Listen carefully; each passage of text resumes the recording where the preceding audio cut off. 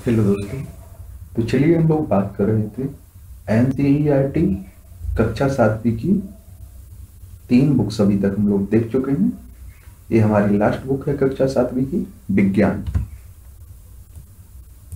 क्या है कक्षा सातवीं के लिए है। ठीक है? ये भी हमारे लिए महत्वपूर्ण। है तो याद रखिए, कक्षा छठवीं में हमें चार बुक्स पढ़नी थी, वो हम पढ़ चुके हैं पूरी। कक्षा सातवीं में ये लास्ट बुक बची हुई है हमारी। इससे पहले हम लोग तीन बुक्स खत्म कर चुके हैं। उनसे संबंधित आपके जितने भी लेक्चर हैं, वो सभी एन पूर्ण कवरेज के नाम से जो आपकी प्ले लिस्ट सूची है, उसी में डले हुए हैं। ठीक है? बात करते हैं कक्षा सातवीं की साइंस तो इसमें हमें क्या क्या पढ़ना है आके इसमें पढ़ेंगे हम लोग, पहला अध्याय होगा हमारा पादपों में पोषण। दूसरे अध्याय में बात करेंगे हम लोग।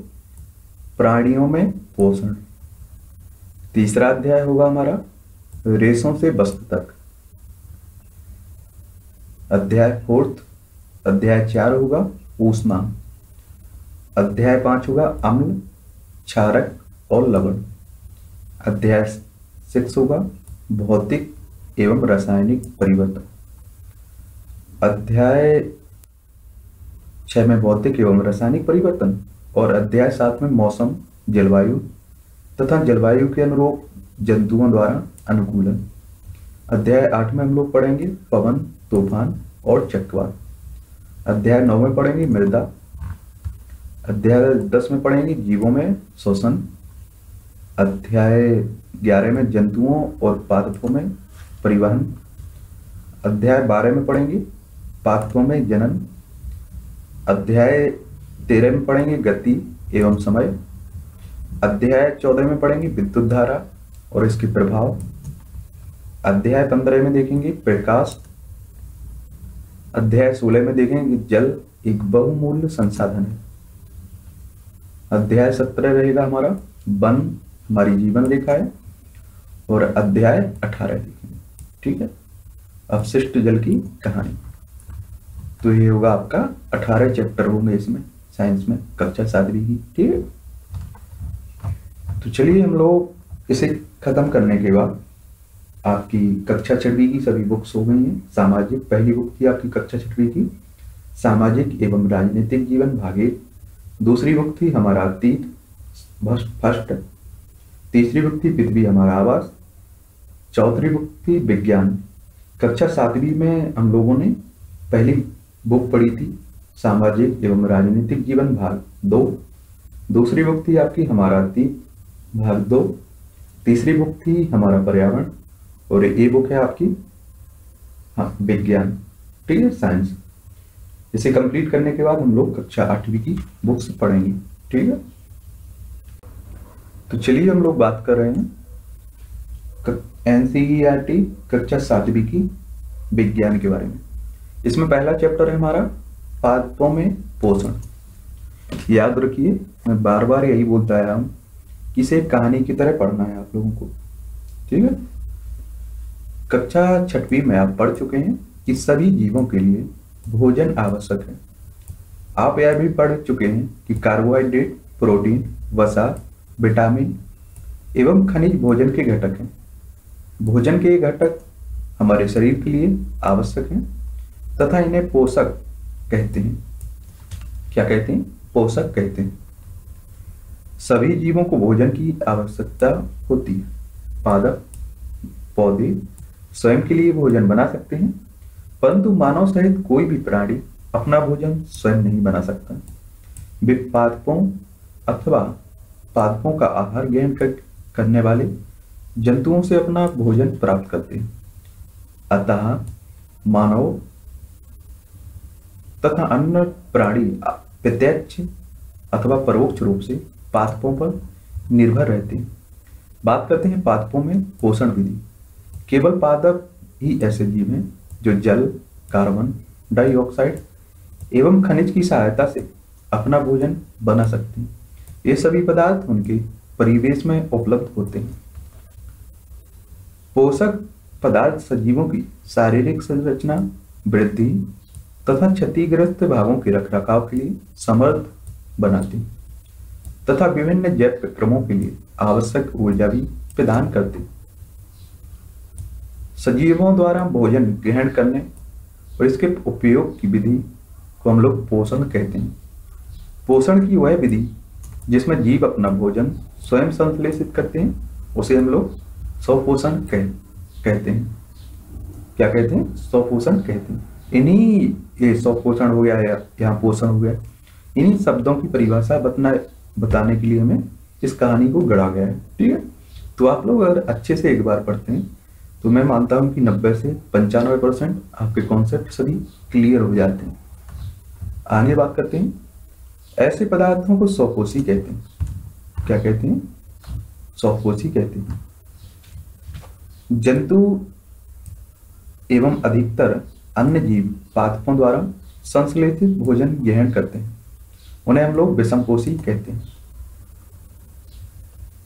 अब हम पूछ सकते हैं कि पादपों की खाद्य फैक्ट्रियाँ कहाँ स्थित हैं? क्या भोजन पादपों के सभी भागों में निर्मित होते हैं? अथवा केवल कुछ विशेष भागों में?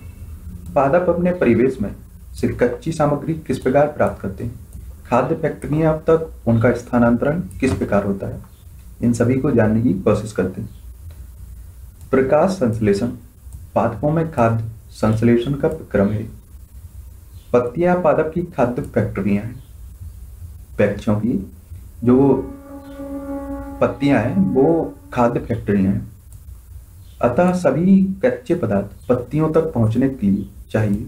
मृदा में उपस्थित जल एवं खनिज जड़ मूल द्वारा अवशोषित किए जाते हैं। जिस प्रकार हमारे में धमनियाँ होती हैं। धमनियाँ हमारे खनिज लवणों, जो भी हमारे लिए ज़रूरी होते हैं, उन सभी को सभी जगह तक पहुंचाती हैं। इसी तरह पेड़ों में आपकी मूल जड़ें होती हैं। जड़ें उसी तरह धमनियों की तरह ही होती हैं, नसों की तरह। ठीक है? वही काम करती हैं लगभग। तथा तने के माध्यम से पत्तियों तक पहुँचाया जाता है। पत्ती की सतह पर उपस्थित सूक्ष्म रंध्रों द्वारा वायु में उपस्थित कार्बन डाइऑक्साइड प्रवेश करती है। या रंध द्वार द्वार कोशिकाओं द्वारा घिरी होती है। ऐसे छिद्रों को हम लोग रंध कहते हैं। क्या कहते हैं? रंध। आपने देखा है कि इमारतें ईंटों से बनी होती हैं। इस प्रकार सजीवों का शरीर सूक्ष्म इकाइयों से बनता है, जो कोशिका कहलाता है। कोशिकाओं को सूक्ष्म दर्शी द्वारा देखा जा सकता है। कुछ जीव मात्र एक कोशिका के बने होते हैं। कोशिका एक पतली बाह्य संरचना द्वारा घिरी होती है, जिसे हम लोग कोशिका झिल्ली कहते हैं।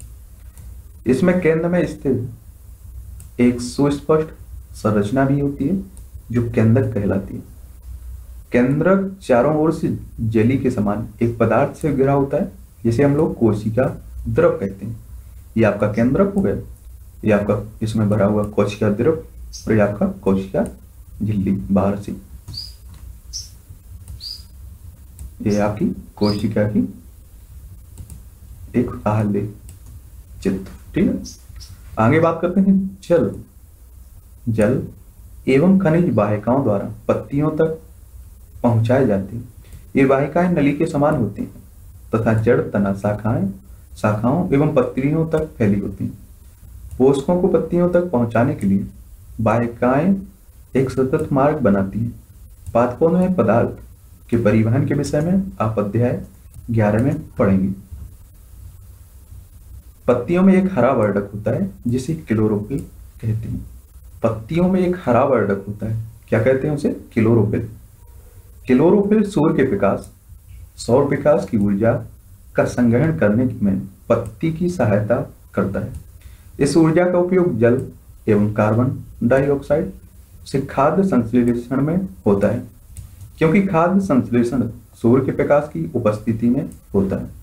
इसलिए इसे हम लोग प्रकाश संश्लेषण कहते हैं।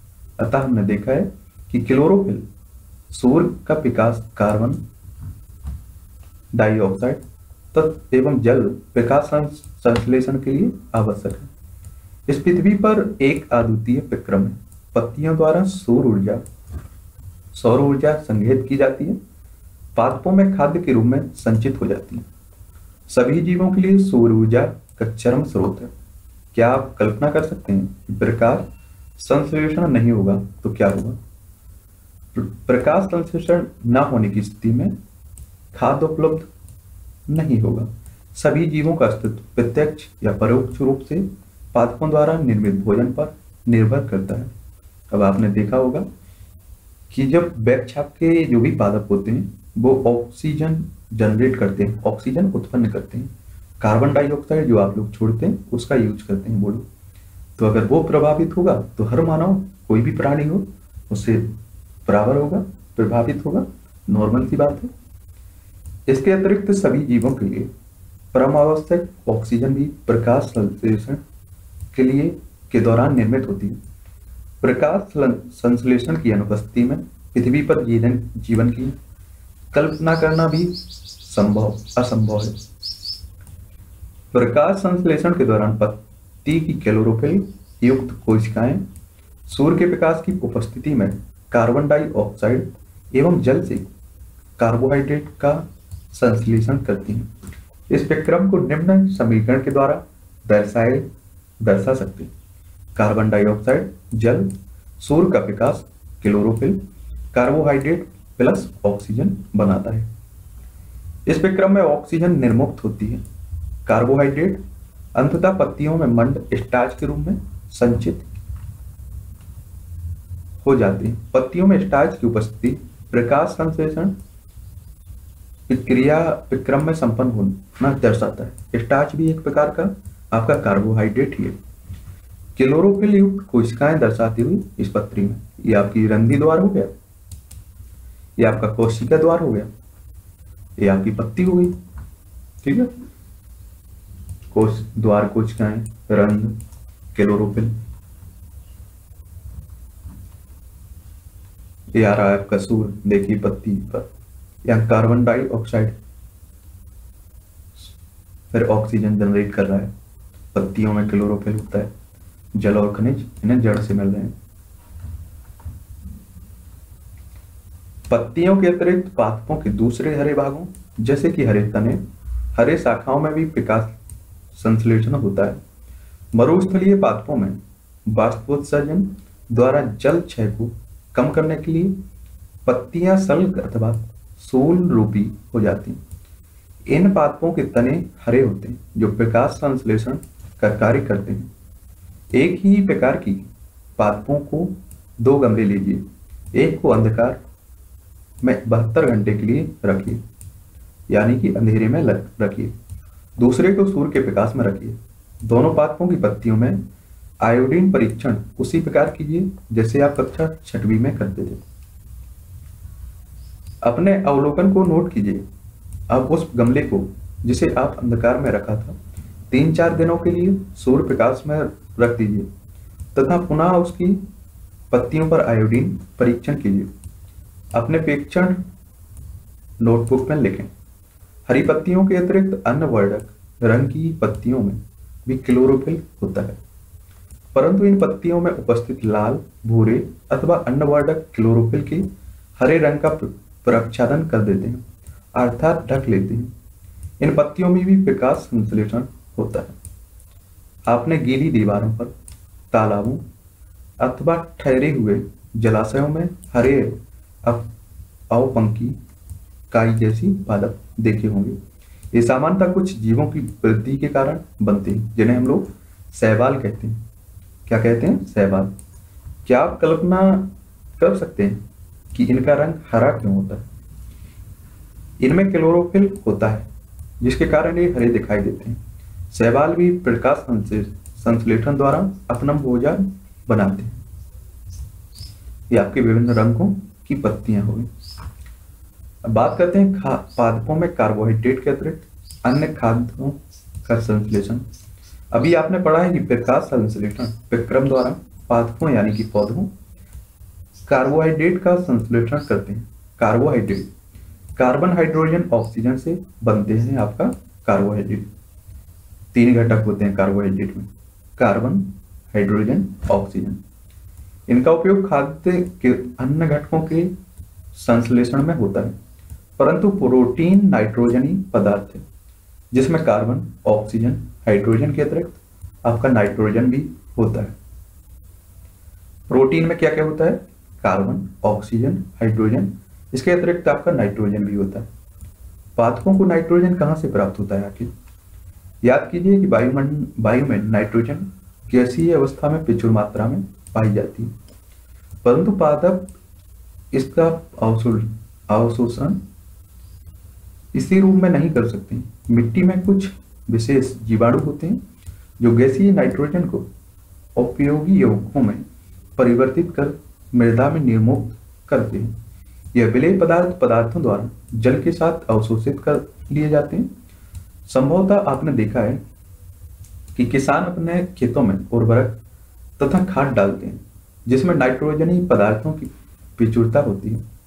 इस प्रकार अन्य संगठनों के साथ पादपों को की नाइट्रोजन की मांग की आपूर्ति हो जाती। इसके पश्चात पादप खाद्य के अन्य संगठनों, संगठकों जैसे कि प्रोटीन एवं वसा का संश्लेषण करते हैं।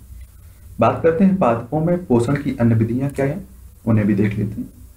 कुछ पादप पौधे ऐसे भी हैं जिनमें क्लोरोफिल नहीं पाया जाता। वे भोजन संश्लेषण नहीं कर सकते। वे कैसे जीवित रहते हैं तथा वे पोषक किस प्रकार प्राप्त करते हैं, उन्हें जानते हैं। मनुष्य एवं अन्य प्राणियों की तरह, ये पादप भी अपने पोषक के लिए, पोषण के लिए अन्य पादपों द्वारा निर्मित खाद्य पर निर्भर होते हैं।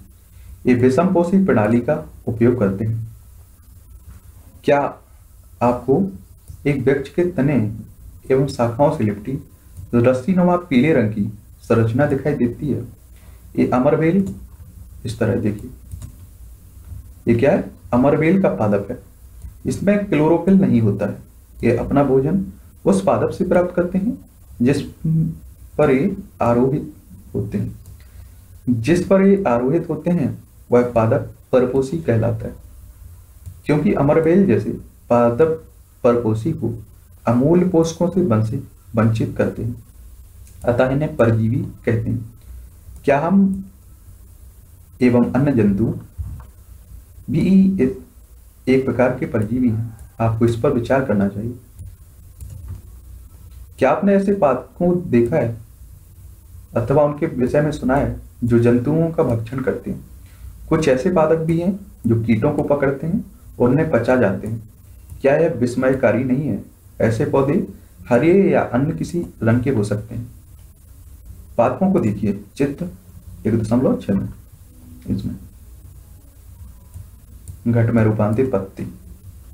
ये ढक्कन हो गया, जैसे कीट इसके अंदर जाता है, बंद हो जाता है। इसके घड़े घट के समान दिखाई देने वाली संरचना वास्तव में उसकी पत्ती का रूपांतरित भाग है। पत्ती का शीर्ष भाग घड़े का ढक्कन बनाता है।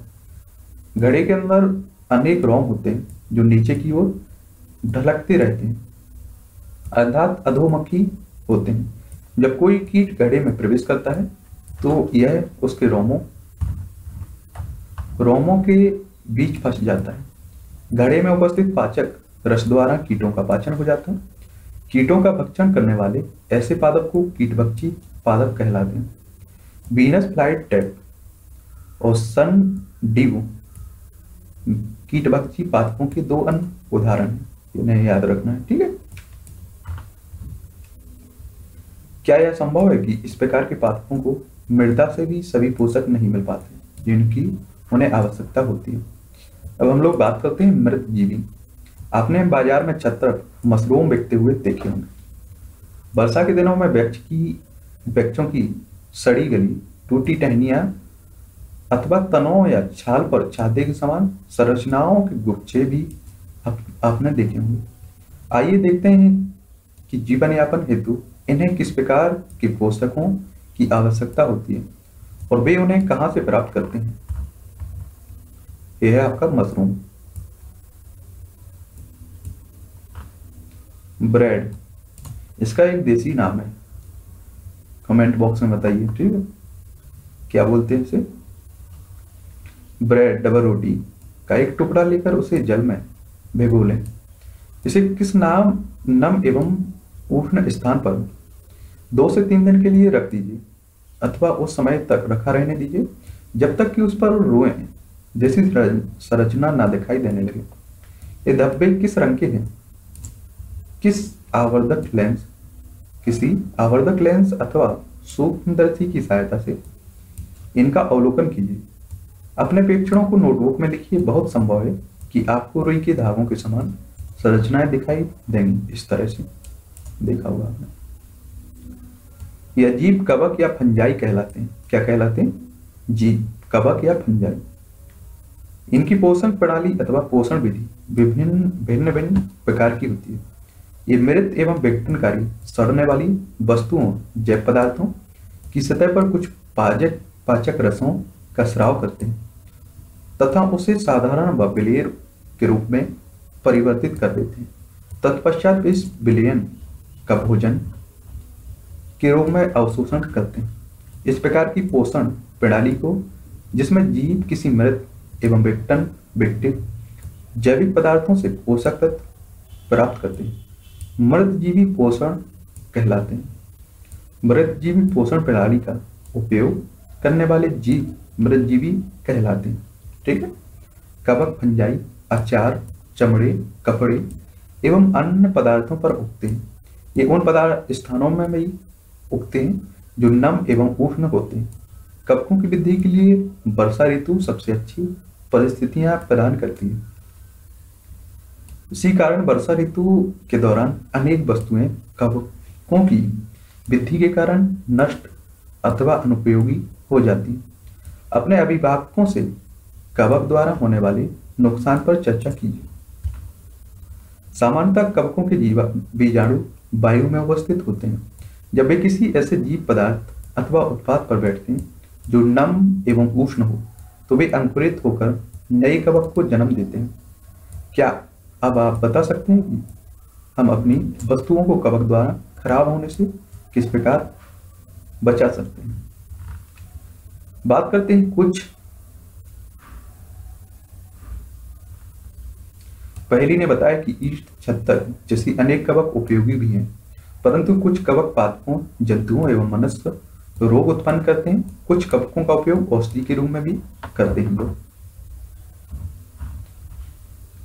कुछ जीव एक दूसरे के साथ रहते हैं, अपना आवास एवं पोषक तत्व एक दूसरे के साथ बांटते हैं। ऐसे हम लोग सहजीवी संबंध कहते हैं। उदाहरण के लिए कुछ वृक्षों की जड़े में जड़ों में रहते हैं। वृक्ष कवक को पोषण प्रदान करते हैं। बदले में उन्हें जल एवं पोषण को की शोषण में सहायता मिलती है। वृक्ष के लिए संबंध का विशेष महत्व है। लाइकेन। लाइकेन कहे जाने वाले जीवों में दो भागीदार होते हैं। इनमें से एक सहवाल होता है और दूसरा आपका कवक होता है। सहवाल में क्लोरोफिल उपस्थित होता है, जबकि कवक में क्लोरोफिल नहीं होता है। कवक सहवाल को रहने का स्थान आवास जल एवं पोषक तत्व उपलब्ध कराता है। तथा बदले में सहवाल प्रकाश संश्लेषण द्वारा संश्लेषित खाद्य कवकों को देता है। बात करते हैं मृदा में पोषकों की पुनः पूर्ति किस प्रकार होती है। क्या आपने किसानों को अपने खेतों में अथवा माली को बगीचे के लौन एवं गमलों में खाद तत्व उर्वरक डालते देखा है? क्या आप जानते हैं कि एक वे इन मृदा में क्या मिलाते हैं? आप पढ़ चुके हैं कि पादप मृदा से खनिज पोषक तत्व अवशोषित करते हैं, अतः मृदा में इनकी मात्रा लगातार कम होती जाती है। उर्वरक एवं खाद्य में नाइट्रोजन, पोटेशियम, फॉस्फोरस जैसे पोषक तत्व होते हैं। पादपों द्वारा लगातार उपयोग किए जाने के कारण मृदा में उनकी मात्रा धीरे धीरे कम होती जाती है। इसलिए मृदा को पोषक तत्वों से समृद्ध करने के लिए, भूमि में उर्वरक तथा खाद मिलाने की आवश्यकता होती है। यदि हम पादपों के पोषण की आवश्यकता के बारे में ज्ञान हो तो हम न केवल पादपों को उगा सकते हैं, बल्कि उन्हें स्वस्थ भी रख सकते हैं। पादपों को प्रोटीन बनाने के लिए सामान्यतः नाइट्रोजन की अधिक आवश्यकता होती है। फ़सल कटाई के बाद मृदा में नाइट्रोजन की कमी हो जाती है। यद्यपि वायु में नाइट्रोजन गैस प्रचुर मात्रा में उपलब्ध है। परंतु पादप इसका उपयोग इस प्रकार करने में असमर्थ होते हैं, जैसे भी कार्बन डाइऑक्साइड का उपयोग करते हैं। पौधे नाइट्रोजन को विलेय रूप में ही अवशोषित कर सकते हैं। कुछ जीवाणु जो राइयो बीएम कहलाते हैं वायुमंडलीय नाइट्रोजन को विलेय पदार्थों में परिवर्तित कर देते हैं, परंतु राइजोबियम अपना भोजन स्वयं नहीं बना सकते ये चना, मटर, मूंग, सैम तथा अन्य फलीदार पादपों की जड़ों में रहते अथवा उन्हें नाइट्रोजन की आपूर्ति करते हैं। अधिकतर दालें फलेदार पादपों से प्राप्त होते हैं। इसके बदले पादप राइजोबियम जीवाणु को आवास एवं खाद्य पदार्थ, खाद्य प्रदान करते हैं। अतः उनमें सहजीवी संबंध होता है। इस संबंध का किसानों के लिए विशेष महत्व होता है। दालों की फ़सलों के लिए उन्हें मृदा में नाइट्रोजनी, उर्वरक देने की आवश्यकता नहीं पड़ती। यह नहीं दाल के फ़सल उगाने के बाद अगली फ़सल के लिए भी सामान्यतः उर्वरकों की आवश्यकता नहीं रहती। इस अध्याय में आप, आपने पढ़ा कि अधिकतर पादप सौपोषी होते हैं। बहुत कम ही पादप अन्न पोषण प्रणाली अपनाते जैसे परजीवी एवं मृतजीवी परजीवी एवं मृतजीवी दूसरे पादपों से पोषण प्राप्त करते हैं। सभी प्राणी अपने भोजन के लिए पादप या फिर अन्य प्राणियों पर निर्भर रहते हैं। अतः उन्हें विषमपोषी के रूप में समूहीकृत किया गया है। क्या हम कह सकते हैं कि कीट, पक्षी, पौधे आंशिक विषमपोषी हैं? इसमें हम लोगों ने इस अध्याय में जाना है। सौपोषी को भी देखा है क्लोरोफिल को देखा है, विषमपोषी को देखा है, परपोषी को, कीट भक्षी पादप को देखा है पोषक को देखा है परजीवी प्रकाश संश्लेषण मृतजीवी रंध सहजीवी, संबंध, कवक। याद रखिए, हमें इन्हीं शब्दों की जो ये शब्द दिए गए, इन्हें हमें मालूम होना चाहिए, अगर हम अध्याय पढ़ते हैं। लास्ट में इनकी परिभाषा या हमें समझ में आता है कि ये शब्द का मतलब क्या है आखिर तो हम लोगों ने अच्छे से पढ़ा है चैप्टर अगर इन शब्दों की आप लोग परिभाषा, परिभाषित नहीं कर पाते हैं तो एक बार और चैप्टर को पढ़िए, ठीक है? मेरा मानना है कि आपको आ जाएगा समझ तो इसमें हम लोगों ने क्या सीखा है? सभी जीवों को खाद्य की आवश्यकता होती है, जिसका उपयोग वे अपनी वृद्धि एवं शरीर के रखरखाव के लिए तथा आवश्यक ऊर्जा प्राप्त करने के लिए करते हैं। हरे पादप विकास संश्लेषण प्रक्रम द्वारा अपनी खाद्य स्वयं संश्लेषित करते हैं। हरे पादप कार्बन डाइऑक्साइड जल एवं खनिज जैसे सरल रासायनिक पदार्थों का उपयोग खाद्य संश्लेषण के लिए करते हैं।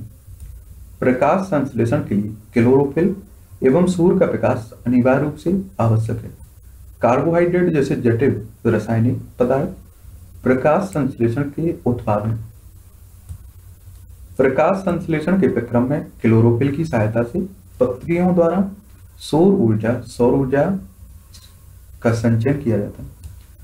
प्रकाश संश्लेषण में ऑक्सीजन उत्पादित होती है। इस ऑक्सीजन का उपयोग सभी जीवों द्वारा उनकी उत्तर जीविका के लिए किया जाता है। कवक अपना पोषक, मृत एवं अवघटित जैव पदार्थों से प्राप्त करते हैं। वे मृत जीवी कहलाते हैं। अमरवर, अमरवेल जैसे पादक परजीवी हैं। वे परपोषी पादप से अपना भोजन प्राप्त करते हैं। कुछ पादप एवं अन्य सभी जीव अपने पोषण हेतु दूसरे जीवों पर निर्भर होते हैं, अर्थात विषमपोषी कहलाते हैं। क्या कहलाते हैं? विषमपोषी ये आपके कुछ अभ्यास के लिए क्वेश्चंस दिए गए इन्हें लगा लेना। तो याद रखिए, आपकी टेलीग्राम पर पीडीएफ डाल दी जाएगी। ठीक है, वहाँ से डाउनलोड कर लेना है। इसमें ज़्यादा दिमाग मत लगाइए। एक बार दो बार आप लोग पढ़ के निकल जाइए। आराम से आपका जो भी कॉन्सेप्ट क्लियर करना है, हो जाएँगे। ठीक है? ज़्यादा दिमाग लगाने की ज़रूरत ही नहीं है इसमें। तो चलिए, ये था आपका पहला चैप्टर पादपों में पोषण। अगले चैप्टर में हम लोग बात करेंगे प्राणियों में पोषण। तो चलिए, हम लोग बात कर रहे थे एनसीईआरटी कक्षा सातवीं की विज्ञान के बारे में। तो इसमें एक चैप्टर हम लोग देख चुके हैं। पहला था हमारा पादपों में पोषण। आज बात करने वाले हम लोग अध्याय दो के बारे में। प्राणियों में पोषण, प्राणियों में पोषण। बार बार वही बोलता रहता हूँ कि याद रखिए, इन्हें एक कहानी की तरह पढ़िए, बुक्स को, एक दो बार, ठीक? इसमें ऐसा भी कोई शब्द नहीं मिलेगा जिसकी परिभाषा आप ना समझ पाए, सकें। अगर अच्छे से पढ़ते हैं तो सभी शब्द आपके क्लियर हो जाएँगे, ठीक? और याद रखिए एनसीईआरटी आपके लिए पढ़ना ज़रूरी है। अगर आप सिविल सर्विस या स्टेट पीसीएस कोई अच्छे से निकालना चाहते हैं तो एनसीईआरटी पढ़ना ज़रूरी है। प्राणियों में पोषण। अध्याय, आपने एक अध्याय में क्या पढ़ा? पादपों या पौधों पौधे अपना भोजन, प्रकाश संश्लेषण द्वारा स्वयं बना सकते हैं। परंतु प्राणी जंतु ऐसा नहीं कर सकते। प्राणी अपना भोजन प्रत्यक्ष परोक्ष रूप से पौधों से प्राप्त करते हैं। कुछ प्राणी सीधे ही पौधों का भक्षण करते हैं, जबकि कई अन्य उन जंतुओं को अपना आहार बनाते हैं, जो पौधे खाते हैं। कुछ जंतु पौधों एवं जंतु दोनों को खाते हैं। याद रखें कि मानव सब, सहित सभी जीवों को वृद्धि करने हैं शरीर को स्वस्थ और गतिशील बनाए रखने के लिए खाद्य पदार्थों की आवश्यकता होती है। प्राणियों के पोषण में पोषक तत्वों की आवश्यकता होती है। आहार के अंतर ग्रहण, भोजन ग्रहण करने की विधि और शरीर में के उपयोग की विधि सन्ने सम्मिलित होती है। कार्बोहाइड्रेट जैसे कुछ संघटक जटिल पदार्थ हैं अनेक जंतु इन जटिल पदार्थों का उपयोग सीधे इसी रूम में नहीं कर सकते। अतः उन्हें सरल पदार्थों में बदलना आवश्यक है। जैसा निम्न आरेख द्वारा दिखाया गया है, जटिल खाद्य पदार्थों का सरल पदार्थों में जटिल खाद्य पदार्थ हो गए सरल पदार्थ में बदल दिए पदार्थों में परिवर्तन होना या टूटना विखंडन कहलाता है, तथा इस विक्रम को हम लोग पाचन कहते हैं। खाद्य अंतर्ग्रहण की विभिन्न विधियाँ। भोजन के अंतर्ग्रहण की विधि विभिन्न जीवों में भिन्न भिन्न होती है। मधुमुख मधुमक्खी एवं मरमर, पक्षी हमें बर्ड पौधों का मकरंद चूसते हैं। मानव एवं कुछ अन्य जंतुओं में शिशु माँ का दूध पीते हैं। अजगर जैसे सरब वंश के प्राणी अपने शिकार को समूचा ही निगल जाते हैं। कुछ जलीय प्राणी अपने आसपास के पानी में तैरते हुए खाद्य कणों को छानकर उनका हम भक्षण करते हैं। सारणी दो में दिए गए जंतुओं के भोजन के प्रकार एवं पोषण प्राप्त करने की विधि कौन सी है? अपने भोजन विभिन्न भागों से गुजरता है। उसके विभिन्न घटकों का पाचन भी क्रमिक रूप से होता है। आमाशय की आंतरिक भीति, क्षुद्रा, क्षुद्रांत तथा आहार नल से संबद्ध विभिन्न ग्रंथियाँ, जैसे लाल ग्रंथि हो गई, यकृत यज्ञाशय पाचन, पाचक रस श्रावित करती हैं। पाचक रस जटिल पदार्थों को उनके सरल रूप में बदल देते हैं। आहार नाल एवं समृद्ध ग्रंथियाँ मिलकर पाचन तंत्र का निर्माण करते हैं। स्टारफिश, तारा मछली, कैल्शियम कार्बोनेट के कठोर कवच वाले जंतुओं का आहार करती है। कवच खोलने के बाद यह अपने मुख से अपना आमाशय बाहर निकालती है तथा जंतु के कोमल भागों को खाती है। आमाशय वापस शरीर में चला जाता है तथा आहार धीरे धीरे पचता है। यह आपका मुख गुहिका हो गया, ठीक है? ये आपका लाल लाल या लाल ग्रंथि हो गई ये आपका गृहस्थी हो गया पाइप ठीक ये आपका यकृत हो गया ये आपका यहाँ पित्रास है ये आपका आमस है ये आपका अग्नाश है ये आपका क्षुद्रांत और ये आपका बेहदांत और मलाशय और गुदा ठीक है? आप देखेंगे कि सारणी में नीचे दिए गए खाद्य पदार्थ खाद्य अंतर्ग्रहण की विधियाँ, उन विधियों का विवरण लिखने में सहायक जिस, जिनसे जंतु भोजन का अंतर्ग्रहण करते हैं। मानव में पाचन। बात करते हैं, मानव में पाचन किस तरह से होता है? उसे देखते हैं। हम अपने मुख द्वारा भोजन का अंतर्ग्रहण करते हैं। इसे पचाते हैं तथा फिर उसका उपयोग करते हैं। आहार का बिना पचा भाग मल के रूप में निष्कासित किया जाता है। क्या आपने कभी यह जानने का प्रयास किया है कि शरीर के अंदर भोजन का क्या होता है? भोजन एक सतत नली से गुजरता है, जो मुख, गुहिका से प्रारंभ होकर गुदा तक जाती है। इस नली को विभिन्न भागों में बांट सकते हैं। मुख, गोहिका, ग्रास नली या ग्रेस का, आमाशय क्षुद्रांत छोटी आंत इसे बोलते हैं बेहदांत बड़ी आंत, जो मलाशय से जुड़ी होती है, तथा मलद्वार अथवा गुदा क्या यह बहुत लंबा मार्ग नहीं है? ये सभी भाग मिलकर आहार नल यानी कि पाचन नली का निर्माण करते हैं। जैसे जैसे भोजन का अंतर्ग्रहण मुख द्वारा होता है,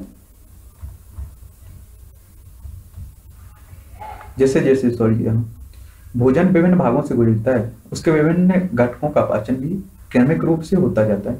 आमाशय की आंतरिक भित्ति, क्षुद्रांत तथा आहार नाल से संबद्ध विभिन्न ग्रंथियाँ, जैसे लाल लाला ग्रंथि हो गई, यकृत हो गया, अग्नाशय पाचक रस स्रावित करते हैं। पाचक रस जटिल पदार्थों को उनकी सरल रूपों में बदल देते हैं, जो आपका पाचक रस होता है। ये जो जटिल पदार्थ होते हैं, उन्हें सरल रूपों में विभक्त कर देते हैं। आहार नाल एवं समृद्ध ग्रंथियाँ मिलकर पाचन का निर्माण करती हैं।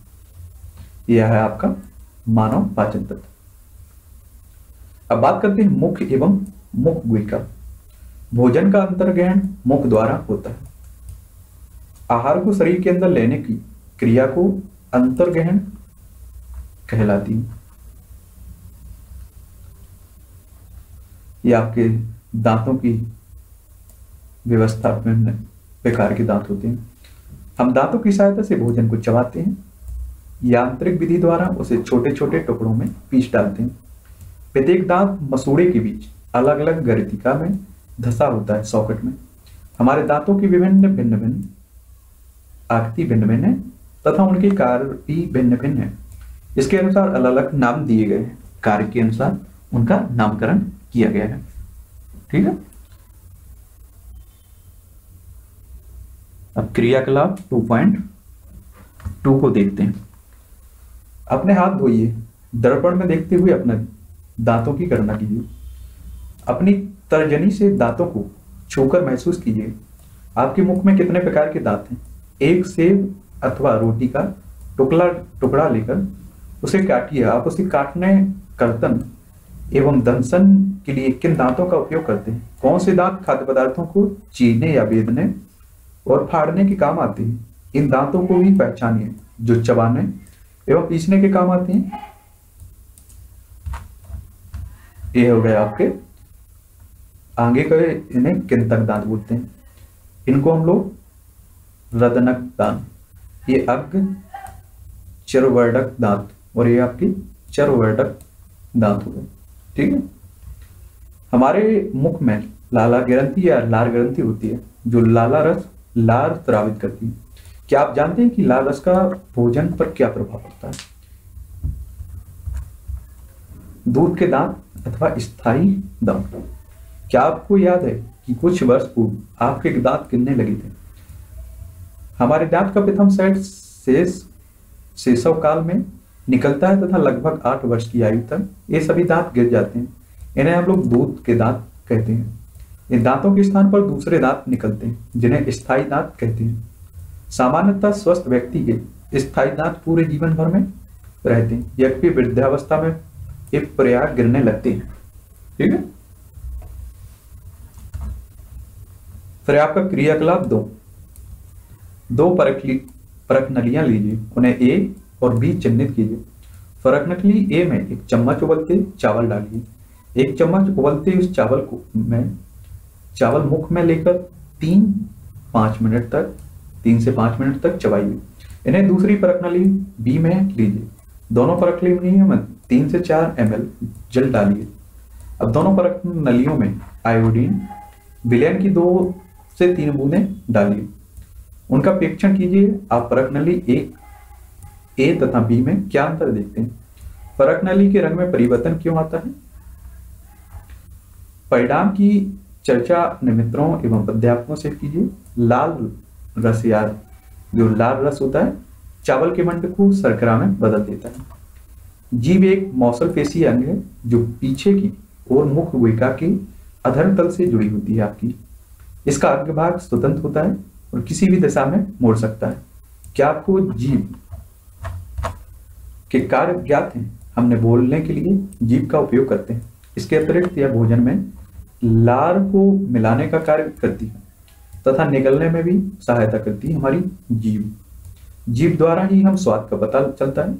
जीव पर स्वाद कलिकाएँ होती हैं, जिनकी सहायता से हम विभिन्न प्रकार के स्वाद का पता चलता है या लगाते हैं। क्रियाकलाप 2.4 द्वारा हम स्वाद कलिकाओं की स्थिति का पता लगा सकते हैं।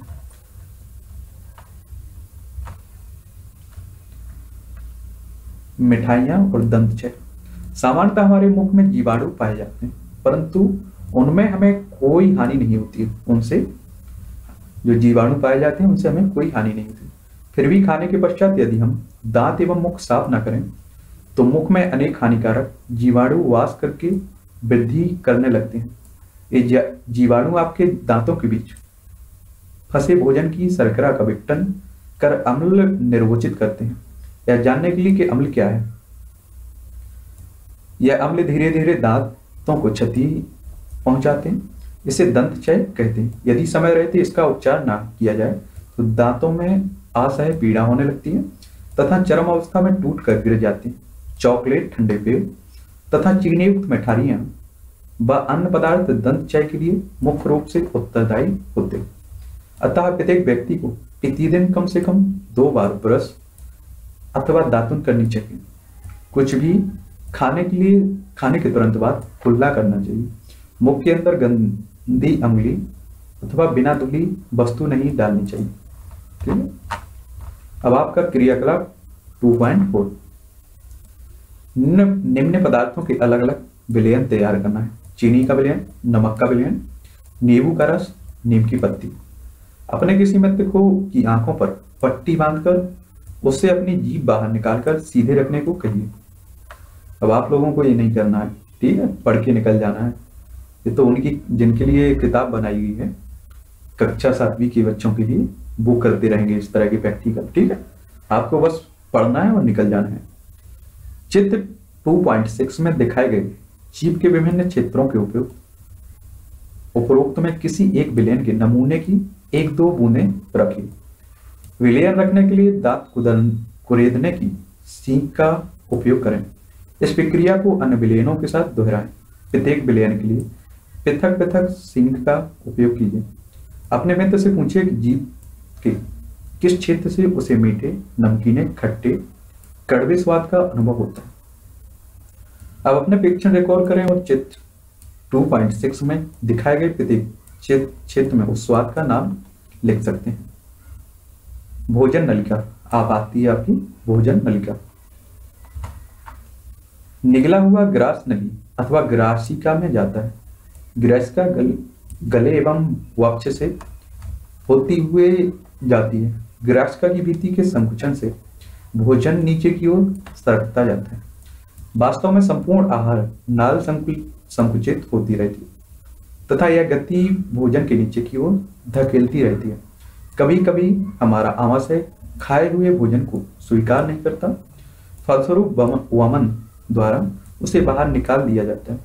ऐसी घटना याद कीजिए, जब भोजन के बाद अपने वमन किया हो तथा इसके कारण के विषय में सोचिए।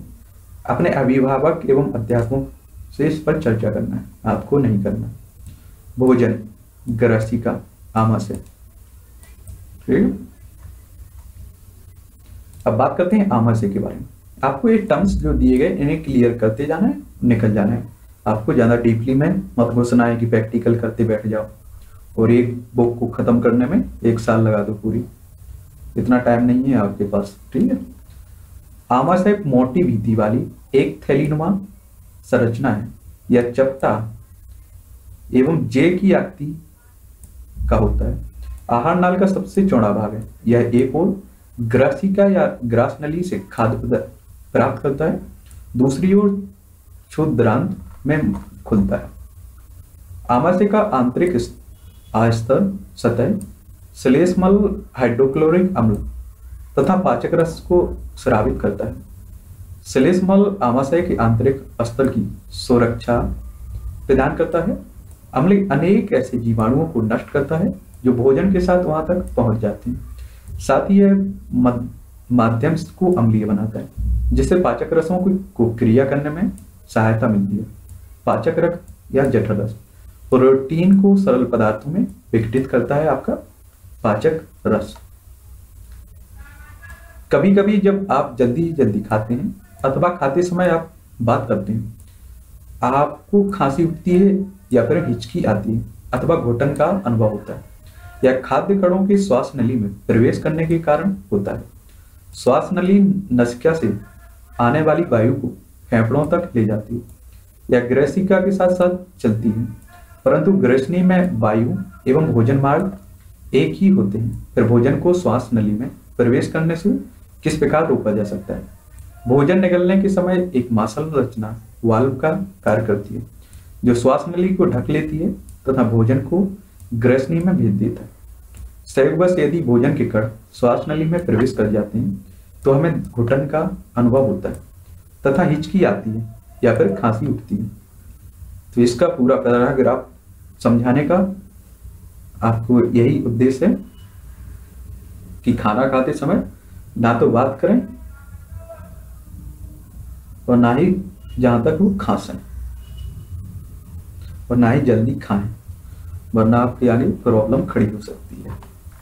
सोच लीजिए। अब बात करते हैं क्षुद्रांत लगभग सात दशमलव पाँच मीटर लंबी अत्यधिक कुंडलित नली है। यकृत अग्नाशय से श्रावित श्राव प्राप्त करती है। इसके अतिरिक्त इसकी भीति से भी कुछ रस श्रावित होते हैं। छोटी आंत। यकृत हरे लाल भूरे रंग की ग्रंथि है। जो उदय के ऊपरी भाग में दाहिनी ओर अवस्थित होता है। यह शरीर की सबसे बड़ी ग्रंथि है। यह आपका कई बार क्वेश्चन पूछा जाता है वनडे एग्ज़ाम में। शरीर की सबसे बड़ी ग्रंथि कौन है? तो आपको बता सकते हैं आपको यकृत। यह पित्तरस श्रावित करता है, यकृत आपका। जो एक थैली में संगीत होता रहता है, इसे हम लोग पित्ताशय कहते हैं। पित्तरस वसा के पाचन में महत्वपूर्ण भूमिका भी निभाता है। अग्नाशय हल्के पीले रंग की बड़ी ग्रंथि है, जो आमाशय के ठीक नीचे स्थित होती है। अग्नाशयिक रस कार्बोहाइड्रेट एवं प्रोटीन पर क्रिया करता है तथा इनको उनके सरल रूपों में परिवर्तित कर देता है। आंशिक रूप से पचा भोजन अब क्षुद्रांत के निचले भाग में पहुँचता है, जहाँ आतरस पाचन क्रिया को पूर्ण कर देता है। कार्बोहाइड्रेट सरल शर्करा जैसे ग्लूकोज में परिवर्तित हो जाता है। वसा वसामु, ग्लिसरॉल में तथा प्रोटीन, एमिनो अम्ल में परिवर्तित हो जाती है। एक बिल विलक्षण विलक्षण दुर्घटना द्वारा आमाशय की कार्य प्रणाली की खोज हुई। सन 1822 में एलेक्सिस सेंट मार्टिन नामक व्यक्ति गोली लगने के कारण बुरी तरह से घायल हुआ। गोली से वक्ष क्षतिग्रस्त हो गया तथा आमाशय में एक छिद्र हो गया। इसे विलियम बीमोंट नामक अमेरिकी सैनिक चिकित्सक के पास ले जाया गया।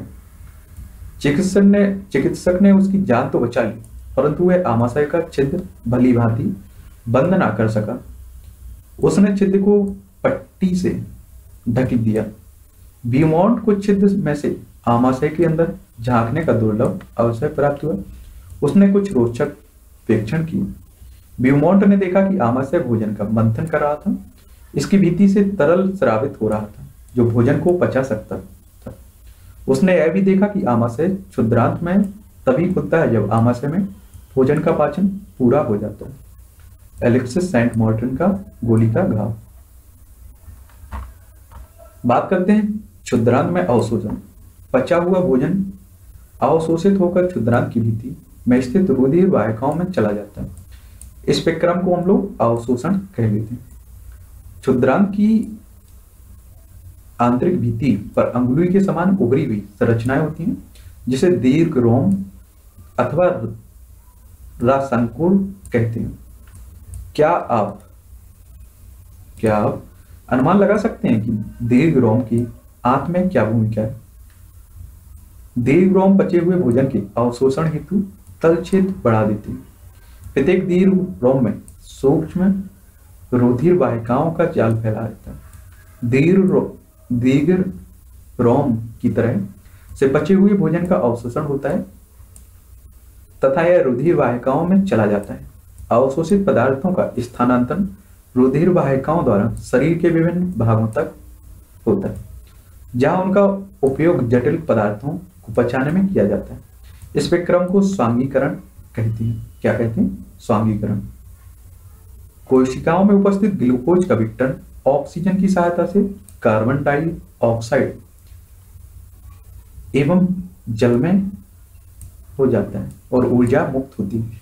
भोजन का वह भाग जिसका पाचन नहीं हो पाता अथवा अवशोषण नहीं होता वेदांत में भेज दिया जाता है। फिर आता है बड़ी आंत आपका, जिसे वेदांत कहते हैं। क्षुद्रांत छोटी आंत की अपेक्षा चौड़ी एवं छोटी होती है। लगभग एक दशमलव पाँच मीटर लंबी होती है। इसका मुख्य कार्य जल एवं कुछ लवड़ों को का अवशोषण करना है? बचा हुआ अपचित पदार्थ मलाशय में जाता है तथा अर्धस्थोष मल के रूप में बाहर निकल जाता है। समय समय पर गुदा द्वारा यह मल बाहर निकाल दिया जाता है। इसे हम लोग निष्कासन कहते हैं। खाद्य घास खाने वाले जंतुओं में वाचन की बात करें। क्या आपने गाय, भैंस तथा घास खाने वाले शाकाहारी अन्य जंतुओं को देखा है। वे उस समय भी लगातार जुगाली करते रहते हैं, जब वे खा ना रहे हो, खाना ना खा रहे हो। वास्तव में पहले घास को जल्दी जल्दी निकलकर आमाशय में के एक भाग में भंडारित कर लेते हैं। यह भाग रूमेन कहलाता है प्रथम आमाशय कहलाता है। रूमिनेंट में आमाशय चार भागों में बांटा होता है, बटा होता है। रोमैन में भोजन का आंशिक पाचन होता है, जिसे जुगाल कहते हैं, कड़ कहते हैं। परंतु बाद में जंतु इसको छोटे पिंडकों के रूप में पुनः मुख में लाता है, जिसे वह चबाता रहता है। इस विक्रम को रोमंथन कहते हैं, या जुगाली करना कहते हैं। ऐसे जंतु रोमिनेंट अथवा रोमंथी कहलाते हैं। ये आपकी गाय हो गई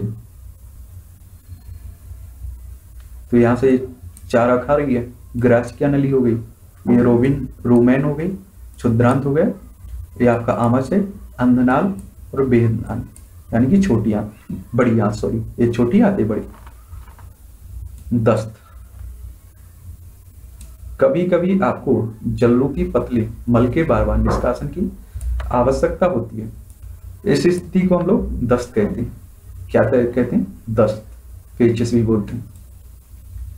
यह संक्रमण खाद्य विषाक्तता अथवा आपच आपच के कारण होता है। भारत में विशेषकर बच्चों में यह अति सामान्य स्थिति है। चरमावस्था में यह घातक भी हो सकता है। इसका मुख्य कारण शरीर, जल एवं लवड़ की अत्यधिक क्षति होना। इसे सहजता से नहीं टालना चाहिए। चिकित्सक के पास जाने से पूर्व ही रोगी को उबालकर ठंडा किए हुए जल में एक चुटकी नमक एवं चीनी घोलकर पिलाना चाहिए। इसे जीवन रक्षक घोल अथवा ओ आर एस कहते हैं। कक्षा दसवीं तक आप लोग जब तक साइंस पढ़ोगे, मुझे लगता है डॉक्टर बना के छोड़ेगी ये साइंस ठीक है? तो देखिए आपको दस्त ठीक होने की पेचस ठीक होने की दवाई बता दी गई है दवा। ठीक है? उपचार घास में सेलुलोज की पिछुड़ता होती है, जो एक प्रकार का कार्बोहाइड्रेट है। किसी रोमिनेंट अथवा रोमन थी, पशु, हिरन आदि के रोमैन में सेलुलोज का पाचन करने वाले जीवाणु पाए जाते हैं। बहुत से जंतु एवं मानव सिलुलो, सेलुलोज का पाचन नहीं कर पाते क्योंकि इनमें जो सेलुलोज को पाचन करने वाले जीव नहीं पाए जाते हैं, ठीक है? जानवर, जैसे घोड़ा, खरगोश आदि में क्षुद्रांत एवं वेदांत के बीच एक थैलीनुमा बड़ी संरचना होती है, जिसे हम लोग अंधनाल कहते हैं। भोजन के सेलुलोज का पाचन यहाँ पर कुछ जीवाणुओं द्वारा किया जाता है, जो मनुष्य के आहार नाल में अनुपस्थित रहते हैं, यानी कि उपस्थित नहीं रहते जब तक आप उस, उन जंतुओं के विषय में पढ़ा है, जिनमें पाचन तंत्र पाया जाता है, परंतु ऐसे बहुत से सूक्ष्म प्राणी हैं, जिनमें ना तो मुख होता है और ना ही पाचन तंत्र। फिर वे किस प्रकार भोजन का अंतर्ग्रहण करते हैं और उसका पाचन करते हैं? अमीबा में संवर्धन एवं पाचन। अमीबा जलाशयों में पाया जाने वाला एक कोशिक जीव है। अमीबा की कोशिका में एक कोशिका झिल्ली होती है। एक गोल सघन केंद्रक एवं कोशिका द्रव्य बुलबुले के समान अनेक धनिया होती है, धामनिया। अमीबा निरंतर अपनी आगती स्थिति बदलता रहता है। यह एक अथवा अधिक अंगुली के समान प्रवर्तक निकालता रहता है, जिसे पदाप अर्थात किंतिम पाव कहते हैं, जो इन्हें गति देने एवं भोजन पकड़ने में सहायता भी करती हैं। अमीबा कुछ सूक्ष्म जीवों का आहार करता है। जब इसे भोजन का आवास होता है तो यह खाद कड़ के चारों ओर पदार्थ विकसित करके उसे निगल लेता है। खाद्य पदार्थों पदार्थ उसकी खाद्यधानी में फंस जाते हैं। यह आपका अमीबा। केंद्रक हो गया, पदार्थ, खाद्य कड़िका खाद्य धनिया वही छिपित अवशिष्ट। खाद्य पदार्थ धानी में ही पाचक रस द्वारा रस शराबित होती है। एक खाद्य पदार्थ पर क्रिया करके उन्हें सरल पदार्थों में बदल देते हैं। बचा हुआ खाद्य धीरे धीरे अवशोषित हो जाता है। अवशोषित पदार्थ अमीबा की वृद्धि रख रखाव गुड़न के लिए उपयोग किए जाते हैं। बिना पचा अपशिष्ट खाद्य धानी द्वारा बाहर निकाल दिया जाता है। भोजन के पाचन का आधार क्रम सभी प्राणियों में समान है, जिसमें खाद्य पदार्थ सरल पदार्थों में परिवर्तित किए जाते हैं एवं ऊर्जा मुक्त होती है। अगले अध्याय में आप आग द्वारा अवशोषित खाद्य पदार्थों का शरीर के अन्य भागों में स्थानांतरण के विषय में पढ़ेंगे। तो इसमें सब्जेक्ट इस अध्याय में हम लोगों ने क्या क्या देखा है? इन शब्दों की परिभाषाएँ जानी अगर आप लोग अध्याय पढ़ते हैं और ये सभी शब्द आप लोग समझ आ जाते हैं तो आपने अच्छे से सुना है, अच्छे से पढ़ा है। और अगर नहीं समझ में आ रहा है तो एक बार और पढ़िए। इसमें हम लोगों ने अवशोषण देखा है एमिनो अम्ल देखा है, स्वांगीकरण देखा है प्रतरस देखा है, मुख गुहिका देखिए रदनक देखा है सेल्यूलोज देखा है, पाचन तंत्र निष्कासन, वसाम खाद्यदानी पित्ताशय क्रंतक अंतर्ग्रहण यकृत चर्वड़क ग्रसिका, अग्नाशय अग्र चर्वड़क पदार्थ रोमैन रोमिनेंट लाल ग्रंथि या लाल ग्रंथि वो बोलते हैं। दीर्घ रोम। आपने क्या सीखा है इस अध्याय में? ये आपका पूरा निष्कर्ष है। जंतु पोषण में पोषण आवश्यकताओं, भोजन अंतर्ग्रहण की विधियाँ, एवं शरीर में इनका उपयोग सम्मिलित है। आहार नाल, तत्स्रावी ग्रंथियाँ, संयुक्त रूप से मानव विभाजन तंत्र का निर्माण करती हैं।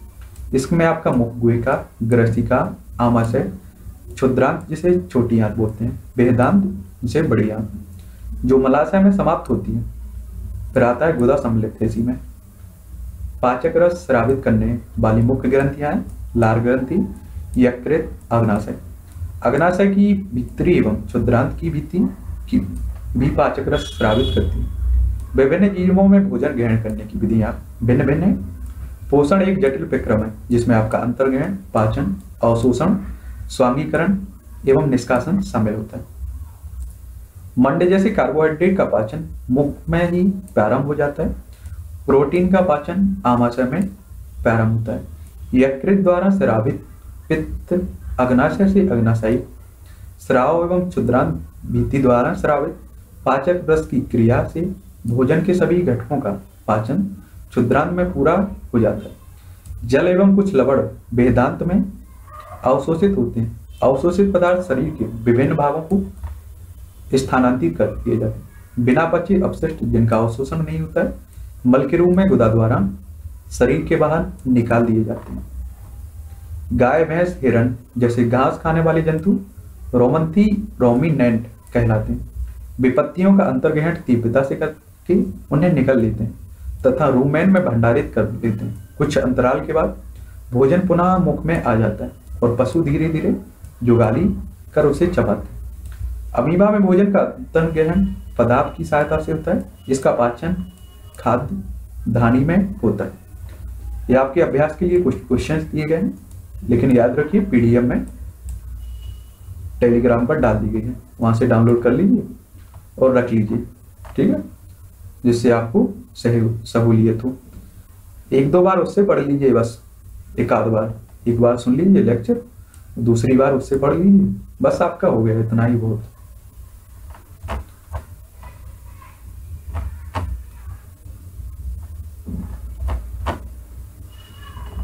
ये हैं सभी क्वेश्चंस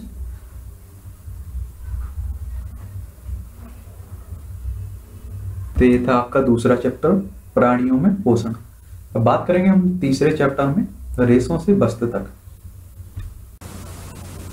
तो चलिए हम लोग बात कर रहे थे एनसीईआरटी कक्षा सातवीं की विज्ञान के बारे में। तो अभी तक हम लोग दो चैप्टर खत्म कर चुके हैं। तीसरा चैप्टर हमें देखना है रेसों से वस्त्र तक का जो सफ़र सफ़र रहा है, उसके बारे में। ठीक है? रेसों से वस्त्र तक। याद रखिए इसे एक कहानी का रूप देकर पढ़िए या फिर सुनिए। इसमें ऐसा कोई भी शब्द नहीं मिलेगा आपको जो आपको समझ में ना आए। बस आपको धैर्य के साथ पढ़ना है। ठीक है?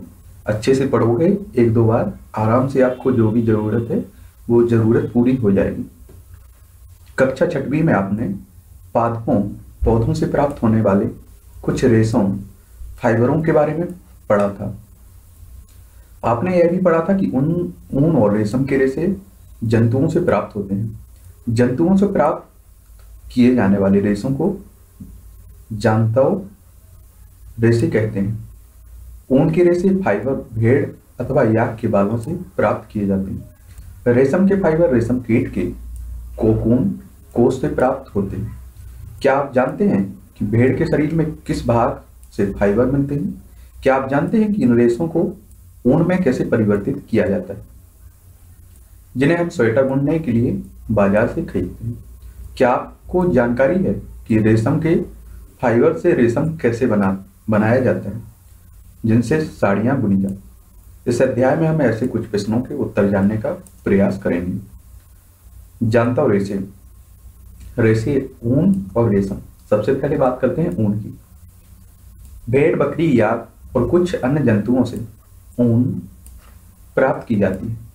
ऊन प्रदान करने वाले इन जंतुओं के शरीर बालों से ढके होते हैं। ये आपके ऊपर बाल दिखते हैं। क्या आप जानते हैं कि इन जंतुओं के आवरण पर बालों की मोटी परत होती है? बालों के बीच अधिक मात्रा में वायु आसानी से भर जाती है। वायु उष्मा की कुचालक है, जैसा कि आप अध्याय चार में पढ़ेंगे आगे। बाल इन जंतुओं को गर्म रखते हैं। ऊन इन रुएदार रेशों से प्राप्त की जाती है। क्रियाकलाप थ्री पॉइंट वन अपने शरीर बाहों और सिर के बालों को छूकर अनुभव कीजिए, क्या आपको उनमें कोई अंतर लगता है? कौन से बाल मोटे, रोखे प्रतीत होते हैं? कौन से मुलायम? हमारी तरह भेड़ की रुएदार त्वचा पर दो प्रकार के रेशे होते हैं। एक दाढ़ी के रूप वाले और दूसरे त्वचा के निकट अवस्थित तंतुरूपी मुलायम बाल। तंतुरूपी, जो तंतुरूपी बाल होते हैं ऊन कर्तित ऊन बनाने के लिए रेशे प्रदान करते हैं। भेड़ों की कुछ नस्लों में केवल तंतुरूपी मुलायम बाल ही होते हैं। इनके जनकों का विशेष रूप से ऐसी भेड़ों को जन्म देने के लिए चयन किया जाता है, जिनके शरीर पर सिर्फ़ मुलायम बाल हों। तंतु रूपी मुलायम बालों जैसे विशेष गुड़े युक्त भेड़ें उत्पन्न करने के लिए जनकों के चयन की प्रक्रिया वर्णात्मक प्रजनन कहलाती है। ठीक है? बात करते हैं ऊन प्रदान करने वाले जंतुओं की। हमारे देश के विभिन्न भागों में भेड़ों की अनेक नस्लें पाई जाती हैं। यद्यपि भेड़ों की ऊन की ऊन का एकमात्र स्रोत नहीं है, फिर भी बाज़ार में सामान्य रूप से उपलब्ध ऊन भेड़ की ऊन ही होती है। याग ऊन को तिब्बत और लद्दाख में प्रचलित है। याग से भी हमें ऊन मिलती है। यह है आपका याग बकरी के बालों से भी ऊन प्राप्त की जाती है। अंगोरा ऊन को अंगोरा नस्ल की बकरियों से प्राप्त किया जाता है, जो जम्मू और एवं कश्मीर के पहाड़ी क्षेत्रों में पाई जाती है। कश्मीरी बकरी की त्वचा के निकट मुलायम बाल फर होते हैं। इनसे बेहतरीन सॉल, सॉलें बनाई जाती हैं, जिसे पश्मीना सॉल कहते हैं। यह आपका अंगोरा बकरी। चलिए चित्त में ही देख लीजिए। कई लोगों को देखने को नहीं मिलेगा। ऊँट के शरीर के भागों, बालों का उपयोग भी ऊन के रूप में किया जाता है। इसे तो देखा ही होगा, नहीं देखा है तो देख लीजिए। ऊँट दक्षिण अमेरिका में पाए जाने वाले लामा और ए एल पेका से भी ऊन प्राप्त होती है। ये आपका लामा हो गया और एल पेका। उन जंतुओं के चित्त एकत्र करना है, जिनके बालों का उपयोग ऊन के रूप में किया जाता है। उन्हें अपनी स्कीम पुस्तक में चिपकाना है। आपको नहीं चिपकाते बैठ जाना है। अगर आप ऐसा करते बैठ गए तो एक साल, दो साल ऐसी इसी में लग जाएगा। इसलिए आपको वही कॉन्सेप्ट पढ़ना है और निकल जाना है, जो आपके लिए ज़रूरी है। यदि आप चित्र प्राप्त नहीं कर पाए तो इस पुस्तक में दिए गए चित्रों को देखकर उन्हें बनाने का प्रयास कीजिए। अपने क्षेत्रीय और देश की अन्य भाषाओं में भेड़, बकरी, ऊँट या किस नाम से जाने जाते हैं? उनका पता लगाना। भारत और विश्व के मानचित्र लीजिए। मानचित्र पर उन स्थानों को चिन्हित कीजिए, जहाँ वे जंतु पाए जाते हैं, जिससे ऊन प्राप्त होता है। ऊन प्रदान करने वाले प्रत्येक किस्म के जंतुओं के स्थान को दर्शाने के लिए विभिन्न रंगों का उपयोग करना है। अब बात करते हैं रेशों से ऊन तक। ऊन प्राप्त करने के लिए भेड़ों को पाला जाता है उनके बालों को काट कर फिर उन्हें संसाधित करके ऊन बनाई जाती है। आइए हम इस विक्रम के बारे में जानकारी प्राप्त करते हैं। भेड़ पालन और प्रजनन यदि आप जम्मू कश्मीर, हिमाचल प्रदेश, उत्तराखंड, अरुणाचल प्रदेश, सिक्किम के पहाड़ी क्षेत्रों या फिर हरियाणा, पंजाब, राजस्थान, गुजरात के मैदानों की यात्रा करें तो आप गड़रियों को, भेड़ों के झुंडों को चराने के लिए ले जाते हुए देख सकते हैं। भेड़ शाकाहारी होती हैं, वह घास और पत्तियाँ पसंद करती हैं। भेड़ पालक पालने वाला, उन्हें हरे चारे के अतिरिक्त दालें, मक्का, ज्वार, खली, बीज में से तेल निकालने, लेने के बाद बचा पदार्थ और खनिज भी खिलाते हैं। सर्दियों में भेड़ों को घर के अंदर रखा जाता है और उन्हें पत्तियाँ, अनाज, सूखा चारा खिलाया जाता है। हमारे देश के अनेक भागों में भेड़ों को ऊन के लिए पाला जाता है। भेड़ों की कुछ नस्लों के नाम नीचे दिए गए, साइड में इसमें देख लेंगे। जिन्हें हमारे देश में ऊन उत्पादन के लिए पाला जाता है। भेड़ की कुछ नस्लों के शरीर पर बालों की घनी परत होती है, जिससे बड़ी मात्रा में अच्छी गुणवत्ता की ऊन प्राप्त होती है। जैसा कि पहले बताया गया है कि इन भेड़ों को वर्णात्मक प्रजनन द्वारा उत्पन्न किया जाता है, जिनमें से एक जनन जनक किसी अच्छी नस्ल की भेड़ होती है। जब पाली गई भेड़ के शरीर पर बालों की घनी वृद्धि हो जाती है तो ऊन प्राप्त करने के लिए उसके बालों को काट लिया जाता है। रेशों को ऊन में संसाधित करता है। स्वेटर बुनने अथवा सॉल बनाने के लिए उपयोग किए जाने वाली ऊन एक लंबी प्रक्रिया द्वारा प्राप्त उत्पाद होती है। निम्नलिखित चरण होते हैं। इसमें चरण एक, भेड़ के बालों को त्वचा की पतली परत के साथ शरीर से उतार लिया जाता है। यह प्रक्रिया ऊन की कटाई कहलाती है। भेड़ के बाल उतारने के लिए उसी प्रकार की मशीन का उपयोग किया जाता है, जिसे नाई द्वारा बाल काटने के लिए प्रयुक्त की जाती है। सामान्यतः बालों की गर्मी के मौसम में काटा जाता है, बालों को, ताकि भेड़ बालों की सुरक्षात्मक आवरण के न रहने पर जीवित रह सके। बाल ऊनी रेशे प्रदान करती हैं। इन्हीं ऊनी रेशों उन्हीं रेशों को संसाधित करके ऊन का धागा बनाया जाता है। ऊन उतारने के दौरान भेड़ को कोई विशेष कष्ट नहीं होता है। जैसा कि आप बाल काट, कटाने अथवा आपके पिताजी को दाढ़ी बनवाने में नहीं होता क्या आप जानते हैं कि ऐसा क्यों होता है? त्वचा की सबसे ऊँची बाली परत अधिकांशतः मृत कोशिकाओं से बनी होती है।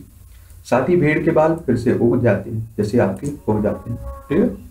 ये आपकी भेड़ों की कुछ भारतीय नस्लें। नस्ल का नाम हो गया उनकी गुणवत्ता और राज्य जहाँ पाई जाती है। लोही, नस्ल का नाम है। अच्छी गुणवत्ता की ऊन मिलती है इससे। ये आपका राजस्थान, पंजाब में पाई जाती है। रामपुर बुसायर। बुसायर, ये आपकी भूरी ऊन प्राप्त होती है इससे। ये आपका उत्तर प्रदेश, हिमाचल प्रदेश से में पाई जाती है। नाली या नली। गलीचे का ऊन इससे प्राप्त होता है। राजस्थान, हरियाणा, पंजाब में मिलती है।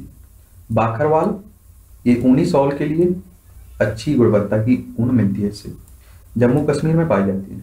मारवाड़ी, मोटी रोज ऊन, ये आपकी गुजरात में मिलती है भेड़।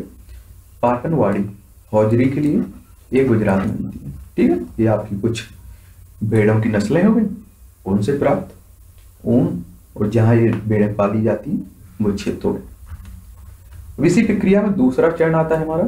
त्वचा सहित उतार उतारे गए बालों को टंकियों में डालकर अच्छी तरह से धोया जाता है, जिससे उनकी रेसों को ऊन में परिवर्तित करने की निम्न आपके यहाँ से चिकनाई जब टंकी में डालते हैं तो चिकनाई धूल और गर्द निकल जाते हैं। यह विक्रम अभी मार्जन कहलाता है। आजकल अभी मार्जन मशीनों द्वारा भी किया जाने लगा है। देखिए, ये भीड़, भेड़ की ऊन उतारने वाला दिख रहा है। फिर मशीनों द्वारा टंकियों में डाला जाएगा। दूसरा चरण क्या होगा टंकियों। में तीसरा होगा मशीनों द्वारा अभिमार्जन और चौथा होगा ऊन का धागा में बनाया जाना। रेशे को ऊन में परिवर्तित करने के विक्रम को निम्न प्रकार से प्रदर्शित कर सकते ऊन की कटाई, अभिमार्जन, छटाई, बार की चटाई रंगाई और रेलिंग। ठीक है? व्यवसायिक संकट की बात करें तो ऊन उद्योग हमारे देश में अनेक व्यक्तियों के लिए जीवों को जीविकोपार्जन का एक महत्वपूर्ण साधन है, यानी कि जीवन को चलाने का एक महत्वपूर्ण साधन है। लेकिन छटाई करने वालों का काम जो, कार्य जोखिम भरा है, क्योंकि कभी कभी एंथेक्स नामक जीवाणु द्वारा संक्रमित हो जाते हैं, जो एक घातक रोग का कारक है, जिसे शॉर्ट रश रोग कहते हैं। किसी भी उद्योग में कारीगरों द्वारा ऐसे जोखिमों को झेलना व्यवसायिक संकट कहलाता है। इसी प्रक्रिया में आपका चरण तीन आता है। अभिमार्जन के बाद छटाई की जाती है। रोमिल अथवा रोएदार बालों को कारखानों में भेज दिया जाता है, जहाँ विभिन्न गठन वाले बालों को छांटा या पृथक किया जाता है। फिर आता है आपका चरण हो, चौथा चरण। अगले चरण में बालों को सुखाया जाता है, परंतु इससे पहले बालों में से छोटे छोटे कोमल व फूले हुए रेशों को छाट दिया दिया जाता है, जो बर कहलाते हैं। ये बर वायु होते हैं जो कभी कभी हमारे स्वेटर पर एकत्रित हो जाते हैं। इसके पश्चात रेशों का पुनः अभिमार्जन करके उन्हें सुखा लिया जाता है। इस प्रकार प्राप्त उत्पाद ही धागों के रूप में काटे जाने के लिए उपयुक्त ऊन है। फिर चरण फ़ाइल। रेशों के विभिन्न रंगों में रंगाई की जाती भेड़ अथवा बकरी की सामान्य ऊन काली या फिर भूरी या अथवा सफ़ेद होती है। अंतिम चरण है जो छठवा। अंतिम चरण को रेलिंग कहते हैं। अब रेशों को सीधा करके सुलझाया जाता है। फिर लपेट कर उसे धागा बनाया जाता है। तो रेशों को काट कर स्वेटर की ऊन के रूप में और अपेक्षाकृत छोटे रेशों को काट कर ऊनी वस्तुओं वस्त्र बुनने में उपयोग किया जाता है। बूझो या जानने को उत्सुक है कि सर्दियों में सूती कपड़े उतना ही गर्म क्यों नहीं देते हैं जितना ऊनी स्वेटर? अब बात करते हैं रेशम। अपने सहपाठियों के साथ इस विषय पर चर्चा कीजिए, क्या मनुष्य के लिए भेड़ों को पालना और फिर ऊन प्राप्त करने के लिए उनके बालों को उतारना उचित है? रेशम, सिल्क, ऐसे भी जानता रेसे होते हैं। रेशम के कीट रेशम के फाइबरों को बनाते हैं। रेशम प्राप्त करने के लिए रेशम रेशम के कीटों को पालना, रेशम कीट पालन या फिर सेरीकल्चर कहलाता है। क्या कहलाता है? रेशम का जो कीट पालन किया जाता है, उसे सेरीकल्चर कहते हैं। अपनी माता जी चाची, दादी, माँ ने से विभिन्न प्रकार के रेशम अथवा रेशमी साड़ियों के बारे में जानकारी प्राप्त कीजिए विभिन्न प्रकार के रेशम को सूचीबद्ध करना। इससे पहले हम रेशम प्राप्त करने के विक्रम पर चर्चा करें। रेशम के कीट, जीवन चक्र के बारे में जानना आवश्यक है। याद रखिए, हमें ये प्रयोगशाला में करने नहीं बैठ जाना है, ठीक है? ये आपको पढ़ना है, इतना ज़रूरी था आपके लिए। देखिए, क्या कहलाता है? रेशम के रेशे को जानता रेशे। रेशम, रेशे कहते हैं। रेशम के कीट, रेशम के फाइबर को बनाते हैं। रेशम प्राप्त करने के लिए रेशम के कीटों का पालन, पालना, रेशम कीट कहलाता है या फिर सीरीकल्चर कहलाता है। ये इतना आपके लिए ज़रूरी है। अगर जो स्टूडेंट होते हैं, उनके लिए क्रियाकलाप करना प्रयोगशाला में, ये उनके लिए ज़रूरी है। तो आपको इतना पॉइंट याद रखना है, बस। ठीक है? इस तरह के। रेशम कीट का जीवन चक्र। मादा रेशम कीट अंडे देती है, जिससे लार्वा निकलते हैं। जैसे कीटर पिलर पिलर इल्ली या रेशम कीट कहलाते हैं। ये आकार में वृद्धि करते हैं और जब केटर पिलर अपने जीवन चक्र की अगली अवस्था में प्रवेश करने के लिए तैयार होता है तो वह प्यूपा या कोशित कहलाता है। जो अपने इर्द गिर्द एक जाल बुन लेता है। यह जाल उसे अपने स्थान में बने रहने में सहायता करता है। फिर यह अंग्रेज़ी संख्या आठ के रूप में अपने सिर को एक सिर से दूसरे सिर तक ले जाता है। सिर की इस गति के समय कैटरपिलर पतले तार के रूप में प्रोटीन से बना एक पदार्थ स्रावित करता है, जो कठोर होकर सूखकर रेशम का रेशा बना दे, जाता है। जब जल्दी कैटरपिलर स्वयं को पूरी तरह से रेशम के रेशों से ढक लेता है और पीपा बन जाता है। यह आवरण कोकून कहलाता है। कीट का इसके आगे का विकास को, कोकून के भीतर होता है। रेशम के रेशों का उपयोग रेशम के वस्त्र बुनने के लिए किया जाता है। क्या आप कल्पना कर सकते हैं? कल्पना कर सकते हैं कि रेशम का मृदु रेशा स्टील के तार जितना मज़बूत होता है। रेशम का धागा जब रेशम का जो धागा होता है, रेशम कीट के कोकून से प्राप्त रेशों से तैयार किया जाता है। रेशम कीट अनेक किस्म के होते हैं, जो एक दूसरे से काफ़ी अलग दिखाई देते हैं। और उनसे प्राप्त होने वाले रेशम का धागा, गठन अथवा रुक्षता, चिकनाहट, चमक आदि में भिन्न होता है। अतः टसर, रेशम, मूगा रेशम, कोसा रेशम, अन्य प्रकार के रेशम विभिन्न किस्मों के रेशम कीटों द्वारा काटे गए को कोनों से प्राप्त किए जाते हैं। सबसे सामान्य रेशम कीट, सहतूत रेशम कीट है। इस कीट के कोकून से प्राप्त होने वाले रेशम फाइबर, मृदु, चमकदार और लचीला होता है। इसे सुंदर रंगों में रंगा जा सकता है। रेशम कीट पालन अथवा रेशम कीटों का संवर्धन भारत बहुत प्राचीन व्यवसाय भारत का। भारत व्यवसायिक स्तर पर बहुत अधिक रेशम का उत्पादन करता है। भारत में रेशम उत्पादन में समेत विभिन्न प्रकार के उद्यमों में महिलाओं की भूमिका महत्वपूर्ण है। रेशम कीट के लिए पालन को खूनों में से रेशम को निकालने और कच्चे रेशम से वस्त्र निर्माण आदि कार्य अधिकता महिलाओं द्वारा ही किए जाते हैं। अपने उद्यम द्वारा वे राष्ट्र की अर्थव्यवस्था में योगदान देती हैं। रेशम उत्पादन में चीन विश्व में पहले स्थान पर है। भारत प्रमुख रेशम उत्पादकों, उत्पादक देशों में गिना जाता है। लेकिन चीन आपका पहले स्थान पर है। देखिए, ये आपकी रेशम कीट हो। नर, रेशम कीट, ये आपका मदा है। सहतूत की पत्ती पर अंडे देते हैं, फिर रेशम कीट बनते हैं। फिर कोकून, इस तरह कोकून में विकासशील कीट। ये आपकी रेशम कीट का जीवन चक्र। क्रियाकलाप 3.5 विभिन्न प्रकार के रेशमी वस्तुओं के टुकड़े एकत्रित कीजिए। उन्हें अपने स्केच पुस्तिका में चिपकाइए। आपको एक दर्जी की दुकान में व्यर्थ कतरनों की ढेरी मिल सकती है। अपने माताजी चाचा जी या फिर शिक्षिका की सहायता से विभिन्न किस्मों की रेशम, जिसे सहतूत रेशम, टसर रेशम, एरी रेशम, मूगा रेशम आदि की पहचान कीजिए रेशम के इन टुकड़ों के गठन तथा बुनियादी बुनावट की तुलना कृत्रिम रेशम के टुकड़ों से कीजिए, जो संश्लेषित रेशों से निर्मित होते हैं। उन रेशम के कीटों के चित्र एकत्रित करने का प्रयास कीजिए। जिनके कैटरपिलर विभिन्न प्रकार के रेशम प्रदान करते हैं। कृत्रिम रेशे, संश्लेषित रेशे, शुद्ध रेशम का एक एक धागा लीजिए इन धागों को सावधानी जलाइए, पूर्वक जलाइए। क्या आपको उनके जलते समय उत्पन्न गंध में कोई महसूस होता है? अब सावधानी से ऊन के एक धागे को जलाइए।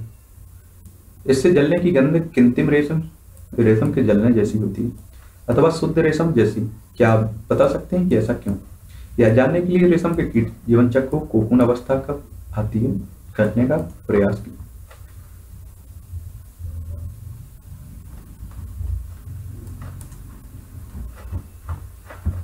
अब बात करते हैं कोकून से रेशम तक। रेशम प्राप्त करने के लिए रेशम कीटों को पाला जाता है। उनके कोकुओं कोकूनों को एकत्रित करके रेशम फाइबर प्राप्त किए जाते हैं। रेशम कीट पालन कोई मादा रेशम? कीट एक बार, में सैकड़ों अंडे देते अंडों को सावधानी सावधानी से कपड़ों की पट्टियों अथवा कागज़ पर संगीत करके रेशम कीट पालकों को बेचा जाता है। ये पालक किसान अंडों को स्वास्थ्य, कार्य स्थितियों, उचित ताप एवं आर्द्रता की अनुकूल स्थितियों में रखते हैं। अंडों को उपयुक्त ताप तक गर्म रखा जाता है, जिससे अंडों से लार्वा निकल जाए। अब तब किया जाता है जब सहतूत के बच्चों में नई पत्तियाँ आती हैं लावा को जो कैटरपिलर अथवा रेशम के कीट कहलाते हैं, दिन रात खाते रहते हैं और आमाप में काफ़ी बड़े हो जाते हैं। लावा को सहतूत की ताजी कटी पत्तियों के साथ बाँस की स्वच्छ ट्रे में रखा जाता है।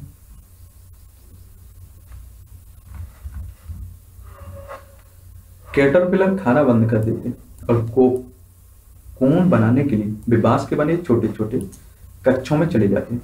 इसके लिए ट्रे में छोटी रैक या टहनियाँ रख दी जाती हैं, जिनके कोकून जुड़ जाते हैं। कैटरपिलर अथवा रेशम कीट कोकून बनाते हैं, जैसे भीतर प्यूपा विकसित होता है। रेशम का संसाधन? की बात करें तो रेशम फाइबर प्राप्त करने के लिए कोकोनों की बड़ी डेयरी का उपयोग किया जाता है। वयस्क कीट में विकसित होने से पहले ही कोकोनों को धूम में रखा जाता है अथवा पानी में उबाला जाता है या फिर भाप में रखा जाता है। इस विक्रम में रेशम की फाइबर पृथक हो जाती है। रेशम के रूप में उपयोग के लिए कोकून में से रेसे निकालने के पश्चात उनसे धागे बनाने की प्रक्रिया रेशम की रेलिंग कहलाती है। रेलिंग विशेष मशीन से में की जाती है जो कोकून में से फाइबर या रे, रेशम को निकालती है। रेशम के फाइबरों की कताई की जाती है। जिससे रेशम के धागे प्राप्त होते हैं। बुनकरों द्वारा रेशम के इन्हीं धागों को से वस्त्र बुनाई की जाती है। रेशम की खोज की बात करें तो रेशम का खोज यथार्थ सम, समय संभवतः अज्ञात है। एक प्राचीन चीनी किन्नवंती दंती के अनुसार सम्राट हुआंग टी ने संबरागी सी लुंगची से अपने बगीचे में उगने वाले शहतूत के वृक्षों की पत्तियों के क्षतिग्रस्त होने का कारण पता लगाने के लिए कहा था। सम्राज्ञी ने पाया कि सफ़ेद किंतिम शहतूत की पत्तियों को खा रहे रहे थे। उन्होंने यह भी देखा कि किंतिम कृमि अपने इर्द गिर्द चमकदार कोकून बुन लेते थे। संयोग से ये कोकून उनके चाय की प्याली में गिर गया और कोकून में से नाजुक धागों का गुच्छा पृथक हो गया। रेशम उद्योग चीन में आरंभ हुआ और सैकड़ों वर्षों तक इसे कड़ी पहरेदारी में गुप्त रखा गया। बाद में यात्रियों और व्यापारियों ने रेशम को अन्य देशों में प्रचलित किया। जिस मार्ग से उन्होंने यात्री, यात्रा की थी, उसे आज हम लोग सिल्क रूट भी कहते हैं। ठीक है? इसमें प्रमुख शब्दों की परिभाषा देखिए। कोकून, कार्तिनून, रेलिंग, अभिमार्जन, रेशम कीट पालन, ऊन कटाई, रेशम कीट, कैटरपिलर संसाधन याद रखिए हम लोग जब अध्याय पूरा खत्म कर लेते हैं और ये कुछ शब्द दिए जाते हैं। अगर इनकी परिभाषा आपको समझ में नहीं आई तो कृपया करके आप लोग एक बार और लेक्चर को पढ़ लें। अगर आपको समझ में आ जाता है तो छोड़ दें, बस कंप्लीट हो गया। इसमें क्या सीखा है? इसमें एक अच्छी बात और है, क्योंकि इसका जो भी सार होता है, नीचे दोबारा लिख दिया जाता है।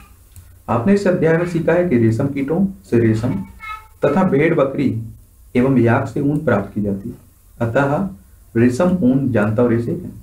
ऊँट लावा, लामा और एल्पिका के बालों को भी ऊन प्राप्त करने के लिए संसाधित किया जाता है। भारत में अधिकतर भेड़ों को ऊन प्राप्त करने के लिए पाला जाता है। भेड़ के शरीर से बालों को उतार कर पहले अमीमार, अभिमार्जन व छटाई की जाती है। फिर सुखाने के लिए उन्हें काट कर उनसे ऊन की प्राप्ति की जाती अपने जीवन चक्र में रेशम कीट, रेशम के जीवों की कताई करके कोकून बनाते हैं। रेशम फाइबर प्रोटीन से बने होते हैं। कोकूनों से रेशम के रेशम को पृथक करके उनका संसाधन किया जाता है और फिर रेशम का धागा बनाया जाता है। इस विक्रम को रेलिंग कहते हैं। बुनकर रेशम के धागों से रेशम के वस्त्र बुनते हैं। ठीक? ये आपके अभ्यास के लिए कुछ क्वेश्चंस दिए गए। लगा सकते हैं अगर आपको ज़रूरी है। ठीक है? और टेलीग्राम पर आपकी ये पीडीएफ डली हुई है। वहाँ से डाउनलोड कर लीजिए और रख लीजिए अपने पास। एक बार उससे भी पढ़ लोगे आप लोग तो आराम से समझ में आ जाएगा आपको। ठीक है, आपको जो भी कॉन्सेप्ट क्लियर करना है, हो जाएँगे आपके। तो चलिए, ये था आपका तीसरा चैप्टर अब चौथे चैप्टर में हम लोग बात करेंगे ऊष्मा के बारे में। नमस्कार दोस्तों। तो चलिए, हम लोग बात कर रहे थे एनसीईआरटी कक्षा सातवीं की विज्ञान के बारे में। ठीक है। तो इसमें अभी तक हम लोग तीन चैप्टर आपके खत्म कर चुके हैं।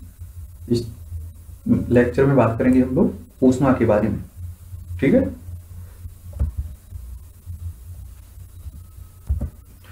ऊष्मा। अध्याय तीन में आप पढ़ चुके हैं कि ऊनी वस्त्र जानता और रेशों से बनाए जाते हैं। आप यह भी जान, जानते हैं कि सूती वस्त्र पादप रेशों से बनाए जाते हैं। हम शीतकाल में ऊनी वस्त्र पहनते हैं। जो हमें गर्म रखते हैं। जब मौसम गर्म होता है, तब हम हल्के रंग रंग के सूती वस्त्र पहनना पसंद करते हैं। ये हमें ठंडक का अनुभव कराते हैं। आप यह जानने के लिए अवश्य उत्सुक होंगे कि किसी विशेष ऋतु के लिए विशेष प्रकार के बस्ती क्यों उपयुक्त होते हैं। शीतकाल में आप घर के ठंड, अंदर ठंड का अनुभव करते हैं। यदि आप बाहर धूप में आ जाएँ तो गर्मी का अनुभव करते हैं। ग्रीष्म काल में तो आप घर के अंदर भी गर्मी का अनुभव करते हैं। हम यह कैसे याद करते हैं कि कोई वस्तु गर्म है अथवा ठंडी?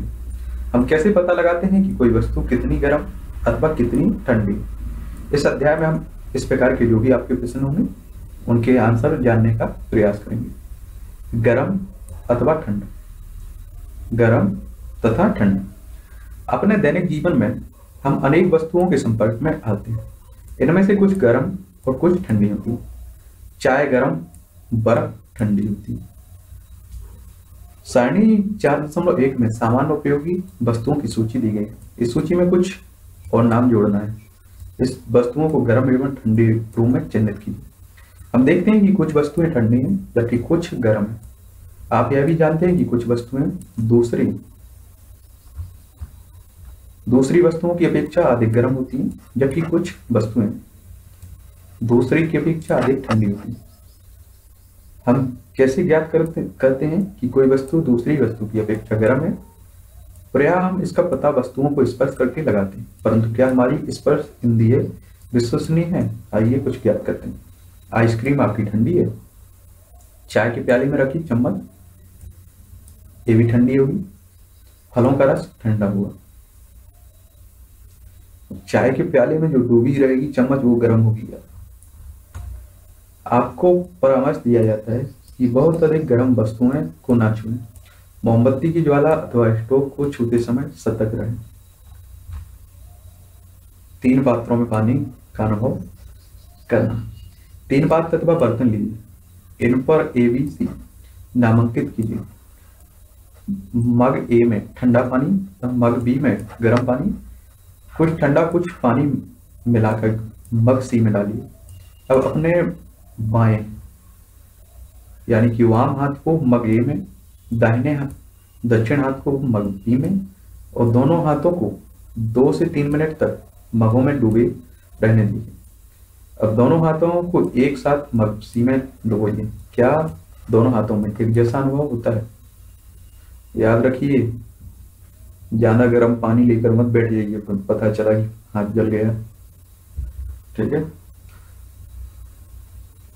बोझों की उलझन यह दर्शाती है कि यह निश्चित करने के लिए कोई वस्तु गर्म है या ठंडा हम अपने इंद्रिय स्पर्श इंद्रिय पर विश्वास नहीं कर सकते। यह हमें कभी भी धोखा दे सकती है। तब हम यह कैसे पता ज्ञात कर सकते हैं कि कोई वस्तु वास्तव में कितनी गर्म है? किसी वस्तु की उष्णता गर्मी की विश्वसनीयता माप कर उसके ताप से की जाती है। ताप मापने के लिए उपयोग की जाने वाली युक्ति आपकी ताप मापी कहलाती है, थर्मामीटर। अब देखिए इतना थर्मामीटर बताने के लिए ना कि ताप का मापन आपका थर्मामीटर से होता है।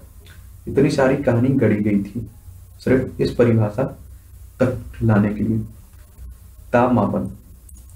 क्या आपने कोई तापमापी देखा है? याद कीजिए जब कभी आप, आपके परिवार में किसी बुक को बुखार आता है तो टेम्परेचर ताप को थर्मामीटर तापमापी से मापा जाता है।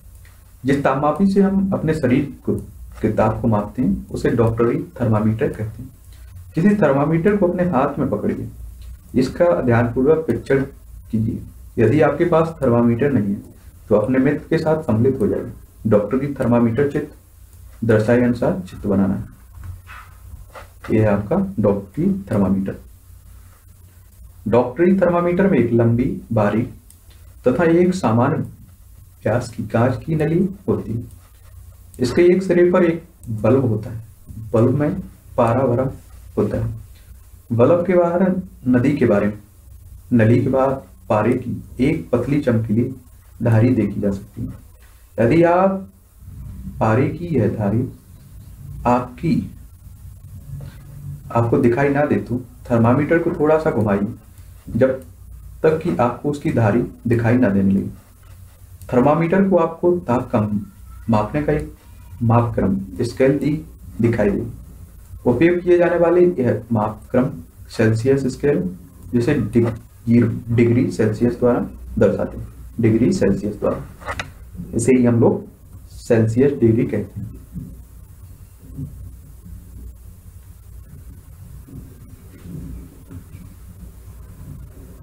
वो जो दुविधा में है, चित्र फोर पॉइंट टू में दर्शाए दो माक्रमों में से, वह किसे पड़े पहेली ने उसे बताया कि भारत में हमें, हमने सेल्सियस स्केल को अपनाया और हमें किसी, इसी स्केल का उपयोग करना चाहिए। दूसरा मापक्रम आपका फॉरन हाइट स्केल यानी कि डिग्री एफ़ है, जिसका परिसर चौरानवे से एक सौ आठ डिग्री तक है। इसे पहले प्रयोग किया जाता था। डॉक्टरी थर्मामीटर में हमें 35 डिग्री सेल्सियस से 42 डिग्री सेल्सियस तक के ताप ही माप सकते हैं। थर्मामीटर से ताप मापना। आइए हम सीखें कि थर्मामीटर को कैसे पढ़ा जाता है। सबसे पहले इसके किन्हीं दो क्रमागत, एक के बाद एक, बड़े चिन्हों द्वारा निरूपित ताप के अंतर को नोट कीजिए। इन दोनों चिन्हों के बीच भागों की संख्या छोटे चिन्हों द्वारा दर्शाए गए को नोट कीजिए। मान लीजिए कि दो बड़े चिन्हों के बीच एक डिग्री डिग्री का अंतर है, तथा इन चिन्हों के बीच पाँच भाग हैं। तब एक छोटे भाग का अनुमान one upon five degree Celsius अर्थात zero point two degree Celsius होगा। उपयोग करने से पहले थर्मामीटर को अच्छी प्रकार धो लीजिए। धोने के लिए किसी पूती रोधी रोगाणु रोधक घोल का उपयोग करना सुनिश्चित करता है, रहता है। अब इसे अपने हाथ में कसकर पकड़िए। कुछ झटके दीजिए। झटके देने से पारे का तल नीचे आ जाए। सुनिश्चित कीजिए कि 35 डिग्री सेल्सियस से नीचे आ गया है।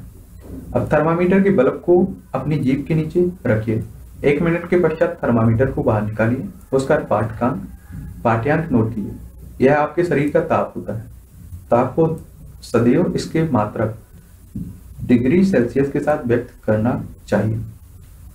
मैं मैंने बताया था ना साइंस अगर हम लोग कक्षा दसवीं तक की पढ़ते रहे तो डॉक्टर तो बना देगा। मुझे ऐसा अनुभव हो रहा है। क्योंकि कक्षा छठवीं और कक्षा सातवीं की अभी तक जो भी हम लोगों ने सब्जेक्ट चैप्टर खत्म करे हैं, उसमें आधे डॉक्टर तो बनने की उम्मीद हो ही गई होगी आपकी। आपने अपने शरीर के का तापमान नोट किया है। मानव शरीर का सामान्य तापमान सैतीस डिग्री सेल्सियस ध्यान दीजिए कि ताप को इसके मात्रक के साथ व्यक्त किया गया है। डॉक्टरी थर्मामीटर की सहायता से अपने कुछ मित्रों, कम से कम दस, के शरीर का ताप मापिए। क्या प्रत्येक विद्यार्थी के शरीर का तापमान सैंतीस डिग्री सेल्सियस है? यह आवश्यक नहीं है कि प्रत्येक व्यक्ति का सामान ताप सैंतीस डिग्री सेल्सियस हो। यह कुछ अधिक अथवा कुछ कम हो सकता है। वास्तव में जिस, जिसे हम सामान्य ताप नॉर्मल टेम्परेचर कहते हैं, वह स्वस्थ व्यक्तियों के विशाल समूह के शरीर का औसत तापमान होता है। ठीक है? जो हम लोग जिसे नॉर्मल टेम्परेचर कहते हैं या औसत ताप, वो कई लोगों के समूह के तापमान को ज्ञात कर कर एक नॉर्मल मतलब औसत लिया जाता है, ठीक है? थर्मा डॉक्टरी थर्मामीटर उपयोग करने के लिए आवश्यक सावधानियाँ। थर्मामीटर का उपयोग से पहले और उपयोग के पश्चात धोना चाहिए। धोने के लिए किसी पूर्ति रोधी एंटीसेप्टिक घोल का उपयोग अच्छा रहता है। सुनिश्चित कीजिए कि उपयोग से पहले पारे का तल 35 डिग्री सेल्सियस से नीचे थर्मामीटर। थर्मामीटर को पढ़ते समय पारे का तल दृष्टि रेखा की सीध में होना चाहिए। थर्मामीटर का सावधानी पूर्वक उपयोग कीजिए। किसी कठोर वस्तु से टकराने पर टूट सकता है। थर्मामीटर को उपयोग करते समय से बल्ब से नीचे नहीं पकड़ना चाहिए। ठीक है? देखिए यहाँ कितनी अच्छी बात लिखी गई है। थर्मामीटर को उपयोग करने से पहले धोइए और उसके बाद, क्योंकि पता है, कई डॉक्टर होते हैं झोला छाप डॉक्टर। वो एक ही इंजेक्शन कई लोगों में लगा देते हैं। उसकी सुई भी नहीं बदलते। पता नहीं कैसे इसी तरह कई नाई होते हैं जो बाल काटते हैं। वो एक ही ब्लेड से कई लोगों के बाल काट देते हैं। चेतावनी, डॉक्टरी थर्मामीटर का उपयोग मानव शरीर का तापमान मापने को छोड़कर किसी अन्य वस्तु का माप ताप मापने के लिए कभी मत कीजिए। थर्मामीटर को दूध तथा आग के पास रखने से बचाइए। ऐसा करने से यह टूट सकता है। डॉक्टरी थर्मामीटर को केवल मानव शरीर का ताप मापने के लिए डिज़ाइन किया गया है। मानव शरीर का तापमान सामान्यतः पैंतीस डिग्री सेल्सियस से कम और चाल, बयालीस डिग्री सेल्सियस से अधिक नहीं होना चाहिए। यही कारण है कि इस थर्मामीटर का परिचय 35 डिग्री से 42 डिग्री सेल्सियस है। प्रयोगशाला तापमापी। हम अन्य वस्तुओं के ताप कैसे मापते हैं? इसके लिए अन्य तापमापी काम में लाते हैं। ऐसा ही एक तापमापी है आपका, प्रयोगशाला तापमापी। आपके अध्यापक इस तापमापी को आपको दिखाएँगे। इस ध्यान से देखिए कि इसमें मापे जाने वाले अधिकतम बिंदु अधिकतम न्यूनतम ताप को नोट कीजिए। प्रयोगशाला तापमापी का परिचय प्रयाग 10 डिग्री सेल्सियस से 110 डिग्री सेल्सियस होता है। जैसे आपने डॉक्टर, डॉक्टरी थर्मामीटर में किया था, ठीक उसी प्रकार इस तापमापी के भी। किसी सबसे छोटे भाग द्वारा दर्शाए जाने वाले ताप का मान ज्ञात कीजिए। तापमापी द्वारा दर्शाए गए ताप को ठीक ठीक पढ़ने के लिए आपको ताप के इस मान की आवश्यकता होगी। विभिन्न प्रयोजनों के लिए विभिन्न प्रकार के तापमापी उपयोग किए जाते हैं। मौसम की रिपोर्ट में दिए गए अधिकतम तथा न्यूनतम तापों की जानकारी देने के लिए अधिकतम न्यूनतम तापमापी का उपयोग होता है। ये आपका प्रयोगशाला तापमापी। देख लीजिए। प्रयोगशाला तापमापी द्वारा जल का तापमान इस तरह मापा जाता है। किसी बीकर अथवा मग में नल का थोड़ा सा जल लीजिए तापमापी को जल में इस प्रकार डुबोइए कि उसका बल्ब तो जल में डूब, डूबा रहे, लेकिन वह बर्तन की तली अथवा दीवारों को स्पर्श ना करे। तापमापी के जल में ऊर्ध्वाधर रखते हुए इसमें पारे के जल की गति को देखिए। तब तक प्रतीक्षा कीजिए जब तक कि नली में पारे का तल स्थिर ना हो जाए। तापमापी का पाठ्यांक नोट कीजिए। यह इस समय का जल का तापमान होगा करंट का तापमान होगा उस समय का। कक्षा में विभिन्न विद्यार्थियों द्वारा मापे गए जल के ताप की तुलना कीजिए। क्या इन मापों में कुछ भिन्नताएँ संभव कारणों पर चर्चा कर सकते हैं? प्रयोगशाला में तापमापी का उपयोग करते समय डॉक्टरी थर्मामीटर पाठ्यांक पाठ्यांक लेते समय बरती जाने वाली विभिन्न सावधानियों के अतिरिक्त निम्नलिखित सावधानी बरतनी चाहिए। तापमापी को ऊर्ध्वाधर रखना चाहिए तिरछा नहीं तापमापी का बल्ब चारों ओर से उस पदार्थ से घिरा होना चाहिए, जिसका ताप मापना है। बल्ब बर्तन में दीवारों से नहीं छूना चाहिए। किसी बीकर या मग में थोड़ा गर्म लीजिए, गर्म पानी लीजिए। तापमापी के बल्ब को जल में डुबोइए। पारे के पारे के तल के स्थिर होने तक प्रतीक्षा कीजिए। जब ताप जब पारे का जल स्थिर हो जा, जाए तो नोट कीजिए। तब तापमापी को जल से बाहर निकालिए। ध्यानपूर्वक देखिए कि अब क्या होता है। क्या आप देखते हैं कि जैसा, जैसे ही तापमापी को जल से बाहर निकालते हैं, पारे का जल गिरने लगता है। इसका अर्थ है कि किसी प्रयोगशाला तापमापी द्वारा ताप का पाठ्यांक तभी नोट करना चाहिए जब उसका बल्ब जल या फिर वस्तु, उस वस्तु में रखा जिसका तापमान मापना है, ठीक है? याद रही कि अपने शरीर का ताप मापते समय आपको पाठ्यांक नोट करने के लिए थर्मामीटर को मुँह से बाहर ही निकालना पड़ता है। क्या तब आप प्रयोगशाला तापमापी को अपने शरीर का ताप मापने के लिए प्रयोग कर सकते हैं? स्पष्ट है कि प्रयोगशाला तापमापी का उपयोग इस प्रयोजन के लिए सुविधाजनक नहीं है। डॉक्टरी थर्मामीटर को मुँह से निकाल लेने पर पारे का तल नीचे या ऊपर क्यों नहीं जाता? किसी डॉक्टरी थर्मामीटर का प्रशिक्षण कीजिए। क्या आप बल्ब के पास कोई विभंग किंक देखते हैं? यह आपका डॉक्टरी थर्मामीटर में एक विभंग। विभंग का क्या लाभ होता है? यह पारे के तल को अपने आप नीचे गिरने से रोकता है आपका विभंग।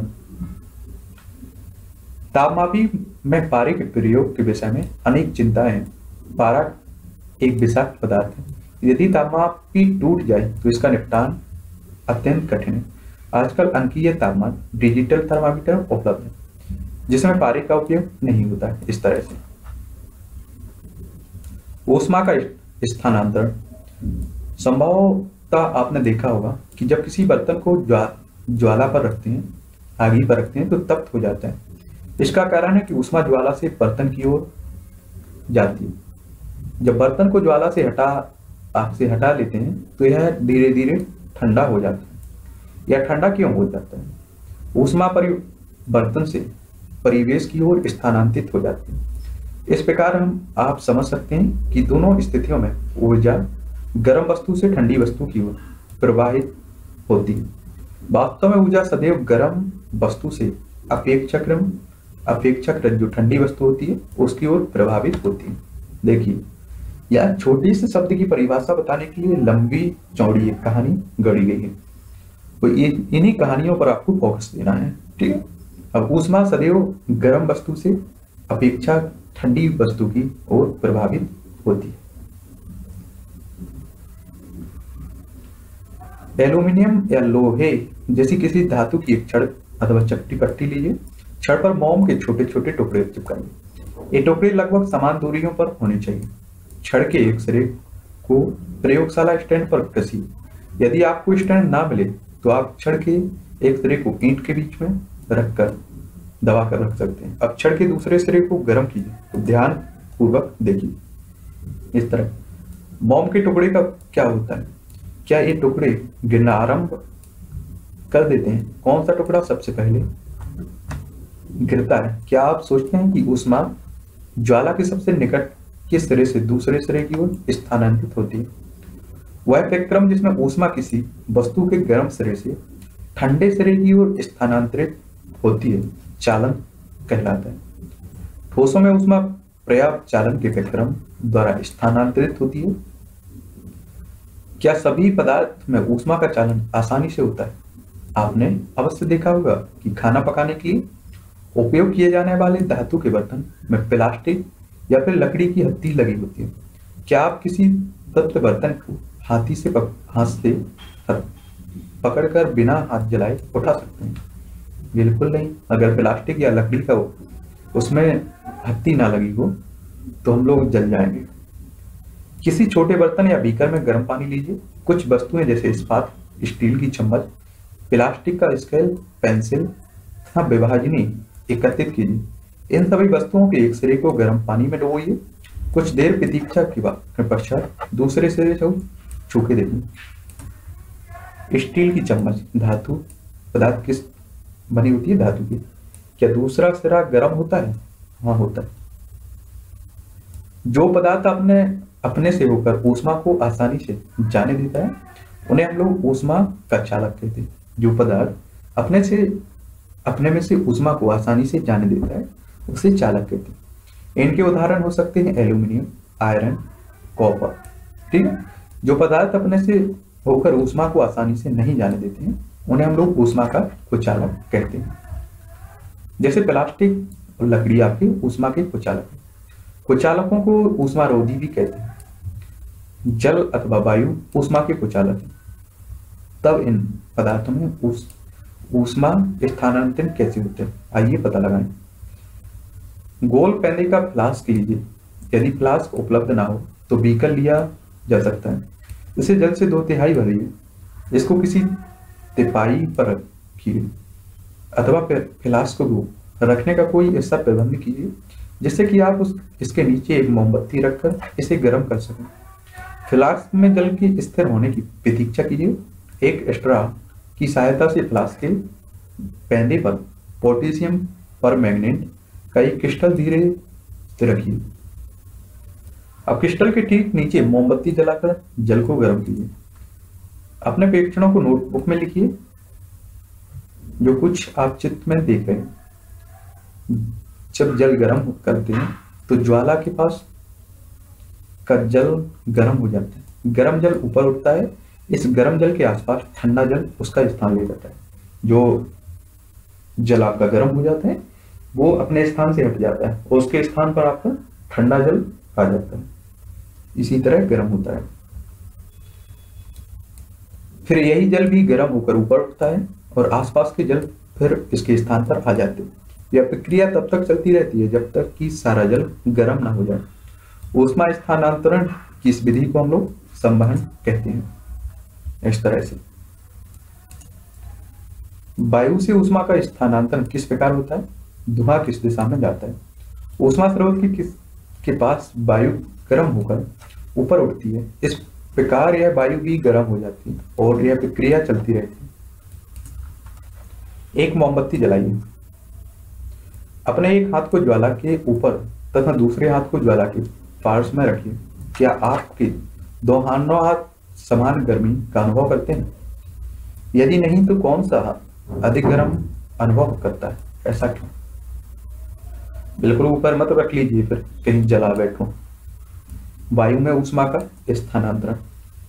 सावधान रहें कि अपने हाथों को ज्वाला से सुरक्षित दूरी पर रखिए जिससे कि भी जले नहीं।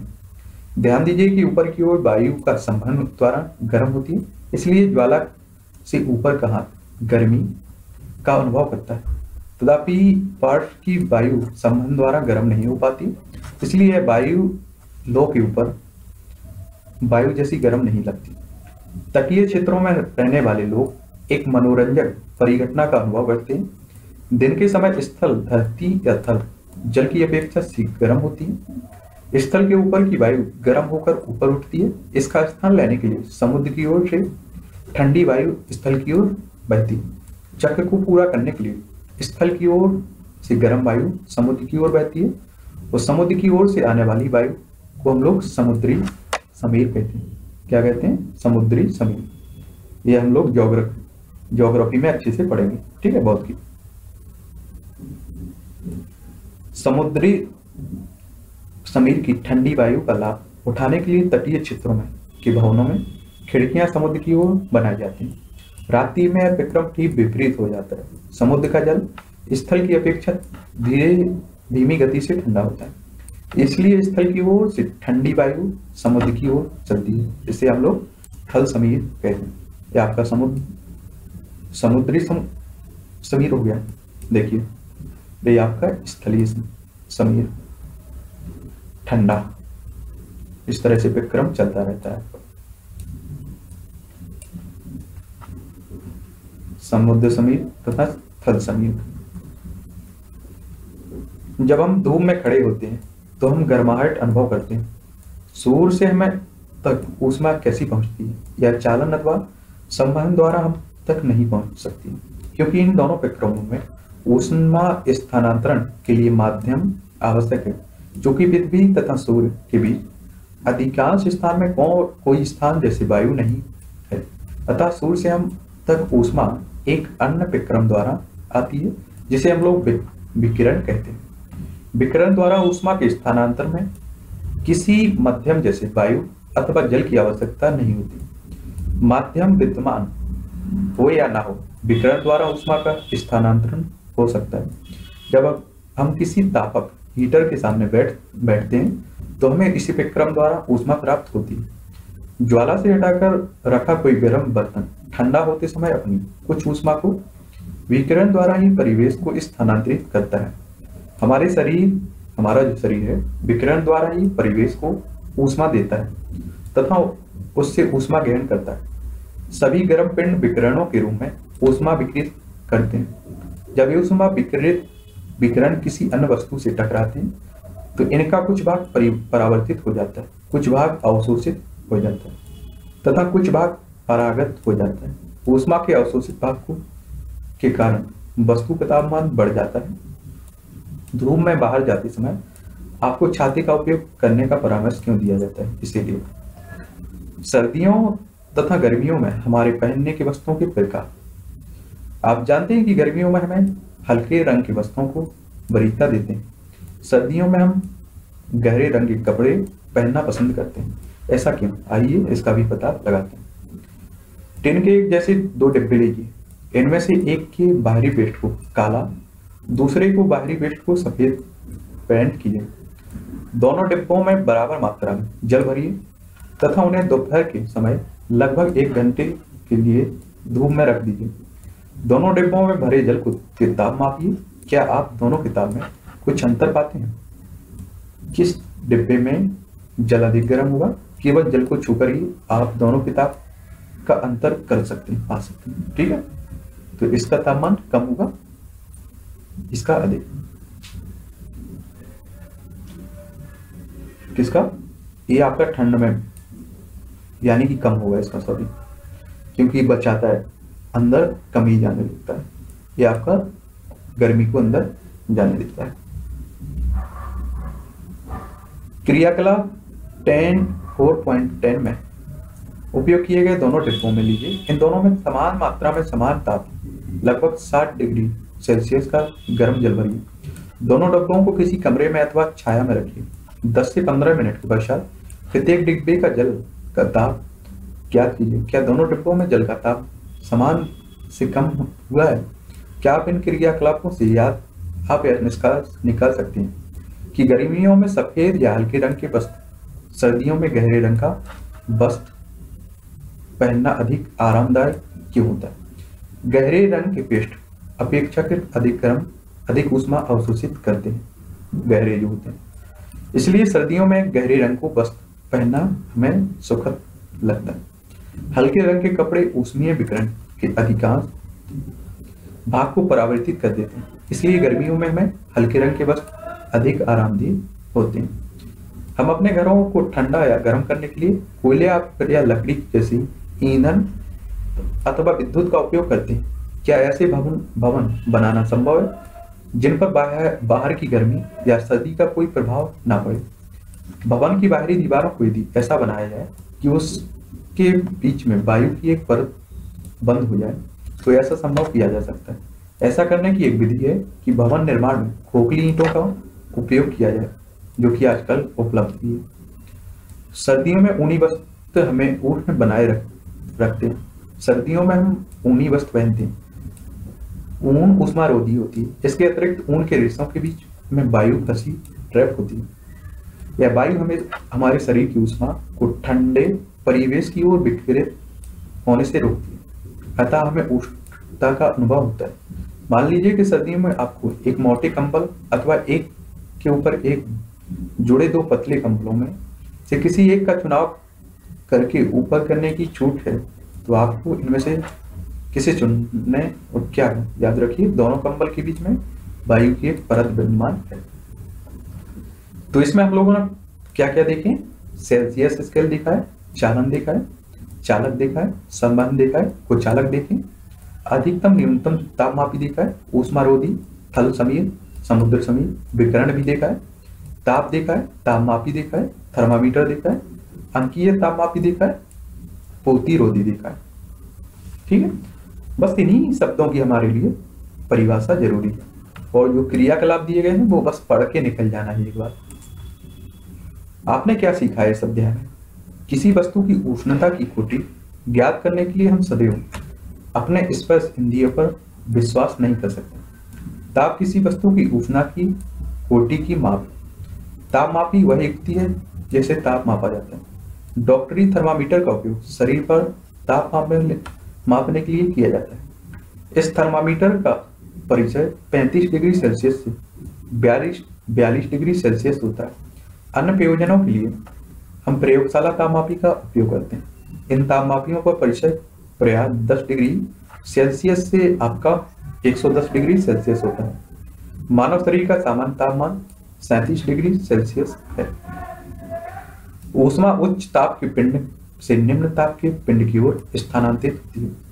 एक वस्तु से दूसरी वस्तु में ऊष्मा तीन विक्रमों द्वारा स्थानांतरित हो सकती है। चालन, संवहन और विकरण द्वारा। ठोसों में पर्या उष्मा चालन द्वारा स्थानांतरित होती है। द्रवों तथा गैसों में उष्मा संवहन द्वारा स्थानांतरित होती है। विकरण द्वारा उष्मा के स्थानांतरण के लिए किसी माध्यम की आवश्यकता नहीं होती। जो पदार्थ अपने से होकर उष्मा को आसानी से प्रभावित या जाने देते हैं उसे हम लोग ऊष्मा का चालक कहते हैं। गहरे रंग की वस्तुएँ, हल्के रंग की वस्तुओं की अपेक्षा उष्मीय विकरणों की अच्छी अवशोषक होती है। यही कारण है कि हम गर्मियों में, हल्के रंग के वस्त्रों में अधिक आराम का अनुभव करते हैं। सर्दियों में ऊनी वस्त्र हमें गर्म रखते हैं। इसका कारण है कि ऊन ऊन रोधी होती है। इसके रेशों के बीच वायु फंसी होती है। ठीक है? ये आपके अभ्यास के लिए कुछ क्वेश्चंस दिए गए हैं? लगा लेना। और पीडीएफ डाल दी गई है वहाँ से डाउनलोड करके, लगाते रहिए। आपका जो टेलीग्राम चैनल है, उस पर डाल दी गई है। मुझे कुछ समझ में नहीं आता है कि इसमें शब्द में जो भी आपका अध्याय होते हैं, इसमें समझाया गया। क्योंकि हर शब्द आपका इतना नॉर्मल लिखा गया है कि आप लोग एक दो बार पढ़ेंगे, आराम से समझ में आ जाए तो चलिए, ये था आपका अध्याय चार। अध्याय पाँच में देखेंगे अनुच्छारक और लबड़ के बारे में। नमस्कार दोस्तों। तो चलिए हम लोग बात कर रहे थे एनसीईआरटी कक्षा सातवीं की विज्ञान के बारे में। तो इसमें अभी तक हम लोग चार चैप्टर आपके खत्म कर चुके हैं। ये आपका पांचवा चैप्टर। अम्ल, क्षारक और लवण के बारे में आज हम लोग जानेंगे। अपने दैनिक जीवन में हम नींबू, इमली, नमक, शक्कर और सिरके जैसे अनेक पदार्थों को का उपयोग करते हैं। क्या इन सबका स्वाद एक समान होता है? साइडी जो 5.1 में सूचीबद्ध किए गए कुछ खाद्य पदार्थों के स्वाद पर ध्यान दें। यदि आपने इनमें से किसी पदार्थ भी पदार्थ का स्वाद नहीं चखा, हो तो उसे चखिए और परिणामों की सारणी में लिखिए। नींबू का खट्टा होता है। सं नींबू का खट्टा, संतरे का मीठा और खट्टा दोनों होता है, ठीक है? नमक आपका कड़वा हो गया, शक्कर मीठी, मीठा हो गया, ठीक है, इसी तरह से। किसी भी वस्तु को तब तक मत चखिए, जब तक कि ऐसा करने के लिए आपसे कहा ना जाए। किसी भी वस्तु को तब तक स्पर्श ना करें, जब तक ऐसी, ऐसा करने के लिए आपसे कहा ना जाए। मैंने क्या बोला था कि इन किताबों को पढ़कर आप अच्छा इंसान तो बन ही जाएँगे, क्योंकि बहुत अच्छे से समझाया गया हर चीज़। आप देखेंगे कि इनमें से कुछ पदार्थों का स्वाद खट्टा, कुछ का कड़वा, कुछ का मीठा और कुछ का नमकीन स्वाद होता है। बात करते हैं हम लोग अम्ल और क्षारक अम्ल और क्षार के बारे में। दही, नींबू का रस, संतरे का रस, सिरके का स्वाद खट्टा होता है। इन पदार्थों का स्वाद खट्टा इसलिए होता है क्योंकि इसमें अम्ल एसिड होता है। इनके रस में अम्ल होता है एसिड होता है। ऐसे पदार्थों पदार्थों की रासायनिक प्रकृति अम्लीय होती है। एसिड शब्द की उत्पत्ति आपकी लेटिन शब्द एसियर से हुई है, जिसका अर्थ होता है खट्टा। इन पदार्थों में पाए जाने वाले अम्ल प्राकृतिक अम्ल होते हैं। खाने का सोडा बेकिंग सोडा कैसा होता है? क्या इसका स्वाद भी खट्टा होता है? यदि नहीं तो इसका स्वाद कैसा होता है? क्योंकि इस, इसका स्वाद खट्टा नहीं है जिसका मतलब है कि कोई अम्ल नहीं है इसमें कोई अम्ल नहीं है। इसका स्वाद कड़वा है। यदि आप इसके विलयन को अपनी अंगुलियों के बीच रगें तो यह साबुन जैसा चिकना लगता है सामान्यतः ऐसे पदार्थ जिनका स्वाद कड़वा होता है और जो स्पर्श करने पर साबुन जैसे लगते हैं उन्हें हम लोग एक क्षारक कहते हैं, या क्षार कहते हैं। ये इनकी एक साधारण परिभाषा है। वे पदार्थ जिनका स्वाद कड़वा होता है, और जो स्पर्श करने पर साबुन जैसे लगते हैं, एक साधारण परिभाषा में से क्षारक कह सकते हैं। इन पदार्थों की प्रकृति क्षारकीय होती है। यदि हम किसी पदार्थ को चख नहीं सकते हैं तो हम उसकी प्रकृति कैसे ज्ञात होगी? कोई पदार्थ अम्लीय है अथवा क्षारीय है इसका परीक्षण करने के लिए विशेष प्रकार के पदार्थों का उपयोग किया जाता है। ये पदार्थ सूचक कहलाते हैं। सूचकों को जब अम्लीय अथवा क्षारीय पदार्थ विलयन में मिलाया जाता है तो उनका रंग बदल जाता है। हल्दी, लेटमस, गुड़हल की पंखुड़ियाँ आदि कुछ प्राकृतिक रूप से पाए जाने वाले सूचक हैं। क्या आप जानते हैं अम्ल का नाम और किसमें पाया जाता है? एसेटिकम, सिरिका, फॉर्मेकम चीटी का डंक में, साइट्रिकम नींबू के कुल के सेट्रस फल जैसे संतरा नींबू में, लैक्टिकम दही में ऑक्जे ऑक्जेलिक अम्ल, पालक में स्कर्विक अम्ल विटामिन सी, कोयला सिट्रस फल में, टार्टरिक अम्ल, इमली, अंगूर कच्चे आम इस तरह के आपके क्वेश्चन पता है? एसएससी में वनडे एग्ज़ाम में बहुत पूछे जाते हैं कि लैक्टिक अम्ल किसमें पाया जाता है या पूछ लेता है, चीटी के टंक में कौन सा अम्ल पाया जाता है? फॉर्मिक अम्ल। ऊपर बताए गए सही भी अम्ल प्रकृति में पाए जाते हैं। क्षारक है वे किसमें पाए जाते हैं? कैल्शियम हाइड्रोक्साइड, चूने का पानी। अमोनियम हाइड्रोक्साइड, खिचड़ी।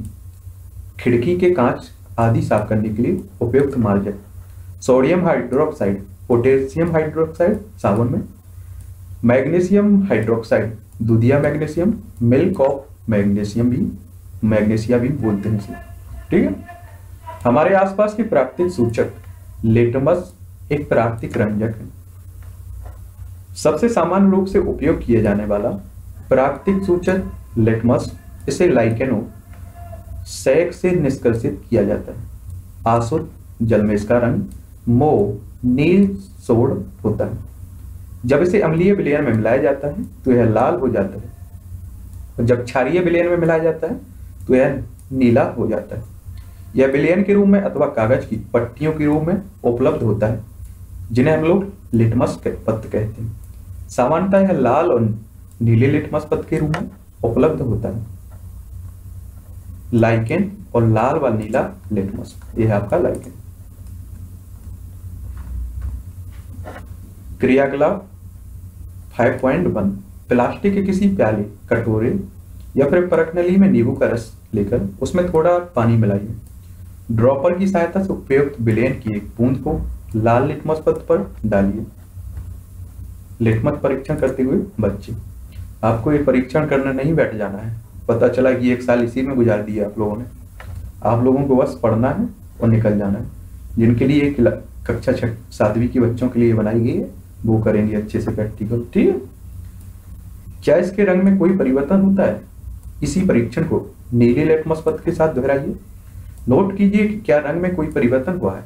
इस क्रियाकलाप को निम्नलिखित पदार्थों के साथ दोहराएँ। नलके का पानी अपमार्जक डिटर्जेंट का घोल वातित पेय पदार्थ, साबुन का विलयन, शैम्पू, सामान, नमक का विलयन, शक्कर का विलयन, सिरका, बेकिंग सोडे का विलयन, दुधिया, मैग्नीशियम, धावन सोडे का विलयन, चूने का पानी। यदि संभव हो तो विलयन आसुत जल में बनाए चूने का पानी बनाने के लिए किसी बोतल में चूने की कुछ मात्रा पानी में घोलिए विलयन को भांति भांति हिलाकर कुछ देर रखा रखी रहने दीजिए। अब बोतल के ऊपरी भाग के से कुछ द्रव को किसी बर्तन में निर्धार लीजिए। यह द्रव ही चूने का पानी है। क्या आपकी सूची में कुछ ऐसे विलयन हैं जिसका लेटमस पद पर कोई प्रभाव नहीं इन पदार्थों का नाम लिखिए। ऐसे विलेन जो लाल अथवा नीले लेटमस पत्र के रंग को परिवर्तित नहीं करते हैं, उदासीन विलयन कहलाते हैं। ऐसे पदार्थ ना तो अम्लीय होते हैं और ना ही क्षारीय प्रकृति के होते हैं। याद रखना, उदासीन विलयन उन्हें कहते हैं, जो लाल अथवा नीले लेटमस पत्र के रंग को परिवर्तित नहीं करते हैं। हल्दी एक प्राकृतिक सूचक है। एक चम्मच हल्दी पाउडर लीजिए। इसमें थोड़ा जल मिलाकर इसका पेस्ट बनाइए। स्याही सोखता ब्लॉटिंग पेपर या फ़िल्टर पत्र पर हल्दी पत्र का पेस्ट लगाकर हल्दी पत्र बनाइए। उसे सूखा लीजिए। हल्दी पत्ती की पतली पतली पट्टियाँ काट लीजिए। हल्दी पत्त की पट्टी पर एक बूंद साबुन का बिलियन डालिए आप क्या देखते हैं? साइन इस प्रकार साइनिक फाइव पॉइंट थ्री में दिए गए विलियनों का परीक्षण करना है और अपने प्रेक्षणों को साइनिक फाइव पॉइंट थ्री में नोट करिए। आप अन्य पदार्थ पदार्थों के विलियन में भी परीक्षण कर सकते हैं। आप अपनी माता जी के जन्मदिन पर उनके ये विशेष बधाई पत्र बना सकते हैं। सादे सफ़ेद कागज़ की सीट पर हल्दी का पेस्ट लगाइए, उसे सूखा लीजिए सूखा लीजिए रुई की फाई की सहायता से। इस पर चूने के पानी से एक खूबसूरत फूल बनाइए। आपको एक सुंदर बधाई पत्र मिल जाए इस तरह से। सूचक के रूप में गुड़हल के पुष्प गुड़हल के पुष्प की कुछ पंखुड़ियाँ एकत्रित कीजिए। उन्हें किसी बीकर में रख दीजिए। इसमें थोड़ा गर्म जल मिलाइए। मिश्रण को कुछ समय तक रखिए, जब तक जल रंगीन ना हो जाए। रंगीन जल को सूचक के रूप में उपयोग कीजिए। इस सूचक की पाँच पाँच बूंदे सारणी 5.4 में दिए गए प्रत्येक विलयन में मिलाइए। सूचक का अम्लीय और क्षारीय उदासीन बिलियनों पर क्या प्रभाव पड़ता है? गुड़हल के पुष्प का सूचक अम्लीय विलयनों को गहरी गुलाबी, मेजेंटा और क्षारीय विलयनों को हरा कर देता है आप इस प्राकृतिक सूचक को बनाकर उससे अम्लीय क्षारीय और उदासीन विलयनों में रंग परिवर्तन देखने का प्रयास कर सकते हैं। इस तरह से।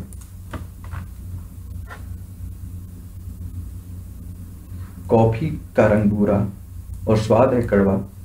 अम्ल है यह या क्षार, प्रश्न बड़ा ही दुश्वार स्वाद के कारण से अनजान बिना परीक्षण होना ज्ञान। याद रखिए, कुछ पदार्थ ऐसे भी होते हैं जो विषैले होते हैं। इसलिए उन्हें चक्कर हम लोग नहीं देख सकते इसलिए इस तरह की विधियों का उपयोग किया जाता है उनकी प्रकृति जानने के लिए। शिक्षक शिक्षिका से अपेक्षित है कि वे अपने विद्यालय की प्रयोगशाला अथवा आसपास के किसी विद्यालय से निम्नलिखित रसायनों के तनु विलयन ले।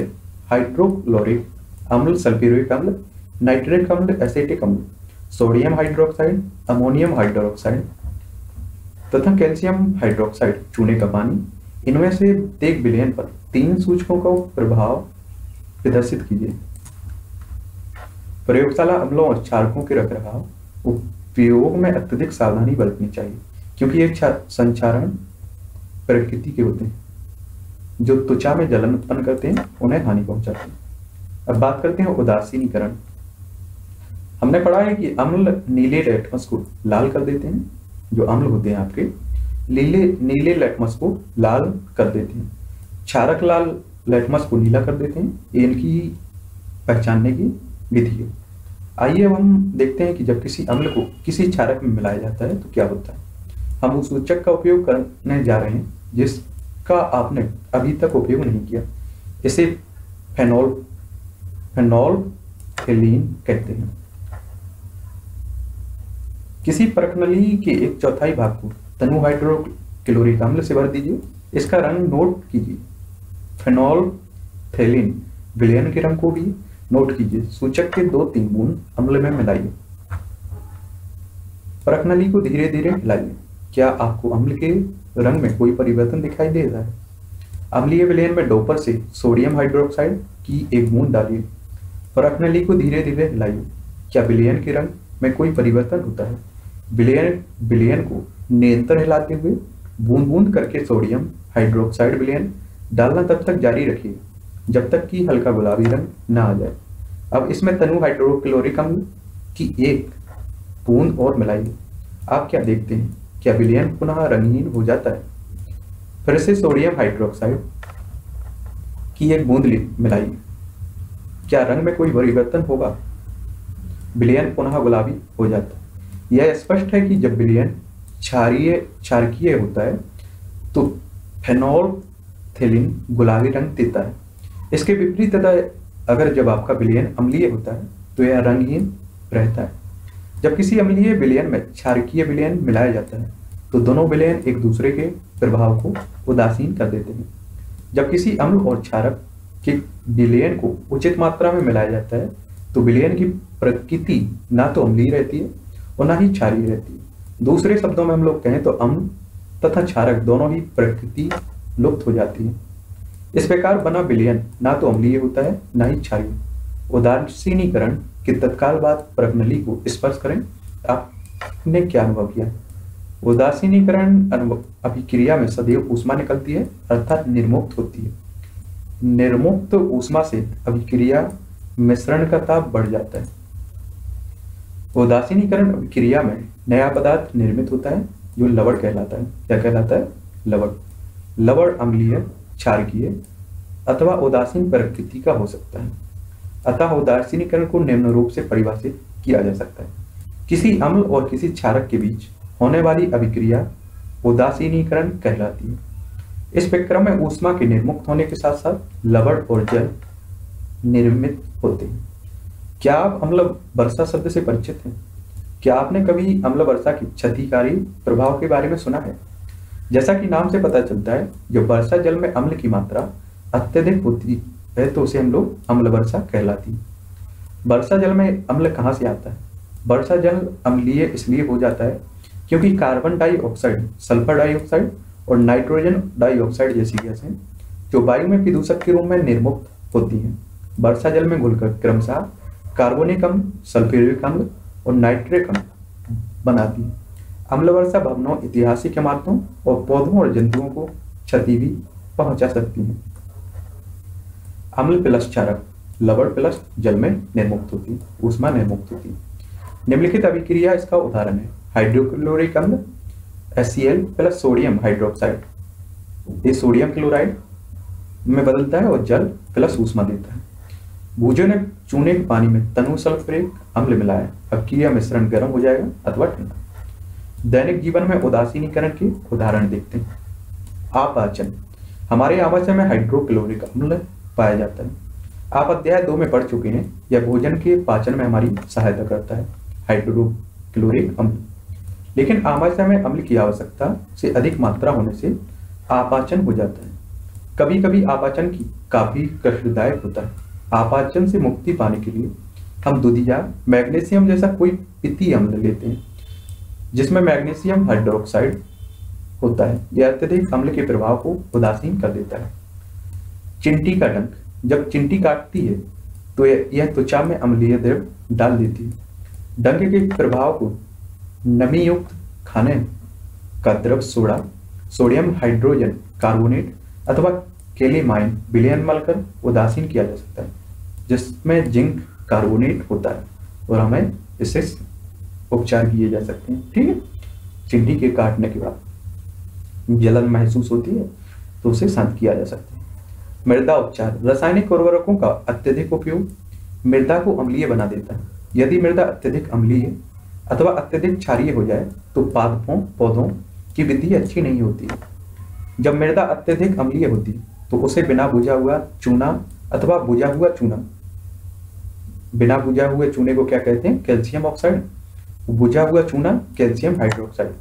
जैसे क्षारकों से उपचारित किया जाता है। यदि मृदा क्षारीय हो तो इसमें जैव पदार्थ मिलाए जाते हैं। जैव पदार्थ कंपोस्ट खाद मृदा में अम्ल निर्मुक्त करते हैं और उसकी क्षारीय प्रकृति को उदासीन कर देते हैं। कारखानों का अपशिष्ट, अनेक कारखाने के अपशिष्ट कचरे में अम्लीय पदार्थ मिश्रित होते हैं। यदि ऐसे अपशिष्ट पदार्थों को सीधे से जलाशयों व नदियों में बहने दिया जाए, विसर्जित किया जाए तो मछली और अन्य जलीय जीवों को अम्ल नष्ट कर सकते हैं। अतः कारखाने के अपशिष्ट को जलाशय व नदियों में विसर्जित करने से पहले क्षारकीय पदार्थ मिलाकर उदासन, उदासीन किया जाता है। तो इसमें हम लोगों ने देखा है, अम्ल देखा है, क्षार देखा है, सूचक देखे उदासीन विलयन देखा है, उदासीनीकरण देखिए। लवड़ देखिए इन्हीं परिभाषाओं हमें जानने की कोशिश करना है। जब भी हम लोग अध्याय खत्म करते हैं तो इस तरह के हमारे अगर क्वेश्चन हमसे सॉल्व हो जाते हैं तो हमने अध्याय अच्छे से पढ़ा है। अगर सॉल्व नहीं होते हैं तो एक दो बार और आपको पढ़ लेना है। आपने इस अध्याय में क्या सीखा है? अम्ल स्वाद में खट्टे होते हैं। सामान्यतः क्षारकों का स्वाद कड़वा होता है, तथा उनका स्पर्श साबुन जैसा होता है। अम्ल नीले लेटमस को लाल कर देते हैं। याद रखना है, ये कई बार पूछ लेता है। और जानकारी भी रहना चाहिए। अम्ल जो होते हैं, वो नीले लेटमस को लाल कर देते हैं। जो क्षार होते हैं आपके, वो लाल लेटमस को नीला कर देते हैं।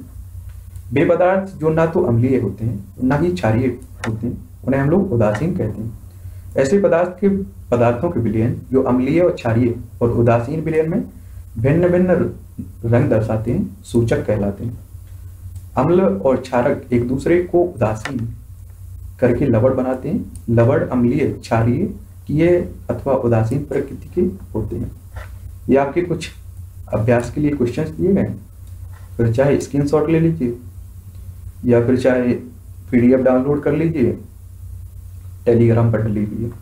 ठीक है? लगा सकते हैं आप लोग ये क्वेश्चन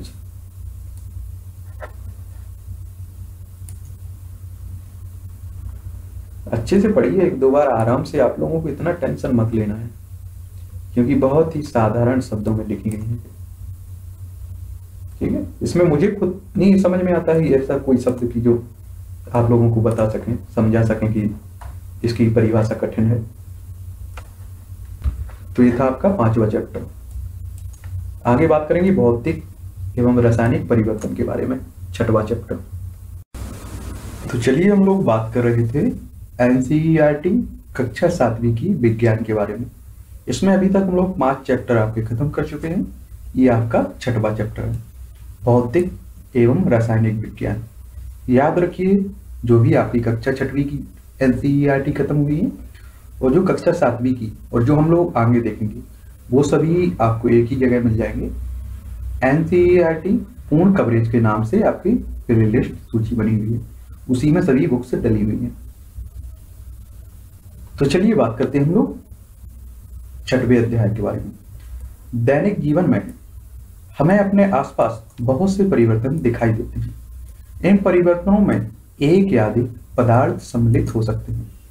उदाहरण के लिए, आपकी माता जी आपसे शीतल पेय आने के लिए, पानी में शक्कर घोलने के लिए कहती हैं, शक्कर का विलयन बनाना एक परिवर्तन ही है। इसी प्रकार दूध से दही जमाना एक अन्य परिवर्तन है। कभी कभी दूध खट्टा हो जाता है। दूध का खट्टा होना भी एक आपका परिवर्तन है। खिंचा हुआ रबड़ बैंड भी किसी परिवर्तन को प्रदर्शित करता है। ऐसे दस परिवर्तनों की सूची बना सकते हैं। बनाइए। इस अध्याय में हम कुछ क्रियाकलाप क्रियाकलाप करके इन परिवर्तनों की प्रकृति का अध्ययन करेंगे। व्यापक रूप से ये परिवर्तन दो प्रकार के होते हैं। एक आपका भौतिक और दूसरा रासायनिक। याद रखिए, आपको इस क्रियाकलाप के चक्र में नहीं बीतना है। आपको बस पढ़ के निकल जाना है। क्योंकि ये क्रियाकलाप कक्षा सातवीं के बच्चों के लिए, जो पढ़ते उन्हीं के लिए है। वही दोहराते रहेंगे। अगर आप लोग इस चक्र में बीत गए तो एक से डेढ़ साल इसी में लग जाएगा। बात करते हैं भौतिक परिवर्तन। कागज़ के एक टुकड़े को चार वर्गाकार टुकड़ों में काटिए। अब प्रत्येक वर्ग को पुनः चार टुकड़ों में काटिए।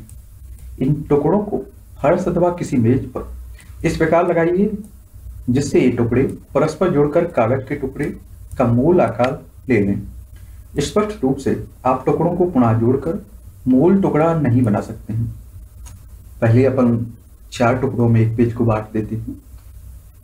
अगर उससे पुनः हम लोग उसमें फुल कागज़ बनाना चाहें तो नहीं बना सकते उससे लेकिन क्या कागज़ के गुण में कोई परिवर्तन हुआ है? बिल्कुल नहीं। इस तरह से, ठीक अपनी कक्षा के चौक बोर्ड के आसपास फर्श पर गिरे, चौक पाउडर को एकत्रित करें। कल्ले अथवा चौक के एक छोटे टुकड़े का चूर्ण पाउडर बना लें। इस पाउडर में थोड़ा जल मिलाकर पेस्ट बना लें। इसे चौक के आकार में बेल, बेलकर सूखने दें। क्या आप चौक के पूर्ण चूर्ण से फिर चौक बना सकते हैं? बिल्कुल। कांच या प्लास्टिक के कचरे में थोड़ी बर्फ़ लीजिए।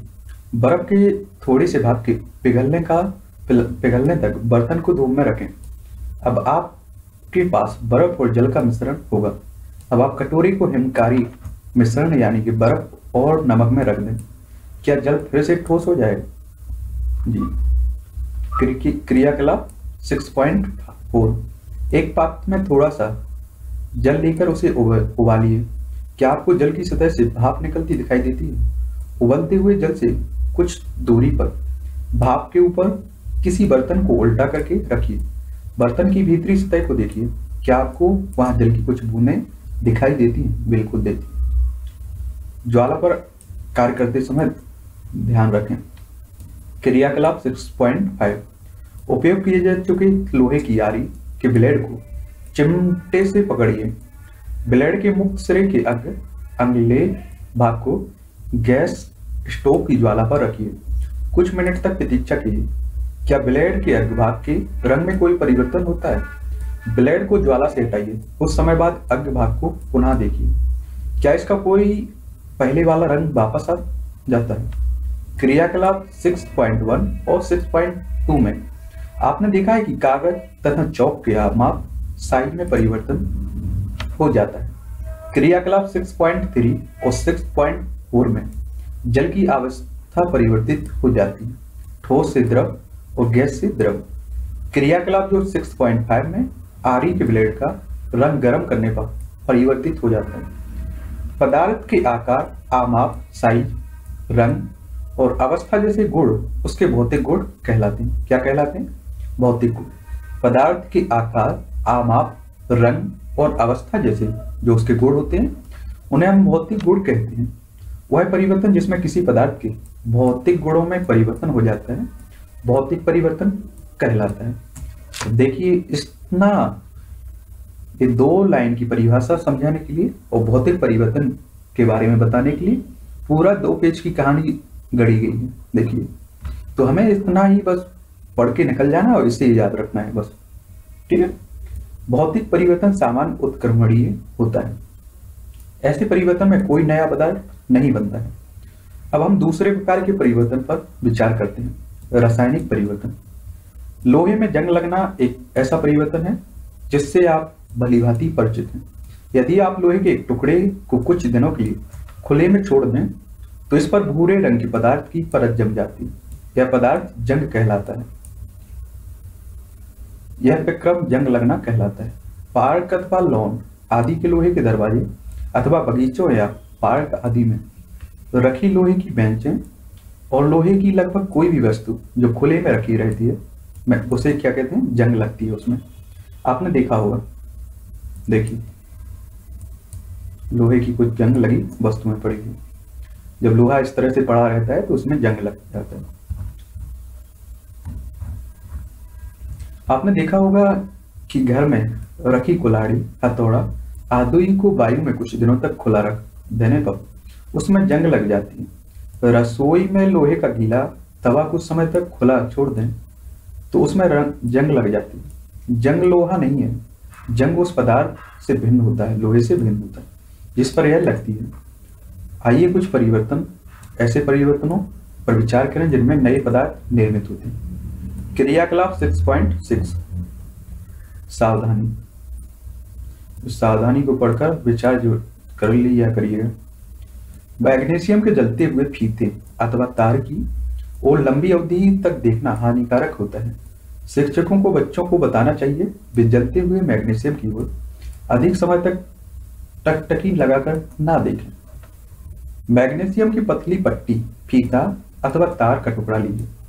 इसके सिरों को रैक माल से या रुमाल से साफ़ कीजिए। सिरे को मोमबत्ती की लो के पास लाइए यह चमकदार श्वेत सफ़ेद प्रकाश देती हुई जलती, जलने लगेगी। पूरी तरह जलने के बाद कुछ श्वेत भस्म पाउडर से रह जाती है। क्या भस्म मैग्नीशियम के फीते जैसी लगती है? इस परिवर्तन को निम्नलिखित समीकरण द्वारा व्यक्त किया जा सकता है। मैग्नीशियम ऑक्सीजन के साथ क्रिया करके मैग्नीशियम ऑक्साइड बनाता है एमजीओ ध्यान दें कि यह लिखी समीकरण गठित गणित में प्रयोग समीकरणों से भिन्न होते इस प्रकार के समीकरण में तीर का अर्थ होता है बनना या हो जाता है। ठीक है, इसका अर्थ होता है कि इस दोनों को मिलकर क्या बनता है, उसे ही व्यक्त करता है। इस पुस्तक में रासायनिक समीकरणों को संतुलित करने का कोई प्रयास नहीं किया जा रहा है, और न ही यह छात्रों को से अपेक्षित है। भसम को एकत्रित करके इसमें जल की कुछ मात्रा मिलाइए मिश्रण जलीय विलयन को अच्छी तरह हिलाइए। मिश्रण का लाल और नीले लेटमस पद से परीक्षण कर सकते हैं। क्या मिश्रण लाल लेटमस को नीला कर देता है? क्या मिश्रण को मिश्रण नीले लेटमस को लाल कर देता है? इस परीक्षण के आधार पर आप जलीय विलयन को किस रूप में वर्गीकृत करेंगे? अम्लीय अथवा क्षारीय? भसम को जल में घोलने पर यह नया पदार्थ बनाती है। इस परिवर्तन को निम्नलिखित समीकरण के द्वारा दिखाया जा सकता है। मैग्नीशियम ऑक्साइड प्लस जल। से मिलकर बनेगा मैग्नीशियम हाइड्रोक्साइड। जैसा कि आपने अध्याय चार, अध्याय पाँच में पढ़ा था मैग्नीशियम हाइड्रोक्साइड एक क्षारक है आपका। अतः मैग्नीशियम ऑक्साइड एक नया पदार्थ है, जो मैग्नीशियम के जलने पर बनता है। मैग्नीशियम हाइड्रोक्साइड एक अन्य नया पदार्थ है, जो मैग्नीशियम ऑक्साइड को जल में घोलने पर बनता है। क्रियाकलाप सेवन सिक्स पॉइंट सेवन कांच के गिलास या कटोरे अथवा चौड़े मुँह की बोतल में लगभग आधा कप पानी लेकर उसमें एक चम्मच कॉपर सल्फेट नीला थोता कॉपर सल्फेट को क्या बोलते हैं? नीला थोता घोल लीजिए। इसी तरह से समझाया जाता है, ठीक है? अब जैसे आपको पता चल गया है कॉपर सल्फेट को नीला थोता भी बोलते हैं। इस बिलियन में इन्हीं शब्दों को आपको याद रखना है, ठीक है? इस बिलियन में तनु सल्फ्यूरिक अम्ल की कुछ बूंदे मिलाइए आपको नीले रंग का बिलियन मिल जाएगा। एक परखली अथवा कांच की छोटी बोतल में बिलियन का थोड़ा सा नमूना बचा लीजिए। शेष बिलियन में एक कील अथवा उपयोग के लिए किए जा चुके ब्लेड का टुकड़ा डाल दीजिए। दीजिए। लगभग आधे घंटे तक प्रतीक्षा कीजिए। अब बिलियन के रंग को देखिए। इसकी तुलना अलग से बचाए गए नमूने वाले बिलियन के रंग से कीजिए। लोहे के साथ अभिक्रिया के कारण कॉपर सल्फेट बिलियन में रंग में परिवर्तन। ये आपका आयरन सल्फेट हल्का रंग कॉपर सल्फेट बिलियन नीला रंग। क्या आपको बिलियन के रंग में कोई परिवर्तन दिखाई देता है? कील अथवा ब्लेड को बाहर निकालिए। क्या इसमें कोई परिवर्तन दिखाई देता है? आपको जो परिवर्तन दिखाई देते हैं कॉपर सल्फेट और लोहे के बीच। अभिक्रिया के कारण होते हैं। बिलियन के रंग का नीला, नीले से हरा हो जाना एक नए पदार्थ, आयरन, सल्फेट के बनने का कारण होता है। लोहे की कील भूरा निक्षेप कॉपर या तांबे की परत के कारण होता है, जो एक अन्य नया पदार्थ है। हम इस अभिक्रिया को निम्न प्रकार से व्यक्त कर सकते हैं। कॉपर सल्फेट का विलयन C U S O four S का रासायनिक सूत्र ठीक है? नीला तोता भी बोलते हैं। लोहा का सूत्र रासायनिक सूत्र एफ़ ये अभिक्रिया करते हैं आयरन सल्फेट ऑफ़ विलयन बनाते हैं। एफ़ फोर हरा कॉपर भी इसमें मिलता है, भूरा नीचे। अब बात करते हैं क्रियाकलाप 6.8 के बारे में। किसी परखनली में लगभग एक चम्मच सिरका लीजिए। इसकी चुटकी भर खाने का सोडा लीजिए। आपको एक बुदबुदा, हटकी ध्वनि सुनाई देगी। और गैस के बुलबुले बाहर निकलते दिखाई देंगे। इस गैस को चित्र 6.5 में दिखाई गई व्यवस्था के अनुसार ताजे बने। चूने के पानी में से गुजारिए चूने का पानी तैयार करने की विधि अध्याय पाँच में बताई गई थी आपको। चूने के पानी में क्या परिवर्तन होता है? परक नली में परिवर्तन निम्न प्रकार से होता है। सिरका एसिटिक अम्ल खाने का सोडा, सोडियम हाइड्रोजन, ये अभिक्रिया करके बनाता है। कार्बन डाइऑक्साइड और अन्य पदार्थ देता है। ये है। चूने के पानी में गैस को गुजारने के लिए व्यवस्था। सिरका खाने वाला सोडा कार्बन डाइऑक्साइड और ये चूने का पानी। कार्बन डाइऑक्साइड CO2 और चूने के पानी के बीच अभिक्रिया निम्न प्रकार से होती है। CO2 और चूने का पानी सी एच होल्ड आधार है इसका कैल्शियम कार्बोनेट, जल, जब कार्बन डाइऑक्साइड को चूने के पानी में प्रभावित किया जाता है तो कैल्शियम कार्बोनेट बनता है, जिससे चूने का पानी दुधिया हो जाता है। चूने के पानी दुधिया हो जाने, जाना कार्बन डाइऑक्साइड का मानक परीक्षण है। अब इसका उपयोग अध्याय दस में यह दिखाने के लिए करेंगे कि हम श्वसन में जो वायु बाहर निकालते हैं उसमें कार्बन डाइऑक्साइड की मात्रा अधिक होती है। क्रियाकलाप 6.6 6.8 में आपने देखा है कि प्रत्येक परिवर्तन में एक या अधिक नए पदार्थ बने थे। क्रियाकलाप 6.6 में मैग्नीशियम को वायु की उपस्थिति में जलाने पर बनने वाली भस्म एक नया पदार्थ थी। क्रियाकलाप 6.7 में कॉपर सल्फेट की, लोहे के साथ अभिक्रिया से आयरन सल्फेट और कॉपर बने थे। ये दोनों नए पदार्थ थे। कॉपर लोहे के ब्लेड पर निक्षेपित हो गया था। क्रियाकलाप 6.8 में सिरका और खाने के सोडे की अभिक्रिया से कार्बन डाइऑक्साइड बनी CO2 बनी। जिसने चूने के पानी को दुधिया कर दिया। क्या आप इस अभिक्रिया में बनने वाले नए पदार्थ का नाम बता सकते हैं? वह परिवर्तन जिसमें एक अथवा एक से अधिक नए पदार्थ बनते हैं। रासायनिक परिवर्तन कहलाता है। रासायनिक परिवर्तन को रासायनिक अभिक्रिया भी कहते हैं। अब देखिए, ये दो तीन लाइन की परिभाषा पूरा बताने के लिए कितना पूरी कहानी गढ़ी गई है। ठीक है? इतना केवल यहाँ से लेकर यहाँ तक की बताने के लिए हमें। वह परिवर्तन जिसमें एक अथवा एक से अधिक नए पदार्थ बनते हैं, रासायनिक परिवर्तन कहलाते हैं। रासायनिक परिवर्तन को रासायनिक अभिक्रिया भी कहते हैं। रासायनिक परिवर्तन हमारे जीवन में अत्यधिक महत्वपूर्ण है। सभी नए पदार्थ रासायनिक परिवर्तन के परिणाम स्वरूप ही बनते हैं। उदाहरण के लिए भोजन का पाचन, फलों का पकना, अंगूर का किड़वन आदि विभिन्न रासायनिक परिवर्तनों के कारण होता है। औषधि रासायनिक अभिक्रिया की श्रृंखला का अंतोत्पाद होती है। उपयोगी नए पदार्थ जैसे प्लास्टिक और अपमार्जक को रासायनिक अभिक्रिया द्वारा ही बनाया जाता है। वास्तव में प्रत्येक नए पदार्थ की खोज रासायनिक परिवर्तनों का अध्ययन करके ही की जाती है। हमने देखा है कि रासायनिक परिवर्तन में एक या एक से अधिक नए पदार्थ निर्मित होते हैं। नए उत्पादों पदार्थों के अतिरिक्त रासायनिक परिवर्तन में नए घटनाओं, घटनाएँ भी हो सकती हैं। ऊष्मा विकास अथवा किसी अन्य प्रकार के विकरण उदाहरण के लिए परावैग्नि का निर्मुक्त, बाहर निकलना, अथवा उनका अवशोषित होना। ध्वनि का उत्पन्न होना, गंध में परिवर्तन होना, अथवा किसी नई गंध का बनना। रंग में परिवर्तन होना, किसी गैस का बनना। आइए अब हम कुछ अन्य उदाहरण पर विचार कर सकते हैं। आपने देखा कि मैग्नीशियम के फीते का जलना एक रासायनिक परिवर्तन है। कोयला, लकड़ी अथवा पत्तियों का जलना भी रासायनिक परिवर्तन है। वास्तव में किसी भी पदार्थ का जलना एक रासायनिक परिवर्तन है। जलने के साथ सदैव ऊष्मा का उत्पादन होता है। पटाखों का विस्फोट एक अन्य रासायनिक परिवर्तन है। आप जानते हैं कि ऐसे विस्फोटक, विस्फोट से ऊष्मा, प्रकाश, ध्वनि और आरुचिकर गैसें उत्पन्न होती हैं, जो वायुमंडल में को दूषित, प्रदूषित करते हैं। इसलिए आपको पटाने न जलाने की सलाह दी जाती है। जब आप भोजन सामग्री बासी हो जाती है अथवा सड़ गल जाती है तो उससे दुर्गंध आने लगती है। क्या है? हम इस परिवर्तन को रासायनिक परिवर्तन कह सकते हैं। संभवतः आपने देखा है होगा कि यदि सेव को काटने के बाद तत्काल ना खा लिया जाए तो उससे कटे हुए टुकड़े भूरे रंग के हो जाते हैं। यदि आपने रंग में यह परिवर्तन नहीं देखा है तो किसी सेव का एक टुकड़ा काटिए, उसे कुछ देर तक ऐसा ही छोड़ दीजिए।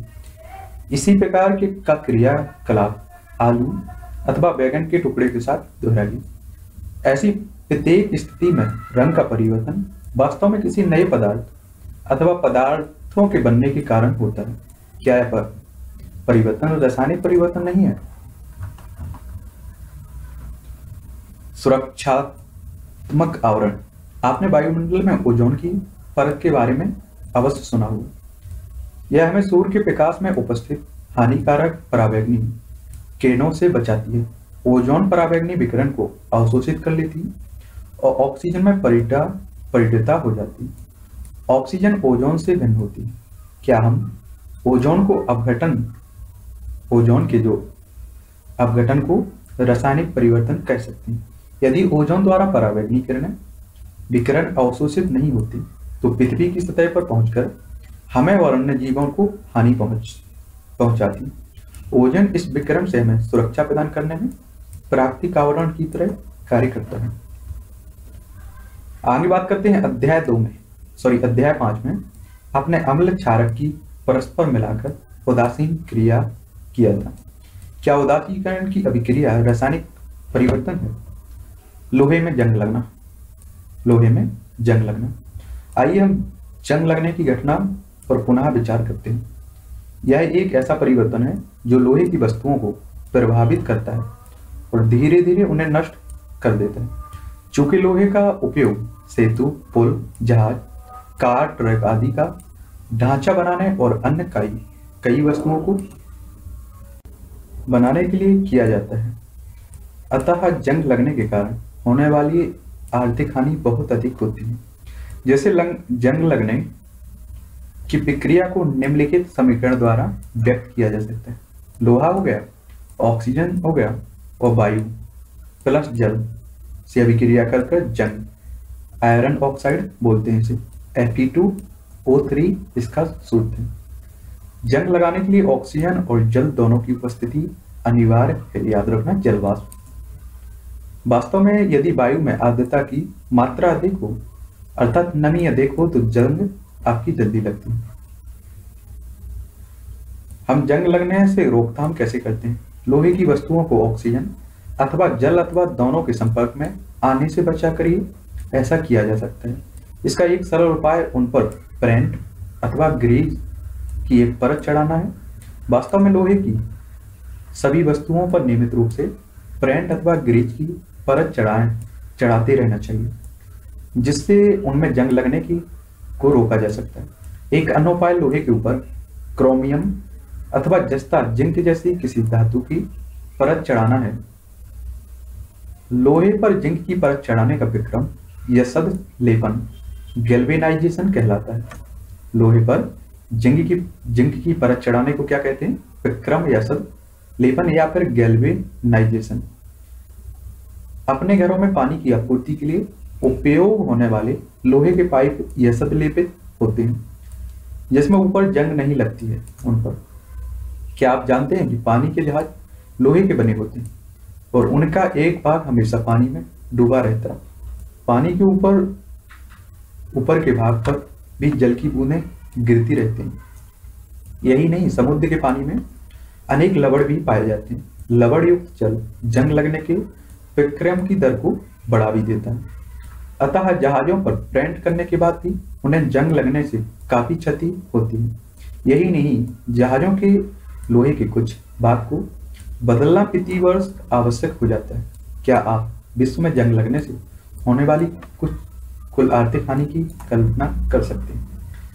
स्टेनलेस स्टील में लोहे में कार्बन और क्रोमियम, निकेल तथा मैग्नीज जैसी मैग्नीज जैसी धातुओं को मिलाकर बनाया जाता है। इसमें जंग नहीं लगती आपकी, ठीक है? स्टेनलेस स्टील, लोहे में। क्रिस्टीकरण क्रिस्टलीकरण कक्षा छठवीं में आपने पढ़ा था कि साधारण नमक, लवण को समुद्र जल के बाष्पन द्वारा प्राप्त किया जा सकता है। इस प्रकार प्राप्त होने वाला नमक शुद्ध नहीं होता है। उसके क्रिस्टलों के आकार को स्पष्ट रूप से नहीं देखा जा सकता। तथापि किसी पदार्थ के शुद्ध क्रिस्टल उसके विलियन से प्राप्त किए जा सकते हैं। यह प्रक्रिया क्रिस्टलीकरण कहलाती है। भौतिक परिवर्तन का एक उदाहरण है आपका। ठीक है? केवल तनु सल्फ्यूरिक अम्ल का उपयोग करें, जल को उबालते समय सतर्क रहें। क्रियाकलाप 6.9 में अम्ल का उपयोग किया जाना चाहिए, जाना है। अतः इसे शिक्षक की उपस्थिति में किया जाए। किसी बीकर में लगभग एक कप जल लीजिए और उसमें तनु सल्फ्यूरिक अम्ल की कुछ बूंदें मिलाइए जल को गर्म कीजिए। जब जल उबलना आरंभ कर दे तो इसमें धीरे धीरे कॉपर सल्फेट चूर्ण का नियंत्रण चलाते हुए मिलाएँ। कॉपर सल्फेट का चूर्ण मिलाना तब तक जारी रखें, जब तक कि उसमें और कॉपर सल्फेट घोलना संभव ना हो। विलेयन को फ़िल्टर पेपर की सहायता से छान लीजिए। उसे ठंडा होने दीजिए। जब विलेयन ठंडा हो रहा हो तो उसे हिला डुलाकर या अन्य किसी प्रकार ना छेड़े। कुछ समय बाद विलियन विलियन को देखिए, क्या आपको कॉपर सल्फेट के क्रिस्टल दिखाई देते हैं? यदि नहीं तो और समय का प्रतीक्षा कीजिए। आपने भौतिक और रासायनिक परिवर्तनों के बारे में पढ़ लिया है अध्याय में? अपने आसपास दिखाई देने वाले परिवर्तनों को भौतिक अथवा रासायनिक परिवर्तन के रूप में पहचानने का प्रयास करते रहिए। कॉपर सल्फेट के क्रिस्टल। तो चलिए इसमें हम लोगों ने क्या क्या जाना है? रासायनिक परिवर्तन के बारे में जाना है, रासायनिक अभिक्रिया के बारे में, क्रिस्टलीकरण यशद लेपन भौतिक परिवर्तन के बारे में जंग लगने के बारे में। हमारे लिए पूरा अध्याय का निष्कर्ष ये था। ये सब समझने के लिए हमने पूरा अध्याय पढ़ा है। तो आपने क्या क्या सीख लिया है? परिवर्तन दो प्रकार के होते हैं, भौतिक अथवा रासायनिक। भौतिक परिवर्तन में पदार्थों के भौतिक गुणों में कुछ परिवर्तन होते हैं इन परिवर्तनों में होने वाले नए पदार्थ नहीं बनते इन परिवर्तनों में कोई नए पदार्थ नहीं बनते। ये परिवर्तन उत्कीर्णीय हो सकते हैं। रासायनिक परिवर्तनों में नए पदार्थ बनते हैं। कुछ पदार्थ को क्रिस्टलीकरण के द्वारा उनके विलयनों से शुद्ध अथवा शुद्ध अवस्था में प्राप्त किया जा सकता है। ठीक? ये आपके अभ्यास के लिए कुछ क्वेश्चन दिए गए ठीक? स्क्रीन शॉट ले लीजिए या फिर पीडीएफ टेलीग्राम पर डली हुई है। वहाँ से देख लेना।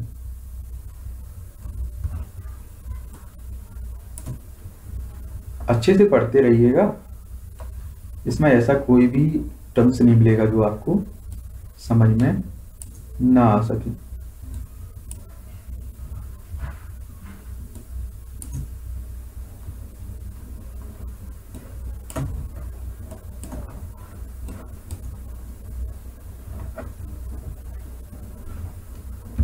तो ये था आपका छठवा चैप्टर भौतिक एवं रासायनिक परिवर्तन।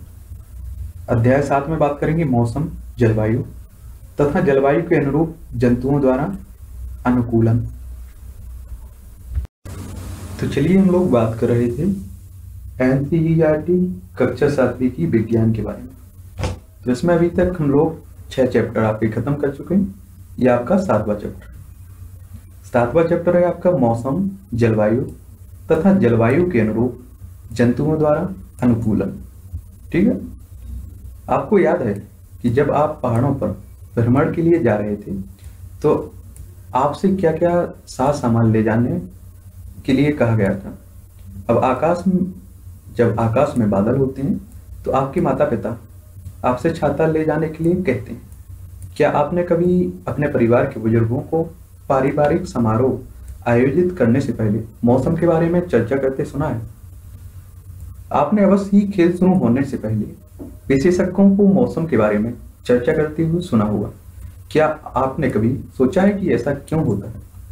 मौसम का किसी खेल पर अत्यधिक प्रभाव पड़ सकता है। इसका हमारे जीवन पर भी अत्यधिक प्रभाव पड़ता है।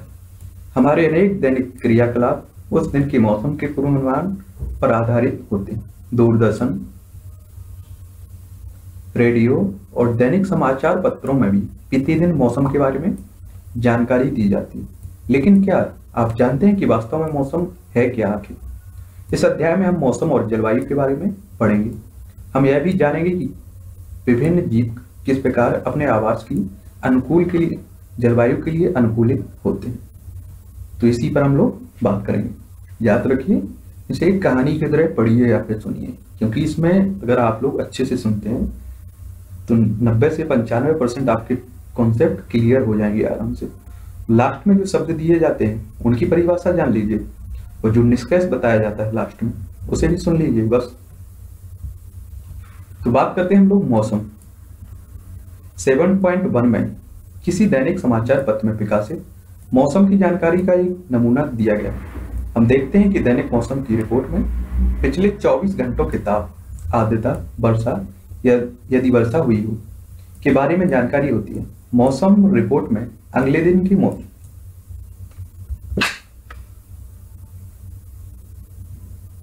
मौसम रिपोर्ट में अगले दिन के मौसम के बारे में पूर्वानुमान भी प्रकाशित किया जाता है इसमें। ठीक है? ये आपका एक न्यूज़पेपर की क्लिप। सुबह कोहरा रहेगा, बाद में आसमान साफ़ हो जाएगा।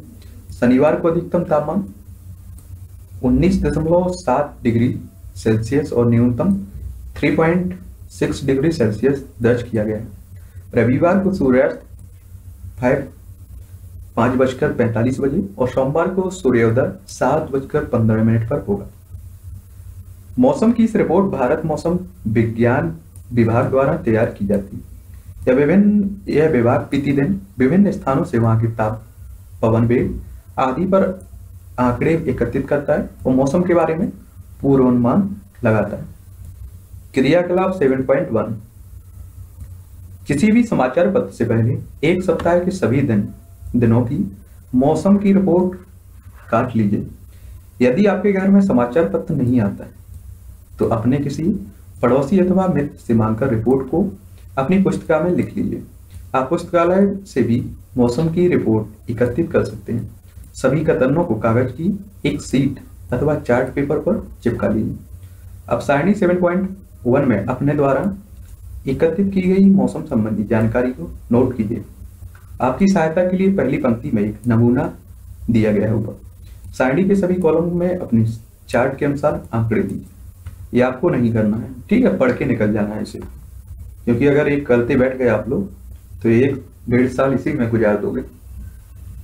वर्षा को वर्षा मापी नामक यंत्र से मापा जाता है। यह मूल रूप से एक मापक सिलेंडर होता है, जिसके ऊपर वर्षा जल को एकत्रित करने के लिए एक कीप लगी होती है। क्या आपके द्वारा बनाई गई सारणी के अनुसार सभी सात दिन अधिकतम और न्यूनतम तापमान, आर्द्रता और वर्षा के मापन, वर्षा के माप समान रहे? आपकी सारणी में नोट किए गए अधिकतम और न्यूनतम तापमान कुछ दिनों के लिए समान हो सकते हैं, परंतु सभी पराचल, जैसे कि तापमान आर्द्रता, वर्षा, किन्हीं दो दिनों के लिए भी समान नहीं होते। सप्ताह भर में इनमें काफ़ी परिवर्तन हो सकते हैं। किसी स्थान पर तापमान, आर्द्रता, वर्षा, वायु, वेग आदि के संदर्भ में वायु मंडल की प्रतिदिन की परिस्थिति उस स्थान का मौसम कहलाती देखिए, अब इतनी सी परिभाषा इसकी बताने के लिए कितनी कहानी गढ़ी गई है। किसी स्थान पर तापमान, आर्द्रता, वर्षा, वायु वेग आदि के संदर्भ में वायुमंडल की प्रतिदिन की परिस्थिति उस स्थान का मौसम कहलाती, तापमान, आर्द्रता और अन्य कारक मौसम के घटक कहलाते। हैं क्या कहलाते हैं? मौसम के घटक आपके तापमान, आर्द्रता और अन्य कारक हो सकते हैं। किसी स्थान का मौसम दिन प्रतिदिन और सप्ताह दर सप्ताह परिवर्तित होता रहता है। इसलिए हम अक्सर कहते हैं कि आज का मौसम अत्यधिक आर्द्र है अथवा पिछले सप्ताह मौसम गर्म था। मौसम का एक अत्यंत जटिल परिघटना है। मौसम एक अत्यंत जटिल परिघटना है। यह क्षण भर में परिवर्तित हो सकता है। कभी कभी यह हो सकता है कि सुबह के समय धूप निकली हो, लेकिन अचानक ही बादल आ जाए और तेज वर्षा होने लगे, अथवा तेज वर्षा अचानक से बंद हो जाए और चटक धूप निकल जाए।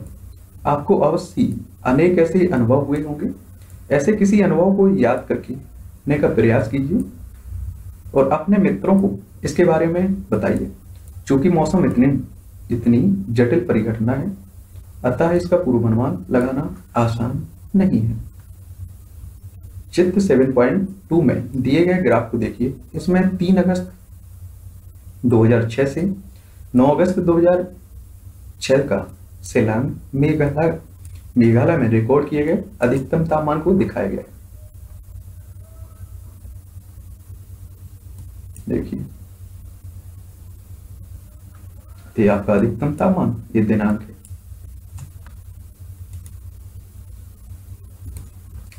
जैसा कि, जैसा किसी भी मौसम की रिपोर्ट से स्पष्ट होता है कि अधिकतम और न्यूनतम तापमान को प्रतिदिन रिकॉर्ड किया जाता है। क्या आप जानते हैं कि इस तापमान को कैसे रिकॉर्ड किया जाता है? अध्याय चार में आपने पढ़ा था कि इस कार्य के लिए विशेष तापमापी होते हैं, जिन्हें अधिकतम न्यूनतम तापमापी कहते हैं हम लोग।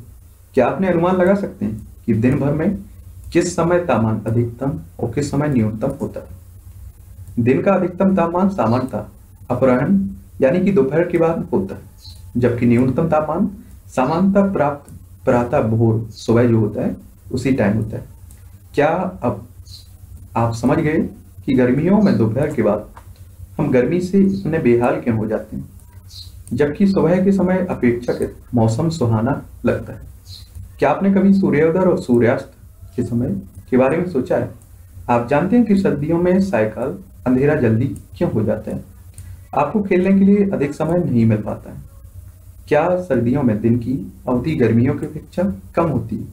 अध्याय के अंत में दिए गए परियोजना कार्य को पूरा करने के इसका स्वयं पता लगाने का प्रयास करें।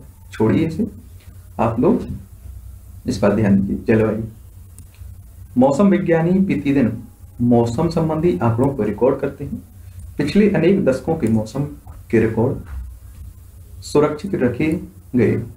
इनमें हमें किसी स्थान के मौसम के पैटर्न प्रतिरूप का निर्धारण करने में सहायता मिलती है। किसी स्थान के मौसम की लंबी अवधि, जैसे 25 वर्ष में एकत्रित आंकड़ों के आधार पर बना मौसम का पैटर्न उस स्थान की जलवायु कहलाता है। क्या कहलाता है? जलवायु कहलाता है। याद रखिए, हमें वही पॉइंट लेना है, याद रखना है, जो हमारे लिए ज़रूरी है। एक प्रयोगशाला जो भी पैटर्न दिया गया है, इन्हें छोड़ देना है, क्योंकि ये हमारे काम की नहीं है। बस पढ़ के निकल जाना है हमें। ठीक है? क्योंकि ये करते बैठ गए तो बहुत टाइम लग जाएगा। और हमारे लिए नहीं है, जिसके लिए बुक्स बनाई गई है, कक्षा सातवीं की बच्चों के लिए। यदि हम पाते हैं कि किसी स्थान का तापमान अधिकांश समय उच्च रहता है तो हम कहते हैं कि उस स्थान की जलवायु गर्म है। यदि इसके अतिरिक्त उस स्थान पर अधिकांश दिनों में भारी वर्षा भी होती है तो हम कह सकते हैं कि उस स्थान की जलवायु गर्म और आर्द्र सारणी 7.2 और 7.3 में हमने भारत के दो शहरों की जलवायु परिस्थितियों का विवरण दिया है। प्रत्येक माह के लिए औसत तापमान की गणना दो चरणों में की गई जाती है। हम पहले माह के प्रत्येक दिन के लिए रिकॉर्ड किए गए तापमान का औसत निकालते हैं। उसके बाद हम पिछले कई वर्षों में उसी माह के लिए अनेक वर्षों के औसत तापमान की गणना करते हैं। इससे हमें औसत मध्यमान तापमान मिल जाता है। दो स्थान, यानी कि जम्मू कश्मीर, में श्रीनगर और केरल में तिरुवनंतपुरम, एक आपका उत्तरी छोर, एक आपका दक्षिणी छोर। साइडी 7.2 और 7.3 में देखने पर हम आसानी से जम्मू, कश्मीर और केरल के औसत तापमान में अंतर को देख सकते हैं। हम देख सकते हैं कि केरल जम्मू और कश्मीर की तुलना में बहुत गर्म और आर्द्र जिससे वर्ष के कुछ भाग में मध्यम गर्म और मध्यम आर्द्र जलवायु होती है। इसी प्रकार के आंकड़े भारत के पश्चिमी क्षेत्रों जैसे कि राजस्थान के लिए वर्ष के अधिकांश समय औसत तापमान को उच्च देखा जाता है। लेकिन सर्दियों में जो सिर्फ़ कुछ माह के लिए होती है, तापमान काफ़ी कम होता है। इस क्षेत्र में बहुत कम वर्षा होती है। ये किसी मरुस्थली जलवायु के लक्षण यहाँ जलवायु गर्म और शुष्क होती है। उत्तर पूर्वी भारत में वर्ष के अधिकांश भाग में वर्षा होती है। इसलिए हम कह सकते हैं कि उत्तर पूर्व की जलवायु आद्य है। ये आपका जलवायु श्रीनगर, जम्मू कश्मीर, जलवायु के बारे में जानकारी। ये आपका तिरुवनंतपुरम, केरल जलवायु के बारे में जानकारी। देखिए, जनवरी का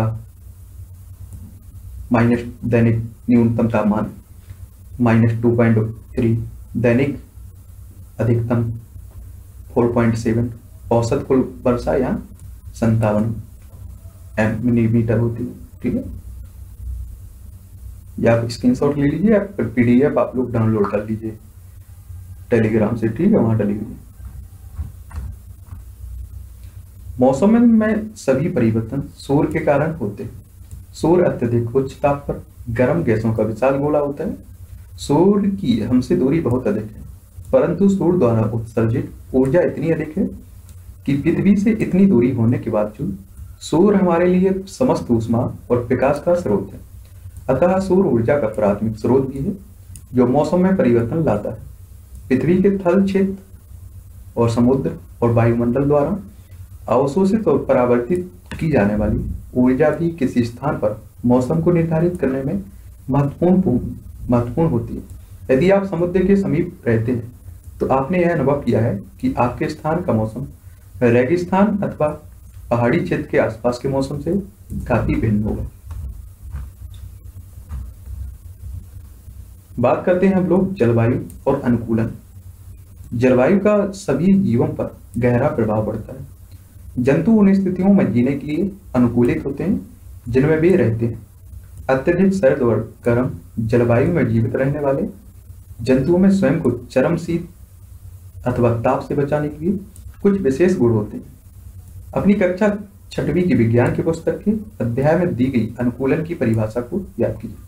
वे सभी गुण और लक्षण, जो जंतुओं को उनके परिवेश के अनुकूल में सहायक होते हैं, विकास की प्रक्रिया का परिणाम होते हैं।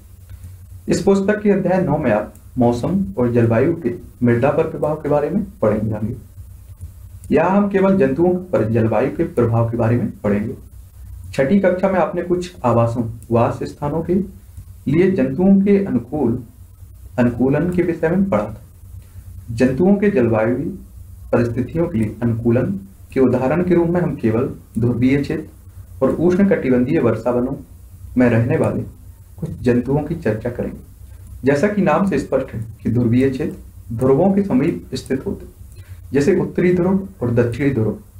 ध्रुवीय क्षेत्रों में कुछ परिचित देश Canada, Greenland, Iceland, Norway, Sweden Finland तथा अमेरिका में कुछ में अलास्का और रूस में साइबेरियाई क्षेत्र शामिल है। Bharat, Malaysia, Indonesia, Brazil, Congo, गणतंत्र, केन्या युगांडा नाइजीरिया कुछ ऐसे देश हैं जहाँ की जलवायु आपकी उष्ण कटिबंधीय वर्षावन भी पाए जाते हैं उष्ण कटिबंधीय अब बात करते हैं क्रियाकलाप 7.2 में। विश्व का एक मानचित्र लीजिए। ध्रुवीय क्षेत्रों को नीले रंग से दर्शाइए। इस प्रकार उष्णकटिबंधीय क्षेत्रों को लाल रंग से। बात करते हैं ध्रुवीय क्षेत्र।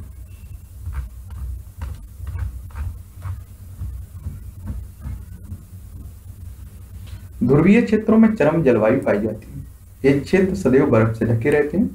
यहाँ वर्ष के अधिकांश भाग में अत्यधिक सर्दी रहती है। ध्रुवों पर छह महीने तक सूर्यास्त नहीं होता बाकी छह महीने तक यहाँ सूर्या, सूर्योदय नहीं होता यानी कि छह महीने की रात और छह महीने का दिन होता है यहाँ। छह महीने तक रात होती है और छह महीने तक दिन। सर्दियों में तापमान minus thirty seven degree Celsius, यानी कि सैंतीस डिग्री सेल्सियस तक हो जाता है। यहाँ रहने वाले जंतु इन चरम स्थितियों के अनुकूलित हो जाते हैं। आइए हम ध्रुवीय भालू, पोलर बियर पेगुइन के उदाहरण से यह जानने का प्रयास करें कि वे किस प्रकार यहाँ की जलवायु के लिए अनुकूलित है। ध्रुवीय भालू के सारे शरीर पर सफ़ेद बाल फर होते हैं, जिससे वे बर्फ़ बर्फ़ की सफ़ेद श्वेत पृष्ठभूमि में पृष्ठभूमि में आसानी से दिखाई नहीं देते। इसमें इससे उन्हें अपनी परवक्षियों से बचाव में सहायता मिलती है। साथ ही इससे उन्हें अपने शिकार को पकड़ने में भी सहायता मिलती है। इन्हें चरम शीत से बचाने के लिए इनमें बालों, फरक की दो मोटी परत होती हैं। इसलिए त्वचा के नीचे वसा की एक परत होती है। वास्तव में ध्रुवीय भालू का शरीर इतनी अच्छी तरह से शीत रोधी होता है कि वे धीरे धीरे धीमे धीमे चलते हैं ताकि उनके शरीर का ताप आवश्यकता से अधिक ना हो जाए। ये अपने शरीर को बहुत अधिक गर्म हो जाने से बचाने के लिए अक्सर विश्राम करते हैं। गर्म मौसम में भौतिक क्रियाकलापों के बाद ध्रुवीय भालू को अपने शरीर को ठंडा करना पड़ता है, अतः ध्रुवीय भालू समुद्र जल में तैरते रहते हैं। ये अच्छे तैराक भी होते हैं। इनमें, इनके पंजे चौड़े और बड़े होते हैं, जो ना केवल अच्छी तरह से तैरने में इनकी सहायता करते हैं बल्कि उन्हें बर्फ़ में चलने में भी सहायता देते हैं या सहायक होते हैं। तैरते समय अपने नथनों को बंद करके लंबे समय तक पानी के अंदर भी रह सकते हैं। दुर्वीय भालू की सूंघने की शक्ति घ्राण शक्ति, तीव्र होती है जिससे ये भोजन के लिए अपने शिकार को आसानी से खोज व पकड़ सकते हैं। हम ध्रुवीय भालू के अनुकूल लन चित्र सेवन पॉइंट थ्री में दिखाए गए प्रभाव चित्र द्वारा आसानी से समझ सकते हैं। यह आपका ध्रुवीय भालू पढ़ेंगे इसके बारे में थोड़ा और देख लें। चलिए इसी के बारे में जान लेते हैं। इसकी त्वचा के नीचे बसा की एक परत होती है। इसका शरीर शीत रोधित होता है और इसे गर्म रखता है। इसके शरीर पर बालों को की दो मोटी परतें होती हैं। यह सर्द मौसम में इसे गर्म रखती हैं। सफ़ेद बालों के कारण, सफ़ेद बर्फ़ की पृष्ठभूमि में यह आसानी से दिखाई नहीं देता। इसके परवक्षी और शिकार इसे आसानी से देख नहीं पाते। इसमें सूंघने की शक्ति तीव्र होती यह भालू को अपनी शिकार को ढूँढने और पकड़ने में सहायक होती है।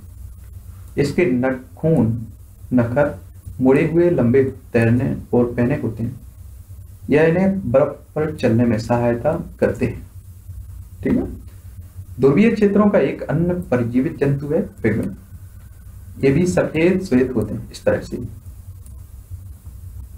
आसानी से बर्फ़ की सफ़ेद पृष्ठभूमि में मिल जाते हैं।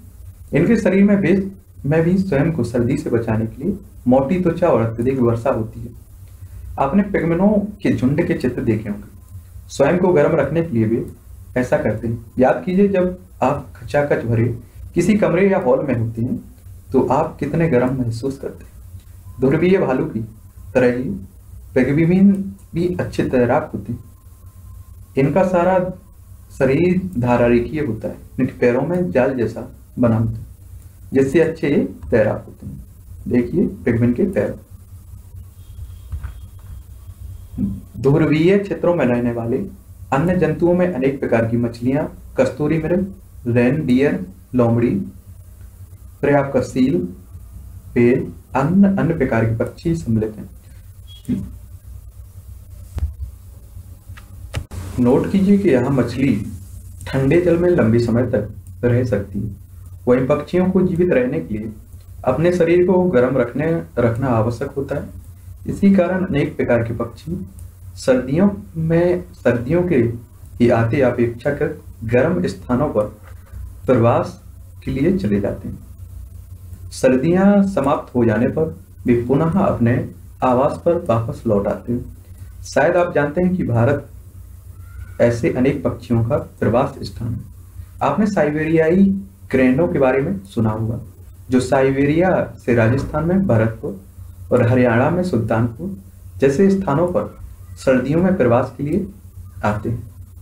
कुछ पक्षी उत्तर पूर्व के कुछ आद्य स्थानों और भारत के कुछ अन्य स्थानों में भी प्रया, प्रवास करते हैं। आपने जब गंगा में देखा हो, गंगा नदी में, इस तरह के पक्षी देखते हैं।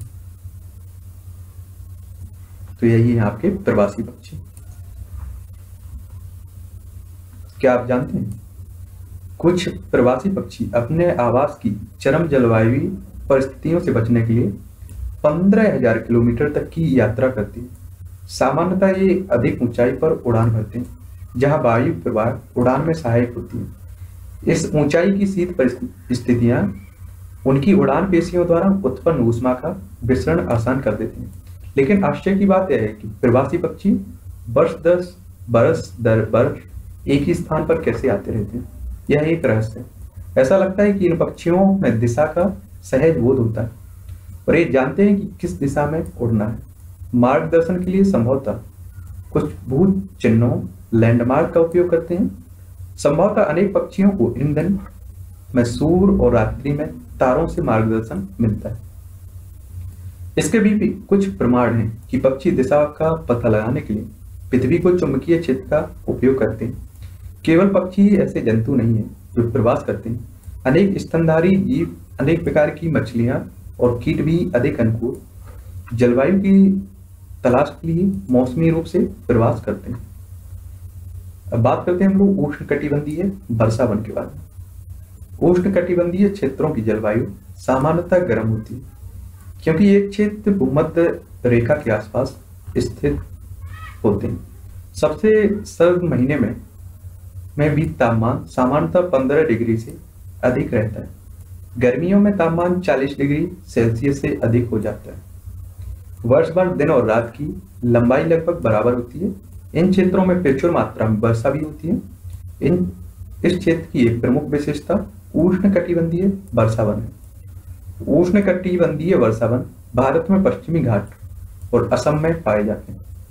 इसके अतिरिक्त ऐसे वन दक्षिण पूर्व एशिया, मध्य अमेरिका और मध्य अफ्रीका में भी पाए जाते हैं। सतत गर्मी और वर्षा के कारण इस क्षेत्र में विभिन्न प्रकार के पादप और जंतु पाए जाते हैं। वर्षा में पाए जाने वाले प्रमुख प्रकार के जंतु में आपका बंदर, कपी, गुरिल्ला, चीता, हाथी, तिंदुआ, छिपकली, सरप, पक्षी और कीट शामिल है। आइए, अब हम गर्म वायु, गर्म आद्र जलवायु के लिए इन जंतुओं के अनुकूलन के बारे में अध्ययन करें।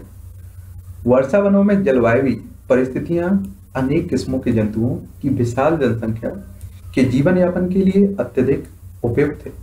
चूँकि जंतुओं की जनसंख्या अधिक होती है, जंतुओं की जनसंख्या अधिक होती है, अतः उनमें भोजन और आश्रय के लिए सघन वित्तीय स्पर्धा होती है। अनेक जंतु वृक्षों पर रहने के लिए अनुकूलित होते हैं। लाल नेत्रों वाली मेढक के पैर के तलवे चिपचिपे होते हैं, जो उन्हें उन वृक्षों पर चढ़ने के में सहायता करते हैं, जिन पर भी रहते हैं। यह आपका लाल नेत्र वाला बैठक देख लीजिए। वृक्षों पर रहने में सहायता के लिए बंदरों की लंबी पूंछ होती है, जो शाखाओं को पकड़ने में सहायक होती है। इनके हाथ पैर ऐसे होते हैं, हाथ पैर ऐसे होते हैं, जिससे ये आसानी से शाखाओं को थाम सकते हैं। ये आपका न्यू वर्ल्ड मंकी या बंदर, ठीक है? क्योंकि इन वनों में आवास करने वाले जंतुओं में भोजन के लिए परस्पर स्पर्धा होती है।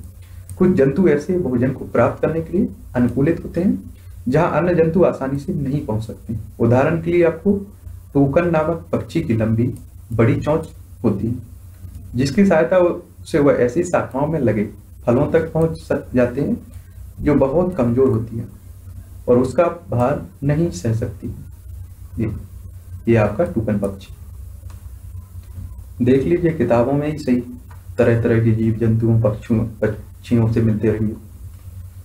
फिर आपका उष्ण कटिबंधीय वनों में पाए जाने वाले अनेक जंतुओं में सुनने की संवेदन शक्ति, तीव्र दृष्टि, मोटी त्वचा और ऐसे वर्ड यानी कि रंग की त्वचा होती है, जो उन्हें आसपास के क्षेत्रों के साथ मिलकर छदमावरण करने में सहायक होती है और उनकी परभक्षियों से रक्षा करती है।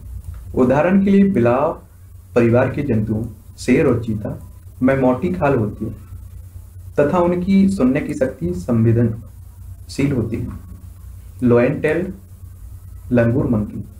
Lion tail langur, जिसे दाढ़ी वाला एप भी कहते हैं। पश्चिमी घाट के वर्षा वनों में पाया जाता है। इसकी सबसे प्रमुख विशेषता इसकी चांदी जैसी सफ़ेद श्वेत आयाल, जो सिर के चारों ओर गालों, चिबो, टोडी तक रहती है। यह वृक्षों पर आसानी से चढ़ सकता है और अपने जीवन का अधिकांश समय वृक्षों पर ही व्यतीत करता है। यह मुख्यतः फल खाता है आपका। बीज कोमल पत्तियाँ, तने पुष्प कलियाँ भी खाता है लोयन टेल्ड लंगूर वृक्षों की छाल में वास करने वाले कीटों की तलाश में रहता है। चूँकि ये लंगूर वृक्षों पर पर्याप्त भोजन, जुटा पाने में समर्थ होते हैं, अतः वे भूमि पर यदा कदा ही आते हैं। भारतीय उष्णकटिबंधीय वर्षावन का एक अन्य परिचित जंतु हाथी है। हाथी अनेक प्रकार से वर्षावनों की परिस्थितियों के लिए अनुकूलित हो गए इसकी इसकी सूंड को ध्यान से देखिए, जिसका उपयोग वह नाक के रूप में करता है। लंबी सूंड से इसकी सूंघने की शक्ति बहुत अच्छी होती है। हाथी द्वारा सूंड का उपयोग भोजन को उठाकर, उठाने के लिए भी किया जाता है। भी इसके बाह्य दंत, जिन्हें हम लोग रथ कहते हैं, वास्तव में रूपांतरित दंत होते हैं। इन दांतों से हाथी अपने पसंद की व्यक्तियों की छाल को आसानी से छीन सकते हैं। अतः भोजन के लिए स्पर्धा के बावजूद हाथी आसानी से अपना भोजन जुटाने में सामर्थ होते हैं। हाथी के लंबे बड़े कान, बहुत हल्की ध्वनि को ही भी सुनने में सहायक होते हैं। वर्षा वनों की गर्म और आर्द्र जलवायु में हाथी को ठंडा रखने में भी उसके कान सहायक होते हैं। यह है भारतीय हाथी। देख लीजिए। तो इसमें हम लोगों ने क्या क्या जाना है? अनुकूलन देखा है, जलवायु भी देखिए मौसम के घटक देखे आर्द्रता देखिए अधिकतम तापमान भी देखा है, प्रवास देखा है, न्यूनतम तापमान देखा है ध्रुवीय क्षेत्र देखा है उष्ण कटिबंधीय वर्षावन उष्ण कटिबंधीय क्षेत्र देखें मौसम भी देखा है। इन्हीं शब्दों की हमें परिभाषा जानने के लिए हम लोग इस तरह के अध्याय पढ़ते हैं, ठीक? और इन्हें क्लियर करने के लिए इन कॉन्सेप्टों को हमें सलाह दी जाती है सी पढ़ने की। तो इसमें आपने क्या क्या सीखा है इस अध्याय में? किसी स्थान पर तापमान, आर्द्रता, वर्षा, पवन वेग आदि के संदर्भ में वायुमंडल की दिन प्रतिदिन की स्थिति उस स्थान का मौसम कहलाती है। मौसम सामान्यतः किन्हीं दो अथवा सप्ताह दर सप्ताह समान नहीं होता दिन का अधिकतम तापमान सामान्यतः दोपहर के बाद में, जबकि न्यूनतम तापमान भोर में होता है। वर्ष भर सूर्योदय और सूर्यास्त सूर्यास्त का समय भी परिवर्तित होता रहता है। मौसम के सभी परिवर्तन सूर्य से संचालित होते हैं। दीर्घ अवधि, जैसे 25 वर्ष में लिए गए मौसम की प्राचलों के आधार पर तैयार किए गए रूप या पैटर्न को, उस स्थान की हम लोग जलवायु कहते हैं निर्धारित करते हैं उससे। उष्ण कटिबंधीय और ध्रुवीय क्षेत्रों के पृथ्वी के दो ऐसे क्षेत्र हैं, जहाँ की चरम जलवायु परिस्थिति होती है। जंतु उन परिस्थितियों के लिए अनुकूलित होते हैं, जिनमें वह बास करते हैं। ध्रुवीय क्षेत्रों में वर्ष भर बहुत सर्दी रहती है। ध्रुव में, ध्रुवों में वर्ष के छह महीने तक सूर्यास्त नहीं होता है और छह शेष छह महीने में सूर्योदय नहीं होता ध्रुवीय क्षेत्र में जंतु कुछ विशेष गुणों के कारण, जैसे शरीर पर श्वेत सफ़ेद फर, सूंघने की तीव्र शक्ति, त्वचा के नीचे वसा की परत, तैरने और चलने के लिए चौड़े और लंबे नखरों या उनकी नाखून के कारण अत्यधिक सर्द जलवायु के लिए अनुकूलित होते हैं। अतिशीत मौसम से बचने के लिए प्रवास एक अन्य साधन भी है। अनुकूल जलवायु परिस्थितियों के कारण उष्णकटिबंधीय वर्षा वनों में पादपों और जंतुओं की विशाल जनसंख्या पाई जाती है। उष्ण कटिबंधीय वर्षा वनों में जंतु इस प्रकार अनुकूलित होते हैं कि उन्हें अन्य प्रकार की जन, के जंतुओं से भिन्न भोजन और आशय की आवश्यकता होती है, ताकि उनमें परस्पर स्पर्धा कम से कम हो। उष्ण कटिबंधीय वर्षा वनों में रहने वाले जंतुओं के कुछ अनुकूलनों में वृक्षों पर आवास, मज़बूत पूंछ का विकास, लंबी और विशाल चौंच, चटक रंग, तीखे पैटर्न प्रतिरूप तीव्र स्वस्थ ध्वनि तेज आवाज़ फलों का आहार, सुनने की संवेदन शक्ति, तीव्र दृष्टि, मोटी त्वचा, परवक्षियों से बचने के लिए छदमावरण की क्षमता आदि सम्मिलित होती है। ये आपके कुछ अभ्यास के लिए क्वेश्चंस दिए गए हैं? यहाँ से देख लीजिए स्क्रीनशॉट ले लीजिए या फिर आप लोग पीडीएफ आपकी डली हुई है टेलीग्राम पर। वहाँ से डाउनलोड करके रख लीजिए। एक बार उससे भी पढ़ लीजिए। बस निकल जाइए। बहुत है। इतना।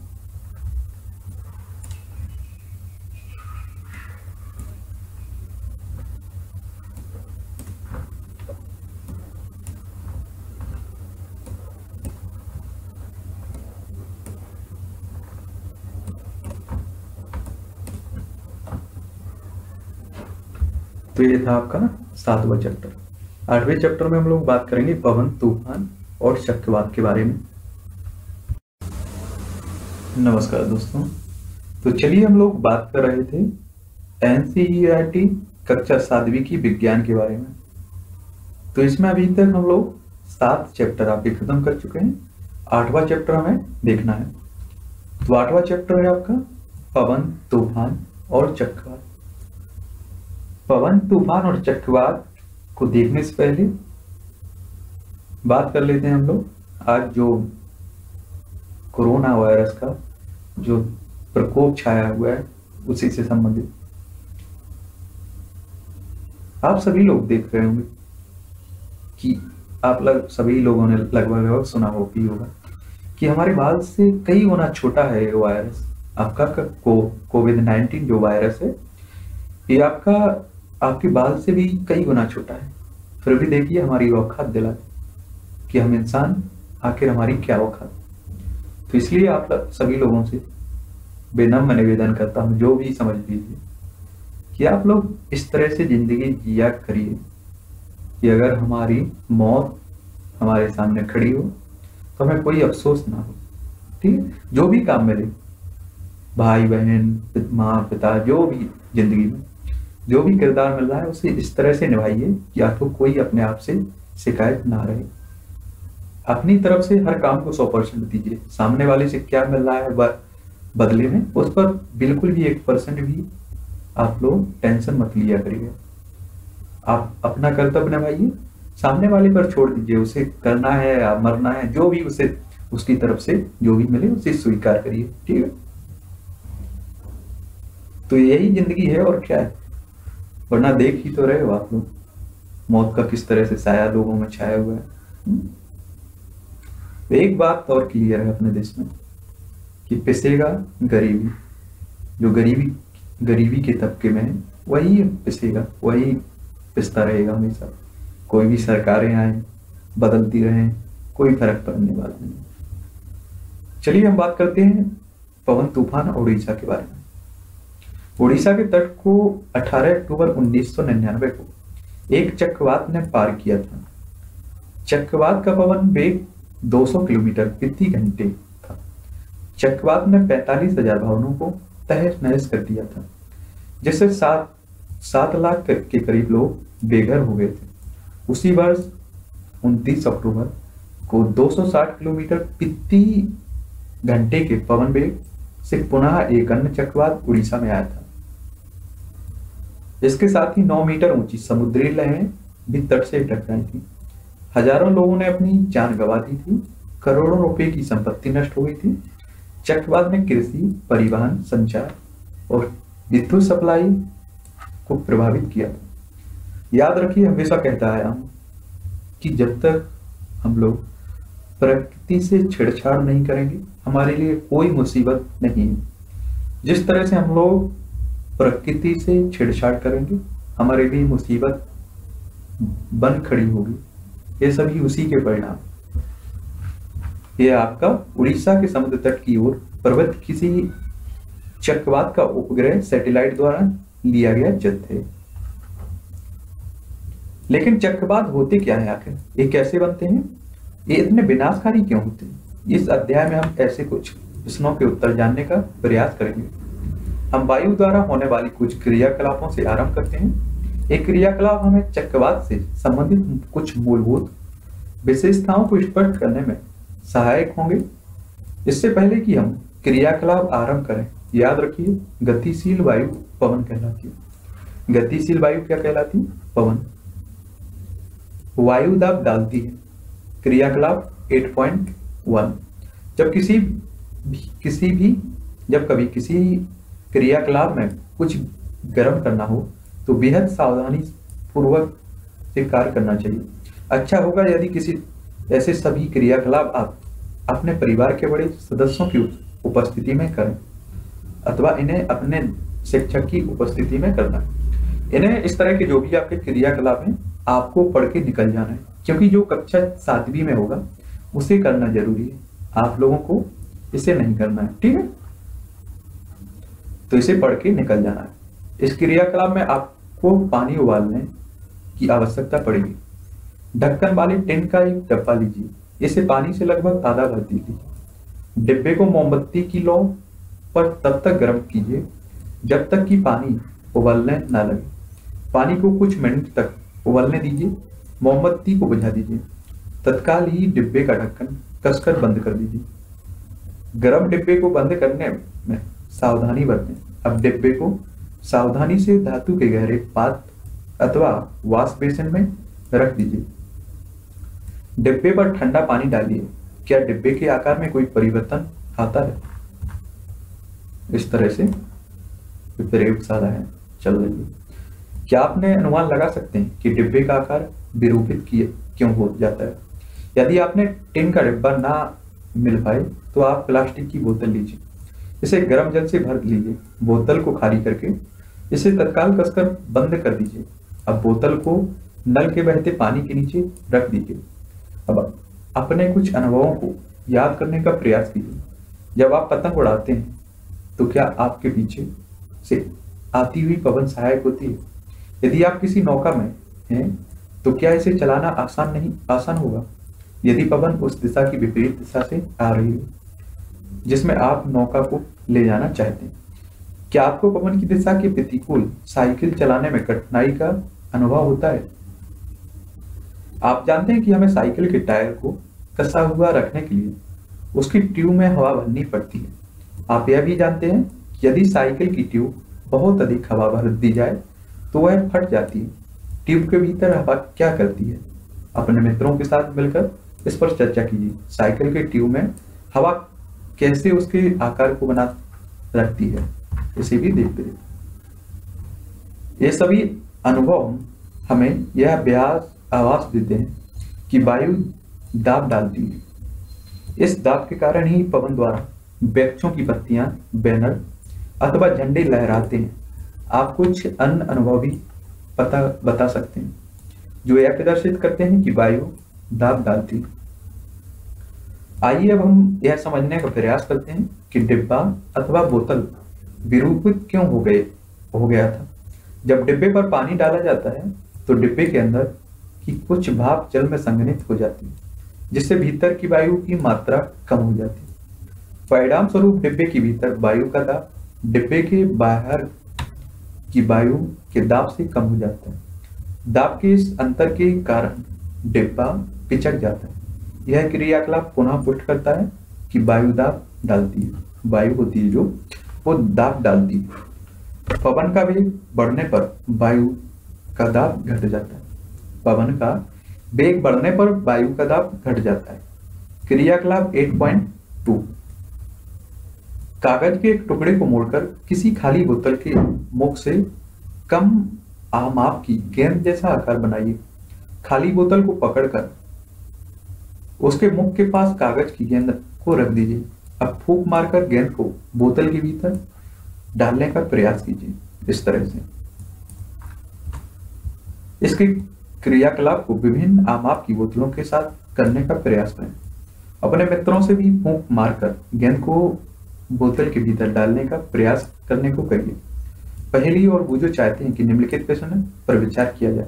कागज़ की गेंद को फूक मारकर बोतल में डालना कठिन क्यों है? गुब्बारे को फुलाना क्रियाकलाप 8.3 लगभग समान माप के दो गुब्बारे लीजिए। गुब्बारों में थोड़ा पानी भर लीजिए। दोनों गुब्बारों को फुलाकर प्रत्येक को धागे से बाँध दीजिए। गुब्बारे को साइकिल के स्पोक अथवा किसी छड़ से चार, आठ से दस सेंटीमीटर की दूरी पर लटका दीजिए। दोनों गुब्बारे के बीच स्थान में फूंक मारिए। आपके विचार में क्या होना चाहिए? आप क्या देखते हैं? गुब्बारे के बीच में फूंक मारने के लिए विभिन्न तरीके अपनाएँ और देखिए कि क्या होता है। क्या आप फूंक मारकर कागज़ की पट्टी को उठा सकते हैं? इस तरह।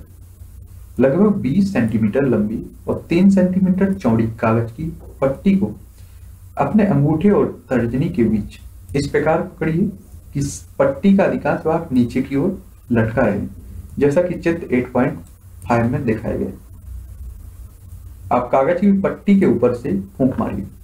पहली का विचार है कि पट्टी ऊपर उठ जाएगी जबकि बुज़ुर्ग सोचता है कि पट्टी नीचे झुक झुक जाएगी आपके प्रेक्षण किसे सही सिद्ध करता है? आइए हम क्रियाकलाप 8.2, 8.3 और 8.4 के पिक्चर पिक्चरों को समझने का प्रयास करते हैं। क्या आपने प्रेक्षण आपकी आशा के अनुरूप है?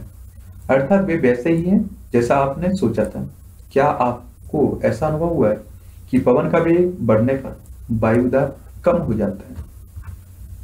जब हम बोतल के मुख पर फूंक मारते हैं तो मुख के पास ही वायु का वेग अपेक्षाकृत अधिक हो जाता है। इससे वहाँ वायु दाब घट जाता है। बोतल के भीतर वायु दाब उसके मुख के निकट के दाब से अधिक हो जाता है। इसी कारण बोतल के भीतर की वायु गेंद को बाहर की ओर धकेल देती है क्रियाकलाप 8.3 में आपने देखा कि जब आप गुब्बारे के बीच फूंक मारते हैं तो वे एक दूसरे की ओर आने का प्रयास करते हैं। ऐसा कैसे हो सकता है? यह तभी संभव होता है जब गुब्बारों के बीच के स्थान की वायु का दाब किसी तरह कम हो जाता है। तब गुब्बारे की दूसरी ओर, बाहर की ओर का दाब उन्हें एक दूसरे की ओर धकेलेगा। फिर आपका क्रियाकलाप 8.4 में आपने देखा है कि जब आप कागज़ की पट्टी के ऊपर से फूंक मारते हैं तो यह ऊपर की ओर उठ जाती है। पुनः ऐसा तभी संभव है जब कागज़ में फूंक मारने पर पट्टी के ऊपर दाब कम हो जाता है। हम देखते हैं कि पवन का वेग बढ़ने से वायु दाब वास्तव में कम हो जाता है। पवन का वेग बढ़ने से वायु का दाब वास्तव में कम हो जाता है। क्या आप कल्पना कर सकते हैं कि क्या होगा यदि तीव्र वेग की पवन भवनों अथवा झोपड़ियों की छत के ऊपर प्रभावित प्रभावित हो। यदि छत कमज़ोर होगी तो वह ऊपर उठ जाएगी और पवन उसे अपने साथ उड़ा ले जाएगी। यदि आपने कभी ऐसा देखा हो तो उसे अपने मित्रों को बताइए। आइए अब हम यह समझने का प्रयास करें कि पवन कैसे बनती है। यह वर्षा कैसे लाती है और कभी कभी यह विनाशकारी कैसे हो जाती है? आप यह जानते हैं कि गतिशील वायु पवन कहलाती है। पवन सदैव अधिक वायु दाब वाले क्षेत्र से कम वायु दाब वाले क्षेत्र की ओर गति करती है। पवन, जहाँ अधिक वायु दाब होता है, उस तरफ़ से कम वायु दाब वाले क्षेत्र की ओर जाती है। वायु दाब के बीच जितना अधिक अंतर होगा, पवन का वेग उतना ही अधिक होगा। लेकिन प्रकृति में विभिन्न क्षेत्रों में के वायु दाब भिन्नता कैसे उत्पन्न होती है क्या ताप में भिन्नता के कारण ऐसा होता है? निम्नलिखित क्रियाकलाप से इसे समझने में आपको सहायता करेगा। गर्म किए जाने पर वायु का प्रसार होता है। क्रियाकलाप 8.5 एक कोथन नली लीजिए। नली के मुख पर एक गुब्बारे को कसकर लगाइए। आप इसे कसने के लिए टैप का उपयोग भी कर सकते हैं। किसी बीकर में लगभग दो तिहाई ऊंचाई तक गर्म जल डालिए। गुब्बारी लगी कोथन नली को गर्म जल में इस प्रकार रखिए कि गुब्बारा जल से बाहर रहे। दो तीन मिनट तक यह देखिए कि क्या गुब्बारे के आकार में किसी प्रकार का परिवर्तन होता है। को, कोथन नली को जल से बाहर निकाल लीजिए इसे कमरे के ताप तक ठंडा होने दीजिए। अब एक अन्य बीकर में थोड़ा बर्फ़ का ठंडा जल दीजिए। कोथन नली को पहले की भांति दो से तीन मिनट के लिए ठंडे जल में रखिए, इस तरह से। गुब्बारे के आकार में होने वाले परिवर्तन को नोट कीजिए। अपने प्रेक्षणों के आधार पर निम्न प्रश्नों के उत्तर देने का प्रयास कीजिए। कोथन नली को गर्म जल में रखने पर गुब्बारे क्यों फूलता है? वह गुब्बारे कोथन नली के को ठंडे जल में रखने पर पिचक क्यों जाता है? क्या हम पहले प्रेक्षण से यह निष्कर्ष निकाल सकते हैं कि वायु गर्म किए जाने पर फैलती है? अर्थात उसमें अर्थात उसमें पिसार होता है। क्या आप यह बता सकते हैं कि ठंडी किए जाने पर कोथन नली के भीतर वायु का क्या होता है? संभवतः आपका क्रियाकलाप 8.6 बहुत रोचक लगेगा। इससे आपको गर्म वायु के बारे में और अधिक जानकारी प्राप्त करने में सहायता मिलेगी। क्रियाकलाप 8.6 समान आमाप की कागज़ की दो खाली थैलियाँ अथवा कागज़ के दो, खाली कप लीजिए। दोनों थैलों को धातु अथवा लकड़ी की किसी छड़ के दो किनारों से लटका दीजिए। ध्यान रहे कि कागज़ की थैलियाँ अथवा कपों का मुख नीचे की ओर रहे सावधानी। जलती हुई मोमबत्ती को सावधानी से पकड़ें। तथा यह ध्यान रहे कि इस, उसकी लौ कागज़ की थैली से पर्याप्त दूरी पर हो। छड़ के मध्य में एक धागा बांधकर उसे धागे से इस प्रकार पकड़ें, जैसा कि किसी तराजू में करते हैं। अब किसी एक थैली के नीचे चित्त में दिखाए गए अनुसार जलती मोमबत्ती को रखें। देखिए क्या होता है।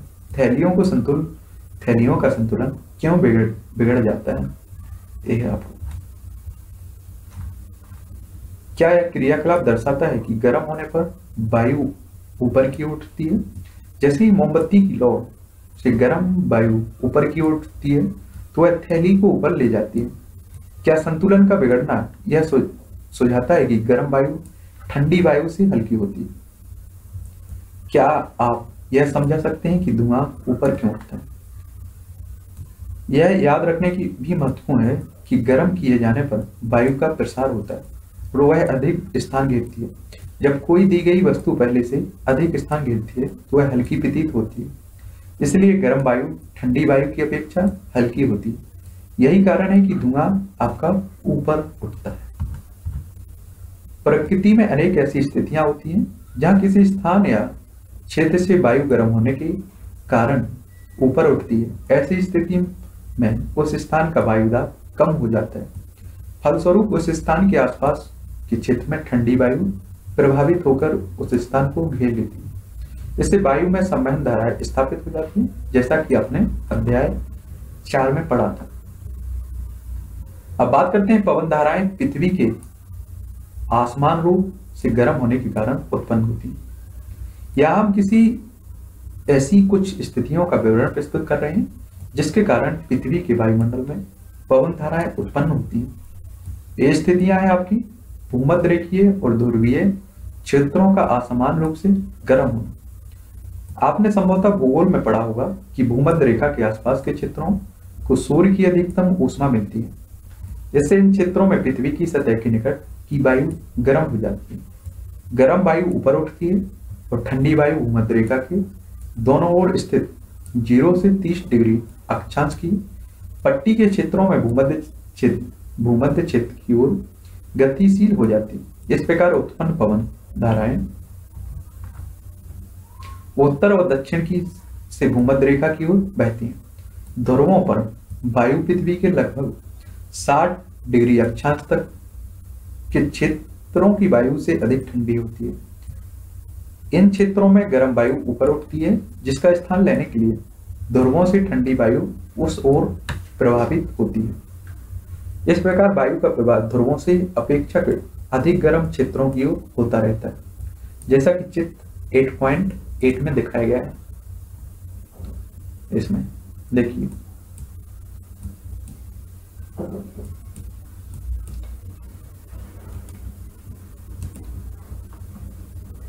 इस प्रकार हम समझ सकते हैं कि 30 डिग्री तथा 60 डिग्री अक्षांश के क्षेत्रों के असमान रूप से गर्म होने के कारण पवन का प्रभाव 30 डिग्री अक्षांश से 60 डिग्री अक्षांश की ओर होगा।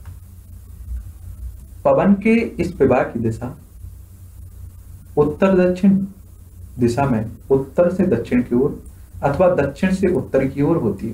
दिशा में परिवर्तन पृथ्वी के घूर्णन के कारण होता है। अब बात करते हैं थल और जल का असमान रूप से गर्म होना। अध्याय चार में आपने समुद्र समीर और थल समीर के विषय में पढ़ा था। गर्मी के समय, ग्रीष्म काल में थलीय क्षेत्र अधिक तेज़ी से गर्म होता है। और अधिकांश समय थल का तापमान समुद्री जल की अपेक्षा अधिक रहता है। थल के ऊपर की वायु गर्म होकर ऊपर उठ जाती है। इससे पवन समुद्र से थल की ओर बहती है। यह मानसूनी पवन होती है आपकी।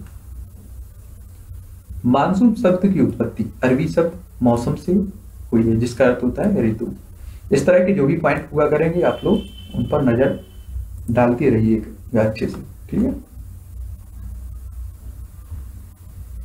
थल विशेष रूप से राजस्थान के मरुस्थलों के असमान ताप में ग्रीष्म काल में दक्षिण पश्चिम दिशा से मानसून निर्मित होता है।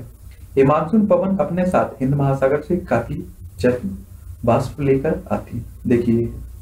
ये आपकी भारत की स्थिति हो गई मैप्स देखिए। ये है आपका शीतकाल में। शीतकाल में जल और थल और जल के असमानता के कारण पवन उत्तर पश्चिम की अपेक्षा के ठंडे स्थानों से आती है। ये शीत पवन अपने साथ जलवाष्प लाती है, इसलिए शीतकाल में वर्षा भी कम होती है, इस तरह से। ठीक है?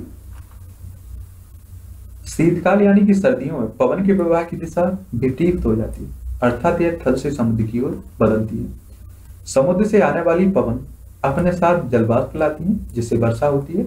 यह विक्रम आपका जल चक्रण कहलाता है। गर्म मानसून हवाएँ अपने साथ जलवाष्प लाती हैं, जिससे वर्षा होती है आपकी। बादल वर्षा लाते हैं और हमें आनंद का अनुभव कराते हैं।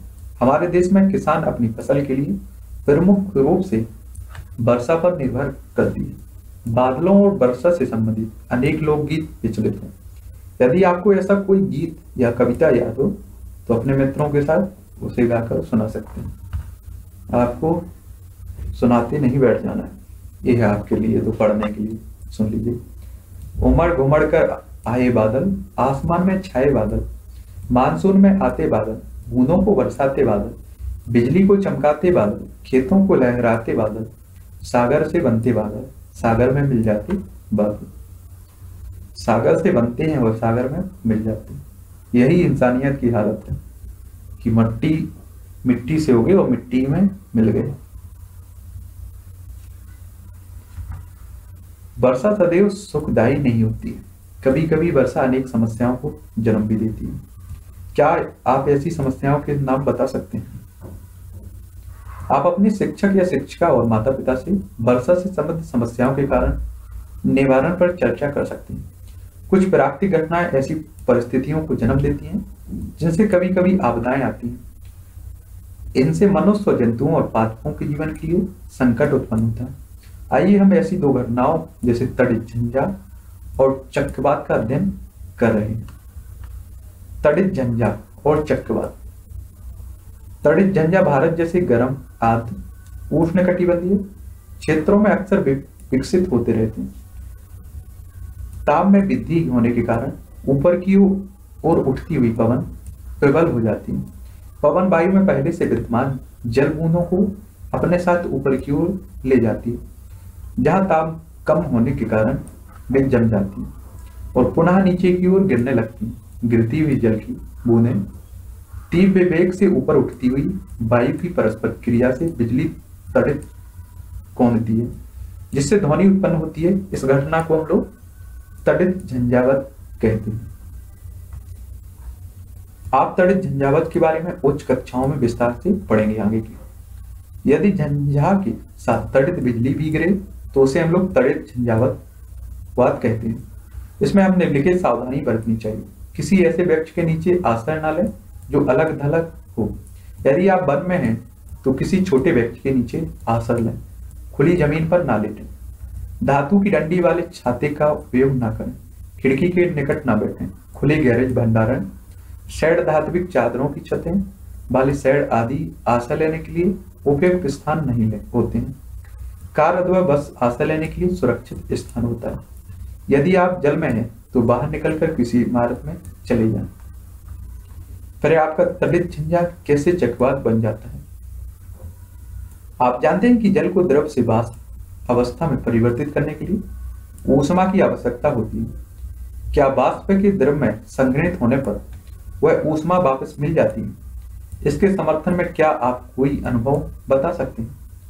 बादल के बनने से पहले जल वायुमंडल से ऊष्मा लेकर वाष्प में परिवर्तित हो जाती है। जब जल वाष्प वर्षा की बूंदों के रूप में, पुनः द्रव रूप में परिवर्तित होती है तो यह ऊष्मा वायुमंडल में निर्मुक्त हो जाती है। निर्मुक्त होने वाली ऊष्मा से आसपास की वायु गर्म हो जाती है। इस प्रकार गर्म वायु ऊपर की ओर उठती है, जिससे वायु दाब कम हो जाता है। फलस्वरूप तटित झंझा के केंद्र की ओर उच्च वेग की अधिक वायु गति करने लगती। इस चक्र की पुनरावृत्ति अनेक बार होती रहती। घटना की श्रृंखला का अंत बहुत ही निम्न दाब के, एक ऐसे तंत्र के तंत्र के निर्माण के साथ होता है, जिसके चारों ओर उच्च वेग की वायु अनेक परतें कुंडली के रूप में घूमती रहती। मौसम की इस स्थिति को हम चक्रवात कहते हैं। क्या कहते हैं? चक्रवात। वायु वेग और वायु दिशा। चक्रवात के तापमान और आर्द्रता में वृद्धि करने वाले कुछ कारक हैं। यह आपकी चक्रवात की संरचना। किसी चक्रवात का केंद्र एक शांत क्षेत्र होता है। उसे झंझा का नेत्र कहते हैं। क्या कहते हैं? झंझा का नेत्र कोई विशाल चक्रवात वायुमंडल में वायु की तेज़ी से घूर्णन करता पिंड होता है, जो पृथ्वी तल से 10 से 15 किलोमीटर की ऊंचाई पर स्थित होता है। चक्रवात के नेत्र का व्यास 10 से 30 किलोमीटर तक होता है। यह बादलों से मुक्त क्षेत्र होता है। और इसमें पवन का वेग न्यून होता है। इस शांत और स्पष्ट नेत्र के इर्द गिर्द लगभग 150 किलोमीटर आमाप का बादल क्षेत्र होता है। इस क्षेत्र में उच्च वेग की पवन और सघन वर्षा वाले घन ने बादल होते हैं। इस क्षेत्र से परे पवन पवन वेग क्रमशः कम होता जाता है। चक्रवातों की उत्पत्ति विक्रम अत्यधिक जटिल होता है। इसे एक प्रतिरूप द्वारा दर्शाने का प्रयास किया जा रहा है एट पॉइंट ग्यारह चित्र में, इसमें।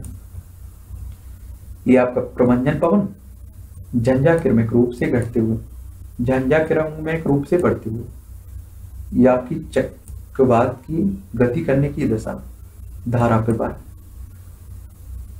नीचे जाती हुई वायु वही प्रवाह, ऊपर उठती हुई वायु, ठीक है? यह आपका है चक्रवात के नेत्र का प्रतिबंब देखिए।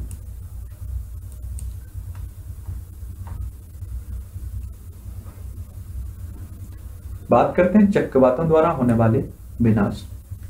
चक्रवात काफ़ी विनाशकारी हो सकते हैं। तेज पवन, समुद्र के जल को तटों की ओर धकेलती है। भले ही चक्रवात तट से सैकड़ों किलोमीटर दूर हो, ये चक्रवात के आगमन के पूर्व संकेत होते हैं।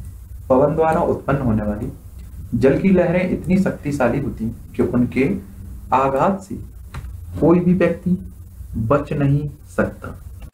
चक्रवात के नेत्र में निम्न दाब के कारण उसके केंद्र में जल सतह उच्च स्तर तक उठ जाता है। उठता जल तीन से बारह मीटर की ऊंचाई तक उठ सकता है। ऐसा लगता है कि मानो जल की दीवार तट की ओर बढ़ती आ रही है। इसके परिणाम स्वरूप समुद्र का पानी कम ऊंचाई पर स्थित तटीय क्षेत्रों में प्रवेश कर जाता है, जिससे जीवन और संपत्ति की गंभीर हानि होती है। यह पानी मृदा की उर्वरता को भी कम कर देता है। यहाँ चक्रवात के कारण समुद्र में जल के ऊपर उठती विशाल लहरें ही आपकी चक्रवात के तट को पार करते समय होने वाली लगातार वर्षा, बाढ़ की स्थिति को और भयावह बना देती है। चक्रवात को विश्व की विभिन्न भागों में भिन्न भिन्न नामों से जाना जाता है। अमेरिकी महाद्वीप में इसे हरिकेन कहते हैं, फिलीपींस और जापान में टाइफून कहते हैं ठीक है? हिंद महासागर में चक्रवात और ये आपका हरिकेन हो गया। अमेरिका के पास टाइफून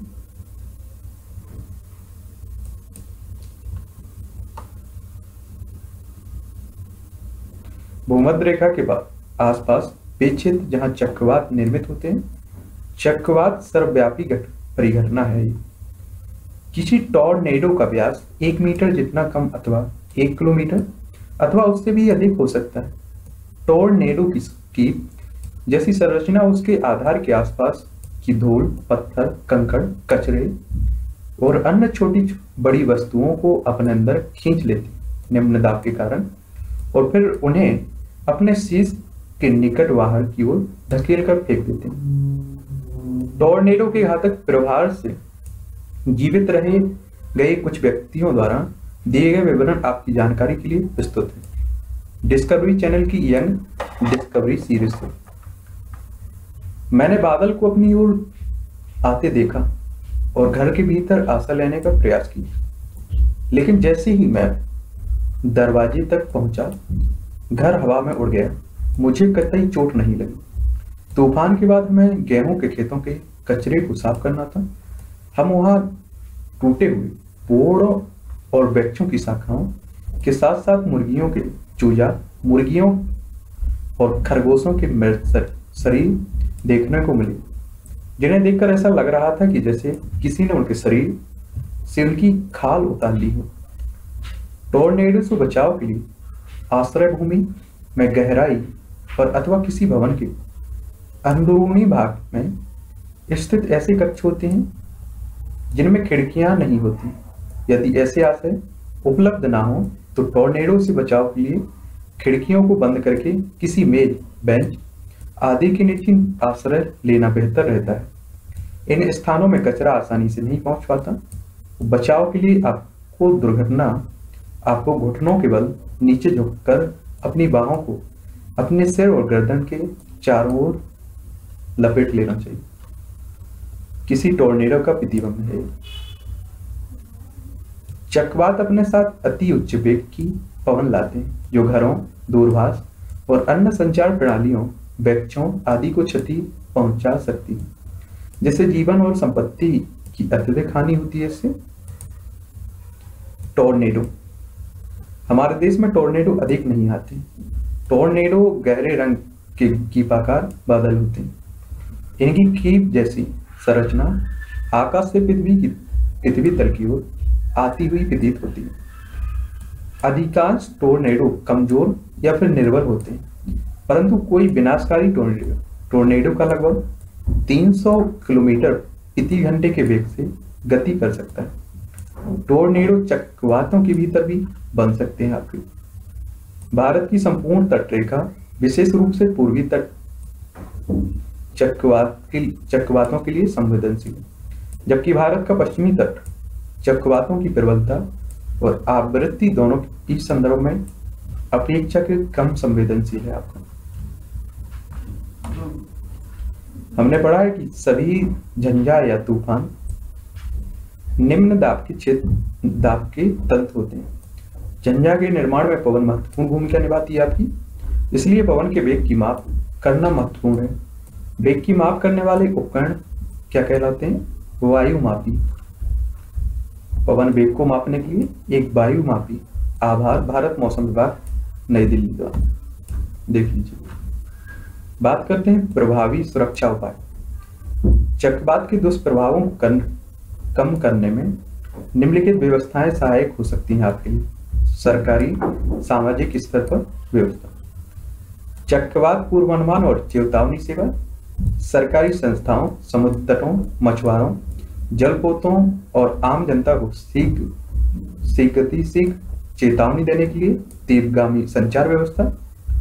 चक्रवात संभावित क्षेत्रों में चक्रवात आश्रयों का निर्माण और लोगों को तेज़ी से सुरक्षित स्थानों पर पहुँचाने के लिए प्रशासनिक व्यवस्था जनता द्वारा किए जाने वाले कार्य हमें मौसम विभाग द्वारा दूरदर्शन रेडियो अथवा समाचार पत्रों के माध्यम से प्रसारित की जाने वाली चेतावनियों को नजरअंदाज नहीं करना चाहिए। हमें अनिवार्य घरेलू साथ सामान पालतू पशुओं और वाहनों आदि की सु, को सुरक्षित स्थानों पर पहुँचाने के लिए आवश्यक प्रबंधन कर लेने चाहिए।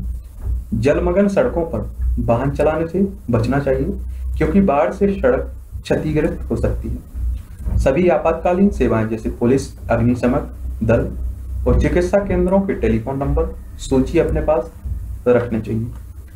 यदि आप चक्रवात प्रभावित क्षेत्रों में रहते हैं तो कुछ अन्य सावधानी। ऐसे जल का पीने के लिए उपयोग न करें, जो संदूषित हो सकता है। आपात स्थिति के लिए पेयजल का संग्रहण करें गीले स्विच और खंभों में टूटकर गिर गई बिजली के तारों को न छुएँ। महज मनोरंजन के लिए बाढ़ या फिर चक्रवात प्रभावित क्षेत्रों का भ्रमण करने बाहर न निकलें। बादल बचाव दल पर अनावश्यक मांगों की आपूर्ति के लिए दबाव न डालें। अपने पड़ोसियों और मित्रों को यथासंभव सहयोग और सहायता प्रदान करें। उन्नत प्रौद्योगिकी सहायक सिद्ध हुई। आजकल हम आपदाओं से अधिक सुरक्षा उपलब्ध है। पिछली शताब्दी के आरंभ में तटीय क्षेत्रों के निवासियों के पास किसी चक्रवात के आने से पूर्व सुरक्षा की तैयारी करने और अपने घर खाली करने के लिए एक दिन से भी कम का समय मिलता था। आज परिस्थितियाँ बहुत बदल गई हैं। उपग्रह और रडार की उपलब्धता से यह संभव है। क्या संभव है? कि किसी भी संभावित झंझा के 48 घंटे पहले ही चक्रवात सतर्कता अथवा चक्रवात सूचना जारी कर दी जाती है। और चक्रवात चेतावनी भी कम से कम 24 घंटे पहले जारी कर दी जाती है। जब चक्रवात तट के निकट होता है तो हर घंटे अथवा आधे घंटे पर उसकी प्रगति और दिशा के बारे में संदेश प्रसारित किए जाते हैं। अनेक राष्ट्रीय और अंतर्राष्ट्रीय संगठन चक्रवात से संबंधित आपदाओं मॉनिटर करने में सहयोग करते हैं।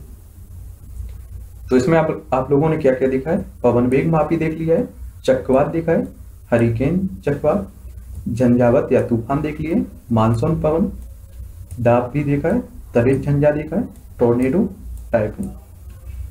तो ये सभी आपके शब्द हमें जो भी परिभाषाएँ पढ़नी होती हैं, इन्हीं को क्लियर करने के लिए, इन परिभा, इन शब्दों की परिभाषा जानने के लिए, ये सभी कहानी पढ़नी पड़ती है, ठीक है?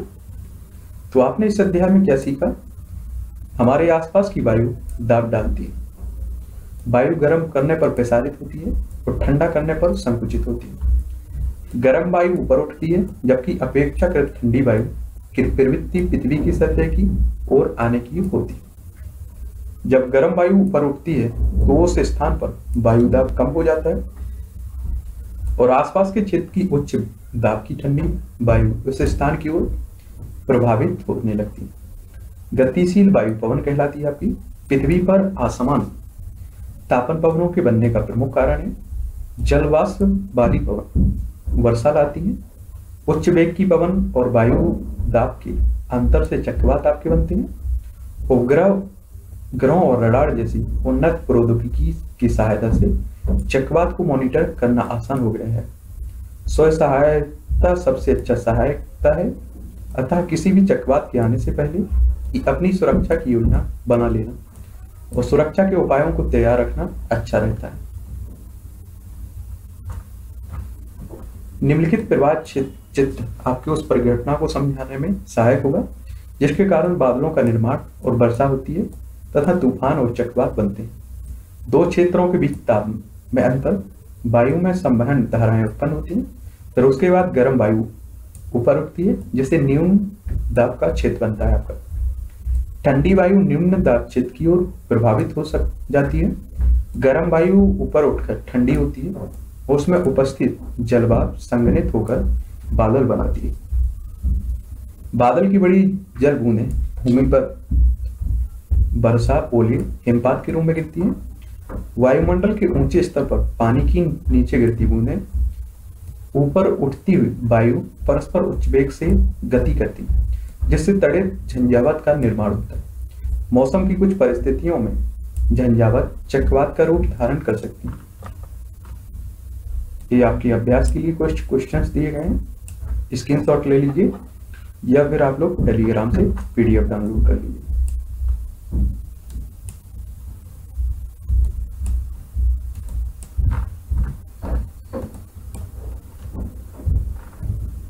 पीडीएफ से एक बार और रिवीजन कर लीजिए, बस कंप्लीट है।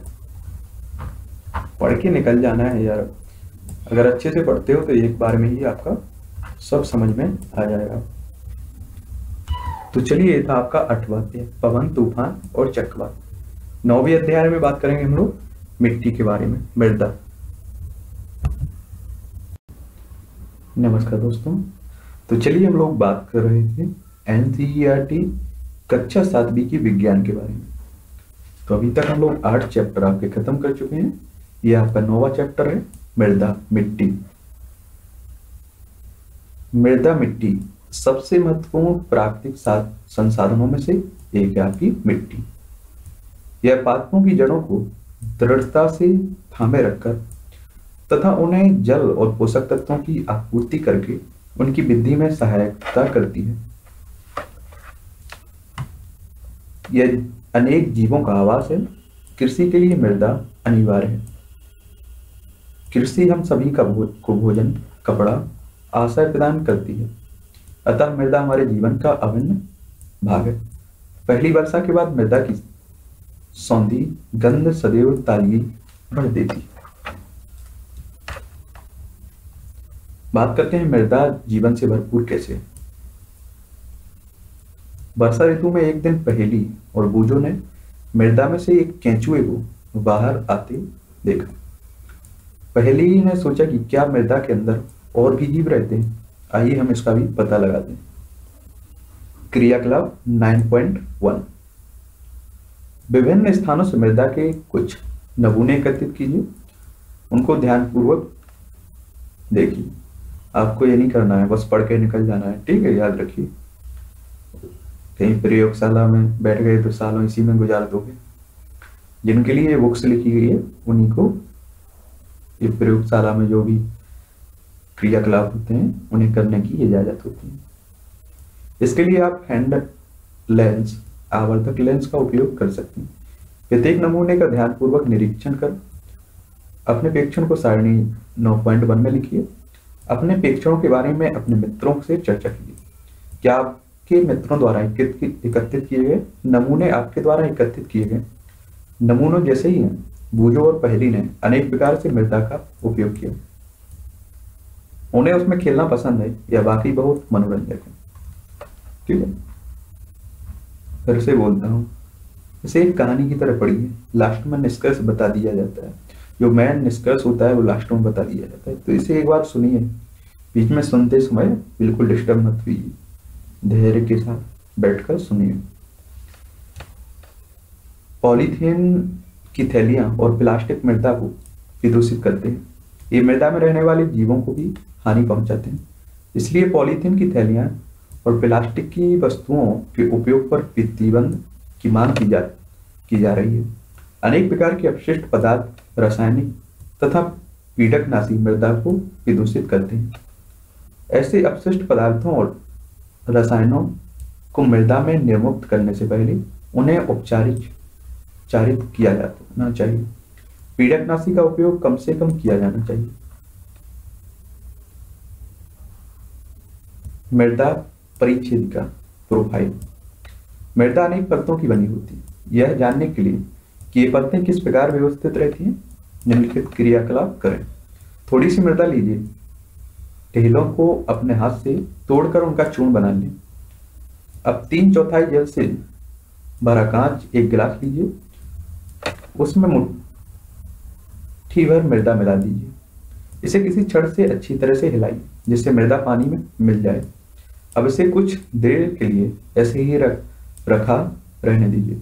कुछ समय के बाद गिलास के पानी को देखिए। निम्नलिखित प्रश्नों के उत्तर दीजिए।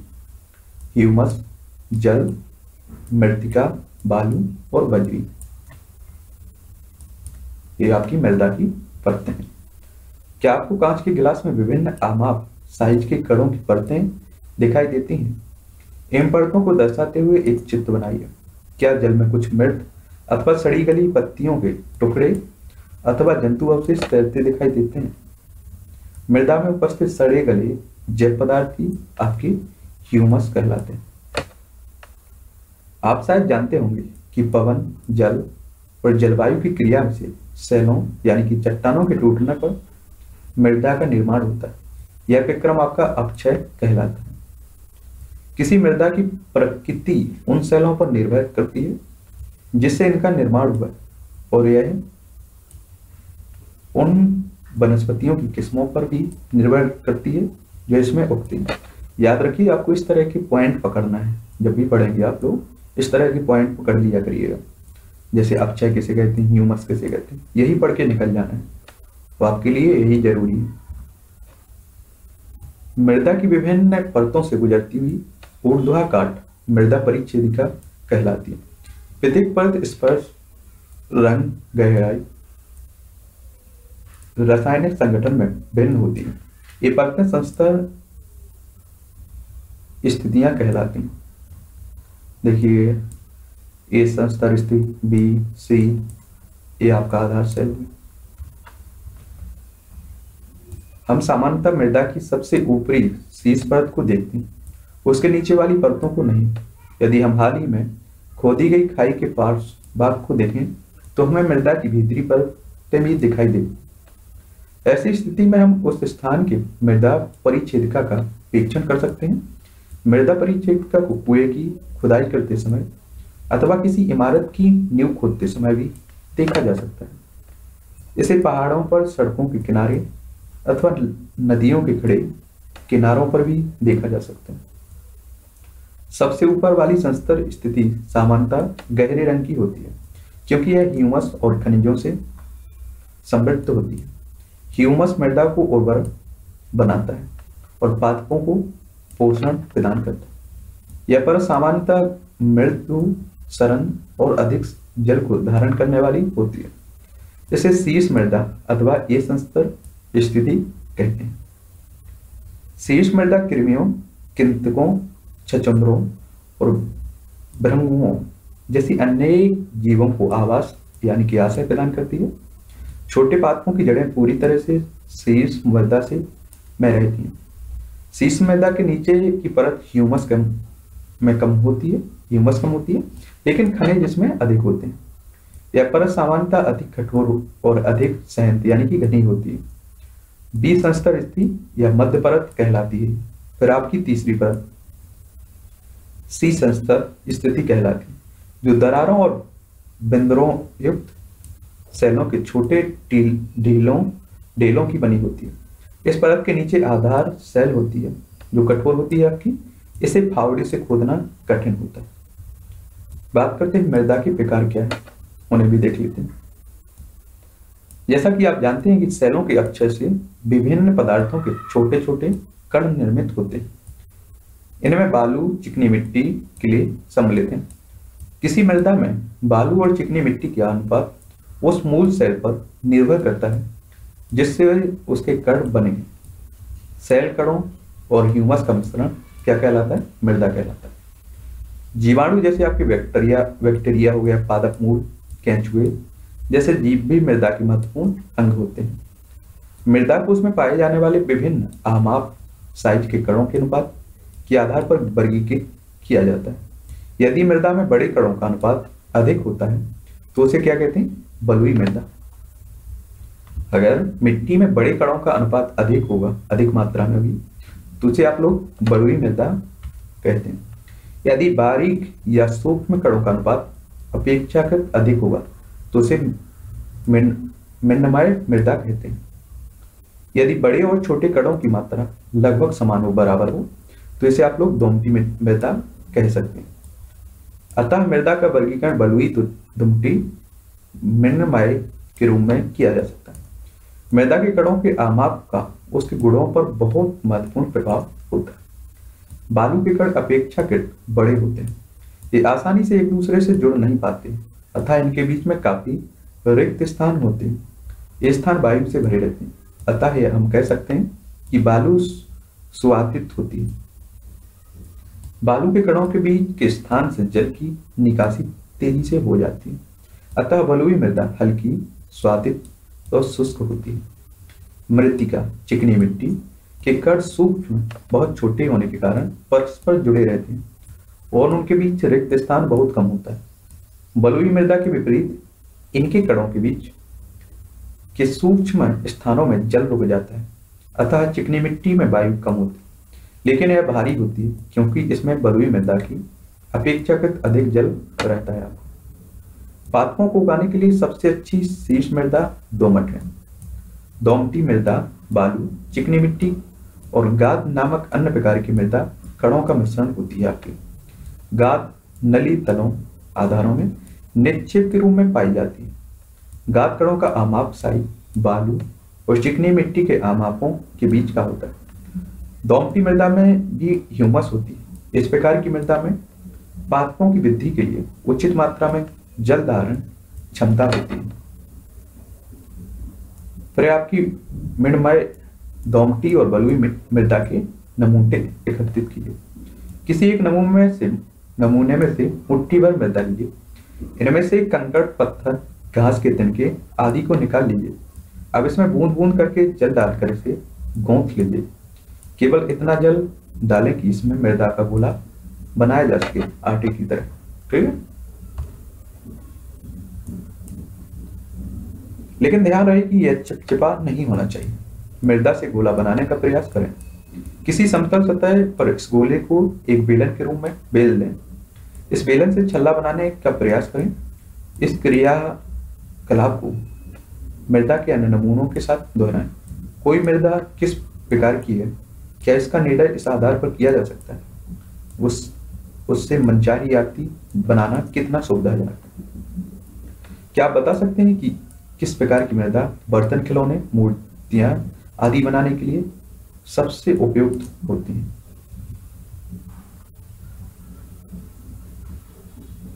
तो इसमें चिकनी मिट्टी है। चिकनी मिट्टी से इस तरह के सामान बनाने में आसानी होती है। अब बात कर लेते हैं हम लोग मृदा के गुण। आपने मृदा के कुछ उपयोगों की सूची बनाई है। आइए अब मृदा के गुणों को जानने के लिए कुछ क्रियाकलाप हम लोग करते हैं। मृदा में जल अंतरण, जल अंतःस्रावण, दर, बूझो और परेली ने 50 सेंटीमीटर इंटू पचास सेंटीमीटर। आमाप के दो वर्ग अंकित किए हैं, जिनमें से एक उनके घर के फर्श पर और दूसरा कच्ची सड़क पर बना था। उन्होंने दो समाप, समान आमाप की बोतलों को पानी से भर लिया। उन्होंने एक ही समय पर दोनों वर्ग स्थानों पर एक एक बोतल पानी डाल दिया। उन्होंने देखा कि फर्श पर गिरा पानी वर्ग की सीमा के बाहर बह गया और अवशोषित नहीं हो पाया, जबकि कच्ची सड़क पर डाला गया पानी अवशोषित हो गया। आइए इसे समझने के लिए अब हम एक क्रियाकलाप करते हैं। क्रियाकलाप नाइन पॉइंट फोर इस क्रियाकलाप के लिए कक्षा के सभी छात्र तीन समूह या दल में बना दलों के नाम नाम हो गए एबीसी आपको यह मालूम करना है कि किसी दिए गए स्थान पर पानी कितनी तेज़ी से मृदा में से नीचे चल जाता है। आपको एक खोखले बेलन अथवा पाइप की आवश्यकता होगी। यह सुनिश्चित कर लें कि प्रत्येक दल समान व्यास के पाइप का उपयोग करें। ऐसे पाइप प्राप्त करने के लिए दिए गए सुझावों पर विचार कर सकते हैं। यदि संभव हो तो एक आम आप के तीन छोटे टिन के डिब्बे लेकर उसकी तली को काट लें। यह पीवीसी पाइप लगभग पाँच सेंटीमीटर व्यास का उपलब्ध हो। इसके 20 सेंटीमीटर लंबे टुकड़े काट लें और उसका उपयोग करें इस तरह से। जिस स्थान से आप मृदा एकत्रित करें, वहाँ पाइप को लगभग दो सेंटीमीटर की गहराई तक धसा धसा कर दें या धंस दें। पाइप में धीरे धीरे 200 ml जल डालिए। 200 ml जल को मापने के लिए आप किसी भी 200 ml की खाली बोतल का उपयोग कर सकते हैं। उस समय को नोट कर लें जब आप जल डालना आरंभ किया था।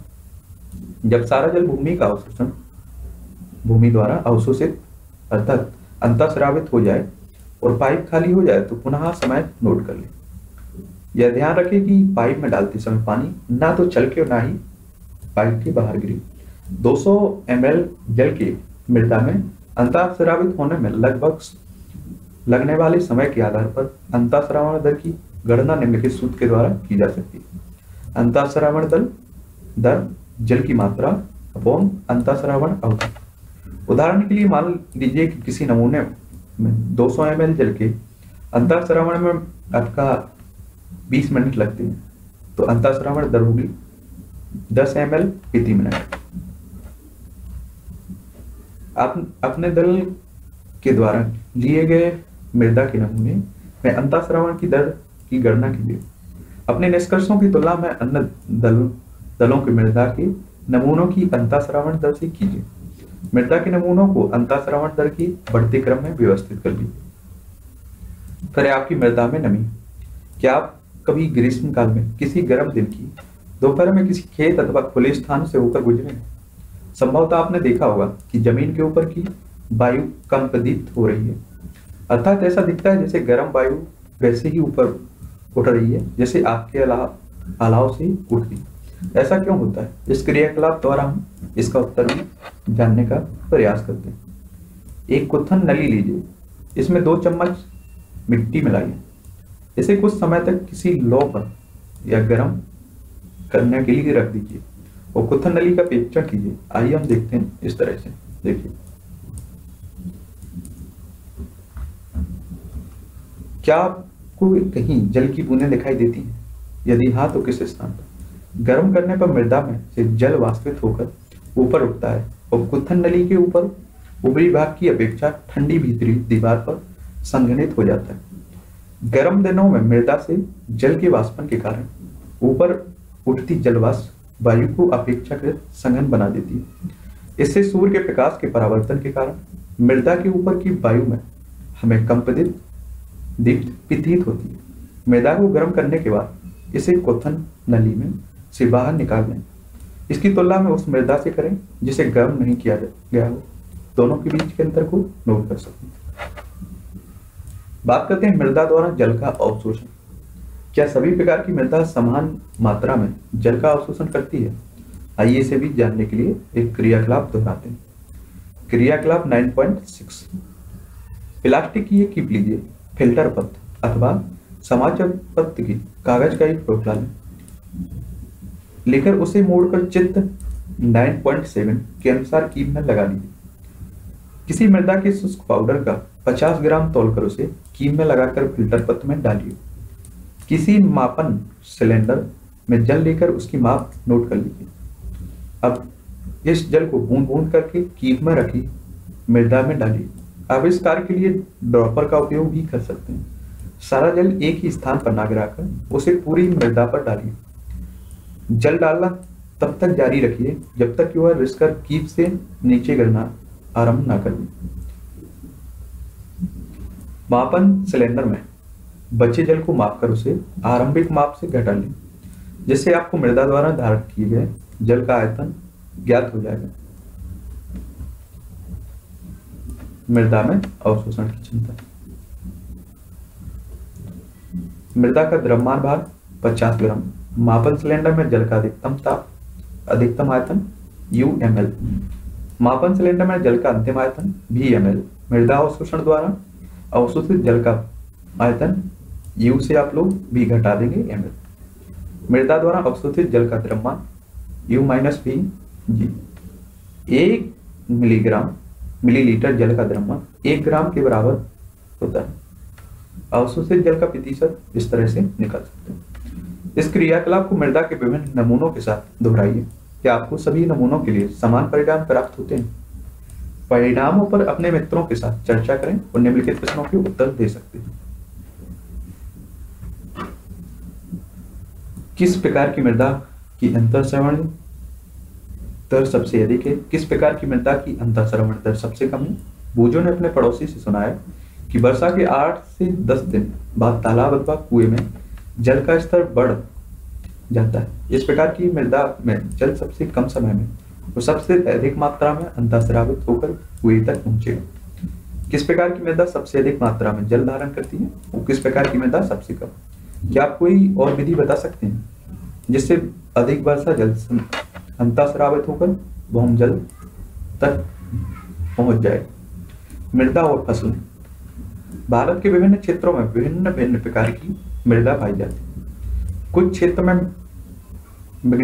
मिनमय मृदा, कुछ में दुमटी मृदा और जबकि कुछ अन्य क्षेत्रों में आपकी बलुई मृदा पाई जाती है। पवन, वर्षा, ताप, प्रकाश आर्द्रता द्वारा मृदा मृदा की मिट्टी प्रभावित होती है। ये कुछ प्रमुख जलावायवी कारक हैं, जो मृदा परिच्छेदिका को प्रभावित करते हैं। और मृदा संरचना में परिवर्तन लाते हैं।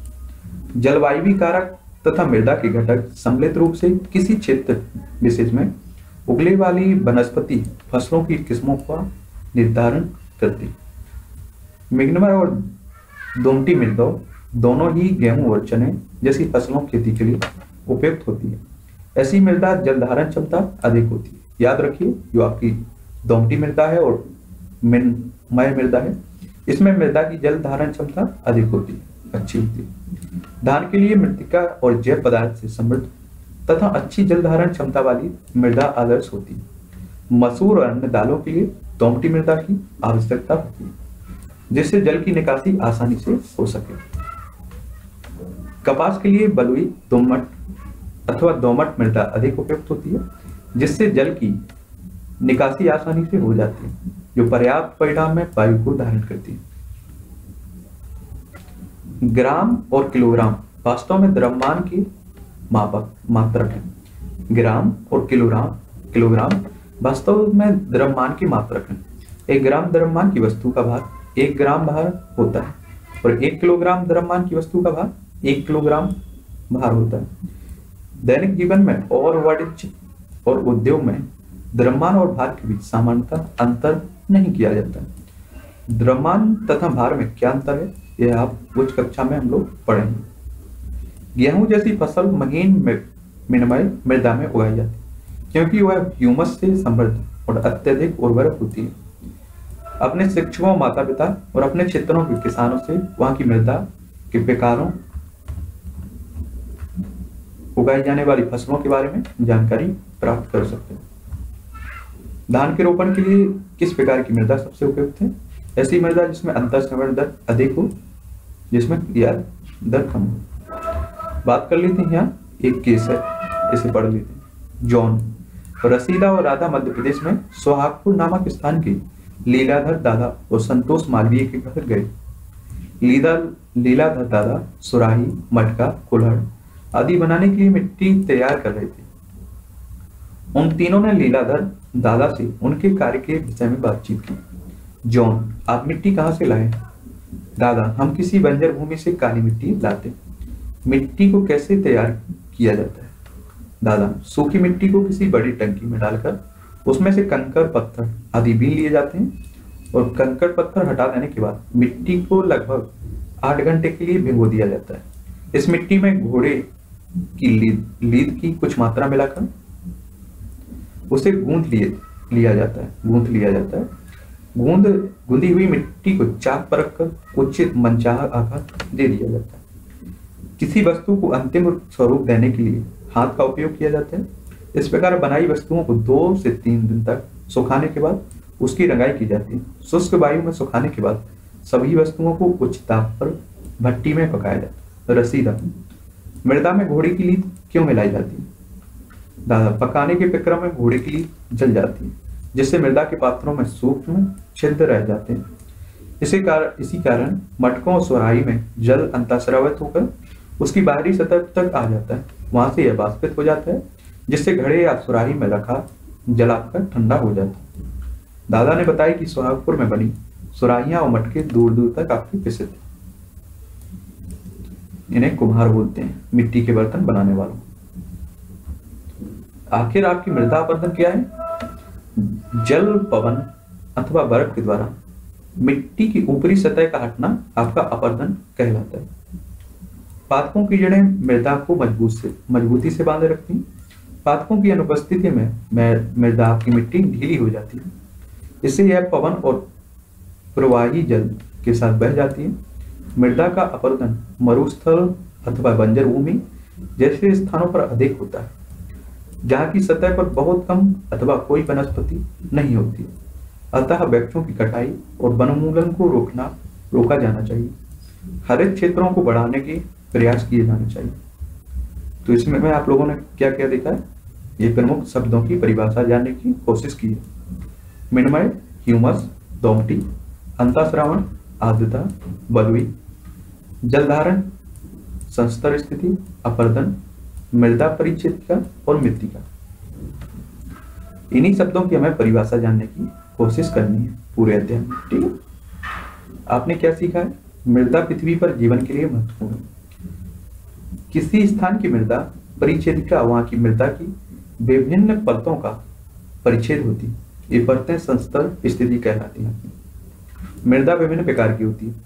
मिनमय दोमटी और बलवी विभिन्न प्रकार की मृदा में जल की अंताश्रवण दर भिन्न भिन्न होती है। यह दर बलुई में मृदा में सबसे अधिक होती है और जो मिनमय मृदा होती है, उसमें सबसे कम होती है। विभिन्न प्रकार की फ़सलों को उगाने के लिए विभिन्न प्रकार की मृदा उपयुक्त होती है। मृतिका चिकनी मिट्टी और दोमट मृदा, गेहूँ, चना, धान को उगाने के लिए उपयुक्त होती है। कपास को बलुई दोमट मृदा में उगाया जाता है। मृदा अपने जल को रोक सक, रखती है। जैसे मृदा अद्दा या मृदा नमी कहते हैं। मृदा की जल को रोक के रखने की क्षमता या जल धारण क्षमता विभिन्न फ़सलों के लिए महत्वपूर्ण है। चिकनी मिट्टी का उपयोग बर्तनों खिलौनों और मूर्तियों के लिए किया जाता है। ये आपके कुछ अभ्यास के क्वेश्चन दिए ठीक है? पीडीएफ डाउनलोड कर लेना। टेलीग्राम से या फिर स्क्रीनशॉट ले लीजिए। पीडीएफ डाउनलोड कर लिया उसी में सारे है उसी में फ़ायदा है। अच्छे से पढ़िए एक दो बार और निकल जाइए, क्योंकि जो हमें शब्दों की परिभाषा जाननी है, उनको जान जाएँगे आप लोग एक दो बार। ठीक है? तो ये आपका नौवा अध्याय था मृदा दसवें अध्याय में हम बात करेंगे, जीवों में श्वसन आगे। जीवों में श्वसन। हेलो दोस्तों तो चलिए हम लोग बात कर रहे थे एनसीईआरटी कक्षा सातवीं की विज्ञान के बारे में। तो इसमें अभी तक हम लोग नौ चैप्टर आपके खत्म कर चुके हैं। ये आपका दसवा चैप्टर है। इसमें देखेंगे हम लोग जीवों में श्वसन। याद रखिए, इसमें आप लोगों को कोई ऐसा भी, एक भी शब्द नहीं मिलेगा जो आपको समझ में ना आए। बस आपको अच्छे से पढ़ना है। और मैं भी जानता हूँ कि देख रहा हूँ कि इसे नहीं लगेगा आपका मन पढ़ाई पढ़ने में नहीं लगेगा, क्योंकि इस तरह से लिखी गई है। बहुत ही सरल शब्दों में आपको लगेगा कि मन नहीं लगेगा पढ़ाई में। तो आप लोगों को एक बार ज़रूर अच्छे से सुनना है। और लास्ट में जो निष्कर्ष बता दिया जाता है आपको तो आपको बीच में हड़बड़ाना नहीं है, क्योंकि अगर बीच में आप लोग हड़बड़ा कर छोड़ देते हैं तो आपको कुछ समझ में आने वाला नहीं है। ठीक है? और ये भी क्लियर रखिए कि अगर आप लोग पीसीएस या सिविल सर्विस अगर निकालना है तो एनसीईआरटी आपके लिए बहुत ही ज़रूरी है। इसके बिना कुछ नहीं उखड़ने वाला है। तो पढ़ना भी ज़रूरी है। तो इसलिए धैर्य के साथ पढ़िए। सब कुछ समझ में आता जाएगा। ठीक? लास्ट में आपको निष्कर्ष बता दिया जाता है कि आखिर इस अध्याय का निष्कर्ष क्या था। तो टेंशन लेने वाली कोई बात ही नहीं है। ठीक है? चलिए हम लोग बात करते हैं दसवें चैप्टर में। बूझो अपने दादा, दादी से मिलने के लिए उत्सुकता से प्रतीक्षा कर रहा था, जो एक साल के बाद शहर आ रहे थे। वह सीग से ही सीग से सीग बस स्टॉप पहुँचना चाहता था, ताकि उनका स्वागत कर सके। इसलिए वह भागता हुआ गया और कुछ ही मिनट में बस स्टॉप पहुँच गया। उसकी साँसें तेज़ी से चल रही थी।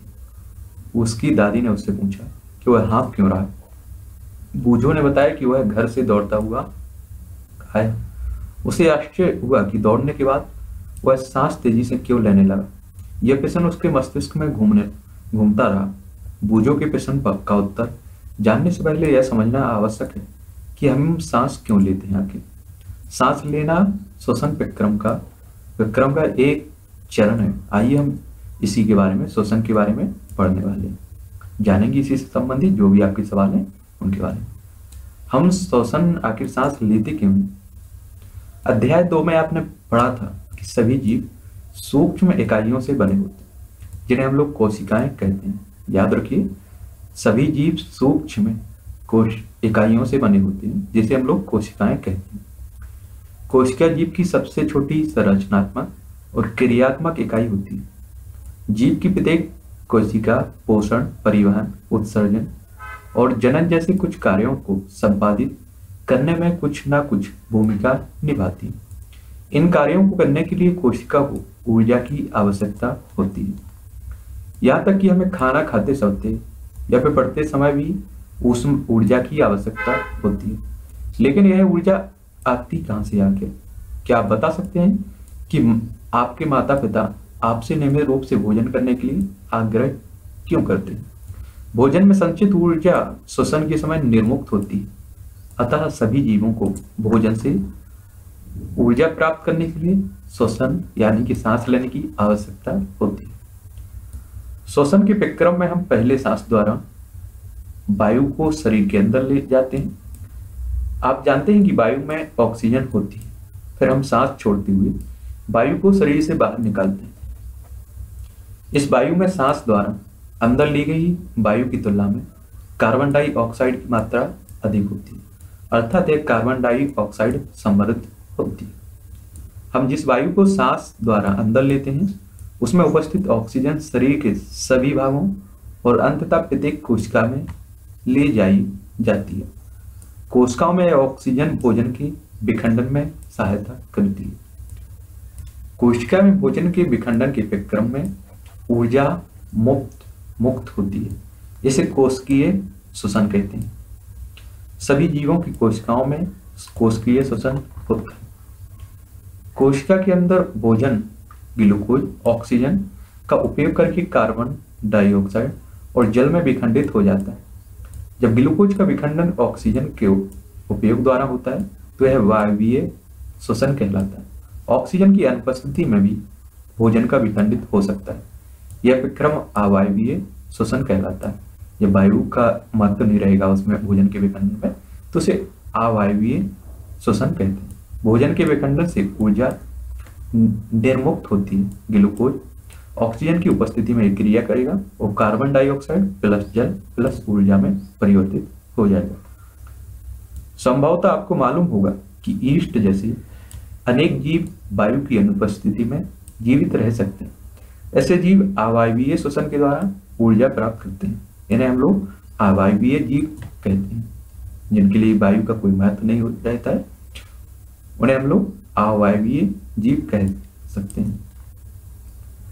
ऑक्सीजन की अनुपस्थिति में ग्लूकोज, एल्कोहल और कार्बन डाइऑक्साइड में विखंडित हो जाता है, जैसे कि निम्न समीकरण द्वारा दिखाया गया है आपको। ग्लूकोज, ऑक्सीजन की अनुपस्थिति है तो ये आपका बदलेगा एल्कोहल, कार्बन डाइऑक्साइड प्लस ऊर्जा। ईस्ट एक कौशिक जीव है। ईस्ट अवायवीय रूप से श्वसन करते हैं। और इस क्रिया के समय एल्कोहल निर्मित करते हैं। इनका प्रयोग उपयोग शराब वाइन बियर बनाने के लिए करते हैं। हमारी पेशी कोशिकाएँ भी अवायवीय रूप से श्वसन कर सकती हैं लेकिन एक, एक ऐसा थोड़े समय तक ही कर सकते हैं। वास्तव में विक्रम उस समय होता है जब ऑक्सीजन की अस्थायी रूप से कमी हो जाती है। बहुत देर तक व्यायाम करने तेज़ी से दौड़ने कई घंटे टहलने साइकिल चलाने अथवा भारी वज़न उठाने जैसे अनेक कार्यों के लिए अधिक ऊर्जा की आवश्यकता होती है। लेकिन उत, लेकिन ऊर्जा उत्पन्न करने के लिए हमारे शरीर को ऑक्सीजन की आपूर्ति सीमित होती है। ऐसी स्थितियों में पेशी कोशिकाएँ अवायवीय श्वसन द्वारा ऊर्जा की अतिरिक्त मांग को पूरा कर सकती है। ग्लूकोज पेशी में ऑक्सीजन की अनुपस्थिति में यह आपका लैक्टिक अम्ल प्लस ऊर्जा बदले में देता है। क्या आपने कभी सोचा है कि अत्यधिक व्यायाम करने के बाद आपकी पेशियों में ऐठन क्यों होती है? तो याद रखना लैक्टिक अम्ल के कारण। ऐठन तब होती है जब पेशियाँ अवायवीय रूप से शोषण करती हैं। इस प्रक्रिया में ग्लूकोज के आंशिक विखंडन से लैक्टिक अम्ल और कार्बन डाइऑक्साइड बनते हैं। लेकिन जो आपका लैक्टिक अम्ल होता है, इस संचय पेशियों में ऐठन उत्पन्न करता है। गर्म पानी से स्नान करने अथवा शरीर की मालिश करवाने पर हमें ऐठन से आराम मिलता है। क्या आप अनुमान लगा सकते हैं? ऐसा क्यों होता है? गर्म जल से स्नान अथवा शरीर की मालिश करने से रक्त का जो संचरण होता है वो बढ़ जाता है। इसके परिणाम स्वरूप पेशी कोशिकाओं को ऑक्सीजन की आपूर्ति बढ़ जाती है। ऑक्सीजन की आपूर्ति बढ़ जाने से लैक्टिक अम्ल का कार्बन डाइऑक्साइड और जल में पूर्ण विखंडन हो जाता है। श्वसन। आपने नाथुनों और मुख को कसकर बंद कर लीजिए और घड़ी की ओर देखिए। आप कितनी देर तक इन दोनों को बंद रख पाए? कुछ समय बाद आपको क्या महसूस होगा? आप उस समय को नोट कीजिए जब तक आप अपनी सांस को रोककर रख सकें। एकदम सांस रोककर मत बैठ जाना। पता चला राम राम सत्य हो गया। ठीक है।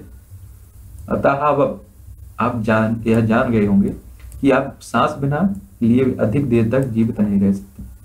श्वसन या सांस लेने का अर्थ है ऑक्सीजन से समृद्ध, वायु को अंदर खींचना या ग्रहण करना और कार्बन डाइऑक्साइड से समृद्ध वायु को बाहर निकालना। ऑक्सीजन से समृद्ध वायु को शरीर के अंदर लेना अंता श्वसन और कार्बन डाइऑक्साइड से समृद्ध वायु को बाहर निकालना उच्छ्वसन कहलाता है। यह एक सतत विक्रम है जो प्रत्येक जीव के जीवन में हर समय अर्थात जीवन पर्यंत होता रहता है। कोई व्यक्ति एक मिनट में जितनी बार श्वसन करता है, वह उसकी श्वसन दर कहलाती है।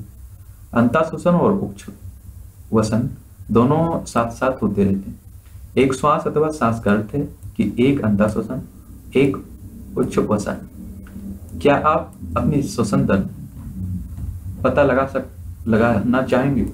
क्या आप यह जानना है कि जानना चाहेंगे कि श्वसन दर स्थिर होती है, अथवा यह शरीर की आवश्यकताओं के अनुसार परिवर्तित होती रहती आइए हम इसका पता लगाने का प्रयास करते हैं, इस क्रियाकलाप क्रियाकलाप 10.2 सामान्यतः हमें, हम यह आवाज़ ही नहीं होता है कि हम श्वसन कर रहे हैं। हालाँकि यदि आप कोशिश करें तो आप श्वसन दर की गणना कर सकते हैं। इसे ज्ञात करने के लिए आप विश्राम की स्थिति में बैठकर सांस लीजिए और छोड़िए। पता लगाइए कि आप एक मिनट में कितनी बार सांस अंदर लेते और कितनी बार बाहर निकालते क्या आप उतनी ही बार अंता श्वसन करते हैं जितनी बार उच्छ्वसन करते हैं? अब तेज चलने और दौड़ने के बाद अपनी श्वसन दर की गणना कीजिए। अपनी श्वसन दर को दौड़ना बंद करने के तुरंत बाद और फिर पूर्ण विश्राम कर लेने के बाद ज्ञात कीजिए। अपने निष्कर्षी निष्कर्षों को साइड टू में लिख सकते हैं इसमें टेन पॉइंट वन में विभिन्न स्थितियों में अपनी दर की तुलना अपने सहपाठियों की दर से करना है। उपयुक्त क्रियाकलाप से आप, आपने यह अवश्य अनुभव किया होगा कि जब किसी व्यक्ति को अतिरिक्त ऊर्जा की आवश्यकता होती है तो वह तेज़ी से श्वसन सांस लेने लगता है। इसके परिणाम स्वरूप हमारी कोशिकाएँ को अधिक ऑक्सीजन की आपूर्ति होती है। यह भोजन के विखंडन की दर को बढ़ा देती है, जिससे अधिक ऊर्जा निर्मुक्त होती है। क्या इससे यह स्पष्ट हो जाता है कि शारीरिक क्रिया क्रियाकलाप के बाद हमें भूख क्यों लगती है? कोई व्यक्ति, वयस्क व्यक्ति, विश्राम की अवस्था में एक मिनट में औसतन पंद्रह से अठारह बार सांस लेना लेता है और बाहर निकलता है। अधिक व्यायाम करने पर श्वसन में 25 बार प्रति मिनट तक बढ़ सकती है। जब हम व्यायाम करते हैं तो हम न केवल तेज़ी से सांस लेते हैं, बल्कि हम गहरी सांस भी लेते हैं और इस प्रकार अधिक ऑक्सीजन ग्रहण करते हैं। आपको इस क्रियाकलाप इस तरह की जो भी प्रयोग हुआ करेंगे इन्हें पढ़ के निकल जाया करिएगा। करने नहीं बैठ जाना है कि आप सोचो कि आप इसे प्रयोगशाला में करके बैठ बैठ जाए। आपको बस एक बार पढ़ के निकल जाना है। जब आप उनींदी होते हैं तो क्या आपकी श्वसन दर कम होती है? यानी कि नींद में होते हैं? तो क्या आपकी श्वसन दर कम होती है? क्या आपके शरीर को पर्याप्त ऑक्सीजन मिल पाती है? किसी व्यक्ति द्वारा सामान्य दिन में किए जाने वाले विभिन्न क्रियाकलापों पर विचार कीजिए। क्या आप बता सकते हैं कि किस क्रियाकलाप में श्वसन दर सबसे कम, किसमें सबसे अधिक होती है? अपने अनुभव के आधार पर चित्र टेन पॉइंट थ्री दस दशमलव तीन में दिए गए क्रियाकलापों को श्वसन दर की बढ़ती दर के क्रम में देखना है। नॉर्मल सी बात है, जब आप लोग ज़्यादा मेहनत करोगे, सांस, श्वास की दर बढ़ जाएगी और आप, अगर आप लोग आराम करोगे, श्वसन की दर कम हो जाएगी। हम श्वास कैसे लेते हैं आके बात करते हैं। हम श्वास लेते कैसे हैं सांस? अब हम सांस की क्रियाविधि जाने सामान्यतः हम अपने नथनों, यानी कि नथा द्वार से वायु अंदर लेते हैं। जब हम वायु को अंता श्वसन द्वारा अंदर लेते हैं तो यह हमारे नथनों से नासा गुहा में चली जाती है। नासा गुहा से वायु श्वास नली से होकर हमारे फेफड़ों में जाती फुफ्फुस में फेफड़े वक्षुआ में स्थित होते हैं। वक्षुआ पार्श्व में पसलियों से घिरी रहती है। एक बड़ी पेशीय परत जो डायफ्राम मध्य पट कहलाती। वक्षुआ को आधार प्रदान करती।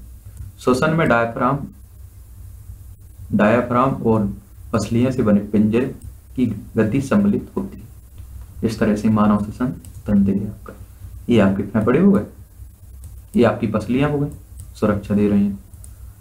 और ये आपका डायफ्राम हो गया। देखिए, ये आपके फेफड़ा है? ये आपकी श्वास नली हो गई? ग्रहणी और एक मुगवा हो गया प्रयापर नशा गुआ हो गया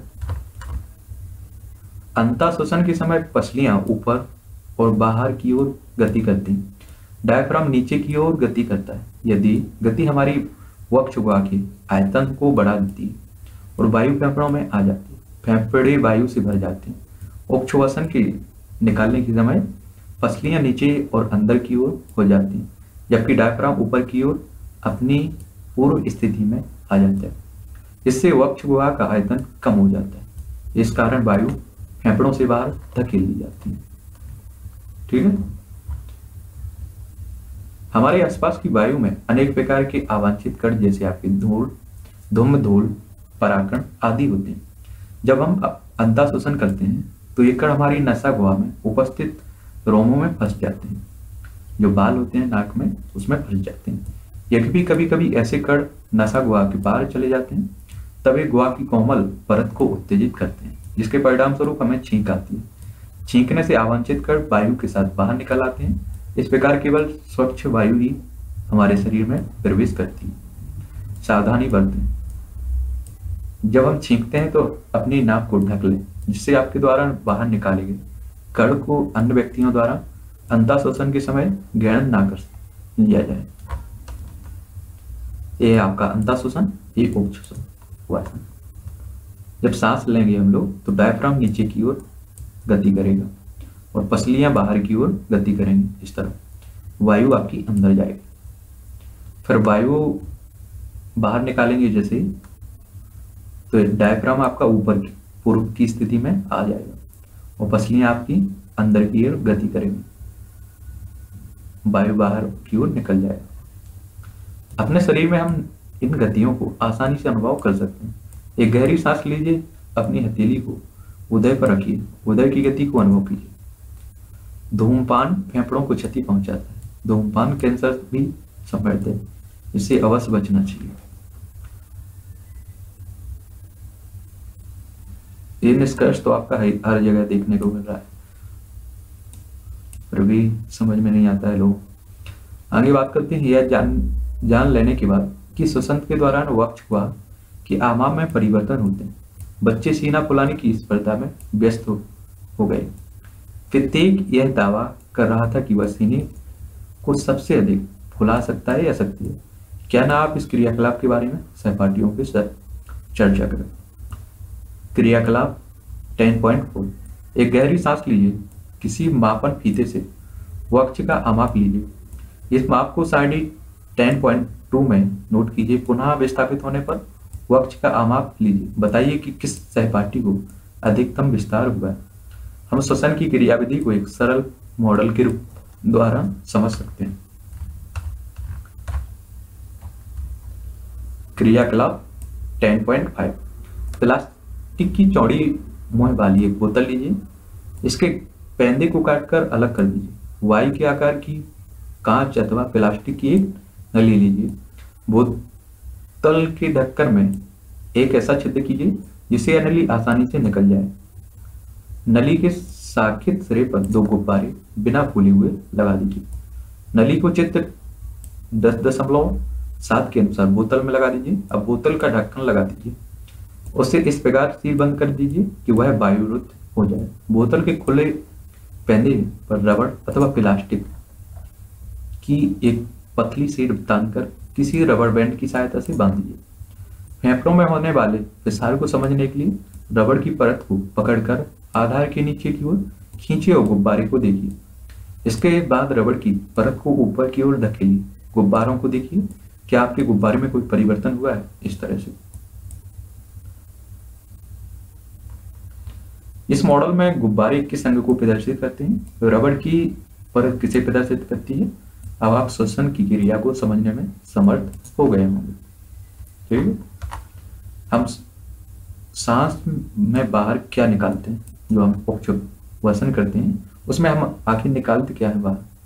कोई अपनी पतली स्वच्छ परखनली लीजिए। जिसमें कॉक लगा हो, यदि परखनली उपलब्ध ना हो तो कांच या प्लास्टिक की बोतल ले सकते हैं। फरक नली में थोड़ा सा ताज़ा बना चूना का पानी लीजिए। प्लास्टिक की एक स्ट्रॉ यानी कि नली को परख नली में इस प्रकार डालिए कि वह चूने के पानी में डूब जाए। अब स्ट्रॉ के द्वारा धीरे धीरे चूने के पानी में फूंक मारिए। क्या चूने के पानी में कोई परिवर्तन होता दिखाई देता है? क्या आप इसे अध्याय छह में किए गए अध्ययन के आधार पर समझ जा सकते हैं? आप जानते हैं कि हम जिस वायु का अंता शोषण अथवा उच्च वसन करते हैं, वह गैसों का मिश्रण होती है। इस तरह से पैपड़ी अंता श्वसित वायु, इक्कीस परसेंट आपकी ऑक्सीजन ज़ीरो दशमलव ज़ीरो चार प्रतिशत कार्बन डाइऑक्साइड और उपच्छुआसित में, सांस निकालने में सोलह दशमलव चार प्रतिशत आपकी ऑक्सीजन चार दशमलव चार प्रतिशत कार्बन डाइऑक्साइड निकलती है। ठीक हम क्या उच्छ्वासित करते हैं? क्या हम केवल कार्बन डाइऑक्साइड को निकालते हैं अथवा उसके साथ गैसों के मिश्रण को भी सांस बाहर निकालने के समय उच्छ्वसित करते हैं? आपने यह भी देखा होगा कि अगर आप दर्पण के आगे उपश्वास छोड़ते हैं तो उस, उसकी सतह धुंधली दिखाई देती है।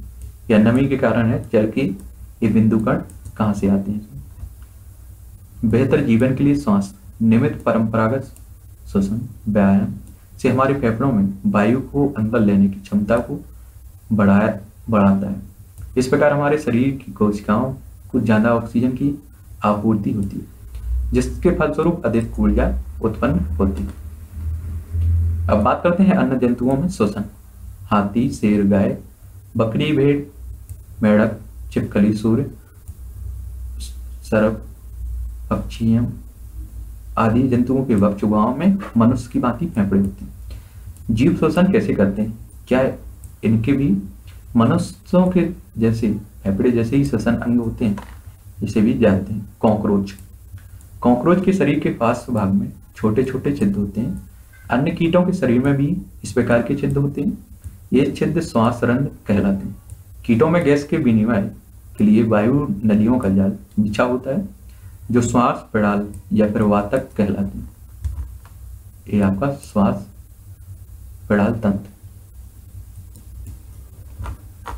समृद्ध वायु श्वास तरंगों से, श्वास नालों से में जाकर शरीर के उत्कों में उस विस्तृत होती है और शरीर की प्रत्येक कोशिका में पहुँचती है। इसी प्रकार कोशिकाओं से कार्बन डाइऑक्साइड श्वास नलों में आती है और श्वास रंध्रों से बाहर निकल जाती है। श्वास नाल अथवा श्वास प्रणाल केवल कीटों में ही पाए जाते हैं। जंतुओं के अन्य समूह में ऐसी व्यवस्था नहीं होती। कैचुआ। कक्षा छठवीं के अध्याय नौ में आपने पढ़ा था कि कैचुआ अपनी त्वचा से श्वसन करते हैं। कैचुओं की त्वचा स्पर्श करने पर आद और सलिस्मीय प्रतीत होती है। इसमें से गैसों का आवागमन आसानी से हो जाता है। यह भी मैडक में मनुष्य की भांति फेफड़े होते हैं, वे अपनी त्वचा से भी श्वसन करते हैं जो आद्य और सलिस्मीय होता है।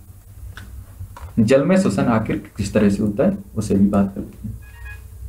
क्या क्या हम जल में श्वसन कर सकते हैं, तथा जीवित रह सकते हैं? वे जल में श्वसन कैसे करते हैं, जो जल में रहते हैं? आपने कक्षा छठवीं में पढ़ा था कि मछलियों में किलोम या गिल पाए जाते हैं। किलोम जल में घुली ऑक्सीजन का उपयोग करने में उनकी सहायता करते हैं। किलोम त्वचा से बाहर की ओर निकले होते हैं। ये यहाँ पे मछली में श्वसन क्या आप सोच सोच रहे होंगे कि क्लोम किस प्रकार श्वास में सहायता करती है? क्लोम में रक्त वाहिनियों की संख्या अधिक होती है, जो गैस विनिमय में विनिमय में सहायता करती है। तो बात करते हैं, क्या पादप भी श्वसन करते हैं?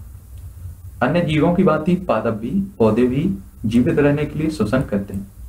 जैसा कि आप कक्षा छठवीं में पढ़ चुके हैं। ये वायु से ऑक्सीजन अंदर ले लेते हैं और कार्बन डाइऑक्साइड को निर्मुक्त करते हैं। इनकी कोशिकाओं में भी ऑक्सीजन का उपयोग अन्य जीवों की भांति ग्लूकोज के कार्बन डाइऑक्साइड और जल में विखंडन करने के लिए किया जाता है। पादप में प्रत्येक अंग वायु से स्वतंत्र रूप से ऑक्सीजन ग्रहण करके कार्बन डाइऑक्साइड को निर्मुक्त करता है। अध्याय एक में आपने पढ़ा था कि पादप की पत्तियों में ऑक्सीजन और कार्बन डाइऑक्साइड के विनिमय के लिए सूक्ष्म छिद्र होते हैं, जो क्या कहता है? रंध्र कहलाते हैं। पादप की अन्य कोशिकाओं की भांति, मूल कोशिकाओं को भी ऊर्जा उत्पन्न करने के लिए ऑक्सीजन की आवश्यकता होती है। मूल मृदाकणों के बीच के खाली स्थान वायु अवकाशों में उपस्थित वायु से ऑक्सीजन ले लेते हैं। क्या आप अनुमान लगा सकते हैं कि यदि किसी गमले के पौधे में बहुत अधिक पानी डाल दिया जाए तो क्या होगा? इस अध्याय में आपने पढ़ा कि श्वसन एक महत्वपूर्ण जैविक जैविक विक्रम है। सभी जीवों को अपनी उत्तरजीविता, यानी कि जीवित रहने के लिए आवश्यक ऊर्जा प्राप्त करने के लिए, श्वसन करने की आवश्यकता होती है। मूल मृदा से वायु अवशोषित करते हैं। वायु अवकाश मूलों मृदा के कण।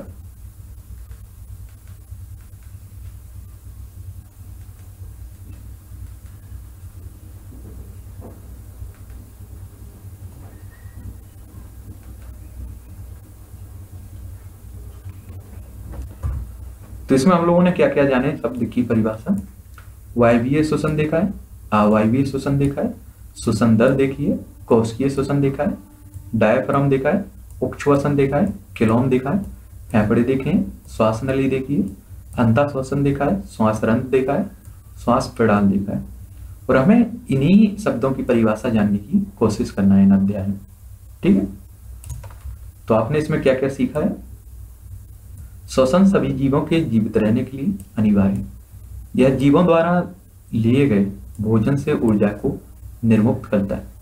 हम अंता श्वसन द्वारा जो वायवीय शरीर के अंदर लेते हैं, उसमें उपस्थित ऑक्सीजन का उपयोग ग्लूकोज को कार्बन डाइऑक्साइड और जल में विखंडन के लिए किया जाता है। इस प्रक्रिया में ऊर्जा निर्मुक्त होती है। ग्लूकोज का विखंडन जीव की कोशिकाओं में होता है, जिसे कोशिकीय श्वसन कहते हैं। यदि भोजन ग्लूकोज ऑक्सीजन के उपयोग द्वारा विखंडित होता है तो यह वायवीय श्वसन कहलाता है। यदि विखंडन आपका ऑक्सीजन की अनुपस्थिति में होता है तो उसे हम लोग श्वसन अवायवीय श्वसन कहते हैं। अत्यधिक व्यायाम करते समय जब हमारी पेशी कोशिकाओं में ऑक्सीजन की आपूर्ति अपर्याप्त होती है, तब भोजन का विखंडन अवायवीय श्वसन द्वारा होता है। सांस लेना श्वसन प्रक्रम का एक चरण जिसमें जीव ऑक्सीजन समृद्ध वायु को शरीर के अंदर लेता है और कार्बन डाइऑक्साइड समृद्ध वायु को बाहर निकालता है। गैसों की विनिमय के लिए विभिन्न जीवों में श्वसन अंग भिन्न होते हैं। अंता श्वसन या निश्वसन के समय हमारे फेफड़े विस्तारित होते हैं उच्छ्वसन के साथ ही अपनी मूल अवस्था में आ जाते हैं। शारीरिक सक्रियता के बढ़ने पर श्वसन दर बढ़ जाती है। गाय, भैंस, कुत्ते, बिल्ली जैसे जीवों में श्वसन अंग और श्वसन पे क्रम मानव के समान ही होते कैंचुओं में गैसों का विनिमय उनकी आद्य त्वचा के माध्यम से होता है, मछलियों में किलोम से और कीटों में श्वास प्रणाल से श्वसन क्रिया होती है। पादपों में मूल मृदा में उपस्थित वायु को ग्रहण करती है। पत्तियों में नन्हे छिद्र होते हैं, जिन्हें हम लोग रंध कहते हैं।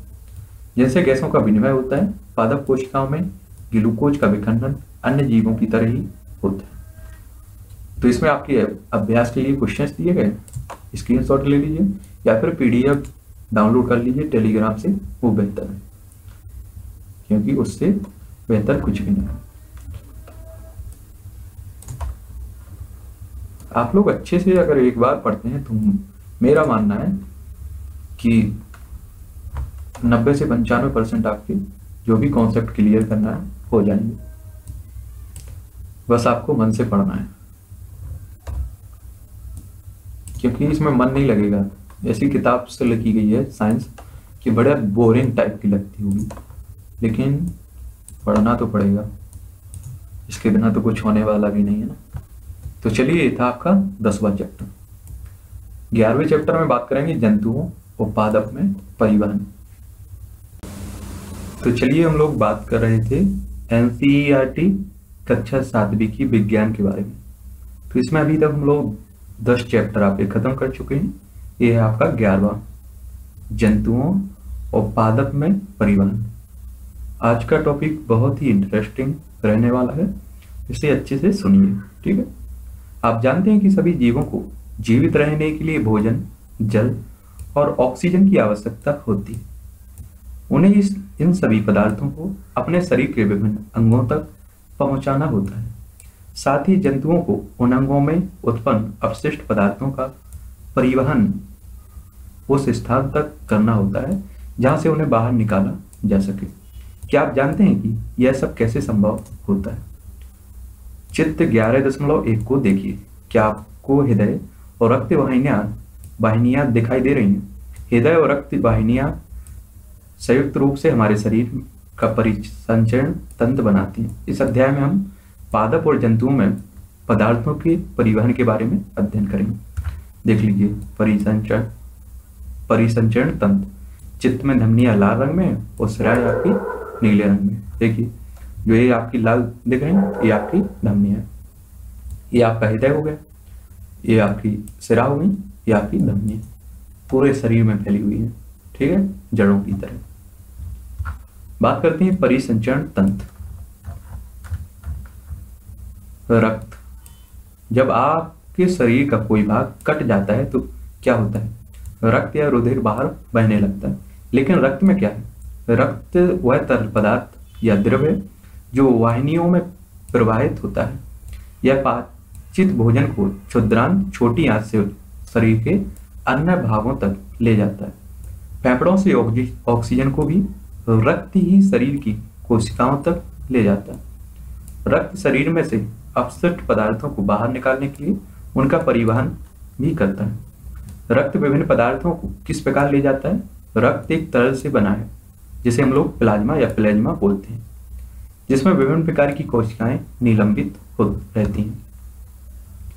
रक्त में एक प्रकार की कोशिकाएँ होती हैं, लाल रक्त कोशिकाएँ आरबीसी होती हैं, जिनमें एक लाल वर्डक होता है, जिसे हम लोग हीमोग्लोबिन कहते हैं। रक्त कोशिकाओं में एक लाल वर्डक होता है। लाल रंग आपका हीमोग्लोबिन के कारण होता है। हीमोग्लोबिन ऑक्सीजन को अपने साथ संयुक्त करके मिलाकर शरीर के सभी अंगों में और अंततः सभी कोशिकाओं तक परिवहन करता है। हीमोग्लोबिन की कमी होने पर शरीर की सभी कोशिकाओं को कुशलतापूर्वक ऑक्सीजन प्रदान करना कठिन हो जाता है। हीमोग्लोबिन की उपस्थिति के कारण ही रक्त का रंग लाल होता है। रक्त में अन्य प्रकार की कोशिकाएँ भी होती हैं, जिन्हें हम लोग श्वेत रक्त कोशिकाएँ या डब्ल्यूबीसी कहते हैं। ये कोशिकाएँ उन रोगाणुओं को नष्ट करती हैं, जो हमारे शरीर में प्रवेश करती हैं। डब्ल्यूबीसी का क्या काम रहता है? रोगाणुओं को नष्ट करती हैं, जो हमारे लिए हानिकारक होती हैं। बूझो खेलते समय गिर गया, उसके घुटनों में चोट लग गई, कटे हुए स्थान से रक्त बहने लगा। कुछ समय बाद उसने देखा कि रक्त का बहना अपने आप रुक गया। कटने के स्थान पर गहरे लाल रंग का एक धक्का जम गया। यह देखकर बूझो कुछ परेशान हुए। रक्त का रक्त का धक्का बन जाना। उसमें एक अन्य प्रकार की कोशिकाओं की उपस्थिति के कारण होता है, जिन्हें हम लोग प्लेटलेट्स कहते हैं या पट्टिका बात करते हैं रक्त वाहिनियाँ। शरीर में विभिन्न प्रकार की रक्त वाहिनियाँ होती हैं, जो रक्त को शरीर में एक स्थान से दूसरे स्थान तक ले जाती हैं। आप जानते हैं कि अंता श्वसन के समय ऑक्सीजन की ताज़ा आपूर्ति फेफड़ों यानी कि फुफ्फुसों को भर देती रक्त इनको इस ऑक्सीजन का परिवहन शरीर के अन्य भागों तक करता है। साथ ही रक्त कोशिकाओं से कार्बन डाइऑक्साइड सहित अन्य अवशिष्ट पदार्थों को ले जाता है। इस रक्त को वापस हृदय में लाया जाता है, जहाँ से यह फेफड़ों में जाता है। फेफड़ों से कार्बन डाइऑक्साइड बाहर निकाल दी जाती है जैसे कि आपने अध्याय दस में पढ़ा था।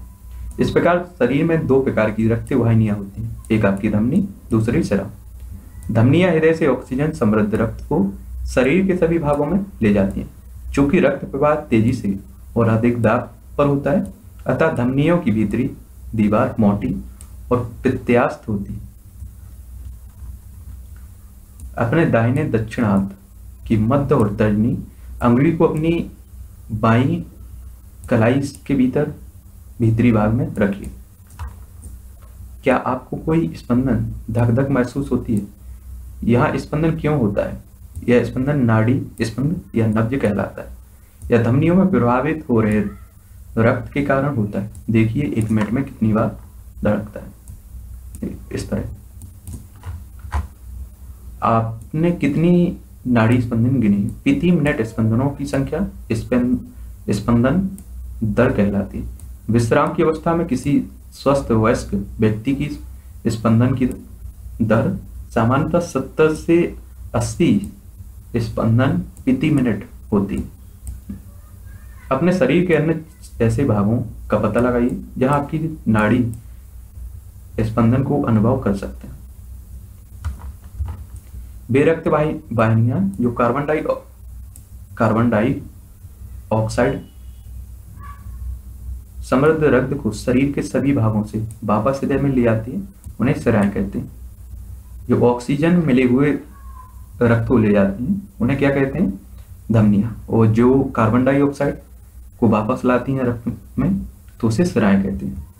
सराय की भीतियाँ अपेक्षाकृत आपकी पतली होती हैं। सिराओं में ऐसे वाल्व होते हैं जो रक्त को केवल हृदय की ओर ही प्रभावित होने देते हैं। परिचंचन परिसंचरण तंत्र का व्यवस्था। ये कोशिकाएँ हो गई। ये आपका हृदय फेफड़े हो गए। फुफ्फुस सिरा सिरा हो ये आपकी धमनी। क्या आपको धमनियाँ अन्य छोटी छोटी वाहिनियों में विभाजित होती दिखाई देती हैं? ऊतक में पहुंचकर वे पुनः अत्यधिक पतली नलिकाओं में विभाजित हो जाती हैं, जिन्हें केशिकाएँ कहते हैं। केशिकाएँ पुनः मिलकर सिराओं को बनाती हैं, जो रक्त को हृदय में ले जाती है। रक्तदान। रक्त की अनुपलब्धता के कारण सैकड़ों लोग अपनी जान गवा देते हैं। स्वेच्छा से किया गया रक्तदान हानि रहित बदर्द रहित होता है, जो कई अनमोल जाने बचा सकता है। रक्तदान अस्पतालों में सरकार द्वारा अधिकृत जगहों पर ही किया जाना चाहिए। दान किया गया रक्त ब्लड बैंक में विशेष देखभाल से रखा जाता है। बात करते हैं हृदय। हृदय वह अंग है जो रक्त द्वारा पदार्थों के परिवहन के लिए पंप के रूप में कार्य करता है यह निरंतर धड़कता रहता है आपका हृदय एक ऐसे पंप की कल्पना कीजिए जो वर्षों तक बिना रुके कार्य करता रहता है यह बिल्कुल असंभव प्रतीत होता है। फिर भी हमारा हृदय जीवन पर्यंत बिना रुके रक्त को पंप करने का कार्य करता रहता है। आइए अब हम हृदय के बारे में कुछ जानकारी प्राप्त करते हैं। हृदय वक्ष में स्थित होता है, जिसका निचला सिरा थोड़ी बाई ओर झुका रहता है याद रखिए, जिसका निचला सिरा थोड़ी बाई ओर झुका रहता है।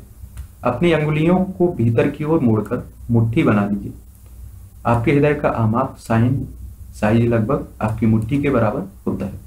जरा सोचिए कि यदि हृदय में कार्बन डाइऑक्साइड और ऑक्सीजन से संबद्ध रक्त परस्पर मिल जाए तो क्या होगा? ऐसी स्थिति में उत्पन्न ना होने देने के लिए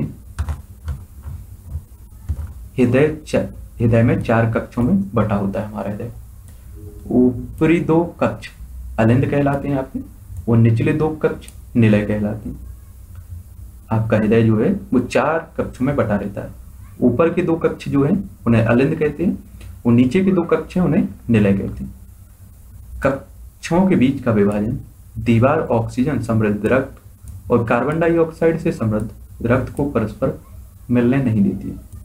परिसंचरण तंत्र की कार्य विधि को समझने के लिए हृदय में दाई ओर से आरंभ करते हुए तीरों द्वारा इंगित दिशा का अनुसरण कीजिए। इस चित्र में तीरों द्वारा हृदय से फेफड़ों और वापस हृदय में रक्त की प्रवाह की दिशा दिखाई गई।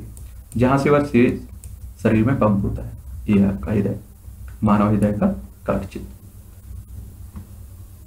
यह आपका दाया अलिंद हो गया। यह आपका दाया निलय हो गया। कक्षा के बीच में विभाजन देखा है आपकी ये आपका बाना, बाया निलय हो। गया बाया अलिंद हो गया। ये आपकी फुफ्फुस धमनी। ये आपकी महासिरा होगी रे आपकी महाधमनी ठीक है? हृदय स्पंदन। हृदय की कक्ष की भीतियाँ पेशियों की बनी होती हैं। ये पेशियाँ लयबद्ध रूप से संकुचन और विश्रांति करती हैं। यह लयबद्ध संकुचन और उसके बाद होने वाली लयबद्ध विश्रांति दोनों मिलकर हृदय स्पंद यानी कि हार्ट बीट कहलाते हैं। याद रखिए कि हृदय स्पंदन जीवन के हर क्षण होता रहता है। यदि आप अपने वक्ष की बाई तरफ़ हाथ रखें तो अपने हृदय स्पंदन, यानी कि धड़कन को महसूस कर सकते हैं। चिकित्सक आपके हृदय स्पंदन को मापने के लिए स्टेट स्टेथोस्कोप नामक यंत्र का उपयोग करते हैं। यह आपका स्टेथोस्कोप। चिकित्सक चिकित्सक स्ट्रोथोस्कोप का उपयोग हृदय स्पंदन की ध्वनि को आवर्धित करने की युक्ति के रूप में करते हैं। स्टेथोस्कोप के एक सिरे पर एक चेस्ट पीस लगा रहता है, जिससे एक संवेदनशील डायाफ्राम होता है। दूसरे सिरे पर दो ईयर पीस स्रोतिका लगे होते हैं, जो एक नली द्वारा चेस्ट पीस से जुड़े रहते हैं। चिकित्सक स्ट्रोथोस्कोप का चेस्ट पीस आपके हृदय के स्थान पर रखकर श्रोताओं से अपने स्पंदनों को ध्वनि का अध्ययन करते हैं, जिससे उन्हें आपके हृदय की स्थिति का आकलन करने में सहायता मिलती है इस तरह से। छह से सात सेंटीमीटर व्यास की कोई कीप लीजिए। कीप के कीप के स्तंभ पर रबड़ की एक नली लगभग 50 सेंटीमीटर से लंबी को कसकर लगाइए। कीप के मुख पर रबड़ की एक झिल्ली अथवा गुब्बारी को बनाकर लगाइए। रबड़ बैंड की सहायता से कस दीजिए। अब रबड़ बैंड की नली के मुक्त सिरे को अपने एक कान के पास रखिए कीप के मुँह को अपने वक्ष पर हृदय निकट रखिए। अब सावधानी से ध्वनि सुनने का प्रयास कीजिए। क्या आपको नियमित स्पंदन यानी कि धड़कन ध्वनि सुनाई दे रही है? यह ध्वनि हृदय स्पंदनों की है। आपके हृदय एक मिनट में कितनी बार धड़क रहा है? चार से पाँच मिनट तक दौड़ने के बाद पुनः हृदय स्पंदन की दर ज्ञात कीजिए अपने प्रेक्षणों की तुलना कीजिए। अपनी तथा अपने मित्रों की विश्राम व्यवस्था में चार से पाँच मिनट के बाद हृदय स्पंदन तथा नाड़ी पल्स की दर सारणी में रिकॉर्ड कर सकते हैं।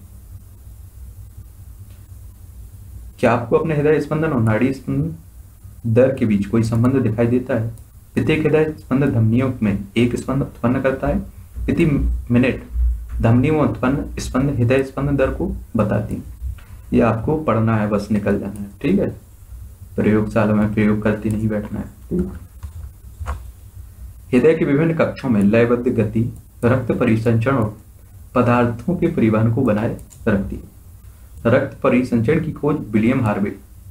रक्त परिसंचरण की खोज विलियम हार्वे नामक चिकित्सक ने 1628 में की थी, जो अंग्रेज़ थे।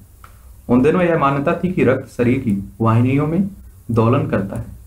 इस मत के लिए हार्वे का उपहास किया गया। उन्हें परिसंचारी सर्कुलेटर कहा गया।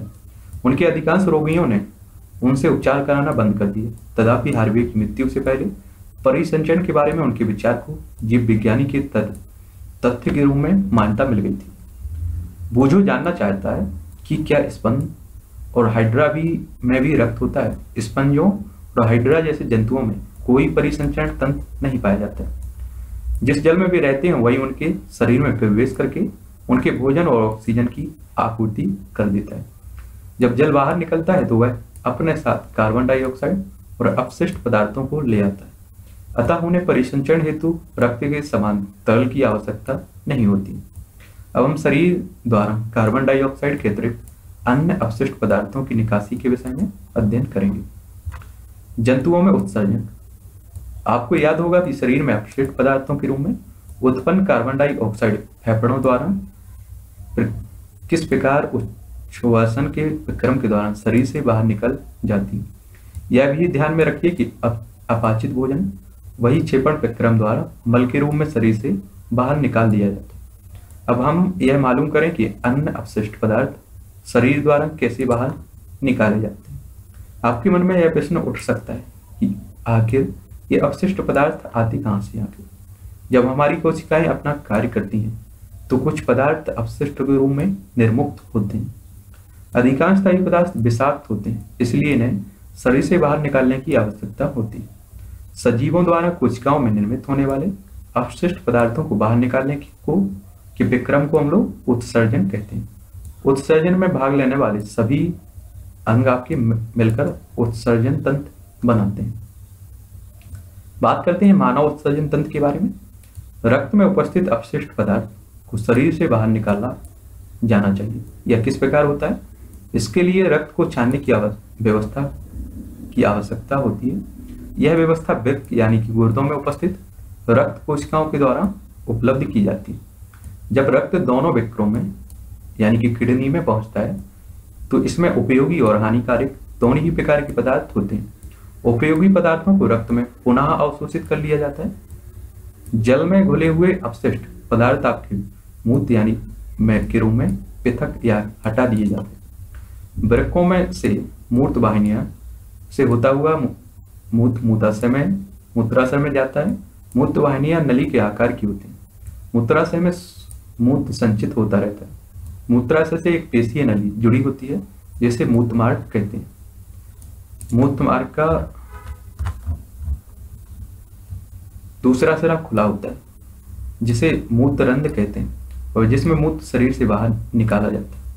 ब्रक मूत्रवाहिनियाँ मूत्राशर और मूत्र मार्ग सम्मिलित रूप से उत्सर्जन तंत्र बनाते हैं। कोई व्यक्ति, वयस्क व्यक्ति सामान्यतः 24 घंटे में एक से एक दशमलव आठ लीटर मूत्र करता है। मूत्र में पंचानवे प्रतिशत आपका जल 2.5 यानी कि दो दशमलव पाँच प्रतिशत आपका यूरिया, दो दशमलव पाँच अन्य अवशिष्ट पदार्थ उत्पाद इसमें शामिल होते हैं।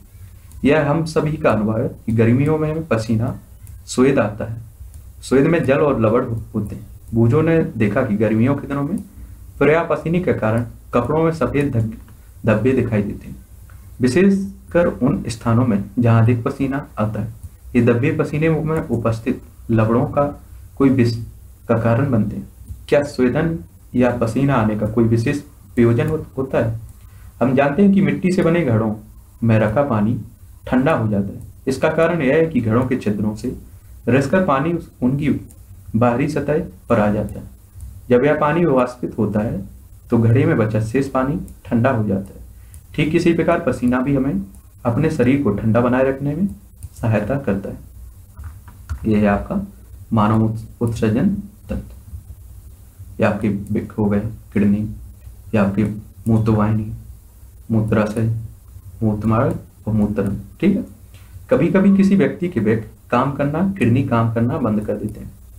ऐसे, ऐसा किसी संक्रमण अथवा चोट के कारण हो सकता है। व्यक्ति के अक्रिय हो जाने की स्थिति में रक्त में अपशिष्ट पदार्थों की मात्रा बढ़ जाती है। ऐसे व्यक्ति की अधिक दिनों तक जीवित रहने की संभावना कम हो जाती। तथापि यदि कृत्रिम वृक्क के द्वारा रक्त को नियमित रूप से छानकर उससे अपशिष्ट पदार्थों को हटा दिया जाए तो उसके जीवन काल में वृद्धि संभव हो सकती है।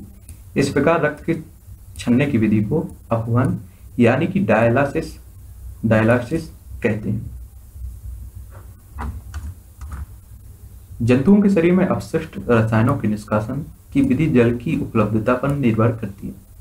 मछली जैसे जलीय जंतु कोशिका के अपशिष्ट उत्पादों को अमोनिया के रूप में उत्सर्जित करते हैं, जो सीधे जल में घुल जाती पक्षी, छिपकली, सर्प जैसे कुछ जंतु अपने शरीर से अपशिष्ट पदार्थों का उत्सर्जन, अर्धघन यानी कि सेमी सॉलिड पदार्थ के रूप में करते हैं, जो मुख्यतः श्वेत, सफ़ेद रंग का यौगिक, यूरिक अम्ल होता है। मानव द्वारा उत्सर्जित अपशिष्ट पदार्थों में यूरिया प्रमुख है। अब बात करते हैं हम लोग पादपों में। पादपों में पदार्थों का परिवहन।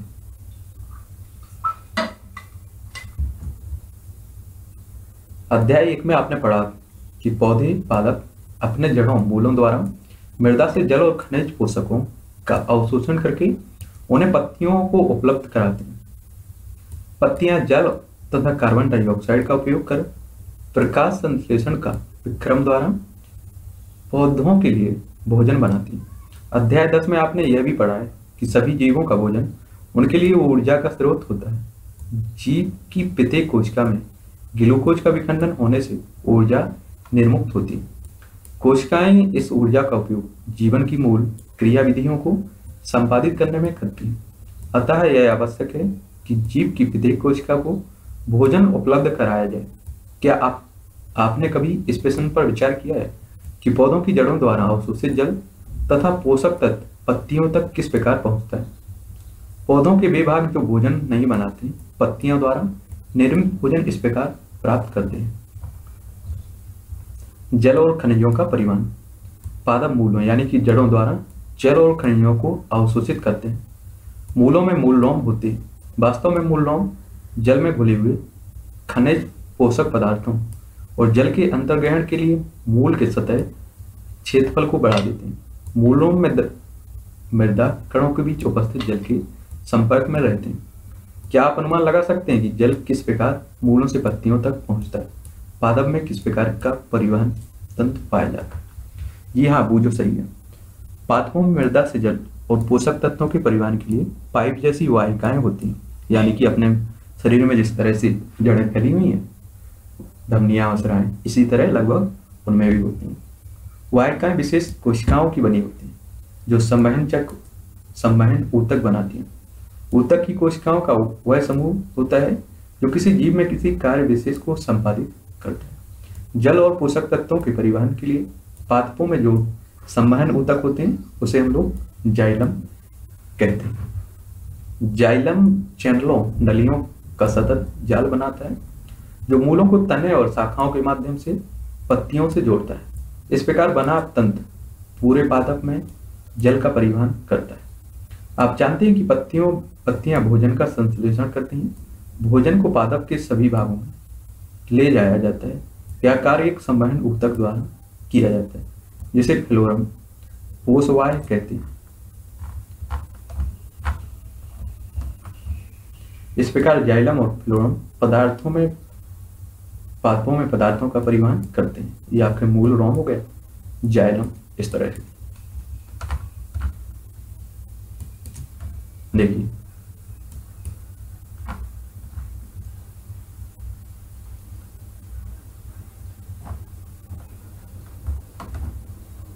हम इस क्रियाकलाप के लिए कांच का गिलास या पानी, लाल सरा स्याही व एक कोमल सास की पौधे की टहनी उदाहरण के लिए वालसम एक ब्लेड की आवश्यकता हुई। गिलास को एक तिहाई पानी से भरें। उसमें कुछ बूंदे लाल स्याही की डालें। एक कोमल शासकीय पौधे की टहनी के आधार को एक ब्लेड की सहायता से काटकर गिलास में, जैसा कि चित्र में दिखाया गया, इस तरह कर सकते हैं। क्या शासकीय पौधे की टहनी पर कोई भाग लाल रंग का दिखाई देता है? टहनी का अनुपस्थ काटिए।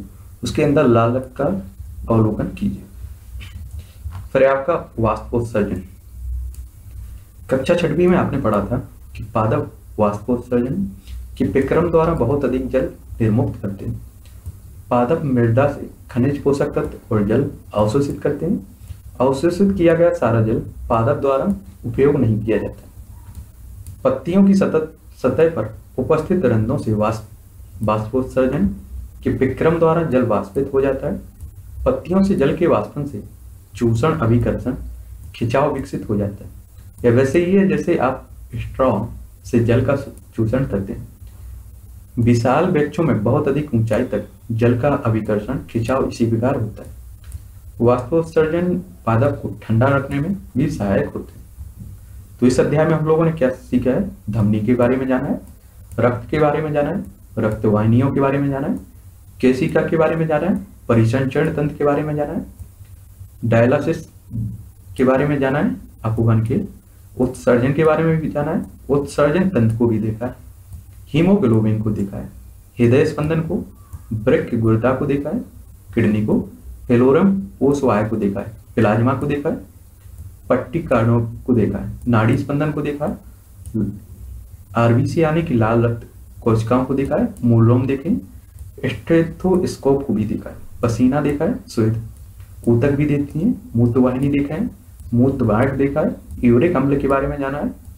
मूत्राशय देखा है, सिरा देखा है श्वेत रक्त कोशिकाएँ देखी जाइलम देखा। प्लेट प्लेटलेट्स भी देखी हैं, दारू। तो इन्हीं को हमें जानने के लिए बस हमारे लिए और कुछ नहीं है मात्र। इस बुक्स को पढ़ने का बस इतना ही है, इन शब्दों के बारे में हमें पहचान हो जाए कि आखिर ये शब्द होते क्या है। रक्त होता क्या है? ठीक है? अगर कहीं शब्द यूज़ करते हैं तो उसका अर्थ तो मालूम होना चाहिए। तो उन्हीं को समझाने के लिए ये पूरी कहानी पढ़नी पड़ती है। तो आपने इस अध्याय में क्या सीखा है? अधिकांश जंतुओं में शरीर में प्रभावित होने वाला रक्त शरीर की विभिन्न कोशिकाओं को भोजन और ऑक्सीजन का विवरण करता है। यह शरीर के विभिन्न भागों से उत्सर्जन के लिए अपशिष्ट पदार्थों को भी लाता है। परिसंचरण तंत्र में हृदय और रक्त वाहिनियाँ होती हैं। मानव शरीर में रक्त, धमनियाँ और सिराओं में प्रभावित होता है, तथा हृदय पंप की तरह कार्य करता है। रक्त में आपका प्लाज्मा, रक्त में कोशिकाएँ, आरबीसी, श्वेत रक्त कोशिकाएँ और पट्टिका प्लेटलेट्स होती हैं। रक्त का लाल रंग जो होता है, ये आपका हीमोग्लोबिन की उपस्थिति के कारण होता है। किसी वयस्क व्यक्ति का हृदय एक मिनट में लगभग सत्तर से अस्सी बार धड़कता है। इसे हृदय स्पंदन कहते हैं। धमनिया हृदय से शरीर के सभी अन्य भागों में रक्त को ले जाती हैं। सिराएँ शरीर के अन्य सभी भागों में रक्त को वापस हृदय में लाती हैं। शरीर में से अपशिष्ट उत्पादों को बाहर निकालने का विक्रम आपका उत्सर्जन कहलाता है। मानव उत्सर्जन तंत्र में दो व्यक्ति, यानी कि किडनी, गुर्दे, दो मूत्र वाहिनियाँ एक मूत्राशय और एक मूत्र मार्ग होता है। लवण और यूरिया जल के साथ श्वेत पसीने के रूप में शरीर के से बाहर निकाला जाता, दिया जाता है। मछली अपशिष्ट पदार्थ के रूप में अमोनिया उत्सर्जित करती जो सीधे जल में घुल जाती है।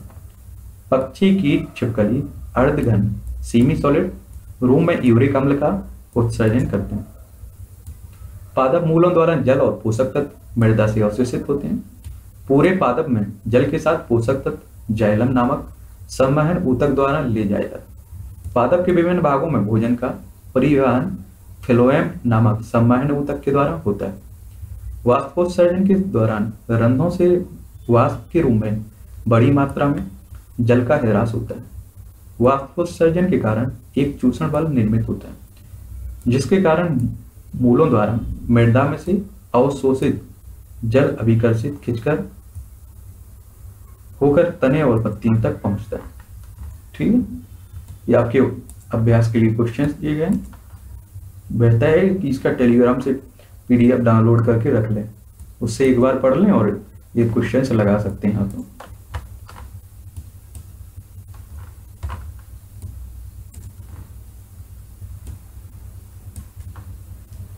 देखिए, आराम से पढ़िए बस।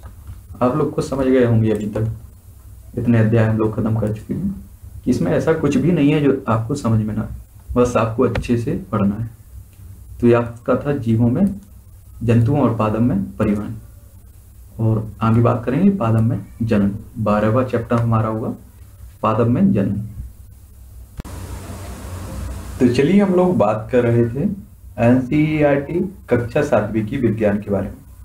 तो अभी तक इसके हम लोग ग्यारह चैप्टर खत्म कर चुके हैं। ये आपका बारहवा चैप्टर है। इसमें बात करेंगे पादप में जन्म याद रखिए, मैं बार बार यही कहता आया हूँ किसी बड़े धैर्य के साथ लास्ट तक सुनिए। लास्ट में जो भी निष्कर्ष होता है, इसका बता दिया जाता है। ठीक? तो अगर आप अच्छे से एक बार सुनते हैं तो आपको जो भी कॉन्सेप्ट क्लियर करना है, वो हो जाएगा सौ परसेंट। ठीक है? ज़्यादा हड़बड़ा के मत पढ़ना अपने वंश अथवा प्रजाति को बनाए रखने के लिए, पादप और जंतुओं के लिए जनन आवश्यक है। कक्षा छठवीं के अध्याय नौ में आपने पढ़ा था कि सभी जीवन अपने समान जीव, सब, सभी जीव अपने समान जीवों का प्रजनन करते हैं। माता पिता से संतति का जन्म जनन कहलाता है, लेकिन पादप कैसे जनन करते हैं? पादपों में जनन विभिन्न विधियों द्वारा होता है, जिनके बारे में हम इस अध्याय में जानने की कोशिश करेंगे। बात करते हैं जनन की विधियाँ। कक्षा छठवीं में आपने पुष्पीय पादप के विभिन्न भागों के बारे में पढ़ा था। पादप के विभिन्न भागों का नाम बताइए और पिते के विकारों के कार्य में बता सकते हैं। अधिकांश पादपों में मूल, तना और पत्तियाँ होती हैं। ये पादप के कायक कहलाते हैं। वृद्धि की निश्चित अवधि के बाद अधिकांश पादपों में पुष्प निकलते हैं। आपने बसंत ऋतु में आम के वृक्षों को पुष्पित होते देखा होगा। यही पुष्प बाद में आम के उन रसीले फलों को निर्मित करते हैं, जिनका आनंद हम गर्मियों में उठाते हैं। हम फलों को खाते हैं और सामान्य बीजों को फेंक देते हैं। बीज अंकुरित होकर नया पादप बनाते हैं। यदि ऐसा हो तो पादपों पादप में, पुष्पों की क्या भूमिका है? पुष्प पादप में जन्म का कार्य करते हैं, वास्तव में पुष्प पादप के जनन अंग है।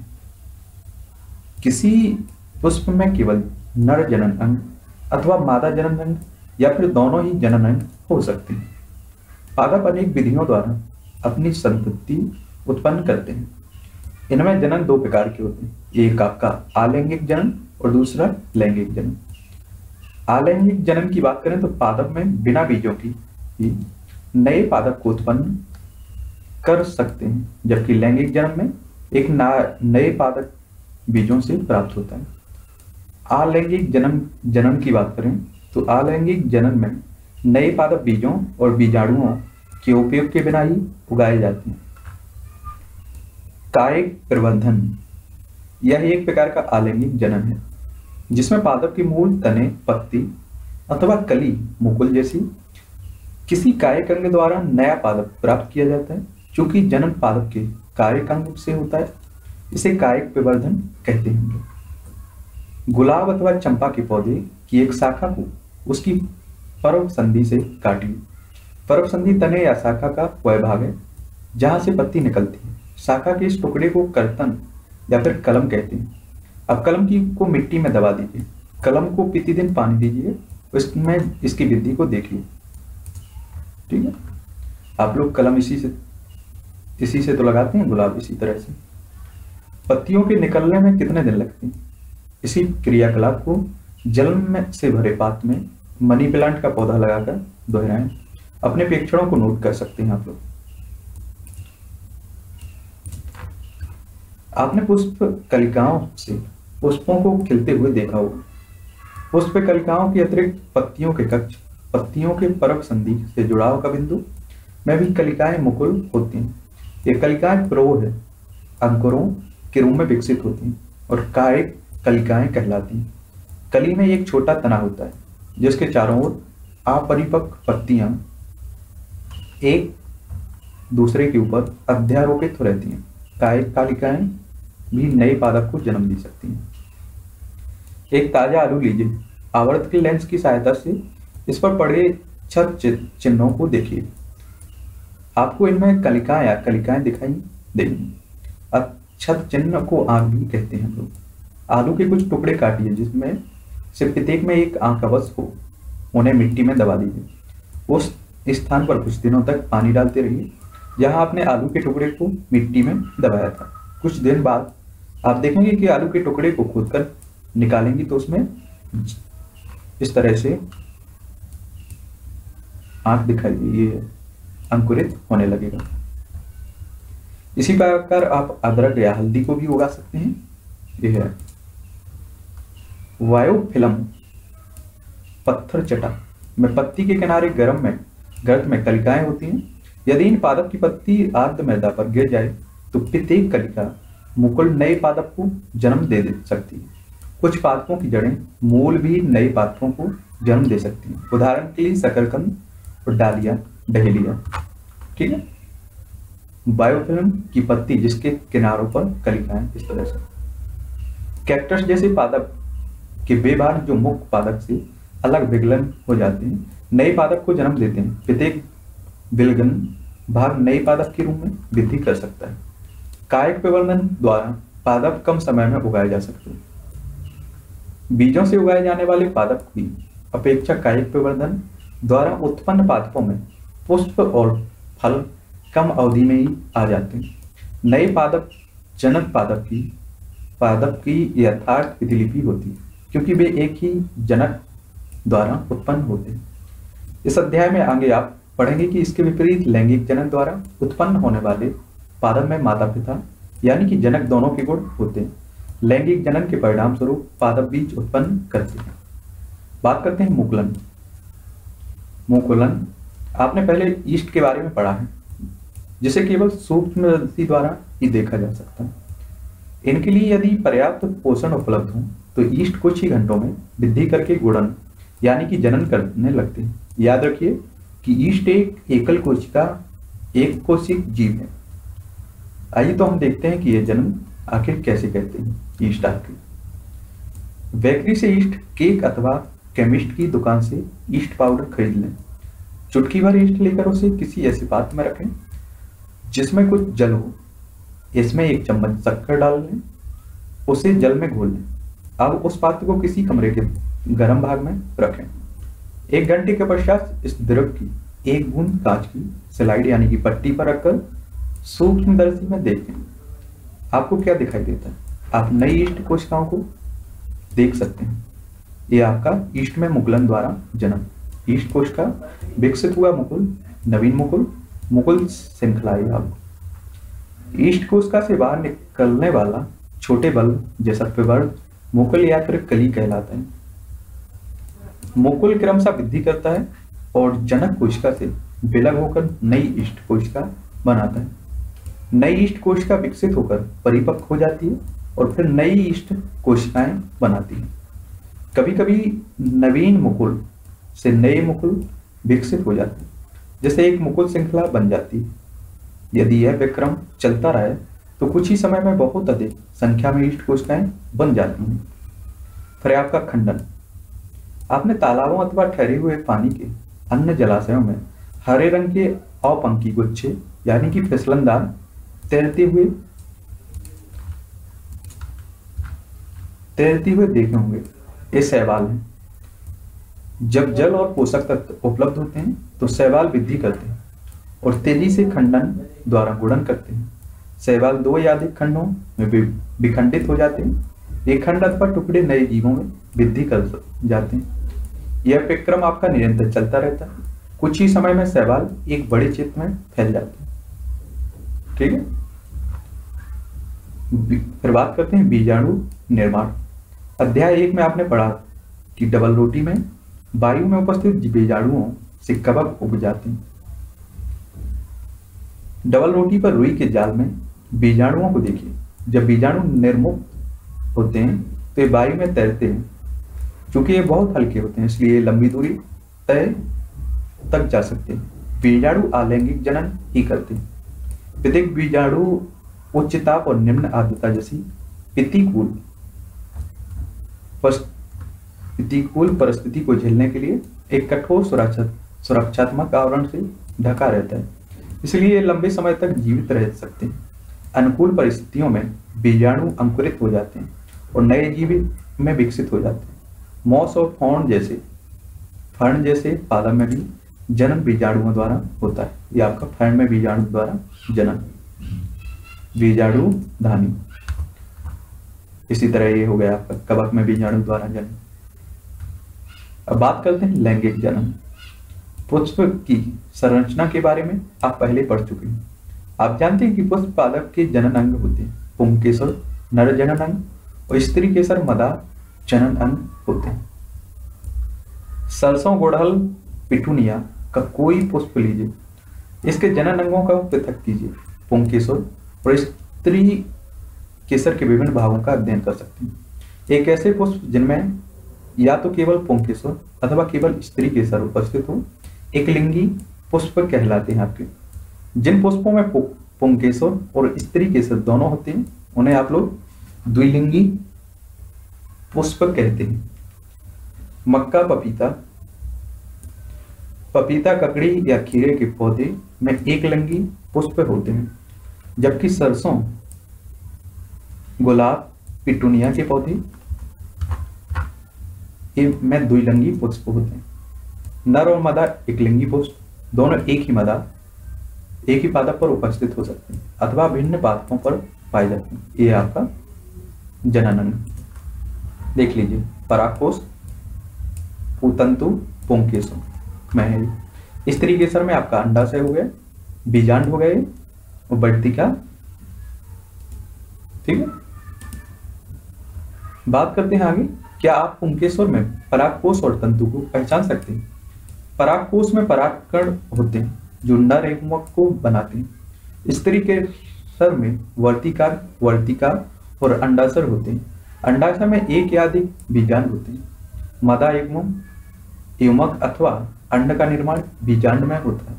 लैंगिक जनन में नर और मदा युग्मों को भी युग्मन से युग्मनज बनता है बात करते हैं परागकण पराग परागण सामान्यतः परागणों में दृढ़ सुरक्षात्मक आवरण होता है जो उन्हें सूखने से बचाता है क्योंकि परागकण हल्के होते हैं अतः वह वायु अथवा जल द्वारा बहाकर लिए जाए जा सकते हैं पुष्पों पर बैठने वाले कीटों के शरीर पर परागकण चिपक जाते हैं जब कीट उसे प्रकार के किसी अन्य पुष्प पर बैठते हैं तो पुष्प के बढ़ती कार्य पर कुछ परागकण गिर जाते हैं। परागकण का परागकोश से पुष्प के वर्तिकार पर स्थानांतरण आपका परागण कहलाता है। यदि पराग, परागकण उसी पुष्प के वर्तिकार पर गिरते हैं तो इसे स्वपरागण कहते हैं। ये आपका स्वपरागण हो गया। ये परपरागण, देखिए, परागकोश। आगे बात करते हैं, पुष्प के परागकण। उसी पादप के, किसी अन्य पुष्प के वर्तिकार पर गिरते हैं तो इसे पर परागण कह सकते हैं। अब बात करते हैं निषेचन। नर तथा मादा युग्मक की युग्मक युग्मन या सहयोग द्वारा बनी कोश का युग्म नज कहलाती युग्म नज बनाने के लिए नर और मदा युग्मक के युग्मन का विक्रम निषेचन कहलाता है। युग्म युग्म नज भूण में विकसित होता है। पराग नलिका ये युग्म नज निर्माण। फल और बीज का विकास। निषेचन के पश्चात अंडा से फल में विकसित हो जाता है, जबकि पुष्प के अन्य भाग गिरकर, मुरझाकर गिर जाते हैं। परिपक्व हो जाने में अंडा से फल के रूप में विकसित हो जाता है, वो बीजाणु से विकसित होते हैं। बीज में एक गुड़ होता है, जो सुरक्षात्मक बीजाणु के अंदर रहता है। कुछ फल गुदेदार और रसीले होते हैं। जैसे आपका आम हो गया सेब और संतरा। कुछ फल आपके कठोर होते हैं, जैसे आपका बादाम हो गया, अखरोट हो गया। ये आपका बादाम है, ये आपका सेब बीज पिकीडन प्रकृति में एक ही प्रकार के पादप विभिन्न स्थानों पर उगे हुए पाए जाते हैं। ऐसा बीजों के विभिन्न स्थानों पर विकीर्णन के कारण होता है। कभी कभी किसी वन अथवा खेत या फिर उद्यान में चहलकदमी करते समय आपको अपने वस्तुओं पर, फलों के बीज चिपके दिखाई देंगे। क्या आपने कभी यह जानने का प्रयास किया है कि ये बीज आपके वस्तुओं पर कैसे चिपक जाते हैं? कल्पना कीजिए कि किसी पादप की सभी बीज एक ही स्थान पर जाकर गिरकर उगाएँ तो आपके विचार में इस अब परिस्थिति में क्या होगा? पादप की नौ भेदों, नए उगे हुए पौधों के बीच धूप, जल, खनिजों और स्थान के लिए गंभीर स्पर्धा होगी संभवतः उनमें से कोई भी स्वस्थ पादप के रूप में विकसित नहीं होगा। पादपों को बीजों के विकिरण से लाभ होता है।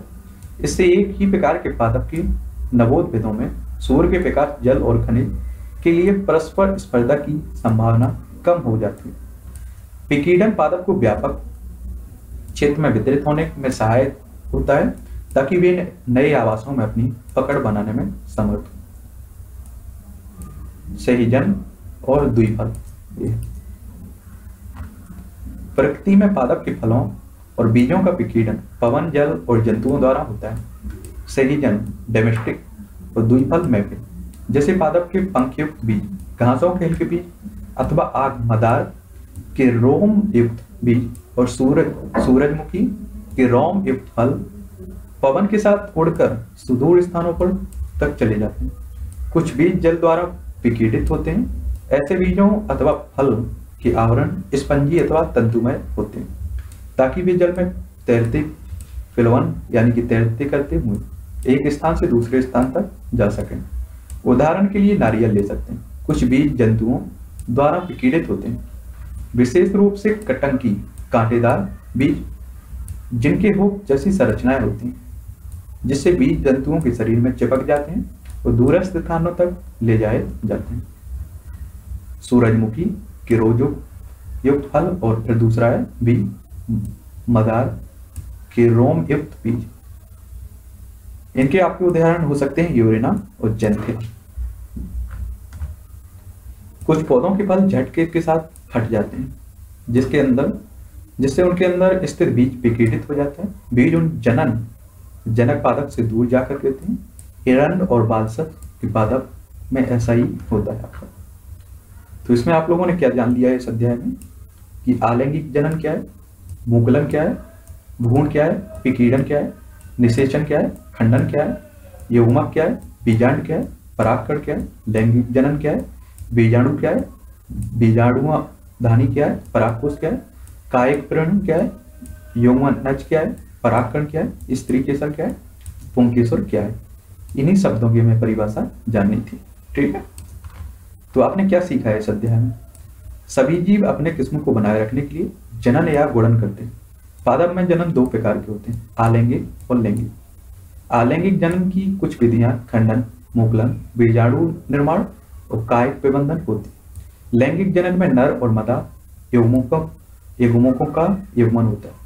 हम लोगों ने जीवों की नहीं देखी है, ठीक है? जैसे मनुष्य का हो गया, किसी जीव का हो गया तो अब आगे की कक्षाओं में हम लोग देखेंगे जनन। कायिक विवर्धन में पत्तियाँ तनाव मूल जैसे कायिक भागों में से नए पादप उगाए जाते पुष्प पादक का जनन अंग एक लिंगी पुष्प में या तो नर अथवा मादा जनन अंग होते हैं। द्विलिंगी पुष्प में नए और मादा जनन अंग दोनों ही होते हैं। नए युग्मक परागकणों के अंदर और मादा युग्मक बीजांड में पाए जाते हैं। किसी पुष्प के पराग पुष्प उसी पुष्प अथवा किसी अन्य पुष्प के वर्तिकाग्र तक परागकणों के स्थानांतरण का एक क्रम आपका परागकण परागण कहलाता है। परागण दो प्रकार का होता है। एक आपका स्वपरागण, दूसरा पर परागण स्वपरागण में परागकण, परागकोश से उसी पुष्प के वर्तिकाग्र पर स्थानांतरित होते हैं। और पर परागण में आपका परागकण एक पुष्प के परागकोश से उसी प्रकार के दूसरे पुष्प के वर्तिकाग्र पर स्थानांतरित होता है। परागण, पवन, जल और कीटों के द्वारा हो सकता है।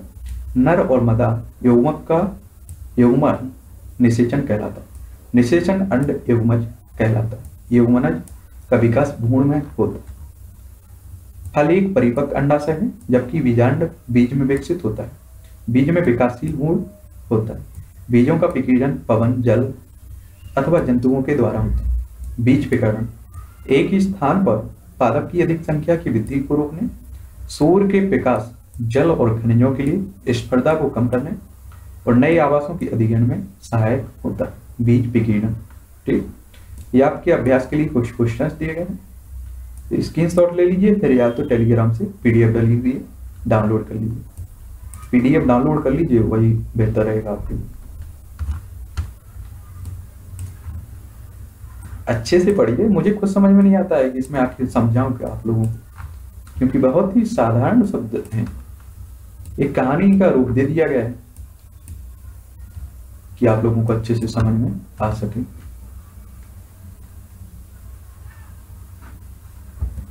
तो ये आपका हो गया बारहवा चैप्टर।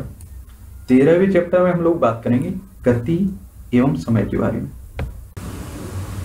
तो चलिए हम लोग बात कर रहे थे एनसीईआरटी कक्षा सातवीं की विज्ञान के बारे में। तो इसमें अभी तक हम लोग बारह चैप्टर की करीब आपके खत्म कर चुके हैं। ये आपका तेरहवा चैप्टर है। इसमें बात करेंगे गति एवं समय के बारे में। ठीक है? याद रखिए, आप लोगों को बड़े धैर्य के साथ से अंत तक सुनना है। हड़बड़ा के बीच में हड़बड़ाना नहीं है। ठीक है? लास्ट में जो भी इसका निष्कर्ष होता है, वो बता दिया जाता है। ठीक है? क्योंकि बीच में बहुत बोरिंग लगेगा आपको।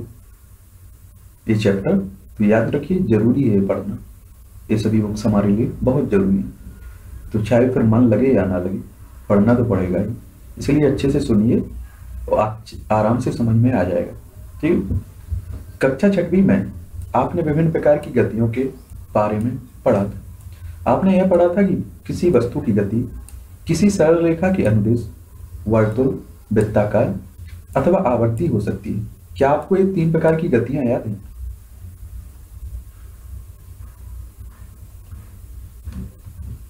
यह हमारे सामान अनुभव है कि कुछ वस्तुओं की गति मंद होती है, जबकि कुछ अन्य वस्तुओं की गति तीव्र होती है।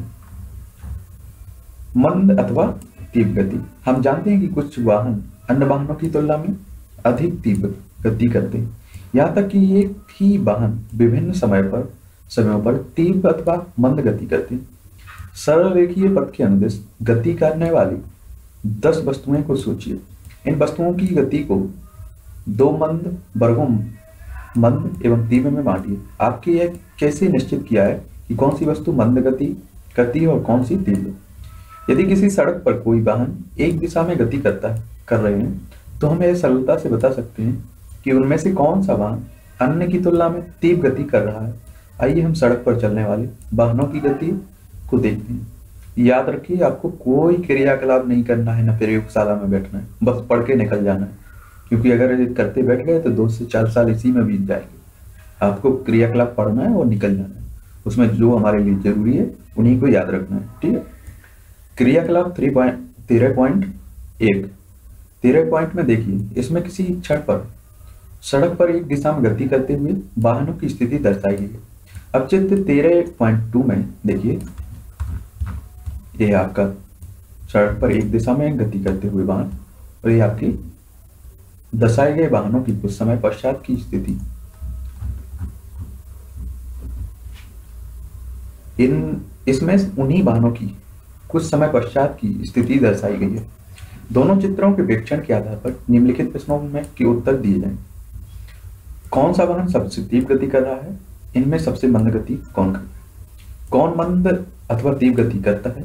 इसका निर्णय करने में वस्तुओं द्वारा दिए काल अंतराल में दी में चली गई दूरी हमारी सहायता कर सकती है।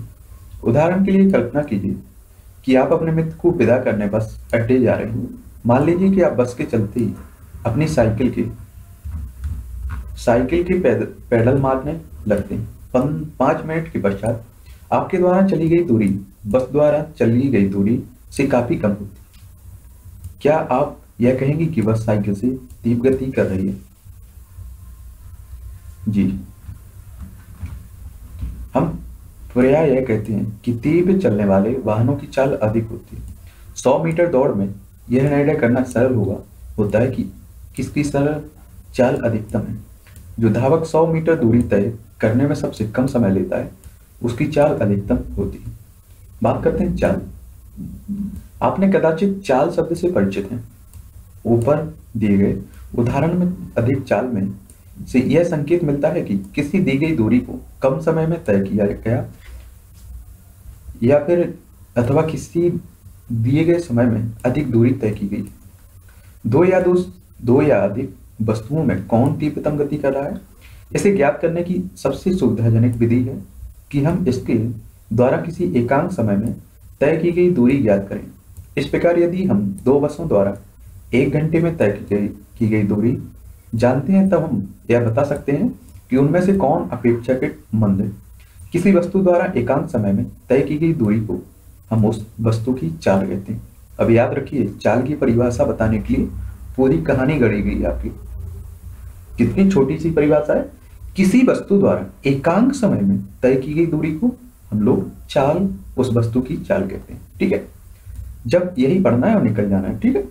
हम, जब हम यह कहते हैं कि कोई कार 50 किलोमीटर प्रति घंटा की चाल से गति करती है। तो इससे यह ज्ञात होता है कि वह कार एक घंटे में 50 किलोमीटर दूरी तय करेगी। तथापि कोई कार बिल्ले ही एक घंटे तक किसी नियत चाल समान गति से चलती है। वास्तव में वह धीमी चाल से गति आरंभ करके फिर अपनी चाल बढ़ाती है। अतः जब हम कहते हैं कि किसी चाल की, किसी कार की चाल 50 किलोमीटर प्रति घंटा है तो हम प्रया हम केवल कार द्वारा एक घंटे में तय की गई दूरी पर ही विचार करते हैं। हम इसकी चिंता नहीं करते हैं कि इस एक घंटे की अवधि में कार नियत चाल से चलती रही या फिर रुकी। वास्तव में यह परिकल्पित, कलित की गई चाल कार की औसत चाल है। इस पुस्तक में हम औसत चाल के लिए चाल शब्द का ही उपयोग करेंगे। अतः हम तय की गई दूरी को लिए गए कुल समय से विभाजित करके चाल प्राप्त कर सकते हैं। चाल बराबर तय की गई दूरी अपॉन लिया गया कुल समय। आपकी चाल निकल आएगी। आपने दैनिक जीवन में पहले ही लंबी दूरियों दूरियों तक अथवा अधिक समय तक वस्तुओं को एक नियत चाल से गति करते हुए देखते हैं। यदि किसी सरल रेखा के अनुदित गति करने वाली वस्तु की चाल परिवर्तित होती रहती है तो उस वस्तु की चाल असमान कही जाती है। इसके विपरीत किसी सरल रेखा के अनुदित वस्तु की नियत चाल से गति एक समान गति कहलाती है। इस स्थिति में औसत चाल वही है जो वास्तविक चाल है आपकी। यदि हम किसी वस्तु द्वारा किसी निश्चित दूरी को तय करने में लगे समय को माप लें तो हम उस वस्तु की चाल ज्ञात कर सकते हैं। कक्षा छठवीं में आपने दूरी मापना सीखा था। अब बात करते हैं समय की माप। यदि आपके पास घड़ी नहीं है तो आप यह कैसे निश्चित करेंगे कि अब क्या समय हो गया है। क्या कभी आपको यह जानने की उत्सुकता हुई है कि हमारे बुज़ुर्ग किस प्रकार केवल छाया देखकर दिन के समय का अनुमान लगा सक, लेते हैं? याद रखिए, ये बड़ी कला होती है। गाँव के ग्रामीण क्षेत्रों में आपने देखा होगा अक्सर, जो हमारे बुज़ुर्ग होते हैं, वो दिन के सूर्य को देखकर टाइम बता देते हैं कि कितना टाइम हुआ हुआ हम एक माह के काल अंतराल को कैसे मापते हैं? हम एक वर्ष के काल अंतराल को कैसे मापते हैं? इसके बारे में जानना है। समय की माप से हमारा तात्पर्य काल अंतराल की माप से। बोलचाल में जब हम समय को मापने के लिए किसी घड़ी के उपयोग के बारे में चर्चा करते हैं, तब हमारा अभिप्राय काल अंतराल का माप, का मापन ही होता है। हमारे पूर्वजों ने यह देखा कि प्रकृति में बहुत सी घटनाएँ निश्चित समय अंतराल के पश्चात स्वयं दोहराती हैं। उदाहरण के लिए उन्होंने यह पाया कि सूर्य प्रतिदिन प्रातः उदय होता है। एक सूर्योदय से अगले सूर्योदय के बीच के समय को एक दिन कहा गया है। इसी प्रकार एक अमावस्या, नौ चंद से अगली अमावस्या के बीच के समय की माप माह के रूप में की गई है। एक वर्ष उस समय के लिए नियत किया गया है, जितने समय में पृथ्वी सूर्य की एक परिक्रमा पूरी करती है। प्रयाग में एक दिन से काफ़ी छोटे समय अंतरालों को मापने की आवश्यकता पड़ती है। संभवतः समय मापने की सबसे सामान्य युक्ति घड़ियाँ ही है। क्या आपको कभी यह जानने की उत्सुकता हुई है घड़ियाँ समय कैसे मापती घड़ियों की कार्यविधि काफ़ी जटिल होती है, परंतु सभी घड़ियों घड़ियों में आवर्ती गति का उपयोग किया जाता है। यह आपकी दीवार घड़ी होगी मेज घड़ी होगी ये आपकी अंक यानी कि डिजिटल घड़ी होगी कुछ सामान्य घड़ी के चित्र ठीक। आवर्त गति एक चिर परिचित उदाहरण सरल लोलक का है। आवर्त गति का एक चिरपरिचित उदाहरण आपका सरल लोलक है। सरल लोलक धातु के छोटे गोले अथवा पत्थर के टुकड़े को किसी दृढ़ स्टन से धागे द्वारा निलंबित करके बनाया जा सकता है। धातु के गोले को लोलक का गोलक कहते हैं। इस तरह से। एक सरल लोलक हो गया ये। ये आपका दोलन करते समय लोलक के गोलक की विभिन्न स्थितियाँ होगी। चित्र तेरह दशमलव चार एम में लोलक को अपनी मात स्थिति पर विराम अवस्था में दर्शाया गया। जब लोलक के गोले को धीरे से एक ओर ले जाकर मुक्त करते हैं तो इधर उधर गति करना आरंभ कर देता है। सरल लोलक की गति यह गति, आवर्त अथवा दोलन गति का एक उदाहरण। जब लोलक का गोलक अपनी माध्य स्थिति ओ से आरंभ करके ए तक, फिर ए से बी तक और बी से वापस ए ओ पर आता है तो यह कहा जाता है कि लोलक ने एक दोलन पूरा कर लिया है। लोलक तब भी एक दोलन पूरा करता है, जब इसका तो गोलक एक चरम स्थिति ए से दूसरी चरम स्थिति बी, पर तथा बी से बी से आपका वापस ए पर आ जाता है। सरल लोलक का एक, लोलक का एक दोलन पूरा करने में जितना समय लगता है, उसे सरल लोलक का आवर्तकाल कहलाता है। बात करते हैं क्रियाकलाप तेरह पॉइंट टू में। लगभग एक मीटर लंबा धागा ले सकते हैं आप लोग, अथवा डोरी लेकर चित्र में दर्शाए अनुसार एक सरल लोलक बनाइए इस तरह से। यदि आपके पास कोई पंखा नहीं, पंखा चल रहा है तो उसे बंद कीजिए। लोलक के गोलक को अपनी माध्य स्थिति में पर विराम में आने दीजिए। गोलक के नीचे फर्श पर अथवा इसके पीछे दीवार पर उसकी माध्य स्थिति को एक चिन्ह द्वारा अंकित किया जाता है। लोलक का आवर्तकाल मापने के लिए हम विराम घड़ी की आवश्यकता हुई। यदि विराम घड़ी उपलब्ध नहीं है तो मेज घड़ी अथवा कलाई घड़ी उपयोग की जा सकती है। लोलक को गति में लाने के लिए गोलक को पकड़िए और इसे धीरे से एक और ले जाइए। यह सुनिश्चित कीजिए कि जब आप गोलक को विस्थापित कर रहे हैं तो इससे बंधी डोरी तनी हो। अब गोलक की विस्थापित स्थिति में से मुक्त कीजिए। ध्यान रखिए, गोलक को छोड़ते समय इसे धक्का नहीं लगना चाहिए। जिस समय गोलक अपनी माध्य स्थिति पर है तो उस समय घड़ी का समय नोट कीजिए। माध्य स्थिति की बजाय आप उस स्थिति से भी समय नोट करना आरंभ कर सकते हैं। जब गोलक अपनी किसी एक चरम स्थिति पर है, लोलक द्वारा 20 दोलन पूरा करने में समय लगा समय मापिए सारणी तेरह दशमलव दो में अपने परीक्षण कीजिए इसके दिया गया परीक्षण केवल एक नमूना है। आपके परीक्षण इससे भिन्न हो सकते हैं। इस क्रियाकलाप को तीन चार बार दोहराइए और अपनी परीक्षण सारणी में लिखिए। बीस दोलनों को पूरा करने में लगे समय को बीस से भाग देकर एक दोलन में लगा समय अर्थात लोलक का आवर्तकाल प्राप्त कीजिए। ठीक है? आपको पढ़ना है, फिर से बता रहा हूँ, और निकल जाना है, देखना है। दोनों के समय में लिया गया समय बयालीस सेकंड और एक आवर्तकाल टू पॉइंट वन। क्या आपने लोलक का आवर्तकाल हर बार लगभग समान आता है? ध्यान रखिए कि आरंभिक विस्थापन में थोड़ा समय परिवर्तन आपके लोलक के आवर्तकाल को प्रभावित नहीं करता है। आजकल के अधिकांश घड़ियों में एक या दो सेलों वाले विद्युत परिपथ होते हैं। इन घड़ियों को क्वार्ट्ज घड़ी कहते हैं। इनके द्वारा मापा गया समय पहले उपलब्ध घड़ियों द्वारा मापे गए समय से अधिक यथार्थ होता है। अब बात करते हैं समय तथा चालक की मात्रा क्या है। समय का मूल मात्रक सेकेंड है। समय का मूल मात्रक क्या है? सेकेंड इसका प्रतीक है? एस समय की बड़ी मात्रक मिनट है तथा घंटा भी है। आप पहले ही जानते हैं कि ये मात्रक किस प्रकार एक दूसरे से संबंधित है। चाल का तथा कथित मूल मात्रक क्या है? चूँकि चाल दूरी समय है। अतः चाल का मात्रक होगा एम पी सेकेंड वास्तव में से अन्य मात्रकों, जैसे मीटर प्रति मिनट अथवा किलोमीटर प्रति घंटे से में भी व्यक्त किया जा सकता है। आपको यह याद रखना चाहिए कि सभी मात्रकों के प्रतीकों को एक वचन में लिखा जाता है। उदाहरण के लिए हम 50 किलोमीटर लिखते हैं, ना कि 50 के अथवा 8 सेंटीमीटर लिखते हैं, ना कि 8 सेंटीमीटर ठीक है? याद रखिए। क्या याद रखना है? सभी मात्रकों के प्रतीकों को एक वचन में लिखा जाता है, ना कि बहुवचन में। ये पॉइंट आपको याद रखना है। आवश्यकता के अनुसार समय के विभिन्न मात्रकों का उपयोग किया जाता है। उदाहरण के लिए, आपकी वायु, आयु को दिनों अथवा घंटों में व्यक्त करने की अपेक्षा वर्षों में व्यक्त करना सुविधाजनक होता है। इसी प्रकार घर से विद्यालय तक की दूरी को तय करने में लगे समय को वर्षों में व्यक्त करना बुद्धिमानी नहीं है। एक सेकंड का काल अंतराल कितना छोटा अथवा बड़ा होता है, ज़ोर से 2001 पुकारने में लगा समय लगभग एक सेकंड होता है। 2001 से 2010 तक ज़ोर ज़ोर से गिनकर आपका इसका सत्यापन कर सकते हैं।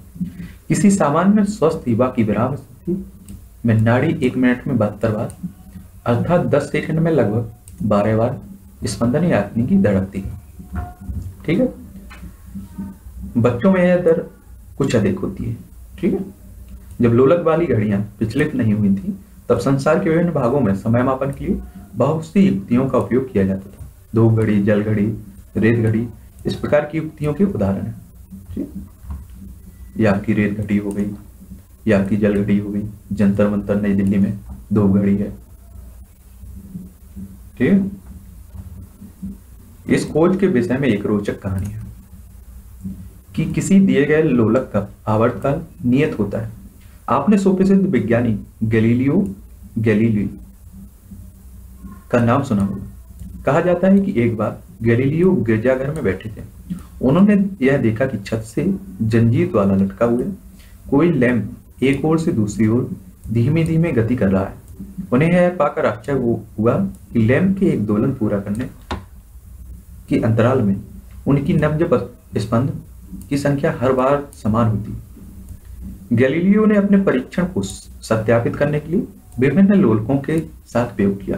उन्होंने यह पाया कि किसी दी गई लंबाई का दोलन सदैव एक दोलन पूरा करने में समान समय लेता है। इस परीक्षण में लोलक युक्त घड़ियों के विकास की कोई एक नई दिशा प्रदान की गई। कमानी युक्त घड़ियाँ और कलाई की घड़ियाँ लोलक युक्त घड़ियों की परिष्कृत, यानी कि सुधारा हुआ रोग थी। अब बात करते हैं चाल मापना या समय। समय तथा दूरियों कैसे मापते हैं, यह सीखने के पश्चात आप वस्तु की चाल परिकलित कर सकते हैं। आइए फर्श के अनुदेश गतिमान किसी ज्ञान की ज्ञात चाल ज्ञात कर सकते हैं। क्रियाकलाप तेरह दशमलव तीन, चाक के चूर्ण अथवा चूने से फर्श पर एक सरल रेखा खींचिए।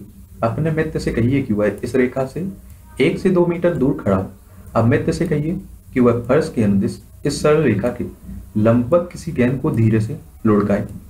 जिस क्षण गेंद सरल रेखा को पार करती है तथा जिस क्षण वह विराम आती है, दोनों बार समय नोट कीजिए। गेंद विराम में आने में कितना समय लेती है? जिस बिंदु पर गेंद रेखा को पार करती है तथा जिस बिंदु पर वह विराम में आती है, इन दोनों बिंदुओं के बीच की दूरी मापिए। इसे मापने के लिए आपके, आप किसी पैमाने अथवा मापक फीते का प्रयोग कर सकते हैं। इस क्रियाकलाप को विभिन्न समूह बारी बारी से दोहराएँ तथा सभी मापकों को सारणी में लिख सकते हैं। प्रत्येक समूह के पाठ्यांक से गेंद की चाल परिकलित कीजिए क्या आपने अपने चलने अथवा साइकिल चलाने की चाल की तुलना? अपने मित्र की चाल से करना चाहेंगे? इसके लिए आपको अपने घर अथवा किसी अन्य बिंदु से अपने विद्यालय की दूरी जानने की आवश्यकता होगी। तब आप सभी इन दूरी को तय करने में लगे समय को माप कर एक दूरी दूसरे की चाल परिकलित कर सकते हैं। यह जानना आपके लिए रोचक हो सकता है कि आप इसमें, आप में से किसकी चाल सबसे अधिक है? कुछ जीवों की चाल किलोमीटर प्रति घंटे में दी गई है। आप स्वयं आप इसकी चाल को मिनट प्रति सेकंड में परिकल्पित कर सकते हैं। उपग्रहों को पृथ्वी की कक्षा में विमोचित या छोड़ने, विमोचित करने वाले रॉकेट फ्रेया आपके आठ किलोमीटर प्रति सेकंड की, सेकंड तक की चाल प्राप्त कर लेते हैं। इसके विपरीत कुछ कछुआ केवल आठ सेंटीमीटर प्रति सेकंड, लगभग की चाल से चल सकता है। क्या आप यह परिकल्पित कर सकते हैं कि कछुए की तुलना में रॉकेट की चाल कितनी गुनी है? यदि आपको किसी वस्तु की चाल ज्ञात हो जाए तो आप दिए गए समय में उसके द्वारा चली गई दूरी ज्ञात कर सकते हैं। आपको केवल चाल को समय से गुणा की ही करना होगा। इस प्रकार चली गई दूरी, चाल इंटू समय, ठीक है? आपको यह भी ज्ञात कर सकते हैं कि दी गई चाल से चलने वाली कोई वस्तु किसी दूरी को कितने समय में तय करेगी? लिया गया समय बराबर दूरी अपॉन चाल। इस तरह से आप लोग समय निकाल सकते हैं। ठीक है? आपने स्कूटर अथवा मोटरसाइकिल पर एक मीटर लगा हुआ देखा हुआ इसी प्रकार कार्यों, बसों तथा अन्य वाहनों के डैशबोर्डों पर मीटर देखे जा सकते हैं। किसी कार की डैशबोर्ड दर्शाया गया। ध्यान दीजिए कि इसमें किसी एक मीटर के कोने पर किलोमीटर प्रति घंटा लिखा हुआ है। इसे चाल मापी। स्पेडोमीटर कहते हैं। इसमें सीधे ही किलोमीटर प्रति घंटे में चाल ज्ञात हो जाती है। इसमें एक अन्य मीटर भी होता है, जो वाहन द्वारा तय की गई दूरी मापता है। इस मीटर को पथमापी यानी कि ओडोमीटर कहते हैं। ये है आपका कार का डैशबोर्ड। देख लीजिए। ठीक है? यहाँ बात कर लेते हैं हम लोग। सामान उपलब्ध घड़ियों द्वारा मापा जा सकने वाला। समय कम, समय अंतराल एक सेकंड है। तथापि अब किसी ऐसी विशिष्ट घड़ियाँ उपलब्ध हैं जो एक सेकंड से छोटे समय अंतरालों को माप सकती हैं। इनमें से कुछ घड़ियाँ एक सेकंड के दस लाख विभाग, यहाँ तक कि एक अरब विभाग तक के समय अंतराल माप सकती हैं। आपने माइक्रो सेकंड अथवा तथा नैनो सेकंड जैसे शब्द सुने। एक माइक्रो सेकंड का दस लाखवा भाग होता है। एक माइक्रो सेकंड आपका सेकंड का दस लाखवा भाग होता है माइक्रो सेकंड एक नैनो सेकंड सेकंड का एक अरबवा भाग होता है, याद रखिए। इतने छोटे समय अंतरालों को जो घड़ियाँ मापती हैं, उनका उपयोग वैज्ञानिक अनुसंधानों के लिए किया जाता है। खेलों में जिन समय मापने की युक्तियों का उपयोग होता है, वे सेकंड के दसवें अथवा सौ विभाग के तक के समय अंतराल माप सकती हैं। इसके विपरीत ऐतिहासिक घटनाओं के समय कुछ शताब्दियों अथवा सहस्ताब्दियों में व्यक्त किया जाता है। तारों तथा गेहूँ की आयु को प्राय अरब वर्षों में व्यक्त करते हैं। क्या आप उन काल समय अंतरालों के परास की कल्पना कर सकते हैं, जिन्हें हमने व्यवहार करना पड़ता है? विद्यालय की पिकनिक के लिए जाते समय पहरी ने यह निश्चित किया कि वह यात्रा समाप्त होने पर तक हर तीस मिनट के पश्चात बस के पथमापी पाठ्यांक पर अपनी नोटबुक पर लिखी। इसके पश्चात उसने पाठ्यांक तेरह दशमलव पाँच बनाया, इस तरह। यात्रा के विभिन्न समयों, पथ, मापी के पाठ्यांक, आठ एम छत्तीस हज़ार पाँच सौ चालीस किलोमीटर, ज़ीरो किलोमीटर आरंभिक बिंदु है पथमापी का पाठ्यांक। इस तरह आठ तीस, छत्तीस हज़ार पाँच सौ साठ, बीस किलोमीटर। ठीक है, देख सकते क्या आप बता सकते हैं कि पिकनिक स्थल विद्यालय से दूरी क्या होगी? क्या आप बस की चाल परिकल्पित कर सकते हैं? सारणी को देखकर बूझू ने पहले से पूछा कि क्या वह बता सकती है कि नौ बजकर पैंतालीस मिनट तक उसकी बस में कितनी दूरी तय कर ली है? पहली के पास इस प्रश्न का कोई उत्तर नहीं था। वे आप अपने शिक्षक के पास गए। शिक्षक ने उनसे कहा कि समस्या का हल करने का एक ढंग है। हम दूरी समय ग्राफ खींचिए। आइए यह पता लगाने के लिए इस प्रकार का ग्राफ खींच सकते हैं। इस तरह से। किसी टीम द्वारा प्रत्येक ओवर में बने रनों का स्तंभ ग्राफ अब बात करते हैं दूरी समय ग्राफ आपने यह देखा होगा कि समाचार पत्रिकाएँ आदि सूचनाओं को रोचक बनाने के लिए उन्हें उन्हें विभिन्न प्रकार के ग्राफों के रूप में प्रस्तुत करती हैं। तेरह दशमलव आठ में दर्शाए गए ग्राफ के प्रकार को स्तंभ ग्राफ कहते हैं। ग्राफीय निरूपण का एक अन्य प्रकार वृत्ताकार या पाई चित्र तेरह दशमलव नौ तेरह दशमलव दस। में दर्शाए गए ग्राफ, रेखा ग्राफ का उदाहरण। दूरी, समय ग्राफ को सामान्यता रेखा ग्राफ द्वारा निरूपित किया जाता है। यह आपका स्तंभ ग्राफ हो गया, देख लीजिए। ठीक है, इस तरह से आपका स्तंभ ग्राफ होता है। वायु का संघनन दर्शाता हुआ वृत्ता रेख। ठीक है? और ये आपका आयु वर्ष में दर्शाया हुआ रेखा ग्राफ है। ठीक? ये आपका रेखा ग्राफ ये आपका वित्ता रेख और ये आपका स्तंभ रेख ठीक है? याद रखिए इस तरह से होते हैं। आइए इस प्रकार का ग्राफ बनाना सीखें एक ग्राफ पेपर लीजिए। चित्र तेरह दशमलव ग्यारह में दर्शाए अनुसार इस पर एक दूसरे के लंबत दो रेखाएँ खींचिए। क्षेत्र रेखा पर एक्स एवं ओ एक्स अंकित कीजिए। इसे एक्स अक्ष कहते हैं। इसी प्रकार ऊर्ध्वाधर रेखा पर Y O O Y Y O Y अंकित कीजिए। इसे बाई अक्ष कहते हैं। एक्स ओ एक्स और बाई ओ बाई का प्रतिच्छेद बिंदु, मूल बिंदु ओ कहलाता है, जिन्हें दो राशियों के बीच ग्राफ खींचा जाता है। उन्हें इन्हीं दो अक्षों के निर्देश दर्शाया जाता है। हम अक्ष एक्स अक्ष पर धनात्मक मानों को ओ एक्स के अनुदेश दर्शाते हैं। इसी प्रकार बाई अक्ष पर धनात्मक मानों को ओ वाई के अनुदेश दर्शाते हैं।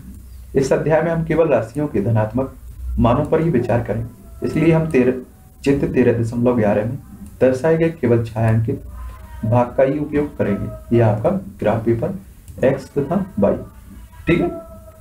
बूझो तथा पहली ने किसी कार द्वारा चली गई दूरी, इस दूरी को तय करने में लगा समय लगाया है। उनके आंकड़े तेरह दशमलव छह में है। ये समय हो गया, ये आपकी दूरी हो गई। एक मिनट, एक किलोमीटर, दो मिनट, दो किलोमीटर। इसी तरह से। आप नीचे दिए चयन को अपना कर ग्राफ बना सकते हैं। दो अक्षों को निरूपित करने के लिए दो लंबत रेखाएँ खींचिए। चित्र तेरह दशमलव ग्यारह में दर्शाए अनुसार उन पर ओ एक्स ओ वाई अंकित कीजिए। यह निश्चित कीजिए कि एक्स अक्ष के अनुदिश किस राशि को दर्शाना है तथा वाई अक्ष के अनुदिश किसे दर्शाना है। एक्स अक्ष के अनुदिश समय वाई अक्ष के अनुदिश दूरी दर्शाएगा। ग्राफ पर दूरी को निरूपित करने के लिए कोई पैमाना चुनिए तथा समय के निरूपण के लिए कोई अन्य पैमाना चुनी। कार्य की गति के ये पैमाने इस प्रकार हो सकते हैं। एक मिनट बराबर एक सेंटीमीटर, एक किलोमीटर बराबर एक सेंटीमीटर। चुने गए पैमाने के अनुसार समय तथा दूरी के मानों को अपने अपने अक्षों पर अंकित कीजिए।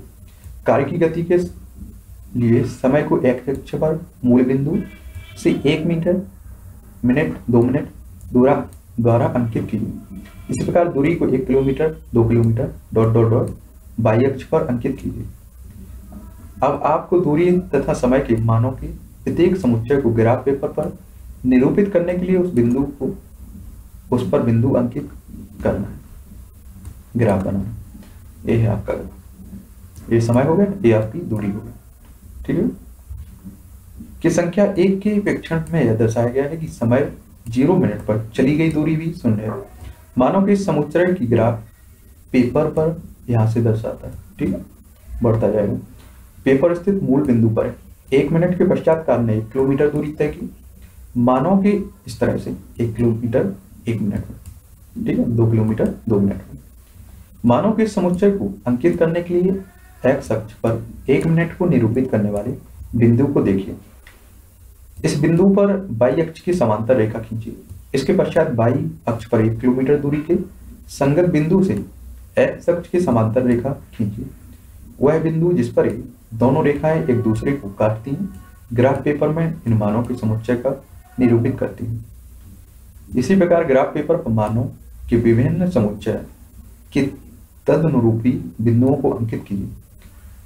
चित्र तेरह दशमलव बारह में विभिन्न समयों पर कार्य की स्थितियों के सभी बिंदुओं के समुच्चय को ग्राफ पर दर्शाए गए। चित्र तेरह दशमलव बारह में दर्शाए अनुसार इन बिंदुओं को मिलाइए। बिंदुओं को मिलाने पर सरल रेखा द्वारा प्राप्त रेखा प्राप्त होती है। यह कार्य की गति का दूरी समय ग्राफ है। यदि दूरी समय ग्राफ एक सरल रेखा है तो यह संकेत करता है कि वस्तु किसी नियत चाल से गति कर रही है। परंतु यदि किसी वस्तु की चाल लगातार परिवर्तित होती है तो ग्राफ की आकृति कुछ हो, हो सकती है। व्यापक रूप में परमाणु का चयन इतना सरल नहीं होता। चित्र तेरह दशमलव बारह चित्र तेरह दशमलव तेरह में दर्शाया गया हैं। हमें एक्स अक्ष और वाई अक्ष पर वंचित राशियों को निरूपित करने के लिए दो भिन्न पैमाने का चयन करना पड़ता है। आइए इस प्रक्रिया को एक उदाहरण की सहायता से समझने का प्रयास करते हैं। आइए फिर उसी बस की गति का पर विचार करते हैं, जिसके द्वारा पहली और उसके मित्र पिकनिक पर गए थे।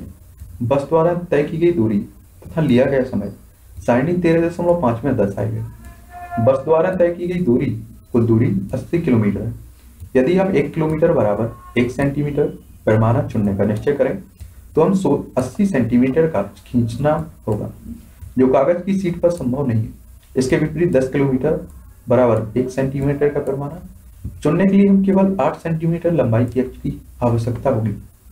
यह पैमाना काफ़ी सुविधाजनक होगा, परंतु ग्राफ ग्राफ पेपर के चौथे भाग को ही ढकेगा।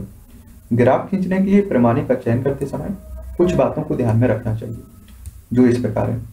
प्रत्येक राशि के अध्ययन और न्यूनतम मानों के बीच के अंतर को प्रत्येक राशि के मध्यवर्ती मान, ताकि उन मानों को ग्राफ पर चुने गए पैमाने पर, पैमाने के आधार पर अंकित करना सुविधाजनक हो।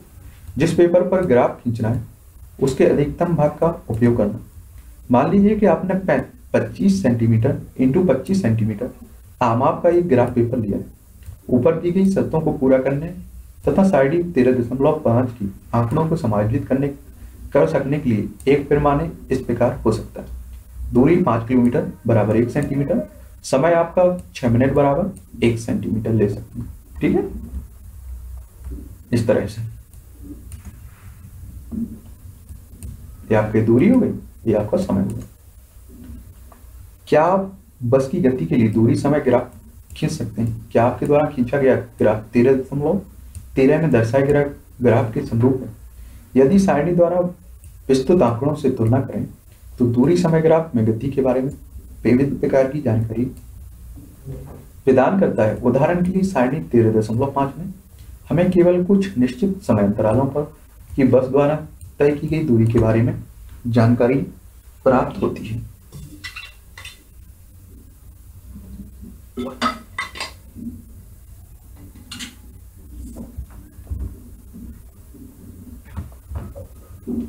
इसके विपरीत दूरी समय ग्राफ से हम समय की किसी भी क्षण पर बस द्वारा तय की दूरी ज्ञात कर सकते हैं। मान लीजिए कि हम आठ सुबह आठ पंद्रह पर बस द्वारा चली गई दूरी ज्ञात करना चाहिए तो इसके लिए हम एक्स अक्ष पर उस समय आठ पंद्रह एम के संगत बिंदु अंकित करेंगे। मान लीजिए कि वह बिंदु ए है। अब हम बिंदु ए पर एक्स अक्ष के लंबवतता वाई अक्ष के समांतर एक रेखा खींचते हैं।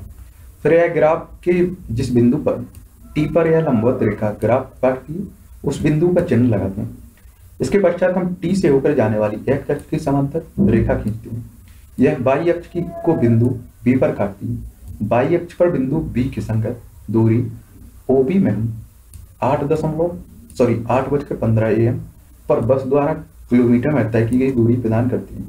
यह दूरी किलोमीटर में कितनी है? क्या आप नौ पैंतालीस ए एम पर बस द्वारा तय की गई दूरी याद करने में पहले की सहायता कर सकते हैं?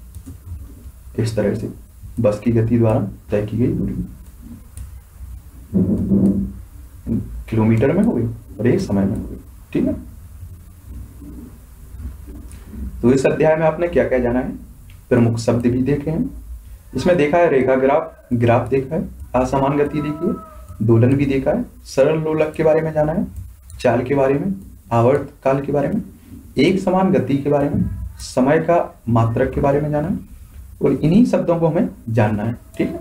जो क्रियाकलाप दिए जाते हैं प्रैक्टिकल वो हमें नहीं करना है, बस पढ़ के निकल जाना है, ठीक है? तो आपने क्या सीखा है इस अध्याय में? एकांक समय में किसी वस्तु द्वारा चली गई दूरी उसकी चाल कहलाती है। एकांत समय में किसी वस्तु द्वारा चली गई दूरी को उसकी चाल कहते हैं। वस्तुओं की चाल या निर्णय लेने में हमारी सहायता करती है कि कौन सी दूरी दूसरों से तेज चल सकता है। किसी वस्तु की चाल उसके द्वारा तय की गई दूरी, उस दूरी को चलने में, लिए गए समय में से विभाजित करने पर प्राप्त होती है। इसका मूल मात्रक आपका मीटर प्रति सेकंड है। आवर्ती घटनाओं का उपयोग समय मापन में किया जाता है। लोलक की आवर्त गति का उपयोग घड़ियों के बनाने में होता है। वस्तुओं की गति को उनकी दूरी समय ग्राफ द्वारा चित्रात्मक रूप से व्यक्त प्रस्तुत किया जा सकता है। नियत चाल से गति, चाल से गति करने वाली वस्तुओं का दूरी समय ग्राफ एक सरल लेखा होता है। ये आपके कुछ अभ्यास के लिए क्वेश्चंस दिए गए हैं, लगा सकते हैं। ठीक है?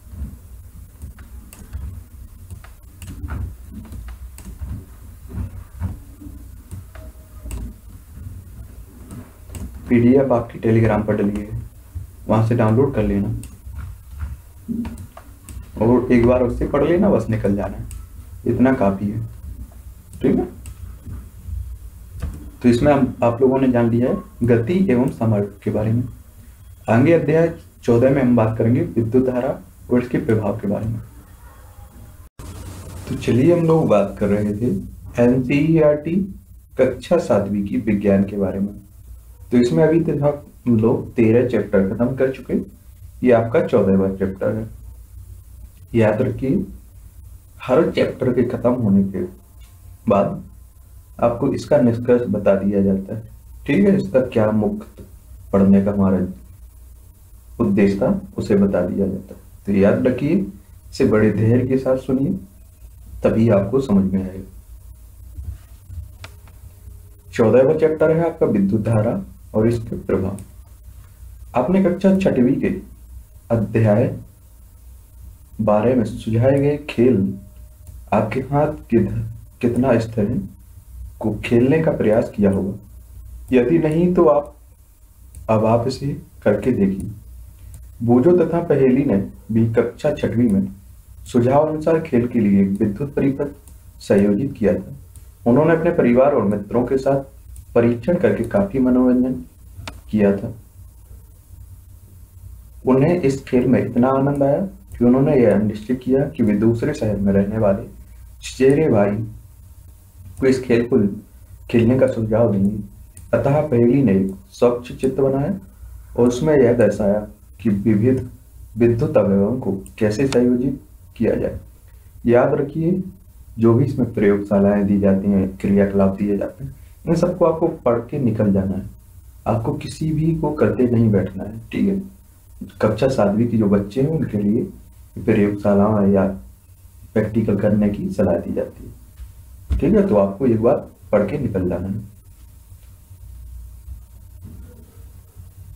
क्या आप यह परिपथ आसानी से खींच सकते हैं? इससे बूझो ने यह जानना चाहा क्या किन, इन अवयवों को विद्युत अवयवों को निरूपित करने का कोई आसान उपाय है। बात करते हैं विद्युत अवयवों के प्रतीक। कुछ सामान्य विद्युत अवयवों को प्रतीकों द्वारा निरूपित किया जा सकता है। सारणी 14.1 में कुछ विद्युत अवयव उनके प्रतीक दर्शाए गए आपको विभिन्न पुस्तक में इन अवयवों के विभिन्न प्रतीक देखने को मिल सकते हैं। तथापि इस पुस्तक में हम यहाँ पर दर्शाए गए प्रतीकों का ही उपयोग करेंगे। ये आपका विद्युत सेल हो गया, विद्युत बल्ब हो गया, ये स्विच ऑन की स्थिति हो गई, ये आपकी स्विच ऑफ़ की स्थिति हो गई, ये आपकी बैटरी हो गई, ये आपका संयोजित तार हो गया, ठीक है? प्रतीक ये है सेल के लिए है, बल्ब के लिए है, ये आपका स्विच ऑन के लिए स्विच ऑफ़ के लिए है, ये आपका बैटरी के लिए है, ये आपका संयोजित तार तार के लिए इन प्रतीकों को ध्यानपूर्वक देखिए, विद्युत सेल के प्रतीक पर ध्यान दीजिए। इसमें एक लंबी रेखा और दूसरी छोटी, परंतु मोटी समांतर रेखा है। क्या आपको याद है कि विद्युत सेल में एक धन टर्मिनल तथा एक ऋण आर टर्मिनल होता है? विद्युत सेल के प्रत्येक प्रतीक में लंबी रेखा, धन टर्मिनल को तथा छोटी व मोटी रेखा ऋण टर्मिनल को निरूपित करती है। स्विच के लिए ऑन स्थिति और तथा ऑफ़ स्थिति चित्र में दर्शाए गए प्रतीक के अनुसार निरूपित की जाती है। परिपथ के विद्युत अवयवों को संयोजी करने में उपयोग होने वाले संयोजी तार रेखाओं द्वारा निरूपित किए जाते हैं। सारणी चौदह दशमलव एक में एक बैटरी तथा उसका प्रतीक भी दर्शाया गया। क्या क्या आप जानते हैं कि बैटरी क्या होती है? बैटरी के प्रतीक को ध्यान से देखिए। क्या आप बता सकते हैं कि बैटरी क्या होती है? कुछ क्रियाकलापों के लिए हमें एक से अधिक सेलों की आवश्यकता होती है। हम चित्र चौदह दशमलव दो में दशाई अनुसार दो या दो से अधिक सेलों को एक साथ उपयोग कर सकते हैं। ध्यान रहे कि एक सेल का धन टर्मिनल दूसरे सेल के रेड टर्मिनल से संयोजित किया जाता है। दो या अधिक सेलों के इस प्रकार संयोजी को संयोजी को क्या कहते हैं? बैटरी कहते हैं। ठीक है? ये आपका एक बार और देख लीजिए।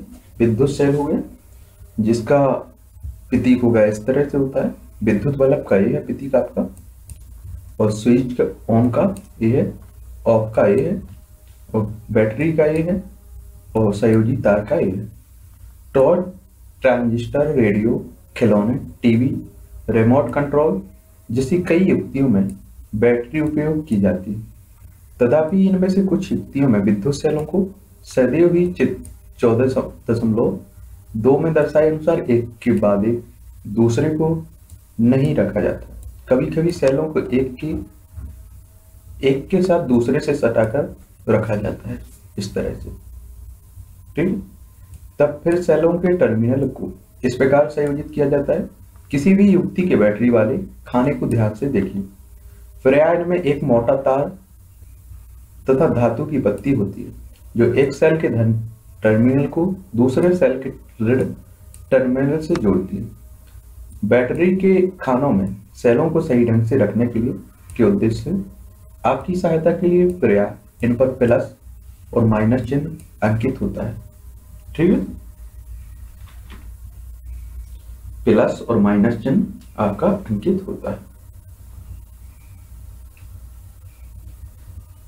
अब बैटरी बनाने के लिए दो सेलों को एक साथ संयोजित करना। अपने क्रियाकलापों के लिए बैटरी बनाते समय हम सेलों को कैसे संयोजित करते हैं? आप चित्र चौदह दशमलव चार में दर्शाए अनुसार लकड़ी के गुटके, लोहे की दो पत्तियों तथा रबड़ के चलनों का उपयोग करके एक सेल होल्डर बना सकते हैं। यह आवश्यक है कि रबड़ के छल्ले धातु की पत्तियों को कसकर जकड़े रखें। यह आपका सेल होल्डर दो या दो दो या अधिक सेलों की बैटरियाँ बनाने के लिए आप सेल होल्डर बाज़ार से भी खरीद सकते हैं।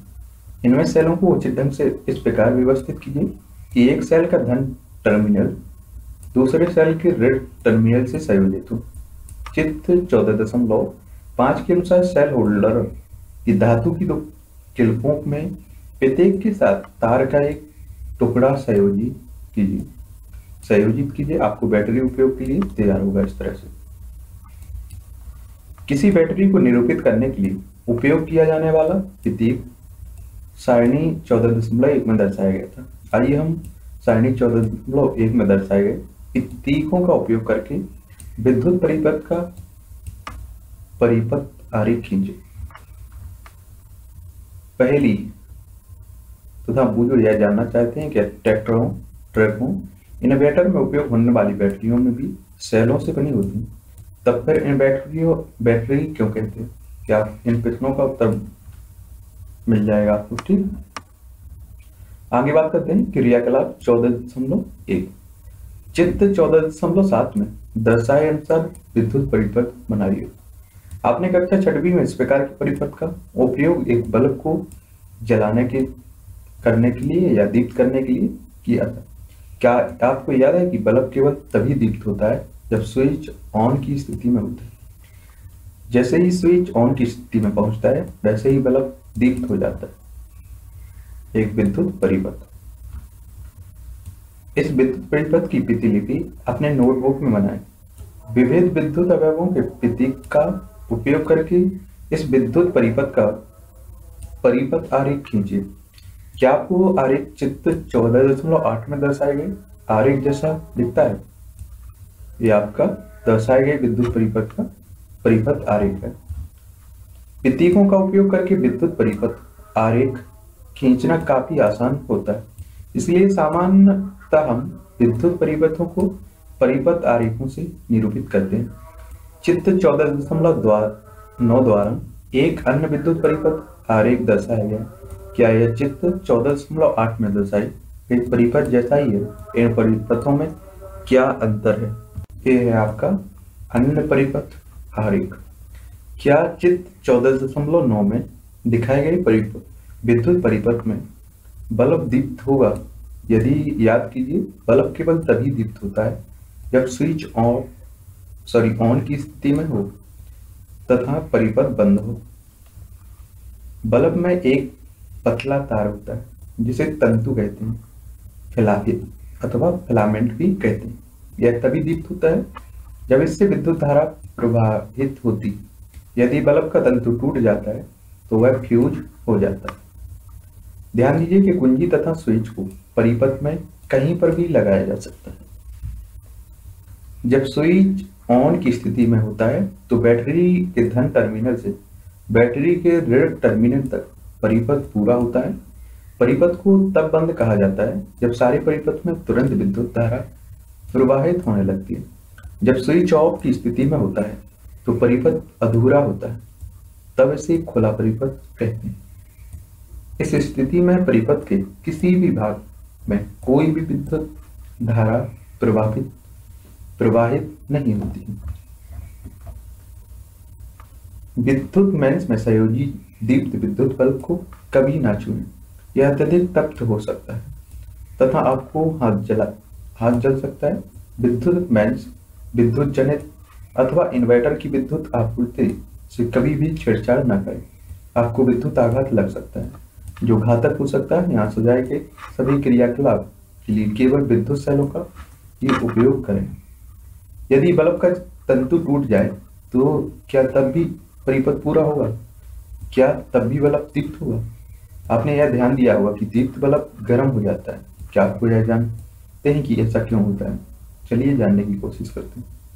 विद्युत धारा का तापी प्रवाह। एक विद्युत सेल, एक टॉर्च बल्ब एक स्विच तथा संयोजित संयोजक तार लीजिए चित्र चौदह दशमलव नौ में दर्शाए गए अनुसार एक विद्युत परिपथ बनाइए।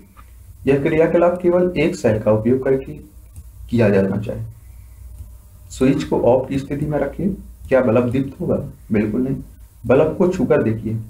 अब स्विच को ऑन की स्थिति में लाइए और बल्ब को एक मिनट अथवा कुछ सम, अधिक समय तक दीप्त होने दीजिए। बल्ब को फिर छूकर देखिए। क्या आपको कोई अंतर अनुभव करते हैं?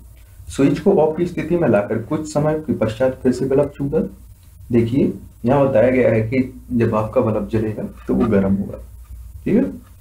चित्र चौदह दशमलव दस में दर्शाए अनुसार विद्युत परिपथ बनाना है। लगभग दस सेंटीमीटर लंबा नाइकोम, नाइक्रोम का तार एक टुकड़ा लेकर इसे दो किलो के बीच बांधिए। आपको नाइक्रोम का तार विद्युत सद्युतों की मरम्मत करने वाली किसी दुकान से प्राप्त हो सकता है।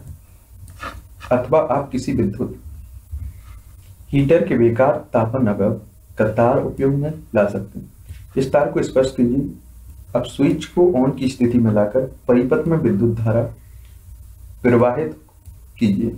कुछ सेकंड के पश्चात तार को स्पर्श कीजिए। इस इसे अधिक समय तक पकड़ी मत रखिए। परिपथ में विद्युत धारा बंद कीजिए। कुछ मिनट, मिनटों के पश्चात तार को पुनः तार को पुनः स्पर्श कीजिए इस तरह से। स्विच को ऑन की स्थिति में अधिक समय तक ना रखें। ऐसा करने से सेल अतिशीघ दुर्बल हो सकता है। जब किसी तार से कोई विद्युत धारा प्रवाहित होती है तो वह तप्त हो जाता है। इसे विद्युत धारा का तापीय प्रभाव कहते हैं। ये हमारे लिए ज़रूरी है पॉइंट ठीक? पूरी कहानी जो सुनाई गई है वो हमारे लिए कहानी है, जो बस इस तरह की जो पॉइंट है, उन्हें भी पकड़ना है हमें। जब किसी तार से कोई विद्युत धारा प्रवाहित होती है तो वह तब तो हो जाता है। इसे विद्युत धारा का तापीय प्रभाव कहते हैं। क्या आप किसी ऐसे विद्युत सदित्व का नाम बता सकते हैं, जिसमें विद्युत धारा के तापीय प्रभाव का उपयोग होता है? ऐसे संदिग्धों की एक सूची बना सकते हैं। आपने कमरों को गर्म करने तथा खाना पकाने में उपयोग होने वाले विद्युत तापक देखे इन सभी तारों की एक कुंडली होती है इनमें। तार की इस कुंडली को विद्युत तापन, अवयव अथवा केवल अवयव एलिमेंट कहते हैं। आपने यह ध्यान दिया होगा कि जब इन संतित्व हो, विद्युत मैन से संयोजित करके स्विच को ऑन की स्थिति में लाते हैं तो इनके अवयव रक्त तप्त होकर उष्णा देने लगते हैं। खाना पकाने में उपयोग आने वाला विद्युत तापक हीटर, देखा हुआ। किसी तार में उत्पन्न ऊष्मा का परिमाण उस ताप के पदार्थ की धातु जिससे वह बना है, लंबाई मोट तथा मोटाई पर निर्भर करता है। अतः विद्युत आवश्यकताओं के लिए विभिन्न पदार्थों तथा विभिन्न लंबाई एवं मोटाई के तार उपयोग किए जाते हैं। विद्युत परिपथों को जोड़ने में प्रयोग होने वाली तार संयोजी तार, सामान्यतः गर्म नहीं होते। इसके विपरीत कुछ विद्युत संदिग्धों के अवयव इतने अधिक तत्व हो जाते हैं कि आसानी से दिखाई देते हैं। विद्युत बल्ब के, विद्युत बल्ब के तंतु इतने उच्च ताप तक तप्त हो जाते हैं कि दीप्त होकर प्रारंभ प्रकाश प्रारंभ देना प्रारंभ कर देते हैं। यदि किसी तार से बड़े बड़े माड़ की विद्युत धारा प्रवाहित होती है तो तार इतने अधिक तप्त हो सकता है कि वह पिघल कर टूट नहीं सकता।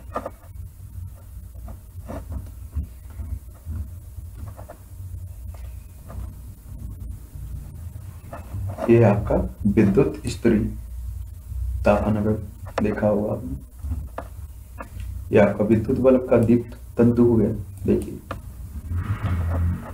जिस विद्युत परिपथ का उपयोग हमने क्रियाकलाप चौदह दशमलव तीन में किया था, उसे फिर से दोहराइए। परंतु इस बार सेल के स्थान पर चार सेलों की बैटरी का उपयोग कीजिए। साथ ही नाइक्रोम तार के स्थान पर इस्पात बोर्ड, यानी कि स्टील बोर्ड का तार या पतली लंबी लड़ी बांधी इस्पात वुड के जूने का उपयोग पर्याप्त रसोई घर में बर्तनों को साफ़ करने में उपयोग होता है।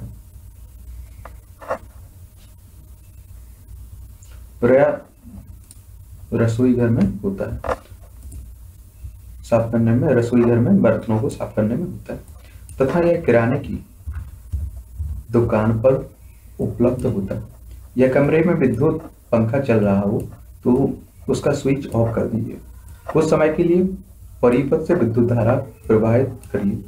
इस्पात वुड के तार अथवा लकड़ी का ध्यान से परीक्षण कीजिए। नोट कीजिए कि क्या होता है।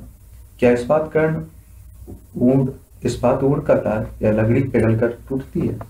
कुछ विशेष पदार्थों के बने तारों से जब अधिक विद्युत धारा प्रवाहित होती है, तब वे शीघ्र ही पिघल कर टूट जाते हैं। इन तारों का उपयोग विद्युत फ्यूज बनाने में किया जाता है।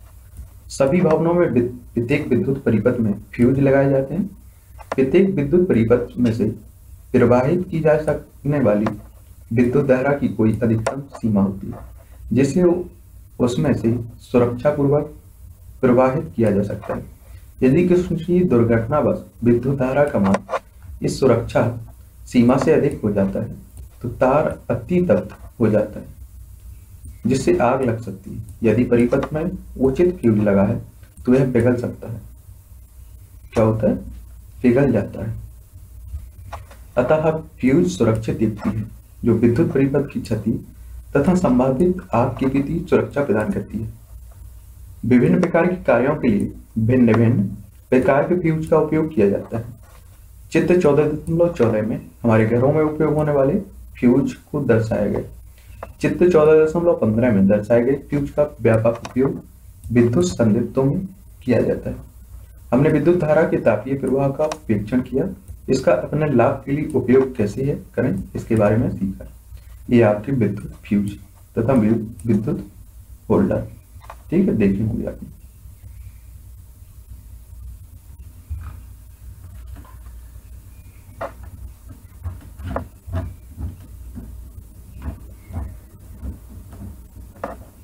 प्रकाश उत्पन्न करने के लिए ताप दीप्त बल्बों का प्रयोग उपयोग होता है।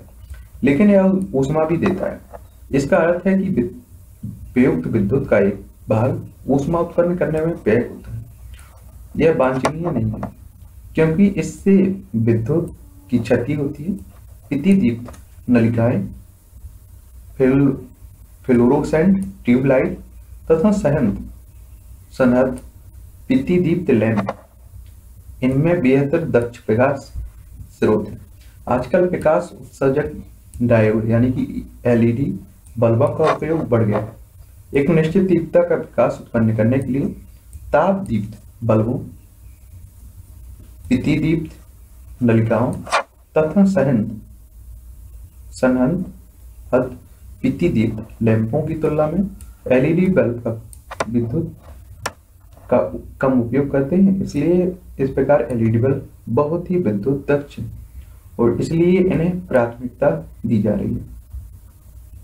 ये आपकी सी एफ़ एल ये आपका बल्ब हो गया, ये आपकी एलईडी होगी देख लीजिए। ऐसे विद्युत सदित या गैजेट को प्रयोग करने की सलाह दी जाती है, जो विद्युत दक्ष हो। भारतीय मार्ग ब्यूरो नई दिल्ली उत्पादों को मानक चिन्ह प्रदान करता है। जिसे मार्ग कहते हैं, जो उत्पादों पर दिए गए विनिर्देशों की अनुरूपता का आश्वासन देता है।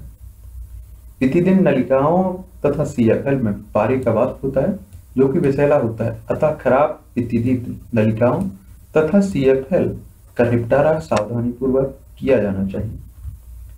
विद्युत परिपथों में अत्यधिक विद्युत धारा प्रवाहित प्रवाहित होने का एक कारण विद्युत तारों में परस्पर सीधा संपर्क हो जाना है। ऐसा टूट फूट अथवा तारों को विद्युत रोशन के हटने के कारण हो सकता है। इससे लघु पथन शॉर्ट सर्किट हो सकता है। अत्यधिक धारा प्रवाहित होने का एक कारण एक ही सॉकेट से कई युक्तियों को संयोजित करना हो सकता है। इससे परिपथ में अति भारण हो सकता है। आपने समाचार पत्रों में अति भारण तथा लघु कथन के कारण लगने वाली आगों के बारे में पढ़ा होगा।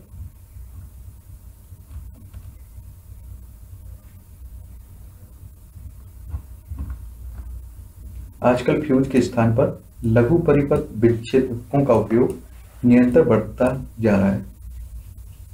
जब किसी परिपथ में विद्युत धारा सुरक्षा सीमा से अधिक हो जाती है तो ये ऐसे स्विच होते हैं जो स्वतः ही ऑफ़ हो जाते हैं। आप इन्हें फिर से ऑन कर सकते हैं। तो पुनः परिपथ पुनः पूरा हो जाता है। डब्बे पर भी आई एस, आई चिन्ह अवश्य देखिए। सदैव आई एस, आई चिन्ह वाले उचित फ्यूजों जिनका उल्लेख किसी विशेष अनुपयोग के लिए किया गया हो, का ही उपयोग करना चाहिए। फ्यूज के स्थान पर किसी भी तार अथवा धातु की पट्टी का उपयोग कदापि नहीं करना चाहिए। पर्याप्त का विद्युत धारा का चुंबकीय प्रभाव। उपयोग की जा चुकी माचिस की डिब्बे की कार्ड बोर्ड टे लीजिए इसके चारों ओर विद्युत तार की कुछ फेरे लपेटिए। टे के भीतर एक छोटी चुंबकीय सुई रखिए। अब इस तार के स्वतंत्र सिरों को चित्त चौदह दशमलव सत्रह में दर्शाए अनुसार स्विच से होने, होते हुए विद्युत सेल से संयोजित कीजिए। जिस दिशा में दिशा की ओर चुंबकीय सुई संकेत करती है, उसे नोट कीजिए। चुंबकीय सुई के निकट एक क्षण चुंबक लाइए। देखिए क्या होता है। अब चुंबक को हटाकर चुंबकीय सुई को ध्यान से देखते हुए स्विच को ऑन की स्थिति में लाइए। आप क्या देखते हैं? क्या चुंबकीय सुई विक्षेपित होती है? स्विच को आपस, वापस ऑफ़ की स्थिति पर ले जाइए। क्या चुंबकीय सुई वापस अपनी प्रारंभिक स्थिति पर आती है? देखिए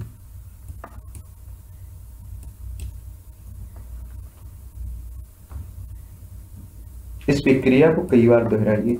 यह प्रयोग किया, क्या संकेत देता है? हम जानते हैं कि चुंबकीय सुई एक लघु चुंबक होती है, जो उत्तर दक्षिण दिशा की ओर संकेत करती है। जब हम कोई चुंबक उसके निकट लाते हैं तो सुई विक्षेपित हो जाती है।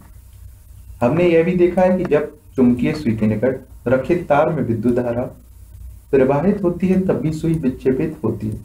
क्या आप इन दोनों प्रेक्षणों में कोई संबंध स्थापित कर सकते हैं? क्या किसी तार में विद्युत धारा प्रवाहित करने पर वह तार चुंबकी भांति व्यवहार करता है? ये है आपके हेंस, क्रिश्चियन ओस्टेन इस प्रकार के वेक्षण में हेंस, क्रिश्चियन और और ट्रेड नामक वैज्ञानिक को भी आश्चर्यचकित किया। वे ऐसे पहले व्यक्ति थे जिन्होंने यह देखा कि जब भी किसी तार से विद्युत धारा प्रवाहित होती है तो उसके पास रखी चुंबकीय सुई में विक्षेप होता है। अतः जब किसी तार से विद्युत धारा प्रवाहित होती है तो वह चुंबक की भांति व्यवहार करता है। इसे विद्युत धारा का चुंबकीय प्रभाव कहते हैं। इससे क्या कहते हैं? विद्युत धारा का चुंबकीय प्रभाव वास्तव में विद्युत धारा का उपयोग चुंबक के निर्माण में किया जाता है। बात करते हैं विद्युत चुंबक। लोहे की लगभग 6 से 10 सेंटीमीटर, लंबी एक कील, लगभग 75 सेंटीमीटर लंबा विद्युत रोधी, प्लास्टिक अथवा कपड़े से ढका हुआ अथवा एनिमल, लेपित, लचीला तार लीजिए। इस तार को कुंडली के रूप में कील पर कसकर लपेटिए। तार के स्वतंत्र सिरों को किसी सुई से होते हुए चित्र चौदह दशमलव उन्नीस में दर्शाए अनुसार एक विद्युत सेल से संयोजित कीजिए। कुछ पिन कील के सिरे पर इसके निकट लाइए। अब स्विच ऑन कीजिए और देखिए क्या होता है। क्या पिन कील की नींव नोक से चिपकते हैं? स्विच ऑफ़ कीजिए। क्या पेन अब भी की के सिर से चिपके हैं? ये है आपका इस तरह से विद्युत चुंबक। याद रखें, इस क्रियाकलाप में एक बार बार में कुछ सेकंड से अधिक समय तक विद्युत धारा प्रवाहित नहीं करनी चाहिए, करनी है। यदि परिपथ को संयोजित छोड़ दें तो सेल सीधी दुर्बल हो जाएगा। ठीक है? उपयुक्त क्रियाकलाप में विद्युत धारा प्रवाहित करने पर कुंडली चुंबक की भांति व्यवहार करती है। जब विद्युत धारा का प्रवाह समाप्त हो जाता है तो कुंडली का चुंबकत्व सामान्यतः नष्ट हो जाता है। इस प्रकार कुंडली को विद्युत चुंबक कहते हैं। इस प्रकार की कुंडली को क्या कहते हैं? विद्युत चुंबक। इन्हीं शब्दों की परिभाषा दिखाने के लिए हमें ये सब कहानी गढ़ी जाती है, ठीक है? तो आपको अच्छे से पढ़ना है और अपना पॉइंट निकालना है, निकल जाना है, ठीक है? विद्युत चुंबक को अति प्रबल बनाया जा सकता है। ये अत्यंत भारी बोझ उठा सकते हैं। क्या आपको कक्षा छठवीं के अध्याय तेरह में दिखाए क्रैन के चित्र की याद है? इस प्रकार की क्रैन के एक सिरे पर प्राय एक प्रबल विद्युत चुम्बक लगा होता है। विद्युत चुम्बक का उपयोग कबाड़ से चुंबकीय पदार्थों को पृथक करने के लिए भी किया जाता है। डॉक्टर दुर्घटनावश आँख में गिरे चुंबकीय पदार्थ के छोटे टुकड़ों को बाहर निकालने में नन्हे विद्युत चुम्बकों का उपयोग करते हैं। बहुत से खिलौने के भीतर भी विद्युत चुम्बक आपके लगे होते हैं। बात करते हैं विद्युत घंटी। हम सभी विद्युत घंटी से बड़ी भांति परिचित हैं। इसमें एक विद्युत चुंबक होती है। आइए देखें विद्युत घंटी कैसे कार्य करती है। चित्र चौदह दशमलव बीस। इस तरह से विद्युत घंटी का मॉडल। में एक विद्युत घंटी का विद्युत परिपथ दर्शाया गया। है इसमें लोहे के टुकड़े पर तांबे के तार की कुंडली लिपटी होती है। विद्युत चुम्बक के निकट लोहे की एक पत्ती लगी होती है। इसके एक सिरे से हथौड़ा जुड़ा होता है। लोहे की पत्ती के समीप का संपर्क पेंच होता है। जब लोहे की पत्ती इस पेंच के संपर्क में आती है तो विद्युत परिपथ पूरा हो जाता है तथा कुंडली से विद्युत धारा प्रवाहित होती है, जिससे वह विद्युत चुम्बक बन जाती है। तब यह लोहे की पत्ती को अपनी ओर खींचती है। इस प्रक्रिया में पत्ती के सिरे से जुड़ा हथौड़ा घंटी से टकराता है और ध्वनि उत्पन्न होती है। परंतु जब विद्युत चुंबक लोहे की पत्ती को अपनी ओर खींचता है तो यह परिपथ को भी तोड़ देती इससे कुंडली से विद्युत धारा का प्रवाह समाप्त हो जाता है। क्या कुंडली अभी विद्युत चुंबक बनी रहती है? नहीं। जब कुंडली विद्युत चुंबक नहीं होती है तो यह लोहे की पत्ती को भी अपनी ओर नहीं खींचती है। लोहे की पत्ती अपनी मूल स्थिति में आकर पुनः संपर्क पेंच से स्पर्श करती है। इससे परिपथ फिर से पूरा हो जाता है। कुंडली से पुनः विद्युत धारा प्रवाहित होती है, तथा हथौड़ा पुनः घंटी से टक्कर टक्कर मारता है। यह प्रक्रिया अति शीघ्रता से दोहराई जाती है। हर बार परिपथ पूरा होने पर हथौड़ा घंटी से टकराता है और इस प्रकार विद्युत घंटी बचती जाती है। तो इस अध्याय में आपने क्या क्या सीखा है? बैटरी के बारे में जाना है, विद्युत परिपथ के बारे में जाना है, विद्युत अवयव के बारे में जाना है लघु पतन के पतन के बाद में जाना है। विद्युत घंटी भी देखिए।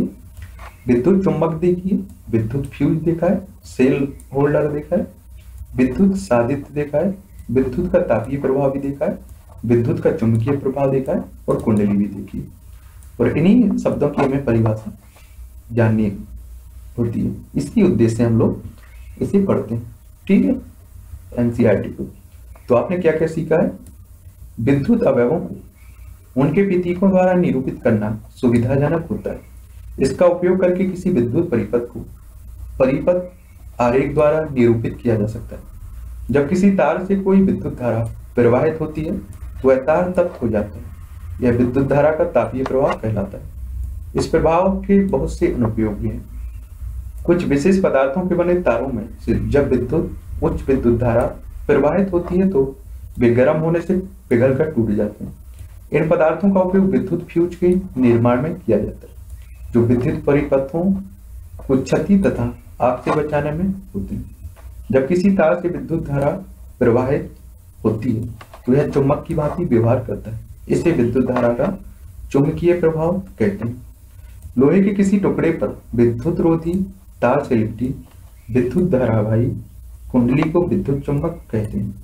विद्युत चुंबक बहुत सी युक्तियों में उपयोग किए जाते हैं। ठीक है? ये आपके अभ्यास के लिए क्वेश्चंस दिए गए हैं। आप लोग लगा सकते हैं। पीडीएफ आपकी टेलीग्राम पर डली हुई है। वहाँ से डाउनलोड कर लीजिए वो एक बार हो सक अगर हो टाइम तो उससे पढ़ लीजिए। ठीक? और निकल जाइए बस। इतना ही हमें पढ़ना है।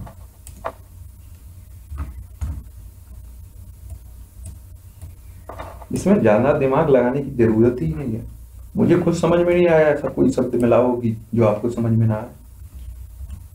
अगर आप लोग एक बार अच्छे से पढ़ते हैं तो मुझे लगता है नब्बे से पंचानवे परसेंट आपके क्लियर हो जाएँगे कॉन्सेप्ट और ये भी जानता हूँ कि इसे पढ़ने में बहुत आलस आता होगा, क्योंकि बोरिंग लगती होगी। लेकिन पढ़ना तो ज़रूरी है। विद्युत बल्ब के आविष्कारक से प्रयाग थॉमस अल्वा एडिसन को दिया जाता है। यद्यपि इनमें, इनसे पूर्व भी अनवैज्ञानिक इस पर कार्य कर चुके थे। एडिसन बिल, बिल्चण प्रतिभा के व्यक्ति थे। उन्होंने विद्युत बल्ब ग्रामोफोन चलचित्र, कैमरा, कार्बन पेशक सहित लगभग तेरह सौ आविष्कार किए। उन्हीं के आविष्कारों के बाद टेलीफोन के आविष्कार को सुगम बनाया। यह थॉमस अल्वा एडिसन। देख लीजिए। इनसे बहुत कुछ सीखने को मिलता है। हमें तो ये आपका चौदहवा चैप्टर हो गया। विद्युत धारा, इसके प्रभाव और अब बात करेंगे पंद्रहवें चैप्टर में, प्रकाश के बारे में। पंद्रह चैप्टर होगा हमारा प्रकाश। नमस्कार साथियों।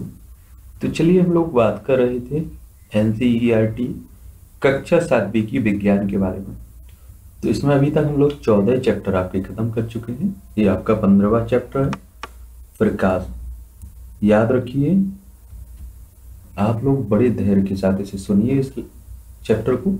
लास्ट में जो भी इसका निष्कर्ष होता है, इसे पढ़ने का जो भी उद्देश्य होता है, उसे बता दिया जाता है। तो टेंशन बिल्कुल मत लीजिए, बस धैर्य के साथ सुनिए अच्छे से। ठीक है? आपने पतली जर्री अथवा छत्ते से सूर्य के विकास के किरण पुंज को कमरे में प्रवेश करते हुए देखा हुआ। स्कूटर, कार तथा रेलगाड़ी की इंजनों के अग्निदीपों हेड से आते प्रकाश के किरण पुंज को भी आपने अवश्य देखा होगा। इसी प्रकार टॉर्च से भी प्रकाश के किरण पुंज को देखा जा सकता है। संभवतः आप में से कुछ ने लाइट हाउस या विमान पतन, एयरपोर्ट के टावर की सर्च लाइट के किरण पुंज को देखा होगा। ये अनुभव क्या संकेत करते हैं? ये आपका रेलवे इंजन का? देखिए इस तरह से प्रकाश देती बात करते हैं प्रकाश सरल रेखा के अनुदेश गमन करता है। बूझो कक्षा छठवीं में किए गए एक क्रियाकलाप को स्मरण करता है, याद करता है। इस क्रियाकलाप में उसने एक मोमबत्ती की लो, यानी कि ज्वाला की ओर पहले एक सीधे पाइप से और फिर मुड़े हुए पाइप से देखा था। अगर आपको याद हो तो हम लोगों ने इसके बारे में बात की थी। ये आपका लाइट हाउस है। बूझो मुड़े हुए पाइप से मोमबत्ती की लो। लो को क्यों नहीं देख पाया? यह क्रियाकलाप दर्शाता है कि प्रकाश सरल रेखा में गमन करता है। हम प्रकाश के पथ को कैसे परिवर्तित कर सकते हैं? क्या आप जानते हैं कि जब प्रकाश किसी पॉलिश किए हुए या चमकदार पेस्ट सतह पर पड़ता है तो क्या होता है? एक मोमबत्ती और एक सीधी पाइप से देख रहे हैं मोड़ी हुए पाइप से। तो इससे देखेगा, इससे नहीं देखेगा। नॉर्मल सी बात है। प्रकाश का परावर्तन। विकास की दिशा को परिवर्तित करने की एक विधि है कि इसे किसी चमकदार पृष्ठ पर डाला जाए। उदाहरण के लिए स्टेनलेस स्टील, स्टेनलेस इस्पात की चमकदार, प्लेट अथवा इस्पात की चमकदार चम्मच प्रकाश की दिशा को परिवर्तित कर सकती है। जल का पेट भी दर्पण की भांति कार्य कर सकता है और विकास के पथ को बदल सकता है। क्या आपने कभी जल में पेड़ों अथवा इमारतों का परावर्तन देखा हुआ इस तरह से? कोई भी पॉलिश किया हुआ अथवा चमकदार पेस्ट दर्पण की भांति कार्य कर सकता है। जब प्रकाश किसी दर्पण पर पड़ता है तो क्या होता है? कक्षा छठवीं में आप पढ़ चुके हैं कि दर्पण अपने ऊपर पड़ने वाले प्रकाश की दिशा को बदल देता है। दर्पण प्रकाश की दिशा का यह परिवर्तन, प्रकाश का परावर्तन कहलाता है। क्या कहलाता है? प्रकाश का परावर्तन कहलाता है। क्या आपको क्रियाकलाप याद है जिसमें आपने एक टॉर्च के विकास को दर्पण द्वारा परावर्तित कराया था? पहली को पंचतंत्र की शेर तथा खरगोश की कहानी याद आ रही जिसमें खरगोश ने सिरगोश के पानी में उसका परावर्तन दिखाकर उसे मूक बनाया था। आपने पढ़ा होगा कुएँ के पानी द्वारा परावर्तन। आइए इससे, उसी से मिलता जुलता एक क्रियाकलाप देखते हैं। एक टॉर्च ले लीजिए। इसके कांच को चित्र पंद्रह दशमलव पाँच इस तरह से। दर्शाए हुए काले रंग के चार्ट पेपर के टुकड़े से टक, टकिए, जिसमें से, जिसमें तीन पतली झिल्लियाँ स्लेट बनी हुई लकड़ी के किसी चिकने बोर्ड पर एक अन्य चार्ट पेपर की एक सीट फैलाइए। चार्ट पेपर पर समतल दर्पण की एक पट्टी ऊर्ध्वाधर स्थिति में रखिए। अब टॉर्च की झिल्लियों से निकलने वाले प्रकाशकरण पुंज को दर्पण पर डालिए। टॉर्च को इस प्रकार समायोजित कीजिए कि इसका प्रकाश बोर्ड पर लगे, चार्ट पेपर के अनुदिश दिखाई दे। अब इसकी स्थिति को इस प्रकार समायोजित कीजिए तो टॉर्च का प्रकाश समतल दर्पण पर एक कोण बनाते हुए टकराए। क्या दर्पण अपने ऊपर पड़ने वाले प्रकाश की दिशा परिवर्तित कर देता है? अब टॉर्च को थोड़ा सा इधर उधर इस प्रकार हटाइए कि दर्पण पर प्रकाश पड़ता रहे। क्या आप परावर्तित प्रकाश की दिशा में कोई परिवर्तन देखते हैं? परावर्तित प्रकाश की दिशा की अनुदेश दर्पण में देखिए। क्या दर्पण में आपको टॉर्च पर लगी झिर्रियाँ दिखाई देती हैं? या झिर्रियाँ झिर्रियों का पिति है? या झिर्रियों का क्या है? पिति है यह क्रियाकलाप दर्शाता है कि प्रकाश समतल दर्पण से किस प्रकार परिवर्तित होता है। आइए दर्पण में बनने वाले प्रतिबिंबों से खेलों उनके विषय में कुछ अधिक जानकारी प्राप्त करते हैं। जलती हुई मोमबत्ती का उपयोग करते समय सावधानी बरतें। इस क्रियाकलाप को यदि आपने अपने अध्यापक या घर के किसी बड़े सदस्य की उपस्थिति में करें तो अच्छा होगा। आपको नहीं करना है, आपको बस पढ़ना है, ठीक है, निकल जाना है।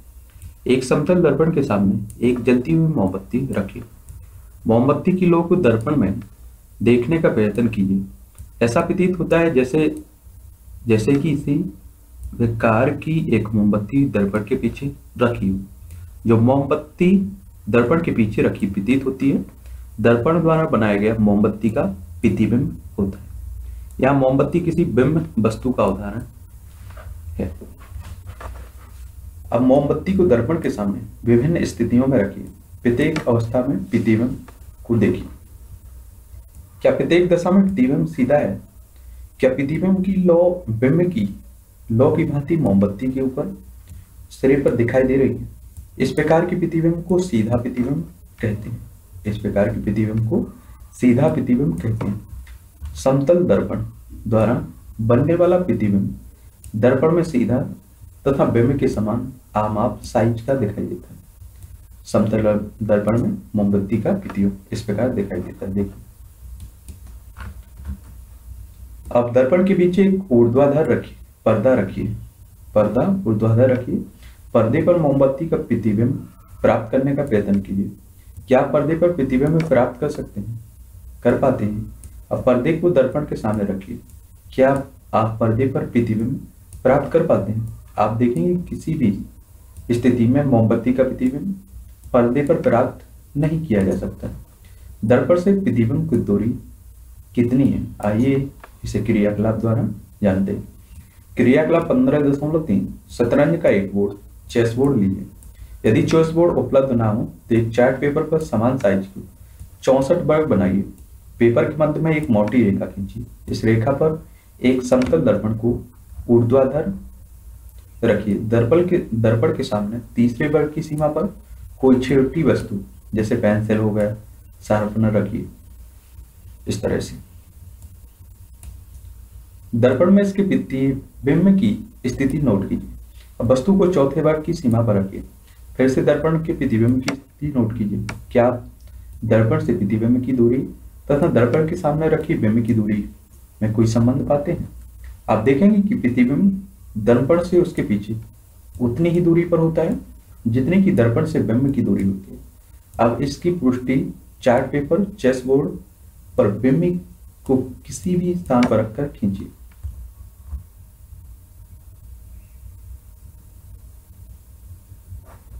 पहली ने अपनी नोटबुक में लिखा, समतल दर्पण में प्रतिबिंब दर्पण के पीछे बनता है।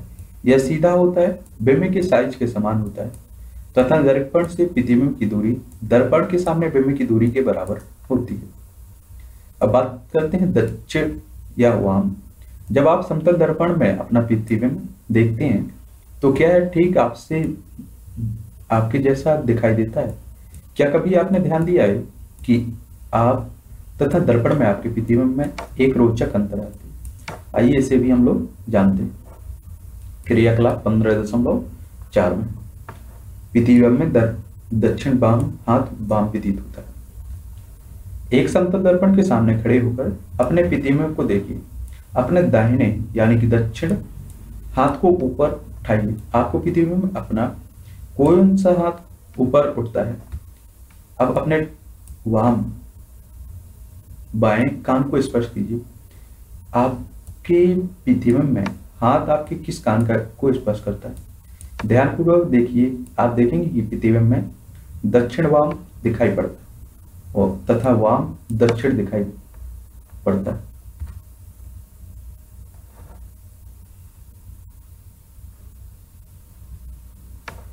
बूझो ने सड़क पर रोगी वाहन, एंबुलेंस देखा। उसे आश्चर्य हुआ कि इसके आगे की ओर शब्द एंबुलेंस विचित्र प्रकार का इस तरह से लिखा जाता है। देखिए, जिसे देखिए, शीशा में या किसी में इस तरह की समतल दर्पण में प्रतिबिंब में, देखते हैं तो उसे सीधा एंबुलेंस दिखाई देता है किसी चालक को। ध्यान दीजिए कि केवल पार्श यानी कि साइड से में ही यह अदला बदली होती है। प्रतिबिंब उल्टा ऊपर का भाग नीचे नहीं दिखाई देता है। प्रतिबिंब उल्टा नहीं दिखाई देता है। अब एक कागज़ के टुकड़े पर अपना नाम लिखिए। इसे समतल दर्पण के सामने पकड़िए। यह दर्पण में कैसा दिखाई देता है?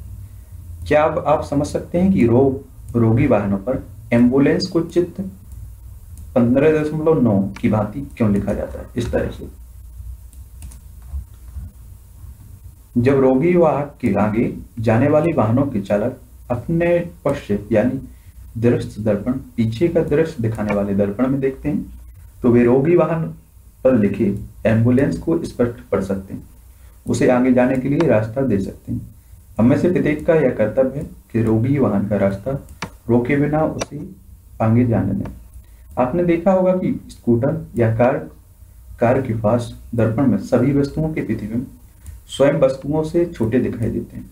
क्या आपको कभी सोचा है कि ऐसा क्यों होता है? गोलीय दर्पण से खेल। पहेली तथा बूझो सायकाल भोजन के लिए प्रतीक्षा कर रहे थे। बूझो ने स्टेनलेस इस्पात की प्लेट उठाई। उसमें अपना प्रतिबिंब देखा। अरे, यह प्लेट तो समतल दर्पण की बात ही कार्य करती है। मेरा प्रतिबिंब सीधा तथा समान साइज़ का है। पहेली ने अपना प्रतिबिंब इस्पात की चम्मच के बाहरी, अर्थात पीछे वाले पेस्ट का उपयोग करके देखा। पहेली ने कहा बूझो इधर देखो। मैं भी अपना सीधा प्रतिबिंब देख सकती हूँ। यद्यपि यह साइज़ में छोटा, यह चम्मच भी एक प्रकार के दर्पण की भांति कार्य करता है। चम्मच जो आपकी होती है, ये भी एक दर्पण की भांति कार्य करती है। आप भी चम्मच या कोई भी वाक्य चमका, चम, चमकदार पेस्ट का उपयोग अपने प्रतिबिंब देखने के लिए कर सकते हैं। क्रियाकलाप पंद्रह दशमलव पाँच। स्टेनलेस इस्पात की एक चम्मच लीजिए। चम्मच के चम्मच के बाहरी पेस्ट को अपने चेहरे के पास लाइए। तथा इसमें देखिए कि क्या इसमें अपना प्रतिबिंब देख पाते हैं। आपने जैसा प्रतिबिंब समतल दर्पण में देखा था, क्या यह प्रतिबिंब उससे भिन्न है? क्या यह प्रतिबिंब सीधा है? क्या इसका साइज़ बिंब के साइज़ के समान है अथवा छोटा है या फिर बड़ा है? इस तरह से। ठीक है? अब चम्मच के भीतरी पेस्ट का उपयोग करके अपना प्रतिबिंब बना सकते हैं। हो सकता है कि इस बार आपको अपना प्रतिबिंब सीधा तथा बड़ा दिखाई दे। यदि आप अपने चेहरे से चम्मच की दूरी बढ़ाएँ तो संभव है कि आप अपना उल्टा प्रतिबिंब देख पाए। अपने चेहरे के स्थान पर आप अपने पेन या पेंसिल के प्रतिबिंब की भी तुलना कर सकते हैं। चम्मच के भीतरी पेस्ट द्वारा बना प्रतिबिंब चम्मच का वक्कित चमका का चमकदार पेस्ट एक दर्पण की भांति कार्य करता है। गोलीय दर्पण वक्कित दर्पण का सबसे अधिक सामान्य उदाहरण। है यदि किसी गोलीय दर्पण का परावर्तक पेस्ट अवतल है तो इसे क्या कहते हैं? अवतल दर्पण कहते हैं। देखिए, इसी तरह की जो भी आपके पॉइंट हुआ करें, उन्हें पकड़िए, उन्हीं की परिभाषा आपको जाननी है। आपको कोई महान ज्ञाता नहीं कि प्रयोग करना, बैठ जाना है, प्रयोगशाला में चम्मच ढूंढते फिरना है। आपको बस पढ़ना है और निकल जाना है। वो कक्षा सातवीं के बच्चे अपने आप करते रहेंगे, उतना तुम दिमाग मत लगाइए। यहाँ क्या दिया गया यदि किसी गोलीय दर्पण का परावर्तन पेस्ट अवतल है तो उसे अवतल दर्पण कहते हैं। क्या कहते हैं? अवतल दर्पण। यदि परावर्तन पेस्ट का उत्तल है तो इसे उत्तल दर्पण कहते हैं। चम्मच का भीतरी पेस्ट अवतल दर्पण की भांति कार्य करता है, जबकि इसका बाहरी पेस्ट उत्तल दर्पण की भांति कार्य करता है। यह आपका परावर्तक पेस्ट हो गया, ये आपका परावर्तक पेस्ट इस तरह से। ये अवतल, ये आपका उत्तल ठीक है? ये क्या होगा? आपका अवतल और ये आपका उत्तल दर्पण। ठीक है? अवतल तथा उत्तल दर्पण को गोलीय दर्पणों, दर्पण क्यों कहते हैं? रबड़ को एक गेंद लीजिए। इसके एक भाग को चाकू अथवा आरी से काटिए। सावधान गेंद काटने के लिए। किसी अपने से बड़े व्यक्ति की सहायता लें। कटी हुई गेंद का भीतरी पेस्ट अवतल, और बाहरी जो आपका पृष्ठ होता है, वो उत्तल कहलाता है। ठीक? ये आपका क्या कहलाएगा? उत्तल पृष्ठ और ये आपका अवतल पृष्ठ। हम जानते हैं कि किसी बिंब का समतल दर्पण द्वारा बना प्रतिबिंब पर्दे पर प्राप्त नहीं किया जा सकता है। आइए देखें क्या है दर्पण प्रतिबिंब द्वारा बने। प्रतिबिंबों के लिए भी सही है। सूर्य के प्रकाश में किया जाता है। सूर्य के विकास में किया जाना है। सावधानी। क्या है? सावधान। कभी भी सूर्य को या इसके प्रतिबिंब को सीधे मत देखिए। क्योंकि इससे आपकी आँखें खराब हो सकती हैं। आप सूर्य के प्रतिबिंब को किसी पर पर्दे या दीवार पर बनाकर देख सकते हैं। एक अभावी अवतल दर्पण लीजिए। इसके परावर्तित पृष्ठ को सूर्य की ओर रखकर पकड़िए। दर्पण से परावर्तित विकास को एक कागज़ की सीट पर प्राप्त करने का प्रयास कीजिए। कागज़ की सीट को तब तक आगे पीछे समायोजित कीजिए, जब तक कि आपको एक तीक्ष यानी कि स्पष्ट चमकदार बिंदु प्राप्त ना हो जाए। इस तरह से अवतल दर्पण सूर्य का वास्तविक प्रतिमा बनाता है। दर्पण तथा कागज़ की सीट को कुछ मिनट के लिए स्थिर रखिए। क्या कागज़ जलना प्रारंभ कर देता है? यह चमकदार बिंदु? वास्तव में सूर्य का प्रतिबिंब होता है। हम लोगों ने इस तरह से किया होता बचपन में बहुत करते थे, ठीक है? जलाने का काम। क्योंकि जो बॉक्स आता था, उसमें ये निकलता था लेंस दर्पण। उसी की सहायता से इस तरह से प्रैक्टिकल करते थे। कागज़ जलना प्रारंभ हो जाता है। यह चमकदार बिंदु वास्तव में सूर्य का प्रतिबिंब है। ध्यान दीजिए कि यह प्रतिबिंब पर्दे कागज़ की सीट पर बन रहा है। पर्दे पर बनने वाले प्रतिबिंब को वास्तविक प्रतिबिंब कहते हैं। पर्दे पर बनने वाले प्रतिबिंब को क्या कहते हैं? वास्तविक प्रतिबिंब। याद रहे कि क्रियाकलाप पंद्रह दशमलव दो में समतल दर्पण द्वारा बने मोमबत्ती की लौ के प्रतिबिंब को पर्दे पर प्राप्त नहीं किया जा सकता। इस प्रकार के प्रतिबिंब को आभासी प्रतिबिंब कहते हैं। आइए अवतल दर्पण द्वारा बने मोमबत्ती के लौ के प्रतिबिंब को पर्दे पर प्राप्त करने का प्रयत्न करते हैं। क्रियाकलाप पंद्रह दशमलव सात। अवतल दर्पण को चित्र पंद्रह दशमलव पंद्रह में दिखाए अनुसार मेज पर रखे किसी स्टैंड। इस तरह से। किसी स्टैंड कोई प्रबंधन जो दर्पण को स्थिर रखे, सके का उपयोग किया जा सकता है। पता लगाइए कि गत्ते की सीट लगभग 15 सेंटीमीटर इंटू दस सेंटीमीटर पर एक सफ़ेद कागज़ चिपकाइए यह एक पर्दे का कार्य करेगी। मेज पर एक जलती हुई मोमबत्ती, दर्पण से लगभग 50 सेंटीमीटर की दूरी पर रखिए। पर्दे पर मोमबत्ती की लौ का प्रतिबिंब प्राप्त करने का प्रयत्न कीजिए। इसके लिए पर्दे को दर्पण की ओर तथा दर्पण से दूर उस तक, उस समय तक सरकाइए, जब तक कि लौ का तीक्ष्ण प्रतिबिंब प्राप्त न हो ध्यान रखिए कि मोमबत्ती से दर्पण पर पड़ने वाले प्रकाश को पर्दा बाधा न पहुँचाए। क्या यह प्रतिबिंब वास्तविक या आवासी है? क्या इसका साइड लॉ जितना ही है? देखिए।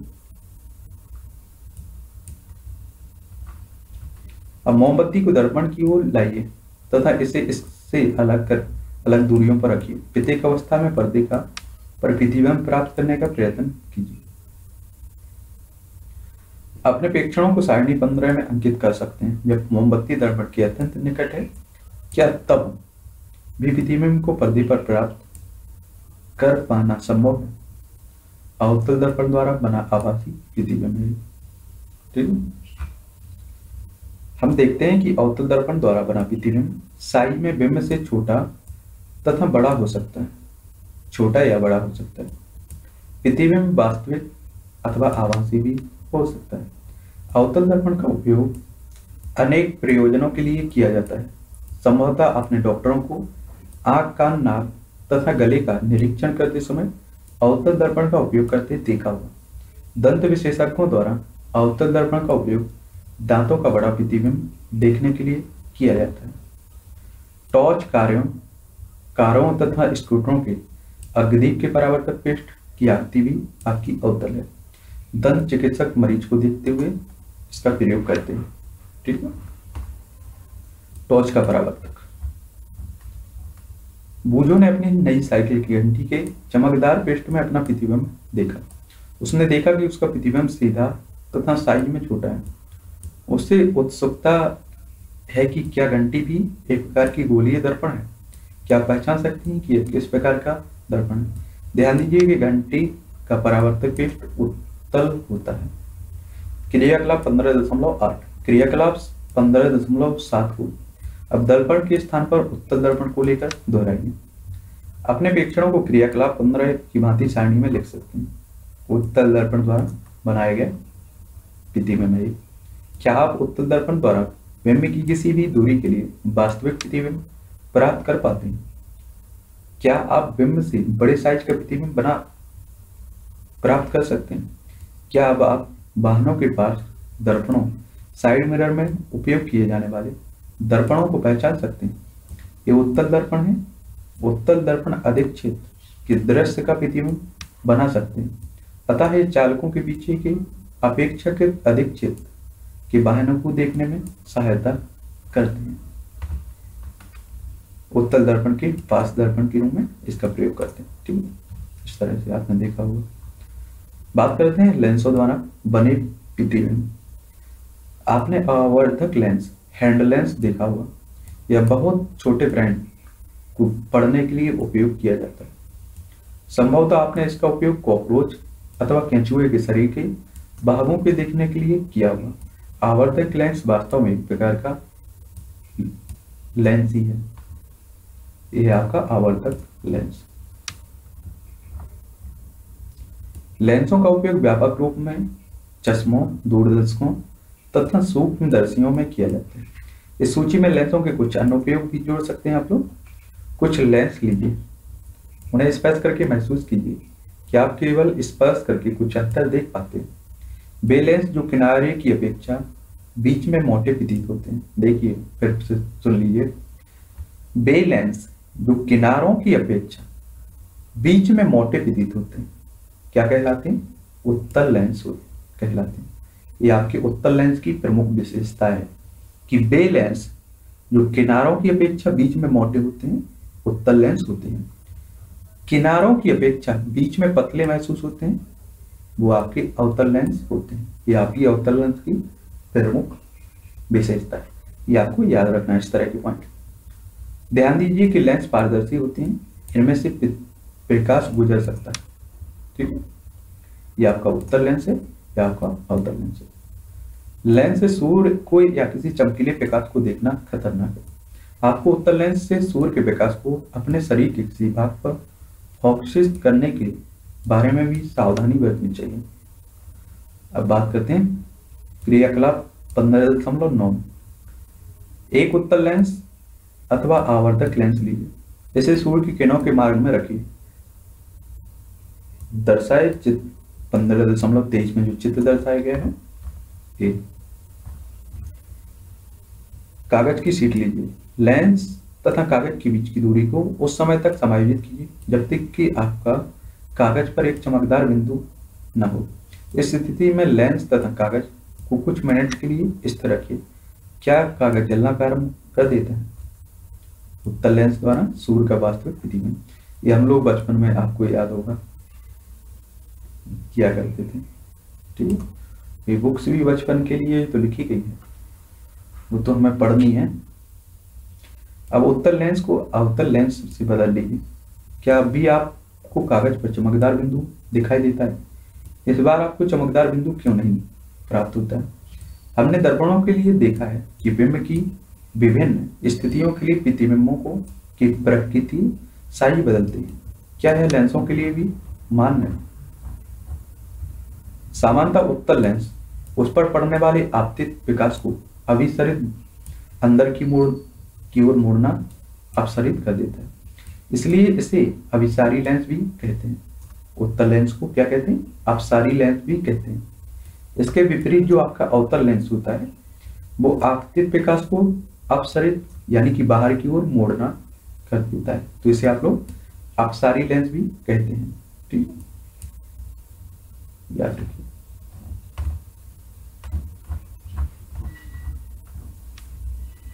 क्रियाकलाप पंद्रह दशमलव दस।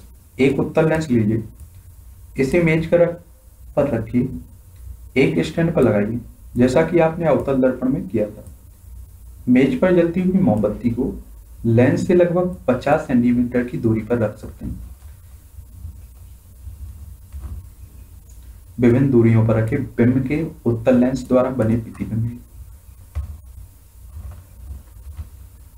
लेंस के दूसरी ओर रखे कागज़ के पर्दे पर मोमबत्ती की लौ का प्रतिबिंब प्राप्त करने का प्रयत्न करना है। आपको आपको पर्दों, पर, आपको पर्दे को लेंस की ओर या लेंस से दूर ले जाना होगा, जिससे कि आपको लौ का स्पष्ट, तीक्ष्ण प्रतिबिंब प्राप्त हो जाए।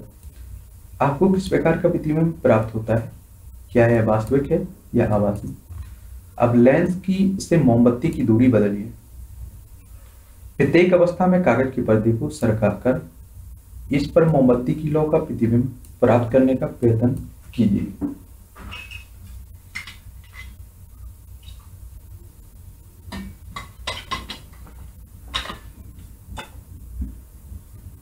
अवतल दर्पण के लिए किए गए क्रियाकलाप पंद्रह दशमलव सात के अनुसार अपने प्रेक्षणों को सारणी में सारणीबद्ध कर सकते हैं। क्या बिंब की किसी स्थिति के लिए आपको ऐसा प्रतिबिंब प्राप्त होता है, जो सीधा तथा आवर्धित हो। क्या इस प्रतिबिंब को पर्दे पर प्राप्त किया जा सकता है? क्या है वास्तविक है या नहीं? उत्तर लेंस द्वारा बना आवासीय प्रतिबिंब आपका। ठीक है? आवासीय ऐसी स्थिति में ही उत्तर लेंस को आवर्तिक लेंस की भांति उपयोग किया जाता है। इसी प्रकार अवतल लेंस द्वारा बने प्रतिबिंबों का अध्ययन कीजिए। आप पाएँगे कि अवतल लेंस द्वारा बने प्रतिबिंब सदैव आभासी सीधे तथा बिंब के साइज़ से छोटे होते हैं। यह आपका अवतल लेंस द्वारा बना प्रतिबिंब है। अब बात करते हैं हम लोग सूर्य का विकास, श्वेत अथवा रंगीन। क्या आपने आकाश में कभी इंद्रधनुष देखा है? आपने ध्यान दिया होगा कि यह प्रया वर्षा के पश्चात दिखाई देता है। जब सूर्य आकाश में क्षितिज के पास होता है तो इंद्रधनुष आकाश में अनेक रंगों एक के एक बड़े धनुष आर्क के रूप में दिखाई देता है। इस तरह से। देखिए। इंद्रधनुष में कितने वर्ड होते हैं? यानी कि कितने रंग होते हैं? मोटे तौर पर इंद्रधनुष में सात वर्ण होते हैं। लाल, नारंगी, पीला, हरा, नीला, जामुनी तथा बैगनी। इन रंगों को याद रखना है आपको। ठीक है? इंद्रधनुष में कितने रंग होते हैं? सात। कौन कौन से? लाल, नारंगी, पीला, हरा, नीला, जामुनी, बैगनी। आपने देखा होगा कि जब आप साबुन के बुलबुले बनाते हैं तो वे भी रंगीन दिखाई देते हैं। इसी प्रकार जब प्रकाश की किसी सीढ़ी से परावर्तित होता है तो आपको अनेक वर्ण दिखाई देते हैं इस तरह से। इन सब अनुभवों के आधार पर क्या हम यह कह सकते हैं कि सूर्य का विकास विभिन्न वर्णों का मिश्रण होता है? चलिए इसे भी देख लेते क्रियाकलाप पंद्रह दशमलव ग्यारह। कांच का एक फ़िल्म लीजिए। किसी अंधेरे कमरे की खिड़की के छोटे छिद्र से सूर्य के विकास का एक पतला करंट पुंज फ़िल्म की एक फैलक पर डालिए। फ़िल्म के दूसरे फलक से बाहर निकलने वाले प्रकाश को सफ़ेद कागज़ की एक सीट अथवा सफ़ेद दीवार में गिरने दीजिए। आप क्या देखते हैं? क्या आप इंद्रधनुष जैसे ही वर्ण यहाँ भी देख पाते हैं। चित्र पंद्रह दशमलव तीस की तरह, इस तरह से। विजन सूर्य के विकास की एक किरण पुंज को सात वर्णों में विभक्त कर देती है। यह दर्शाता है कि सूर्य के प्रकाश में सात वर्ण विद्यमान ऐसे प्रकाश को दृष्ट श्वेत प्रकाश भी कहते हैं। श्वेत प्रकाश के वर्णों को पहचानने का प्रयत्न कीजिए। इसके नाम अपनी नोटबुक में लिख सकते हैं। क्या हम इस सात वर्णों को मिलाकर श्वेत प्रकाश प्राप्त कर सकते हैं? चलिए इसे भी देख लेते हैं। लगभग 10 सेंटीमीटर व्यास की गद्दे एक वृत्ताकार डिस्क लीजिए। इस डिस्क को सात खंडों में बांट लीजिए। चित्र पंद्रह दशमलव इकतीस ए के अनुसार। इस तरह से।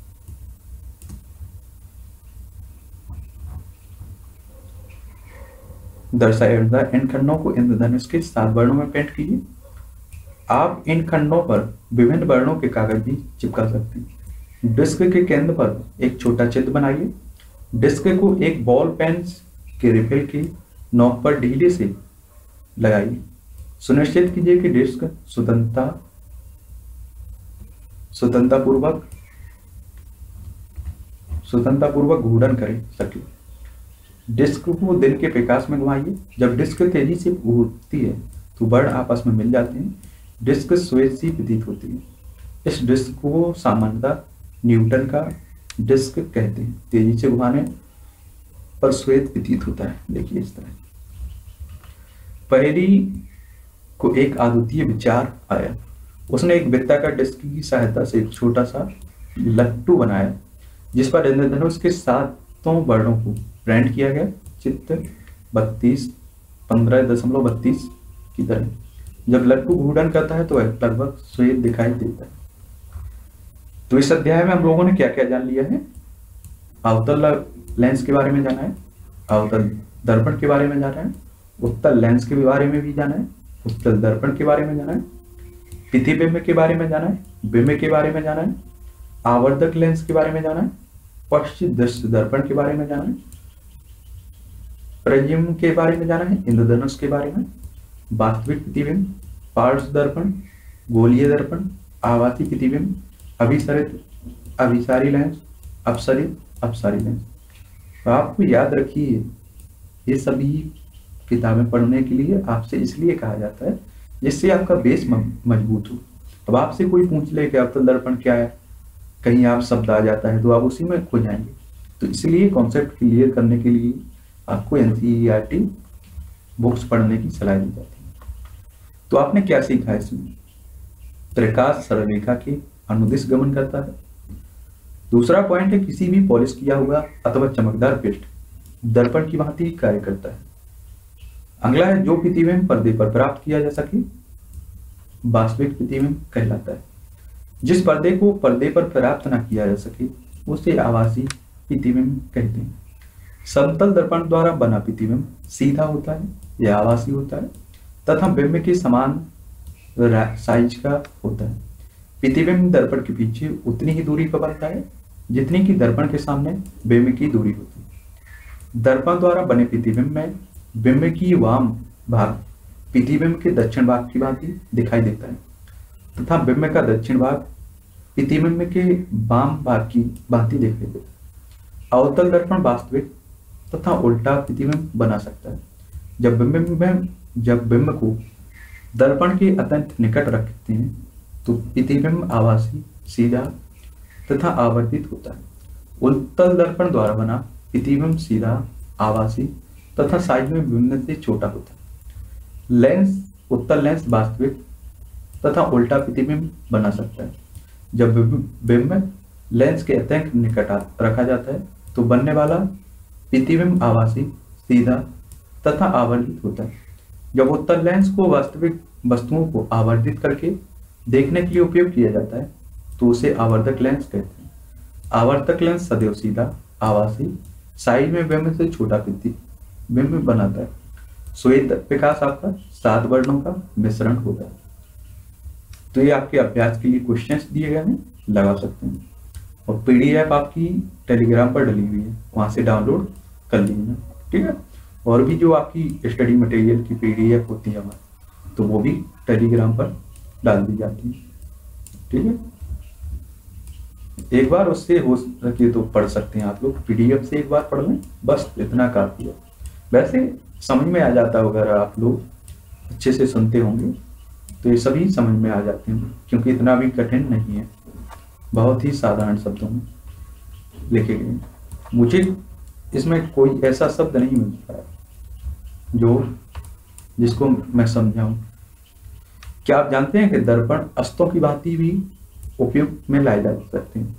कहते हैं कि ग्रीक वैज्ञानिक आर्किमिडीज ने लगभग 2000 वर्ष पहले ऐसा कर दिखाया था, जब रोमनों ने ग्रीक के समुद्र तट के सायराक्यूज, सिसरी नामक नगर पर आक्रमण किया तो आर्किमिडीज ने चित्र पंद्रह दशमलव चौतीस इस तरह से। चौतीस दर्शाए अनुसार दर्पण को लगाया। दर्पण को किसी भी दिशा में घुमाया जा सकता था।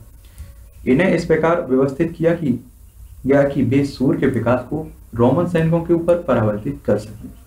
इस सूर्य के प्रकाश से रोमन सैनिक चुन दिया गए वे नहीं जानते थे कि क्या हो रहा है। चकाचौंध नहीं हो जाता उसे। वे चकरा गए और भाग खड़े हुए। या एक ऐसा उदाहरण है जो स्पष्ट करता है कि किसी प्रकार सैनिक ताकत पर सूझबूझ से विजय पाई जा सकती है। तो इसमें आप लोगों ने क्या जान लिया है? प्रकाश के बारे में। अगला चैप्टर होगा हमारा सोलह। जल एक बहुमूल संसाधन है। ठीक? नमस्कार दोस्तों। तो चलिए हम लोग बात कर रहे थे एनसीईआरटी कक्षा सातवीं की विज्ञान के बारे में। तो इसमें अभी तक हम लोग पंद्रह चैप्टर आपके खत्म कर चुके हैं। ये आपका सोलहवा चैप्टर है। जल एक बहुमूल्य संसाधन है। याद रखिए, जल के बिना कुछ भी नहीं है। जल है तो कल है। यदि जल उपलब्ध है तो हमारा भविष्य सुरक्षित है। हमेशा एक बात याद रखिए कि अगर हम अपने प्रकृति के साथ कोई छेड़छाड़ नहीं करते उसे कोई भी हानि नहीं पहुंचाते तो हमारे लिए बहुत फ़ायदे का सौदा होगा। क्योंकि जब प्रकृति हम खेलना शुरू करती है हमारी ज़िंदगी से तो किसी लाइट भी नहीं छोड़ती है। ठीक है? इसी, उसी तरह प्रकृति, उसी भगवान की तरह है कि हमें भगवान ने एक अच्छा इंसान बनने के लिए चुना है। हमारे हाथ में ये नहीं है कि किसी की खुशियाँ हम छीने या किसी को खुशियाँ उजाड़ें, किसी के साथ बुरा करें। ये ऊपर वाले का काम है। अगर आज ये आप सब करके जीते और पता नहीं लोग क्या सोचते हैं, मुझे नहीं पता है। लेकिन अगर तुम किसी की खुशी छीन कर एक वक्त के लिए भी हँसते हो तो तुम इंसान कभी नहीं कहला सकते। हो ठीक है? और इतना बड़ा अपने आप को खिलाड़ी मत समझिए। दो चार लोगों के साथ गलत करके आप खिलाड़ी बन गए। ये गलत है। कभी किसी के भरोसे का कोई फ़ायदा मत उठाइए। और सब खुश भी रहिए, खुश, खुद रहिए, दूसरे को खुश रखिए। क्योंकि जब भगवान ऊपर वाला खेलना शुरू करता है तो किसी लायक भी नहीं छोड़ता। है ना तो रोने लायक और ना ही सुधरने लायक। तो इतना मत सोचिए कि अगर किसी का भरोसा तोड़ देते हैं, या किसी से, के साथ बुरा कर देते हैं, वो समझते हो कि हम ही चतुर हैं, हम ही समझदार हैं, ये गलत है। ठीक है पर आपकी मर्ज़ी। क्या उखाड़ लोगे हो किसी की खुशियाँ छीन कर, किसी को दुख देकर? कुछ नहीं। अपनी इंसानियत का फ़र्ज़ निभाइए और आगे बढ़िए, ठीक है? याद रखिए, जल एक बहुमूल्य संसाधन है। इस अध्याय को बड़े धैर्य के साथ पढ़ना है आपको किताबें, जो भी है लास्ट में जो निष्कर्ष होता है, उसे बता दिया जाता है। और इस अध्याय को जो हमारे पढ़ने का उद्देश्य है उसे भी समझा दिया जाता है। आप शायद जानते हो कि प्रति वर्ष 22 मार्च, यानी कि 22 मार्च के दिन विश्व जल दिवस के रूप में मनाया जाता है। ये विश्व जल दिवस मनाने का उद्देश्य इतना ही है कि आपको इसके महत्व के बारे में समझाया जा सके, आपको जागरूक बनाया जा सके। तो याद रखना 22 मार्च के दिन विश्व जल दिवस के रूप में मनाया जाता है। एक विद्यालय में जल दिवस मनाया गया। और आपने आयु, आपके आयु वर्ग के बच्चों ने पोस्टर आमंत्रित किए। उस दिन प्रस्तुत किए गए कुछ पोस्टरों को चित्र सोलह दशमलव एक में दर्शाया गया। जल की हर बूंद बचाएँ, जल की बचत करें। प्रत्येक बूंद बहुमूल्य है। मेरा परमित जल। इन पोस्टरों से आपको क्या संदेश मिलता है? अपने वीक्षणों को अपनी नोटबुक में लिखी और उनकी चर्चा कीजिए क्या आपके घर, कभी घर अथवा विद्यालय में जल की कमी महसूस की है? आपके माता पिता और शिक्षक प्राय आपको जल बर्बाद न करने की सलाह देते होंगे? हर व्यक्ति का जल संरक्षण के महत्व की ओर ध्यान आकर्षित करने के लिए हम प्रतिवर्ष जल चक, जल दिवस के रूप में मनाते हैं। पेय जल धुलाई, खाना पकाने और उचित सफ़ाई बन, सफ़ाई बनाए रखने के लिए संयुक्त राष्ट्र द्वारा प्रत्येक व्यक्ति के लिए सुझाई गई जल की न्यूनतम क्षमता, न्यूनतम मात्रा 50 लीटर प्रति व्यक्ति होती है। कितना? 50 लीटर प्रति व्यक्ति। यह मात्रा प्रति व्यक्ति प्रतिदिन लगभग ढाई बाल्टी जल के बराबर है। क्या आपके परिवार को कम से कम इतना इतना जल मिल रहा है? यदि हाँ तो आपको अपने यहाँ आपको भाग्यशाली समझना चाहिए। क्योंकि हमारे देश में लाखों लोगों को पर्याप्त जल नहीं मिलता है। आपके मित्रों, उनके परिवारों की जल की उपलब्धता की स्थिति कैसी है? अपने अनुभवों की, उनके साथ चर्चा कीजिए। कुछ स्थानों पर जल की अत्यधिक कमी है। नलों में पानी न आना, जल भरने के लिए लंबी कतारें, लड़ाई लग झड़ गई झड़ गई, झगड़े सॉरी जल की मांग के लिए धरने प्रदर्शन आदि। दृश्य विशेषकर ग्रीष्म, गर्मियों के दिनों में दिखाई देते हैं।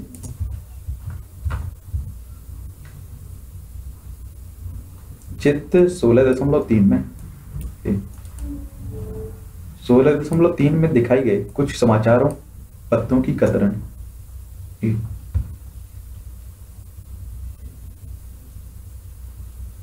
इस स्थिति को की ओर स्पष्ट रूप से इंगित करते हैं ये कतर में। क्या यह सत्य नहीं है कि हम जल की अत्यधिक कमी का सामना कर रहे याद रखिए, जल हमारे लिए पर्याप्त है। आपने सुना होगा, सत्तर से इकहत्तर परसेंट हमारी धरती पर जल ही है। बाकी उनतीस परसेंट के करीब हमारे पास स्थल मंडल है। जलमंडल काफ़ी है, लेकिन वो हमारे लिए उपयोग लायक जल नहीं है। अब आप खारे पानी से या युक्त जल से नहा तो नहीं सकते, पी भी तो नहीं सकते हो। तो पानी तो पर्याप्त है, लेकिन स्वच्छ जल बहुत ही कम है हमारे लिए। क्रियाकलाप सिक्स सोलह पॉइंट वन समाचार पत्रों और पत्रिकाओं से जल की कमी से संबंधित समाचार, लेख और चित्र की कतरने एकत्रित कीजिए उन्हें अपने स्कैप पुस्तिका में चिपकाएँ और उनके बारे में अपने मित्रों से चर्चा करें। जनता द्वारा झेली जाने वाली कुछ समस्याओं को सूचीबद्ध कीजिए और कक्षा में उन पर चर्चा कीजिए। जल की कमी पूरे विश्व के लिए चिंता का विषय बन गई। ऐसा अनुमान है कि अब से कुछ ही वर्षों वर्षों में विश्व की एक तिहाई से अधिक जनसंख्या को जल की कमी का सामना पर करना पड़ेगा। जल की कमी के विषय में चर्चा करने से पहले हम, हमें यह जानना आवश्यक है कि हमारी पृथ्वी पर उपयोग के लिए कितना जल उपलब्ध है। बात करते हैं कितना जल उपलब्ध है। अंतरिक्ष के से लिए गए पृथ्वी के चित्र को देखिए। यह नीला क्यों दिखाई देता है? निश्चित ही आप अनुमान लगा सकते हैं। अंतरिक्ष से पृथ्वी नीली आभा लिए दिखाई देती है, ठीक है, इस तरह से। आप जानते हैं कि पृथ्वी की सतह का लगभग इकहत्तर प्रतिशत भाग पर जल से ढका पृथ्वी पर उपस्थित लगभग समस्त जल समुद्रों महासागरों, नदियों, तालाब, ध्रुवीय बर्फ़ भौम जल और वायुमंडल में पाया जाता है। परंतु इसमें से अधिकांश जल इसी रूम में मानव उपयोग के लिए उपयुक्त नहीं है। उपयोग के लिए उपयुक्त जल आलवड़ जल है, जिसे बोल चाल की भाषा में ताज़ा जल कहते हैं लोग। ऊपर बताए गए कुछ स्रोतों से उपलब्ध आलवड़ जल, यानी कि ताज़ा जल की सापेक्ष मात्रा का आकलन करने के लिए क्रियाकलाप सोलह दशमलव दो का प्रयोग करेंगे। किस सारणी में दिए गए विभिन्न चरणों का अनुमान अनुसरण करते हुए पृथ्वी में उपलब्ध आलवड़ जल का आकलन कीजिए। फ़र्स्ट चरण, ये चित्त हो गया, ये टिप्पणी। मध्यम आमाप साइज़ की एक बाल्टी लेकर उसे जल से भर लीजिए। इसमें लगभग 20 लीटर जल होता है। मान लीजिए कि बाल्टी का जल पृथ्वी पर उपलब्ध कुल जल को प्रदर्शित करता है आपका। एक पाँच एम क्षमता का चम्मच ले लीजिए। बाल्टी से सौ चम्मच जल, मग से किसी छोटे पात्र में निकाल लीजिए इस तरह से। यह पृथ्वी पर उपलब्ध। ये पृथ्वी पर उपलब्ध आलावर जल की को प्रदर्शित करता है। मग से तीन चम्मच जल की को कांच के किसी गिलास में डालिए इस तरह से। यह भौम जल के रूप में पाए जाने वाले उपयोग योग्य जल की मात्रा के समान है। अंत में मग से एक चौथाई चम्मच जल निकालिए। यह विश्व की सभी झीलों और नदियों से उपस्थित कुल आलावर जल की मात्रा प्रदर्शित करता है। बाल्टी से बचा जल समुद्रों और महासागरों में उपस्थित जल, यानी कि लवण जो खारा पानी है, वो है। और आंशिक रूप से भौम जल के रूप में पाए जाने वाले जल को दर्शाता है। यह जल मानव उपयोग के लिए उपयुक्त नहीं है। नहाने के मग से बचा जल उस जल को प्रदर्शित करता है, जो हिम, हिमीकृत रूपों में हिमनद ध्रुवीय बर्फ़ पर्वतों की स्थायी बर्फ़ में पाया जाता है। यह जल भी हमें आसानी से उपलब्ध नहीं होता है। मैंने कई भी जगह देखा है कि लोग दो दो किलोमीटर पानी पीने के पानी भरने के लिए जा रहे हैं, लेने के लिए। महिलाएँ, इस मैटर में महिलाएँ बड़ी परेशानी होती है उन्हें, क्योंकि ये काम तो वही करती हैं।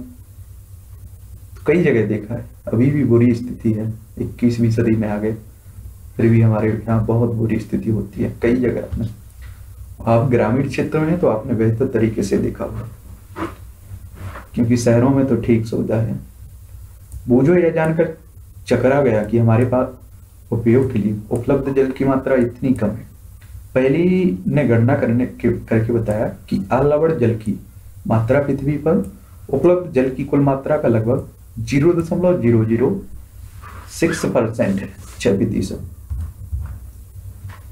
हमने से अधिकांश लोग जल को एक असीमित संसाधन मानते हैं। क्रियाकलाप सोलह दशमलव दो से।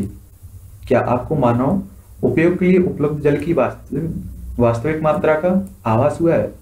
क्या इस जानकारी से आपको चिंता हो रही है? इस विषय में अपनी कक्षा में चर्चा करिए। आपको चर्चा करके नहीं बैठना है। आपको पढ़ के निकल जाना है बस, ठीक है? जो कक्षा सातवीं के बच्चे होंगे, वो चर्चा करेंगे अच्छे से, बेहतर। जल की अवस्थाएँ। क्या आपको डर है कि सतत उपयोग से किसी दिन उपयोग के लिए उपलब्ध समस्त जल समाप्त हो जाएगा? आप जानते हैं कि विभिन्न प्राकृतिक क्रमों द्वारा पृथ्वी पर जल की निरंतर उपलब्धता करोड़ों वर्षों से बनी हुई है। यह सभी विक्रम सम्मिलित रूप से जल चक्रण का निर्माण करते हैं। आपने कक्षा छठवीं में जल चक्र के विषय में पढ़ा था। अपने शब्दों में लिखिए कि आप जल चक्र के बारे में क्या जानते हैं। आप जानते हैं कि जल चक्र द्वारा परिचक्रण के दौरान जल इस, इसकी तीनों अवस्थाओं अर्थात ठोस, द्रव, गैस में से किसी एक अवस्था में पृथ्वी पर कहीं भी पाया जा सकता है। ठोस अवस्था में जल बर्फ़ और हिम के रूप में, पृथ्वी के ध्रुवों पर बर्फ़ छत्र, बर्फ़ से ढके पर्वतों हिमनदों ग्लेशियर में पाया जाता है। द्रव अवस्था में जल महासागरों, झीलों, नदियों के अतिरिक्त, भूतल के नीचे होम जल की भी पाया जाता है। गैसीय अवस्था में जल हमारे आसपास की वायु में, जलवाष्प के रूप में उपस्थित रहता है। जल का, उसकी तीनों अवस्थाओं के बीच सतत चक्रण द्वारा पृथ्वी पर जल की कुल मात्रा स्थिर बनी रहती है। जबकि समस्त मानव जनसंख्या तथा अन्य सभी जीव जल का उपयोग करते हैं। क्या इस जानकारी से आपको कोई राहत मिलती है? क्या आपको जल चक्र में सम्मिलित प्रक्रम याद है? क्रियाकलाप सोलह दशमलव तीन में आपको इस, इसमें सहायता कर सकता है। चित्त सोलह दशमलव पाँच में जल चक्र में सम्मिलित विक्रमों को संख्याओं द्वारा चिन्हित किया गया है। इन संख्याओं की सहायता से अस्त व्यस्त क्रम में लिखे गए विक्रमों के लिए सही शब्द हुआ।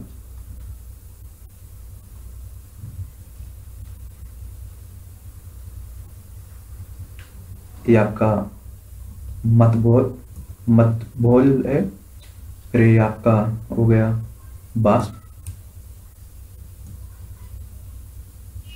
फिर हो गया आपका नासंग। किस तरह से नाम है इसके।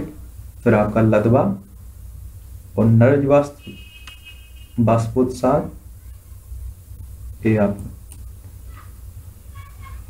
इसयन अदंत नहाए और ये हो गया वर्षण या इस तरह से। ठीक है ये जल चक है।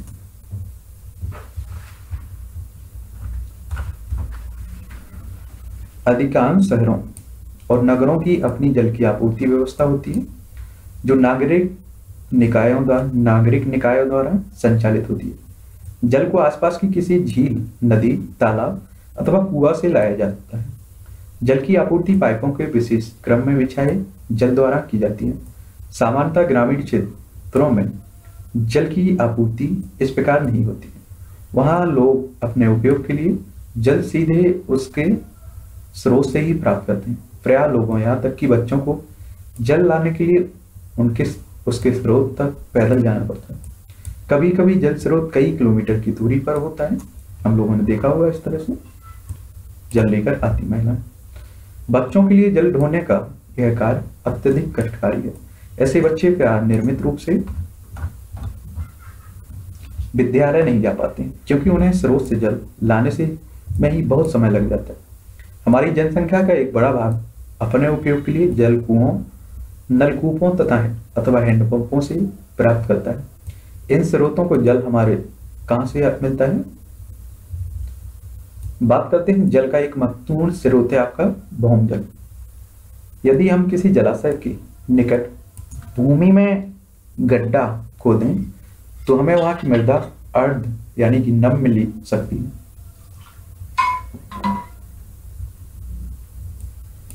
मृदा में आर्द्रता भूमिगत जल की उपस्थिति को इंगित करती है। यदि हम और अधिक गहराई तक खोदते चलें, जाए तो हम उस स्तर तक पहुँच सकते हैं, जहाँ मृदा के कणों के बीच के सारे के सारे रिक्त स्थान, अवकाश और चट्टानों के बीच के स्थान जल से भरे होते हैं।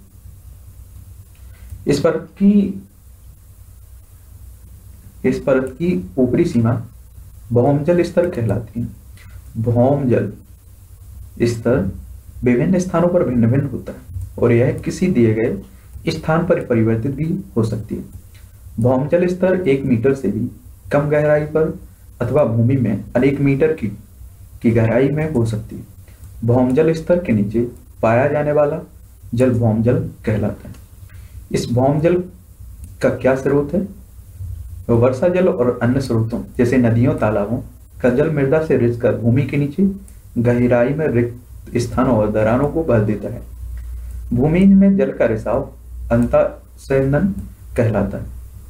अतः इस क्रम द्वारा उपयोग किए जा चुके भौम जल की पुनः परिपूर्ति हो जाती है। कुछ स्थानों पर बहुम जल स्तर नीचे स्थित कठोर सैलों की परतों के बीच बहुम जल संचित हो जाता है। इस प्रकार संचित बहुम जल के भंडार, भंडारों को जल भर कहते हैं। जलभरों के जल को सामान्य नलकूपों अथवा हैंडपंपों की सहायता से बाहर निकाला जाता है। ये आपका जल हो गया बहुम जल देखिए इस तरह से। ये नदी और झील हो गई। ये आपका हैंडपंप हो गया। पुनः पूर्ति हो रही। बाप के रूम में जाता है फिर। वापसी आता है। ये बहुम जल हो गया। ठीक है? क्या आप किसी ऐसे स्थान पर गए हैं जहाँ निर्माण कार्य हो रहा हो? श्रमिकों को निर्माण के लिए जल कहाँ से मिलता है? आपने शायद देखा होगा कि ऐसे स्थानों पर भौम जल स्तर पर पहुँचने के लिए संछिद्रण बोरिंग की जाती है। वहाँ कार्य करने वाले लोगों से मालूम कीजिए कि उन्हें जल, पाने के लिए कितनी गहरी खुदाई करनी पड़ती है। क्या भूमि के नीचे निरंतर जल निकाल सकते हैं? ऐसा करने से भौम जल पर क्या प्रभाव पड़ेगा? स्वाभाविक है कमी ही होगी। वही कारण है कि हमारे आज से कुछ साल पहले हम बहुत जल्दी पानी निकल आता था। कहीं बोरिंग हो रही है, कुएँ खोदे जा रहे हैं तो कम ही गहराई पर पानी हमारे लिए उपलब्ध हो जाता था। लेकिन आज उल्टा है। बहुत नीचे तक बोरिंग करवानी पड़ रही है। या कुआ कूदना पड़ रहा है तो बहुत गहराई तक जाना पड़ रहा है। तभी हमारे लिए जल उपलब्ध हो रहा है। बॉम जल स्तर का स्तर का औचय भूमि के नीचे से निकाले गए बहुम जल की पुनःपूर्ति प्रया वर्षा के रिसाव द्वारा हो जाती बहुमजल स्तर स्तर तब तक प्रभावित नहीं होता है जब तक कि हम केवल उतना ही जल निकालते जितने कि प्राकृतिक क्रमों द्वारा पुनः पूर्ति की जाती है। तथापि जल की पर्याप्त रूप से पुनः पूर्ति न होने पर जल स्तर नीचे गिर सकता है। ऐसा अनेक कारणों से हो सकता है। जनसंख्या में वृद्धि, औद्योगिक और कृषि गतिविधियों आदि भौम जल स्तर को प्रभावित करने वाले कुछ सामान्य कारक हैं। अल्प वर्षा एक अन्य कारक है, जो भौम जल स्तर को नीचा कर सकता है। भौम जल स्तर को प्रभावित करने वाले अन्य कारक हैं। वन, अपरोपण वन उन्मूलन और जल के अवस्तर के अवस्तरण के लिए प्रभावित क्षेत्र में कमी याद रखिए एक बात बता कि हमारी इतनी औकात कभी नहीं है इंसान की कि वो प्रकृति का संरक्षण कर सके। प्रकृति से को आपसे कुछ नहीं चाहिए। बस उसे इससे कोई नुकसान पहुंचाइए। उसमें इतनी क्षमता होती है कि वो अपने आप को संतुष्ट या पुनः पूर्ति कर सकती है। जो भी क्षति होती है, वो दोबारा अपनी कवर कर लेती है। लेकिन तुम उसमें कुछ हानि मत पहुंचाइए। उसके सामने सामने तुम कोई भी समस्या खड़ी मत करिए। गांधी जी ने एक सुना होगा आप लोग सभी लोगों ने, कि गांधी जी ने कहा था कि वो प्रकृति हमारी आवश्यकताओं की पूर्ति, हर इंसान की आवश्यकताओं की पूर्ति कर सकती है। लेकिन किसी लाल, एक लालची व्यक्ति की पूर्ति के लिए ये हमारे प्राकृतिक संसाधन कम पड़ सकते हैं, क्योंकि मानव बड़ा लालच है।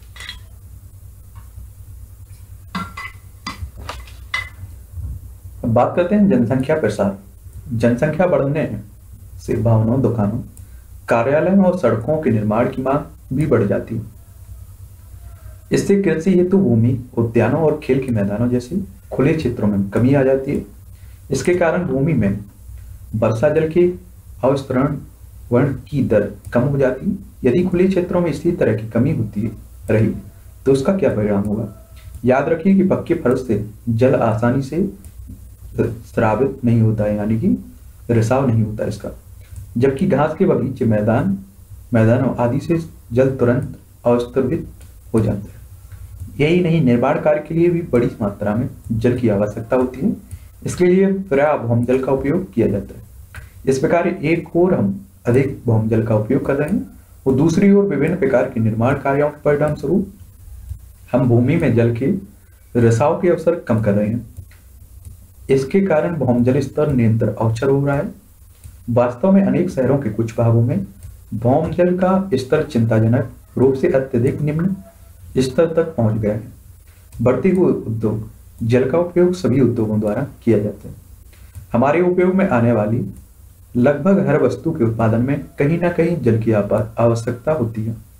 उद्योगों की संख्या निरंतर बढ़ती जा रही है। अधिकांश उद्योगों द्वारा उपयोग किया जाने वाला जल भूमि से निकाला जाता है। क्रियाकलाप सोलह दशमलव चार। ऐसे कुछ उद्योगों के नाम बताइए, जिनसे आप परिचित हैं। हमारे दैनिक जीवन में उपयोग किए जाने वाले इनमें से प्राप्त होने वाले उत्पादों की एक सूची बना सकते हैं। अपने शिक्षकों या शिक्षिका और माता पिता से इस बारे में बातचीत करिए। इस प्रकार बढ़ते हुए उद्योग धंधे, भौम जल स्तर के नीचे गिरने के लिए उत्तर रहे हैं। फिर आपका कृषि कार्य। भारत में अधिकांश किसान अपनी फ़सलों की सिंचाई के लिए वर्षा पर निर्भर करते हैं। नहरों जैसे सिंचाई तंत्र केवल कुछ ही क्षेत्रों में उपलब्ध हैं। इन तंत्रों में भी अनियमित वर्षा के कारण जल की उपलब्धता में कमी हो सकती है। अतः किसानों को सिंचाई के लिए भौम जल का उपयोग करना पड़ता है। जनसंख्या के बढ़ते दबाव के कारण कृषि के लिए भौम जल का उपयोग दिन पर दिन बढ़ता जा रहा है। इसके परिणाम स्वरूप भौम जल स्तर में लगा गिरावट आ रही है। अब बात करते हैं जल का वितरण। अनेक कारणों से विश्व के विभिन्न क्षेत्रों में पाए जाने वाले जल के वितरण में बहुत असमानता है। कुछ स्थानों पर अच्छी वर्षा होती है और वह जल से समृद्ध हो। इसके विपरीत रेगिस्तान जहाँ पर, बहुत कम वर्षा होती है। भारत बहुत विशाल देश है जिसके सभी क्षेत्रों में एक समान रूप से वर्षा नहीं होती। कुछ स्थानों पर अत्यधिक वर्षा होती है जबकि कुछ अन्य स्थानों पर बहुत कम वर्षा होती है। अत्यधिक वर्षा से पर्याप्त बाढ़ आ जाती है जबकि वर्षा की कमी से सूखा पड़ता है। हमारे देश में एक ही समय पर कुछ क्षेत्रों में बाढ़ और कुछ में सूखा हो सकता है। बात करते हैं क्रियाकलाप सोलह दशमलव पाँच। हमारे देश में औसत औसत वार्षिक वर्षा का वितरण चित्र सोलह दशमलव आठ में दिखाया गया। ये देखते हैं। मानचित्र में उस स्थान को ढूंढिए जहाँ आप रहते हैं। क्या आपके क्षेत्र में पर्याप्त वर्षा होती है? क्या आपके क्षेत्र में वर्ष भर पर्याप्त जल उपलब्ध है? यह भी संभव कि हम किसी ऐसे क्षेत्र में रह रहे हैं जहाँ वर्षा तो पर्याप्त है। फिर भी जल की कमी रहती है। क्या हम यह कह सकते हैं कि यह जल संसाधन के कुप्रबंधन के कारण होता है? यह है आपका भारत का वर्षा मानचित्र। ये आपका श्रीलंका हो गया, लक्षद्वीप सागर, अंडमान निकोबार द्वीप, बंगाल की खाड़ी, अरब सागर। ये आपका जो काला बॉक्स दिख रहा है ये रंग आपका 400 से अधिक सेंटीमीटर वर्षा को दर्शाता है। ये नीले रंग का, ये आपका 200 से 400 ये आपका 100 से 200 सेंटीमीटर, ये 60 से 100 ये 40 से 60 और 20 से 40 से, और ये है सबसे नीचे, ज़ीरो से 20 ये है आपका, यहाँ आपका 400 से अधिक सेंटीमीटर वर्षा होती है। ये आपका, ये ठीक है, भूटान हो गया, बांग्लादेश, ये आपकी करक रेखा म्यांमार हो गया, चीन, तिब्बत, नेपाल, पाकिस्तान या अफ़गानिस्तान। आपको एक क्वेश्चन है आपके लिए कमेंट बॉक्स में बताना है कि हमारी जो करक रेखा है कितने राज्यों से गुजरती है? ठीक है? सोच के गूगल पर सर्च कर कर आप लोग बता सकते हैं, ठीक है? बात करते हैं जल प्रबंधन के बारे में। आपने कक्षा छठवीं में पढ़ा था कि अनेक स्थानों पर जल की नियमित आपूर्ति सुनिश्चित पाइप तंत्र के द्वारा की जाती है। जब नागरिक प्राधिकरण पाइपों द्वारा जल की आपूर्ति करते हैं तो यह संभव है कि जल गंतव्य तक ना पहुँच पाए। आपने संभवतः तो जल आपूर्ति पाइप में रिसाव को देखा होगा, जिससे बड़ी मात्रा में जल पाइपों से रिस्क बह जाता है। यह नागरिक अधिकारियों का उत्तरदायित्व है कि बहुमूल्य जल को इस प्रकार व्यर्थ होने से रोका जाए। को प्रबंधन अथवा बर्बादी व्यक्तिगत स्तरों पर भी हो सकती है। हम सभी जानबूझकर अथवा अनजाने में दांतों में मंजन करते, दाढ़ी बनाने, नहाने और कई अन्य क्रियाकलापों के दौरान जल की बर्बादी करते हैं। त्रुटिपूर्ण टोटियों से जल रिसाव, उसकी बर्बादी का एक अन्य स्रोत है। उपयोग के दौरान जल की बर्बादी से ऐसा प्रतीत होता है, जैसे भविष्य में हमें जल की आवश्यकता नहीं होती। हमने देखा है कि वर्षा के रूप में जो जल हमें प्राप्त होता है, इसमें से अधिकांश ऐसे ही बह जाता है। यह बहुमूल्य प्राकृतिक संसाधनों की बर्बादी है। वर्षा जल का उपयोग भूम जल के स्तर को पुनः पूर्ति करने के लिए किया जा सकता है। इसे जल संग्रहण अथवा वर्षा जल संग्रहण कहते हैं, जिसके बारे में आपने कक्षा छठवीं में पढ़ा हुआ याद रखिए जल प्रबंधन के बारे में। आपने लोगों ने अक्सर देखा होगा कि जब हमारे नल आ रहे हों, जब हमारे यहाँ टंकी भरी हो तो हम उस चार से पाँच बाल्टी नहाने में यूज़ कर लेते हैं। ठीक और पानी को बर्बाद करते हैं। याद करिए वो समय जब हमारे यहाँ पानी नल नहीं आ रहे होते, किसी कारण से। लाइट ना हो, टंकी ना हो। उस समय हम क्या सोचते हैं कि एक डिब्बा ही मिल जाए जिससे हम लोग नहा क्या लें, मंजन ही कर लें। मंजन के लिए तरस जाते हैं। तो ये सही बात है। जिस पर बीतती है, वही जानता है। बाकी सबके लिए तमाशा रहता है कि जल बचाओ, ये करो, वो करो। जिससे इसका महत्व मालूम है, उसी से पूछिए, उस पर क्या बीतती है, जहाँ जल की कमी है। हमारे लिए जल की कमी नहीं है तो हम उससे नहीं परिचित होंगे। यह मालूम कीजिए कि क्या आपके आसपास किसी इमारत में जल संग्रहण तंत्रों को लगाया गया है। हमारे देश में अनेक स्थानों पर जल भंडारण जल का पुनः पूर्ति करने के लिए बावड़ी बनाने की प्रथाओं का, का सदियों से चलन रहा बावड़ी जल संचित करने की का पारंपरिक तरीका है। समय के साथ बावड़ियों का रखरखाव बंद कर दिया गया। जिनसे इन जलाशयों में धीरे धीरे गाद जमा होती गई। तदापि जल की अत्यधिक कमी के कारण इन क्षेत्रों के लोगों को इस प्रकार की तकनीकों पर पुनः विचार करना पड़ा। बावड़ियों को पुनः बनाया जा रहा है जिस स्थानों पर बावड़ियों का पुनः उद्यान किया गया है वहाँ कम वर्षा के बावजूद जल की आवश्यकता उनका प्रबंधन भली भांति हो रहा है। किसान भी अपने खेतों खेत में जल का उपयोग मितव्ययता से कर सकते हैं। संभवतः आप, आपने बूंद ड्रिप सिंचाई व्यवस्था के बारे में ज़रूर सुना होगा। ड्रिप ड्रिप सिंचाई व्यवस्था कम ब्यास के पाइपों द्वारा पौधों को पानी देने की तकनीक है जो सीधे उनकी जड़ों तक जल पहुंचाती है। एक केस अध्ययन। गुजरात के कच्छ क्षेत्र की भोजपुर नामक स्थान में वर्षा बहुत अनिश्चित रूप से होती है। वहाँ का ताजे जल का एकमात्र स्रोत भूमिगत जल है, क्योंकि इस क्षेत्र में नदियों में वर्ष भर पर्याप्त जल नहीं होता है। पिछले वर्षों जल का की मांग बढ़ गई। भौम जल का उपयोग पुनः पूर्ति होने वाले जल से कहीं अधिक हो गया। इसके परिणाम स्वरूप भौम जल पर स्तर चिंताजनक रूप से नीचे गिरता गया। वर्ष उन्नीस सौ नवासी में गांववासियों ने एक गैर सरकारी संगठन के साथ मिलकर वर्षा जल संग्रहण का निश्चय किया। रुकमावती नदी और उसकी अनेक सहायक नदियों पर 18 चेक डैम बाँध बनाए। इस तरह के एकत्रित किए गए जल से मृदा में अंतरश्रवण की दर को बढ़ा दिया गया, जिससे जल भरों की पुनः पूर्ति हो गई। इस क्षेत्र के किसानों के अनुसार, जब कुओं में पानी वर्ष भर उपलब्ध रहता है और जल बहकर समुद्र में चला जाता है और व्यर्थ हो जाता है, अब सिंचाई के लिए उपलब्ध हो गया है। ठीक है एक बाँध बनाने के बाद। अब बात करते हैं, आपकी भूमिका क्या हो सकती है? क्या आप कभी अपने घर विद्यालय अथवा किसी अन्य स्थान पर नल से पानी बहता देखकर उसे बंद करते हैं? रिश्ते हुए नल, नलों से बहुत से जल बैठ, बह जाता है। जल की बर्बादी को कम करने के लिए आप अनेक कदम उठा सकते हैं। आइए आपकी सहायता के लिए हम कुछ उदाहरण पर विचार कर सकते हैं। जल बचत आदतें मंजन ब्रुश करते समय नल को लगातार खुला ना रखें। फर्श की धुलाई करने की बजाय उस पर पोछा लगाएँ। ठीक है? और पादपों पर जल की कमी का प्रभाव। आपने देखा होगा कि गमले के पादपों, पौधों को यदि कुछ दिनों तक पानी ना दिया जाए तो यह मुरझा जाते हैं। और अंततः सूख जाते हैं।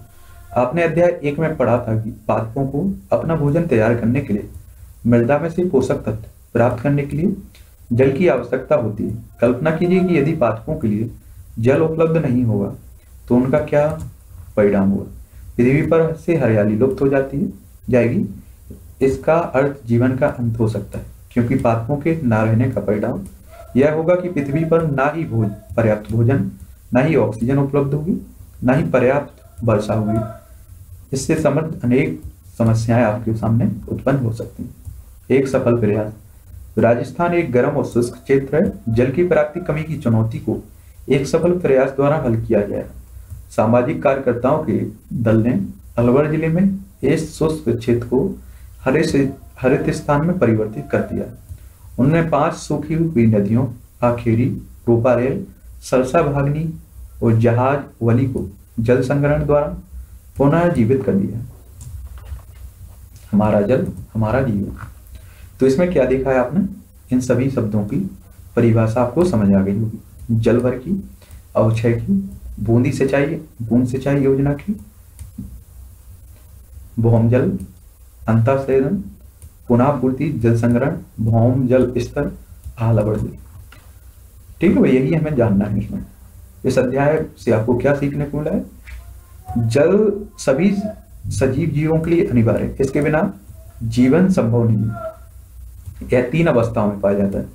ठोस, द्रव और वाष्प यद्यपि जल चक्र के द्वारा जल की आपूर्ति बनी रहती है, फिर भी विश्व के अनेक भागों में उपयोग हुए जल की कमी है। विश्व के विभिन्न भागों में जल का वितरण असमान है। ऐसा बहुत कुछ मानव क्रियाकलापों के कारण भी है। उद्योगों उद्योगों की तेज़ी से वृद्धि बढ़ती जनसंख्या, सिंचाई की बढ़ती आवश्यकताओं और कूप प्रबंधन जल की कमी के कुछ कारण। हमें पाइपों द्वारा जल आपूर्ति के समय भवनों और अन्य स्थानों में रिश्ते नलों के कारण होने वाले जल की बर्बादी के प्रति जागरूक होना चाहिए। जल के अनावश्यक उपयोग और अत्यधिक मात्रा में भूम जल का उपयोग करने से बचना चाहिए। भूमि में जल की पुनः को बढ़ाया जाना चाहिए। समय की मांग है कि हर व्यक्ति जल का उपयोग मितव्ययता से करे।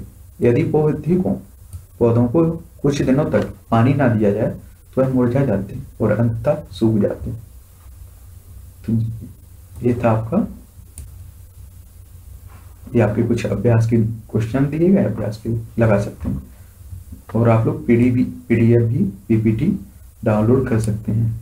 टेलीग्राम पर डली हुई ठीक है पूरी किताब आपकी वहाँ से पढ़ देंगे ये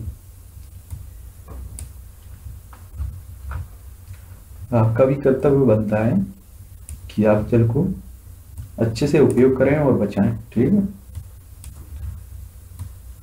और अगर पता है एक और अपने इन भारत की समस्या है, पहले इसे देख लेते हैं, फिर बताता हूँ। कोठापल्ली गाँव के समीप जल संभव प्रबंधन परियोजना द्वारा जल प्रबंधन के महत्व पर प्रकाश डाला गया है। परियोजना के नाटकीय परिणाम आए हैं। भौम जल स्तर बढ़ गया है हरित क्षेत्र में वृद्धि हुई है। इसके परिणाम स्वरूप इस बंजर क्षेत्र में उत्पादकता और आय में आशातीत वृद्धि हुई। हमारे यहाँ एक और ओवर स्मार्ट भरी हुई है, हर किसी में। अगर आप नल बंद करोगे, कहीं स्टेशन पर खुला हुआ है, या गंदगी फैली हुई, आप उसे उठा के फेंकोगे तो पता है लोगों के मन में आपको बेवकूफ़ समझने की आदत डल जाएगी कि बेवकूफ़ है, उठा रहा है। इस टाइम में बेवकूफ़ बनना ही अच्छा ठीक है? क्योंकि समझदार हो तो हर जगह उग गए हैं। कुकुर मुत्ता देखा है आपने? बिना उगाए उग जाते हैं कुकुर मुत्ता। उसी तरह समझदारों की संख्या कुकुर मुत्ता की तरह उग गई है। और इनका इतना भी क्लियर रखिए, याद, कि इनकी बुद्धि भी कुकुर मुत्ता जैसी है। तो आप अगर बेवकूफ़ अपने आप को समझ सकते हैं या कोई बोल सकता है, ऐसा काम करते समय तो बिल्कुल समझिए। बड़े गर्व से कहिए कि हम बेवकूफ़ हैं। ठीक है? तो ये हो गया आपका सोलहवा चैप्टर सत्रहवें चैप्टर में देखेंगे हम बन हमारी जीवन रेखा। ठीक है? तो चलिए हम लोग बात कर रहे थे एनसीईआरटी कक्षा सातवीं की विज्ञान के बारे में। तो इसमें अभी तक अपने सोलह चैप्टर खत्म हो चुके हैं। ये आपका है सत्रहवा। इसमें बात करें वन हमारी जीवन रेखा तो ये आपका वन के आसपास ही पूरा चैप्टर घूमेगा। याद रखिए, आपको इन्हें इसे बड़े धैर्य के साथ सुनना है। जो भी इसका लास्ट में निष्कर्ष होगा, वो बता दिया जाएगा। ठीक है? बहुत बेहतर तरीके से। एक शाम बूझो एक वृद्ध व्यक्ति के साथ पार्क में गया। उसने उनका परिचय करने अपने मित्रों से करवाया। प्रोफेसर अहमद विश्वविद्यालय में कारगर, एक वैज्ञानिक थे। बच्चे खेलने लगे और प्रोफेसर अहमद एक बेंच पर बैठ गए। वे थके हुए थे, क्योंकि उन्होंने शहर के स्वर्ण जयंती समारोह में भागीदारी की थी। थोड़ी देर में बच्चे उनके इर्द गिर्द आकर बैठ गए। बच्चे समारोह के बारे में जानना चाहते थे। प्रोफेसर अहमद ने उन्हें बताया कि सांस्कृतिक कार्यक्रम के पश्चात वरिष्ठ नागरिकों ने शहर की बेरोजगारी की समस्या पर चर्चा की थी। शहर के ठीक बाहर स्थित वन्य क्षेत्र की सफ़ाई करके एक कारखाना स्थापित करने की योजना प्रस्तुत की गई थी। इससे शहर की बढ़ती जनसंख्या को नौकरी पाने का एक मौका मिलेगा। बच्चों को बहुत आश्चर्य हुआ जब प्रोफेसर अहमद ने उन्हें बताया कि अनेक लोगों ने इस प्रस्ताव का विरोध किया था। प्रस्ताव के विरोध का कारण बताते हुए प्रोफेसर अहमद ने बताया कि हरे भरे वन हमारे लिए उतने ही महत्वपूर्ण हैं, जितना हमारे फेफड़े। इसलिए उन्हें, इन्हें हरे फेफड़े भी कहा जाता है। किन्हें? वनों को हरे फेफड़े भी कहा जाता है। वन जल शोधन तंत्रों के रूप में भी कार्य करते हैं। उनकी बात सुनकर बच्चे भ्रमित हो गए। प्रोफेसर अहमद समझ गए कि बच्चों ने वन नहीं देखा। बच्चे वन के बारे में और अधिक जानना चाहते थे। अतः उन्होंने प्रोफेसर अहमद के साथ वन में जाने का निश्चय किया। बात करते हैं वन भ्रमण एक परिवार, प्रातः बच्चे चाकू, हैंडलेस, छड़ी नोटबुक आदि जैसी कुछ वस्तुएँ साथ लेकर प्रोफेसर अहमद के साथ गाँव के समीप के वन की ओर निकल पड़ी। रास्ते में उन्हें उन्हें पास के गाँव का एक अपनी उम्र का एक लड़का, टीबू मिला। जो अपनी चाची के साथ मवेशियों को वन में चराने ले जा रहा था। उन्होंने पाया कि टीबू बहुत फुर्तीला है, क्योंकि वह मवेशियों के झुंड को एक साथ रखने के लिए आनंद पाने में यहाँ वहाँ जा रहा था। बच्चों को देखकर टीबू ने उनके साथ चलना शुरू कर दिया, जबकि मवेशियों को लेकर उनकी चाची दूसरी ओर निकल गई। जैसे ही उन लोगों ने वन में प्रवेश किया टीपू ने अपना हाथ उठाकर सबको शांत रहने के लिए संकेत दिया। क्योंकि सोर्स से वन में रहने वाले जंतुओं को परेशानी हो सकती थी। फिर टीबू उन्हें वन में ऊंचाई पर स्थित ऐसे स्थान पर ले गया, जहाँ से सभी वन का व्यापक दृश्य देख सके। बच्चे आश्चर्यचकित हो गए, क्योंकि उन्हें दूर दूर तक कहीं भी ज़मीन दिखाई नहीं दे रही थी। विभिन्न वृक्षों के शिखरों ने भूमि की, के ऊपर हरा आवरण सा बना दिया। एक भी आवरण इस तरह से समान रूप से हरा नहीं था वहाँ का वातावरण शांत था और ठंडी हवा मंद गति से बह रही थी इससे बच्चे काफ़ी तारोताजा और प्रसन्न हो गए कुछ वन्य जंतु हैं आपके नीचे आते समय बच्चे अचानक पक्षियों की चहचहाट हट और वृक्षों की ऊँची ऊँची शाखाओं की ओर से विशिष्ट ध्वनियों का शोर सुनिश्चित, सुनकर उत्तेजित हो गए।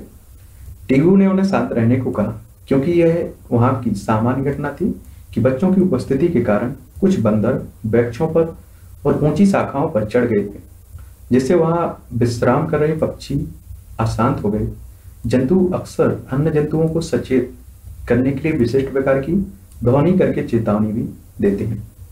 टीबू ने यह भी बताया कि सुकर वराय या सुगर जिसे बोलते हैं। गौर वाइसन गीदड़ से ही हाथी जैसे जंतु वन के अधिक सघन क्षेत्रों में रहते हैं। प्रोफेसर अहमद ने बच्चों को सावधान किया और उन्हें वन के अधिक सघन क्षेत्रों में नहीं जाने दिया। बूझो और पहली को याद आया कि उन्होंने कक्षा छठवीं में वनों को आवास के रूप में पढ़ा था। अब वे स्वयं देख रहे थे कि वन किस प्रकार अनेक वस्तुओं और पात्रों के लिए आशय या फिर आवास प्रदान करते हैं। इस तरह से। नीम हो गया, या आपका बाँस। सीसम हो गया सेमल जिस भूमि पर बच्चे चल रहे थे, वह उबड़ खाबड़ थी और अनेक वृक्षों से ढकी थी। टीबू ने साल टीक सेमल, सीसम नीम पलास जंजीर, अंजीर, खैर आंवला बाँस कचनार आदि के वृक्षों की पहचान करने में उनकी मदद की। प्रोफेसर अहमद ने बताया कि वन में अनेक प्रकार की वृक्ष, झाड़ियाँ, साग और घास पाई जाती वृक्षों पर विभिन्न प्रकार की विसर्फी लताएँ और आरूही भी लिपटी हुई थी। वृक्षों की घनी पत्तियों के आवरण के कारण सूर मुश्किल से ही कहीं दिखाई दे रहा था, जिससे वन के अंदर काफ़ी अंधकार था। बात करते हैं क्रियाकलाप सत्रह दशमलव एक के बारे में।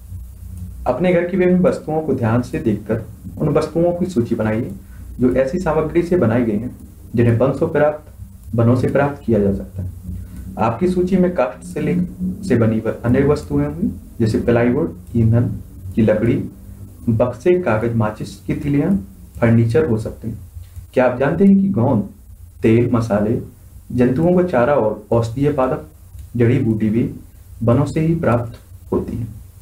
शीला समझ नहीं पा रही थी कि आखिर इन वृक्षों को किसने लगाया होगा।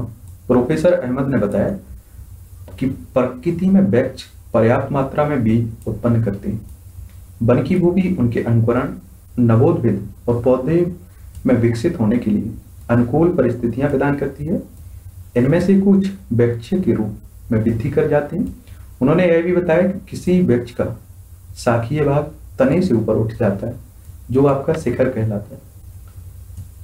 प्रोफेसर अहमद ने बच्चों से ऊपर की ओर देखकर यह नोट करने को कहा कि वन में ऊँचे वृक्षों की शाखाएँ, किस प्रकार कम ऊंचाई के वृक्षों के ऊपर छत की तरह दिखाई देती। उन्होंने बताया कि वितान केनोपी कहलाता है, या लकड़ी की मूर्ति हो गई, शहद हो गया, मोहली साफ़ हो गया। गौन कत्था, या आपका कुछ शिखर वाले वृक्ष हैं आपके। बात करते हैं हम क्रियाकलाप सेवन पॉइंट, सॉरी, सत्रह दशमलव दो आ में। पापों से प्राप्त होने वाले उत्पादों के आधार पर तालिका को भर सकते हैं। हर श्रेणी में पौधे का एक उदाहरण पहले से ही दिया गया दी गई तालिका उदाहरण में जोड़े। बबूल, शीशम, नीम, चंदन। चलिए अपन को निकल जाना है बस पढ़ के, ठीक है? प्रैक्टिकल नहीं करना है, ना ही ज़्यादा दिमाग लगाना है। क्रियाकलाप सत्रह दशमलव दो बी में। अपने आसपास के विभिन्न के वन अथवा उद्यान में जाइए वृक्षों को देखिए और उनके नाम जानने के प्रयास कीजिए। इस कार्य में आप अपने बुज़ुर्गों, अध्यापकों अथवा पुस्तकों की सहायता ले सकते हैं। जिन वृक्षों को आप देखें, उनकी विशेषताएँ जैसे लंबाई, पत्तियाँ का आकार शिखर पुष्पों और फलों को सूचीबद्ध किए। कुछ वृक्षों के शिखर के चित्र भी बना सकते हैं। प्रोफेसर अहमद ने बताया कि वृक्षों के शिखर की आकृति का आमाप में परस्पर भिन्न होते हैं। इसी कारण किसी वन में विभिन्न ऊंचाइयों पर क्षैतिज परतें बनी होती इन्हें अधोतल कहते हैं। विशाल और ऊँचे वृक्ष शीर्ष परत बनाते हैं, जिनके नीचे झाड़ियाँ और ऊँची घास की परतें होती हैं। और नीचे की तरह परत साग बनाती है। क्या सभी वनों में वृक्ष समान प्रकार के होते हैं? बूझो ने पूछा ये सवाल। प्रोफेसर अहमद ने कहा, नहीं। विभिन्न जलवायु परिस्थितियों के कारण वृक्षों और अन्य पादप प्रकार की पादपों की किस्मों में भिन्नता पाई जाती है। जंतुओं के प्रकार भी विभिन्न वनों में भिन्न भिन्न होते हैं। ये आपके अधोतल हो गए ये आपका शिखर हो गया ठीक? कुछ बच्चे झाड़ियों और सापों के पुष्पों पर यहाँ वहाँ मड़राने वाले खूबसूरत तितलियों को देखने में व्यस्त थे। उन्होंने झाड़ियों के नज़दीक जाकर उन्हें देखने का प्रयास किया। ऐसा करते समय उनके बालों और बस्तों पर बीज और झाड़ियाँ चिपक गई। बच्चों को वृक्ष की छाल, पौधों की पत्तियों और वन भूमि पर सड़ गल रही पत्तियों पर अनेक कीट मकोड़े मकड़ियाँ, गिलहरियाँ, चीटी और विभिन्न छोटे छोटे जंतु भी दिखाई दिए। उन्होंने उन जीवों के चित्र बनाने आरंभ कर दिए। वन भूमि की सतह पर गहरे रंग की दिखाई रही थी। दिखाई दे रही थी तथा वही वह सूखी व छयमान पत्तियों, फलों, बीजों, टहनियों, छोटे शाखों से ढकी हुई थी। छयमान पदार्थ आद्य और गर्म थे। बच्चों ने अपने संग्रह के लिए बीज विभिन्न बीज और पत्तियाँ एकत्रित कर।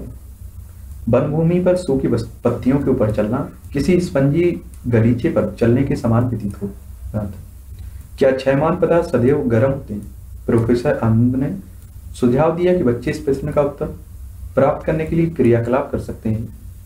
क्रियाकलाप सत्रह दशमलव तीन, एक छोटा गड्ढा खोदिए इसे सब्जियों के कचरे और सूखी पत्तियाँ आदि से भरकर मिट्टी से ढक दीजिए। इसके ऊपर कुछ जल भी डाल दीजिए। तीन दिन बाद मिट्टी की ऊपरी परत हटा दीजिए। क्या गड्ढा भीतर से गर्म रह, लगता है? जी। पहली ने पूछा वन में इतने सारे वृक्ष हैं, यदि हम कारखाना के लिए कुछ वृक्षों को काट दें तो क्या फ़र्क पड़ेगा? प्रोफेसर अहमद ने बताया कि तुमने सौ पोसियों और परपोसियों और मृत पोसियों के बारे में पढ़ा है। तुमने पढ़ा है कि हरे पादप किस प्रकार भोजन का निर्माण करते हैं? सभी जंतु, चाहे वे साग भाजियों भक्षियों या मांस पक्षियों अंततः भोजन के लिए पातकों पर ही निर्भर होते हैं। जो जीव पातकों का भोजन करते हैं, उन्हें अक्सर अन्य जंतुओं द्वारा भोजन के रूप में ले लिया जाता है और इस प्रकार यह क्रम चलता रहता है। उदाहरण के लिए घास को कीटों द्वारा खाया जाता है, जिन्हें आपका कीटों को मेढक खा जाता है, मेढक को सर्प खाता है और इसे आपकी खाद्य श्रृंखला कहा जाता है। देख लीजिए। इस पॉइंट की शब्द की परिभाषा के लिए ये सभी आपकी कहानी गढ़ी गई है। खाद्य श्रृंखला किसे कहते हैं? जैसे उदाहरण के लिए आप लोग लिख सकते हैं, घास को कीटों द्वारा खाया जाता है, जिन्हें कीट को मेढक खा लेती मेढक को सर्प खाता है और इसी क्रम में चलती रहती है, इसे खाद्य श्रृंखला कहते हैं। क्या कहते हैं? खाद्य श्रृंखला। घास हो गया, कीट, मेढक, सर्प, उकाब, गरुड़। ठीक वन में अनेक खाद्य श्रृंखलाएँ पाई जाती हैं। सभी खाद्य श्रृंखलाएँ परस्पर संबद्ध होती हैं। यदि किसी एक खाद्य श्रृंखला में कोई विभिन्न पड़ता है तो यह अन्य श्रृंखलाओं को प्रभावित करता है। वन का प्रत्येक भाग अन्य भागों पर निर्भर करता है। यदि हम वन के किसी घटक, जैसे वृक्षों को अलग करें तो इनसे अन्य सभी घटक प्रभावित होंगे। प्रोफेसर अहमद ने बच्चों से वन भूमि की सतह से पत्तियों को उठाकर उन्हें हैंडलेस से देखने के लिए कहा। उन्हें छैमान पत्तियों पर उन्हें मशरूम दिखाई दिए। उन्हें नन्ही कीटों मिलीपीड़ों सहस्त्रपादों चिंटों और भेंगों की सेना भी उन पर दिखाई दी। उन्हें आश्चर्य हो रहा था कि ये जीव वहाँ कैसे रहते हैं। प्रोफेसर अहमद ने समझाया कि आसानी से देखे जा सकने वाले इन जीवों के अतिरिक्त यहाँ अनेक जीव और भी आपके सूक्ष्म जीव ऐसे भी होते हैं जो मृदा के भीतर रहते हैं। पहेली को आश्चर्य हो रहा था कि मशरूम और अन्य सूक्ष्म जीव क्या खाते हैं। प्रोफेसर अहमद ने बताया कि मृत पादपों और जंतु ऊतकों को खाते हैं और उन्हें एक गहरे रंग के पदार्थ में परिवर्तित करते हैं, जिसे क्या कहते हैं? ह्यूमस याद रखना ठीक है? ये आपका पोषक हो गया, यहाँ से घटक मृदा, जल, प्रकाश, संश्लेषण कार्बन डाइऑक्साइड ऑक्सीजन आपने ह्यूमस के बारे में अध्याय नौ में पढ़ा था। आपको मृदा की कौन सी परत में ह्यूमस मिलता है? मृदा के लिए इसके क्या उपयोगिता होती है? पादपों और जंतुओं के मृत शरीर को ह्यूमस में परिवर्तित करने वाले सूक्ष्म जीव होते हैं, जिन्हें अवघटक कहते हैं। इस प्रकार की सूक्ष्म जीव वन में महत्वपूर्ण भूमिका निभाती हैं। यह यह जानकारी मिलते ही पहेरी ने मृत पत्तियों को हटाना आरंभ कर दिया। कुछ ही देर में भूमि पर ह्यूमस की परत की खोज निकाला। ह्यूमस की उपस्थिति यह सुनिश्चित करती है कि मृत पादपों और जंतुओं के पोषक तत्व मृदा में निर्मुक्त होते रहते हैं। वहाँ से ये पोषक तत्व पुनः सजीव पात्रों के मूलों द्वारा अवशोषित कर लिए जाते हैं। शीला ने पूछा, जब वन में कोई जंतु मर जाता है तो उसका क्या होता है? टीबू ने उत्तर दिया मृत जंतु गिद्धों, कोहों, गीदड़ों और कीटों का भोजन बन जाते हैं। इस प्रकार पोषक तत्वों का चक्र चलता रहता है, जिससे वन में कुछ भी व्यर्थ नहीं जाता पहेली ने प्रोफेसर अहमद को याद दिलाया कि उन्होंने यह नहीं समझाया कि वनों को हरे फेफड़े क्यों कहा जाता है। प्रोफेसर अहमद ने समझाया कि पादप विकास संश्लेषण के विक्रम द्वारा ऑक्सीजन निर्मुक्त करते इस प्रकार पादप जंतुओं के शोषण के लिए ऑक्सीजन उपलब्ध कराने में सहायक होते हैं। वे वायुमंडल में ऑक्सीजन और कार्बन डाइऑक्साइड के संतुलन को भी बनाए रखते हैं। इसलिए वनों को हरे फेफड़े भी कहा जाता है। ये आपका कार्बन डाइऑक्साइड, जंतु, ऑक्सीजन, पादप। ठीक है? ऑक्सीजन जंतु लेते हैं, उसके बाद कार्बन डाइऑक्साइड छोड़ते हैं अधिकतर। ये आपका पादप यूज़ करेंगे, उसके बाद O2 जनरेट करेंगे। ऑक्सीजन और कार्बन डाइऑक्साइड का संतुलन। बच्चों ने देखा कि आसमान आसमान में बादल बन रहे हैं। बूझो ने याद दिलाया कि उसने कक्षा छठवीं में जल चक्र के बारे में पढ़ा था। वृक्ष अपने मूलों से जल अवशोषित करते हैं वाष्पोत्सर्जन द्वारा जल वाष्प निर्मुक्त करते हैं। यदि वृक्षों की संख्या कम होती है तो जल चक्र किस प्रकार प्रभावित होता है? टीवू ने उन्हें बताया कि वन केवल पादपों जंतुओं का आवास ही नहीं है। वन क्षेत्र में अनेक मानव समुदाय भी रहते हैं। इनमें से कुछ विभिन्न जनजातियाँ के हो सकते हैं। टीयू ने समझाया कि ये लोग अपनी अधिकतर आवश्यकताओं के लिए वनों पर ही निर्भर रहते हैं। वन उन्हें भोजन, आश्रय, जल और औषधियाँ प्रदान करते हैं।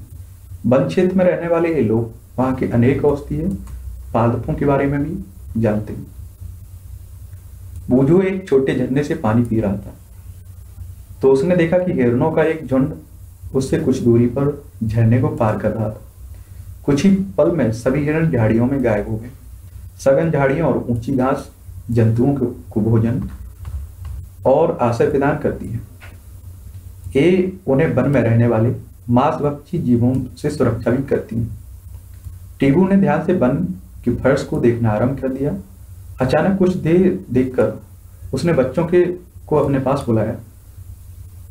उसने उन्हें कुछ जंतुओं की लीद दिखाई दी। विभिन्न जंतुओं की लीदों के बीच अंतर समझाए प्रोफेसर अहमद ने उन्हें बताया कि वन अधिकारी वन में कुछ जंतुओं की उपस्थिति की जानकारी उनकी लीद और परिचिन्हों के आधार पर करती।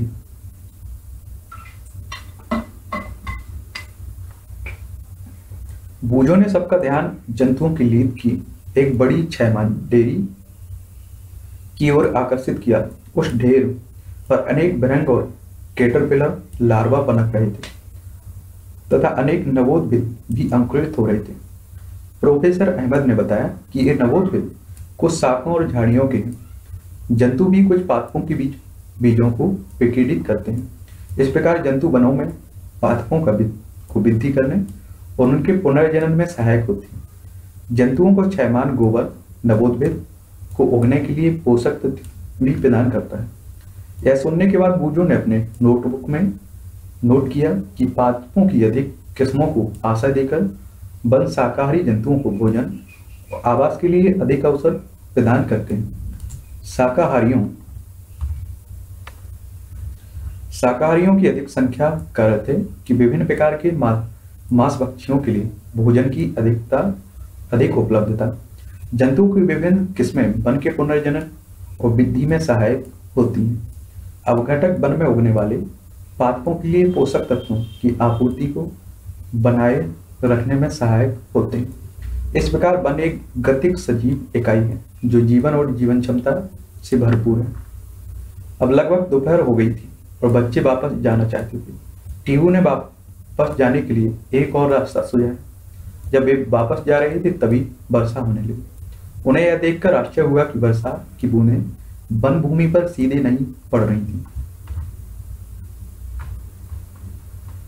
वन वृत्तांत की सबसे ऊपरी परत वर्षा की बूंदों को विच्छिन्न कर रही थी, अर्थात छोटी छोटी फुहार में परिवर्तित कर रही थी। अधिकांश जल वृक्षों की शाखाओं और पत्तियों और तनों से उठता हुआ नीचे की ओर, झाड़ियों और शाखों पर धीरे धीरे गिर रहा था। उन्होंने बताया कि कई स्थानों पर भूमि अब भी सूखी थी। लगभग आधा घंटे बाद वर्षा रुक गई। उन्होंने पाया कि वन भूमि किसी की सतह पर गिरी। मृत पत्तियों की परत अब कुछ गीली हो, कुछ गीली हो गई थी। लेकिन वन में कहीं भी जल का जमाव होता दिखाई नहीं दिया। बूझो के मन की ही मैं चल सोच रहा था कि यदि इतनी तेज वर्षा उसके शहर में हुई होती तो नाले और सड़क में पानी से भर गई होती। ये आपका भौम जल स्तर हो गया। मूलतंत्र मूलतंत्र जल की भूमि, जल की भूमि में अवस्रावित होने में सहायक होता है। क्षयमान सामग्री से ढकी भूमि, स्पंज की भांति प्रतीत होती है। समृद्ध विद्यांत और वनस्पति की अनेक परतें वर्षा की बूंदी, बूंदों की चाल को कम कर देती है। ये आपका वाष्पोत्सर्जन और बाष्पन हो रहा है। ये वर्षा हो गई। ठीक है?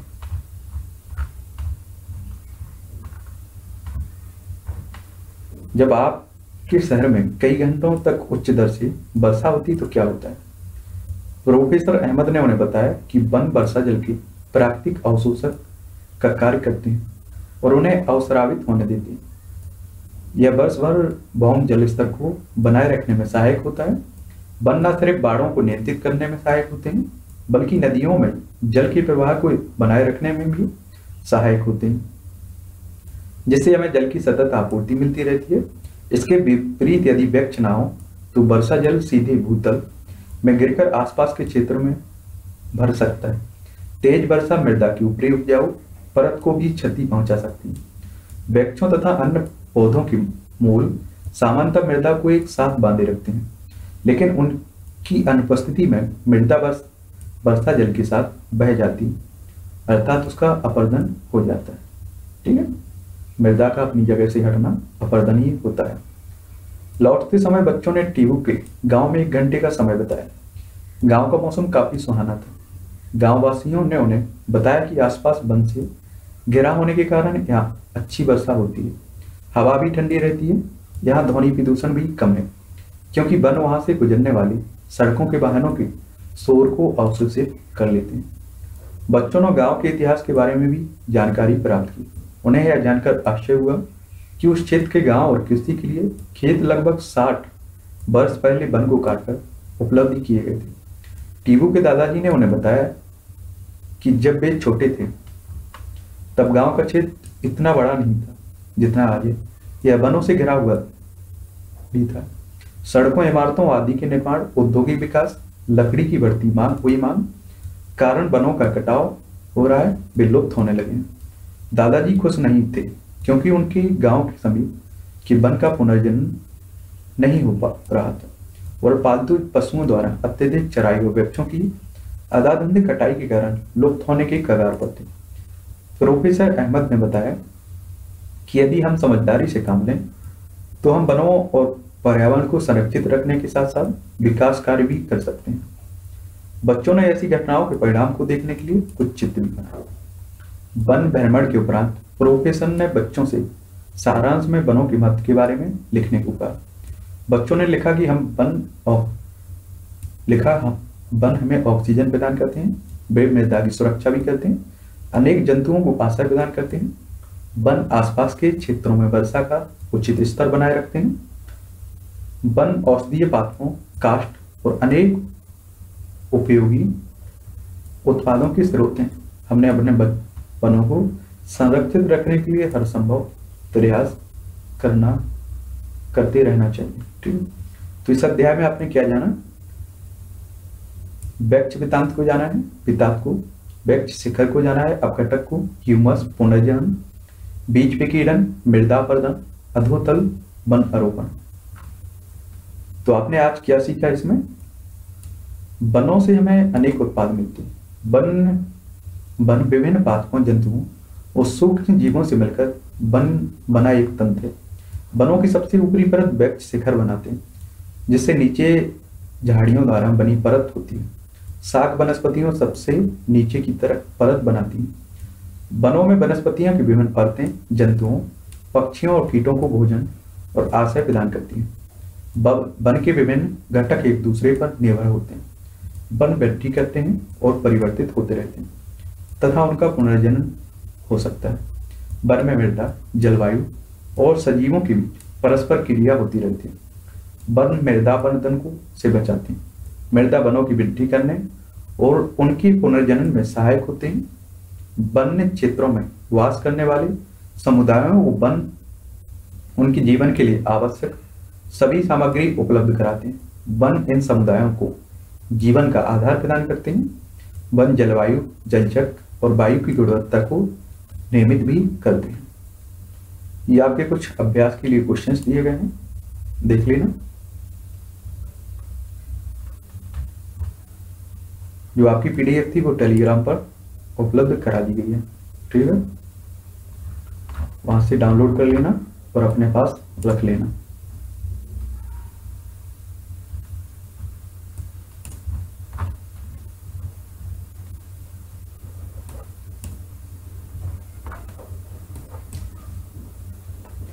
भारत में वन कुल क्षेत्रफल का लगभग 21 प्रतिशत वन क्षेत्र स्वतंत्रता प्राप्ति की बात से यह निरंतर कम होता जा रहा है।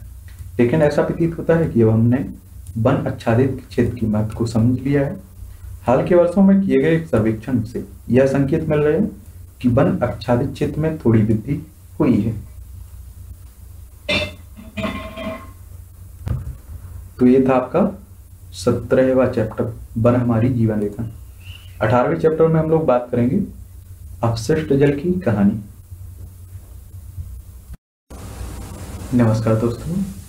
तो चलिए हम लोग बात कर रहे थे एनसीईआरटी कक्षा सातवीं की विज्ञान के बारे में। तो इसमें अभी तक हम लोग सत्रह आपके चैप्टर खत्म कर चुके हैं। ये आपका अठारहवा चैप्टर है। अठारहवा चैप्टर है आपका अपशिष्ट जल की कहानी। याद रखिए, ये चैप्टर आपका लास्ट है। विज्ञान का, कक्षा सातवीं की विज्ञान का। ये चैप्टर लास्ट है, इसमें अठारह चैप्टर थे आपके, विज्ञान। इसे कंप्लीट करने के बाद हमारे कक्षा छठवीं की और कक्षा सातवीं की जो हमारे लिए महत्वपूर्ण थी, सिविल सर्विस या फिर स्टेट पीसीएस के लिए जो भी आपकी बुक्स ज़रूरी थी, वो हम लोग कंप्लीट कर चुके। अगली क्लास से हम लोग बात करेंगे कक्षा आठवीं की। ठीक है? कक्षा छठवीं और कक्षा सातवीं में जो भी हमारे लिए ज़रूरी बुक्स थी, वो हम लोग देख चुके हैं। अब हम इसके बाद कक्षा आठवीं में प्रवेश करेंगे, ठीक है? तो फिर से बोल रहा हूँ कि इन सभी बुक्स को आप लोग बड़े मन से, धैर्य के साथ सुनिए या फिर पढ़िए। क्योंकि लास्ट में पहुँचते पहुँचते मुझे भी लगता है कि आपका 80 से पचासी परसेंट और कभी कभी 90 परसेंट तक आपके कॉन्सेप्ट क्लियर हो जाते हैं। क्योंकि इसमें ऐसा कोई भी शब्द नहीं मिलता है। जिससे आप समझ ना सकें। और जो भी निष्कर्ष होता है, वो बता दिया जाता है लास्ट में। तो आपको डरने की तो कोई ज़रूरत ही नहीं, बस बड़े धैर्य के साथ सुनना है। हम सभी अपने घरों में जल का उपयोग करते हैं और उसे गंदा या दूषित करते हैं। दूषित क्या आपको आश्चर्य हुआ है? झाग से भरपूर तेल मिश्रित काले, भूरे रंग का जल, जो कि सिंक, शौचालय, लॉन्ड्री आदि से नालियों में जाता है, वह आपका अवशिष्ट अपशिष्ट जल कहलाता है। इस प्रकार के कार्यों में प्रयुक्त जल को व्यर्थ नहीं व्यर्थ नहीं जाने देना चाहिए। हमें ऐसे जल से दूषित पदार्थों को हटाकर उससे स्वच्छ बना लेना चाहिए। क्या आपने कभी सोचा है अपशिष्ट जल कहाँ जाता है? इसका क्या होता है? हमारे देश में तो स्वच्छ जल की कदर नहीं है तो अपशिष्ट जल को कहाँ बचाएँगे लोग? बड़ा जागरूकता का अभाव है। किसी भी समस्या को तब तक सॉल्व नहीं किया जा सकता है। खत्म। जब तक कि लोग जागरूक ना हो उसके प्रति। आगे बात करते हैं जल हमारी जीवन रेखा स्वच्छ जल मानव की मूलभूत आवश्यकता है। आइए हम स्वच्छ जल की विभिन्न उपयोगों पर विचार करते हैं। क्रियाकलाप अठारह दशमलव एक। वृत्ताकार खाली स्थानों में स्वच्छ जल के उपयोग लिखे। हमने स्वच्छ जल के उपयोग का एक उदाहरण दिया। आप इसमें और भी उपयोग जोड़ सकते हैं। खाना पकाना, नहाना, ठीक है? पीना, इस तरह के तो उपयोग है। दुर्भाग्य से उपयोग के लिए उपयुक्त स्वच्छ जल सभी को उपलब्ध नहीं है। एक रिपोर्ट के अनुसार एक अरब से अधिक व्यक्तियों को सुरक्षित पेयजल उपलब्ध नहीं है। इसके कारण विश्व की जनसंख्या का बहुत बड़ा भाग जल संबंधित रोगों से पीड़ित रहा, रहता है और मृत्यु का ग्रास हो जाता है। जैसा कि आपने अध्याय 16 में पढ़ा था कि कई क्षेत्रों में लोगों यहाँ तक कि बच्चों को स्वच्छ जल लाने के लिए कई किलोमीटर तक पैदल चलना पड़ता है। क्या यह मानव की गरिमा के लिए गंभीर समस्या नहीं है? आपने अध्याय 16 में पढ़ा था कि जनसंख्या वृद्धि, प्रदूषण, औद्योगिक विकास कुप्रबंधन और अन्य कारकों के कारण आलवड़ ताजे जल की आपूर्ति में बढ़ती कमी के बारे में पढ़ा था।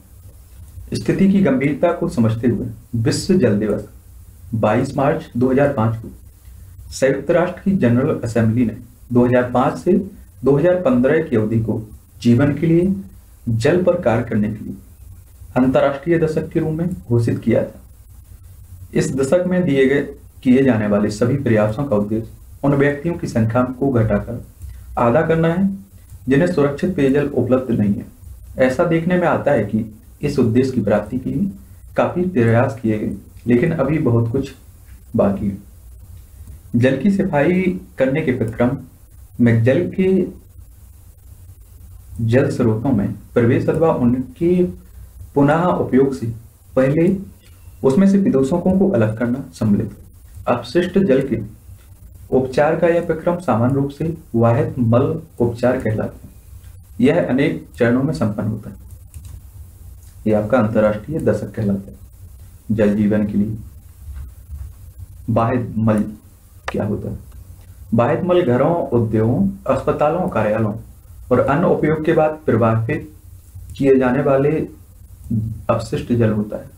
इसमें वर्षा भी, वर्षा जल भी सम्मिलित है, जो तेज वर्षा के समय गलियों से बहता है और सड़कों और छतों से बहकर आने वाले वर्षा जल अपने साथ हानिकारक पदार्थ को ले जाता है। वाहिद मल द्रव रूपी अवशिष्ट होता है। इसमें अधिकांश जल होता है, जिसमें घुले हुए और निलंबित अवशिष्ट होते हैं। क्रियाकलाप अठारह दशमलव दो। अपने घर के आसपास विद्यालय अथवा सड़क पर किसी खुली नाली को देखिए और उसमें बहने वाले वाहिद जल का निरीक्षण कीजिए। बाहर जल के रंग, गंध और किसी अन्य अवलोकन को नोट कीजिए। अपने मित्रों और शिक्षक शिक्षिका से इस पर चर्चा कर सकते हैं। इस प्रकार प्राप्त जानकारी को सारणी अठारह दशमलव एक में सारणीबद्ध सारणीबद्ध कीजिए। अब हम जानते हैं कि बाहर जल, मल एक जटिल मिश्रण होता है, जिसमें निलंबित ठोस कार्बनिक और अकार्बनिक अशुद्धियों, पोषक तत्व और मृत जीव और रोगवाहक जीवाणु और अन्य सूक्ष्म जीव होते हैं। इनमें निम्नलिखित शामिल होते हैं। इन अशुद्धियों के कुछ सामान्य उदाहरण इस प्रकार हैं।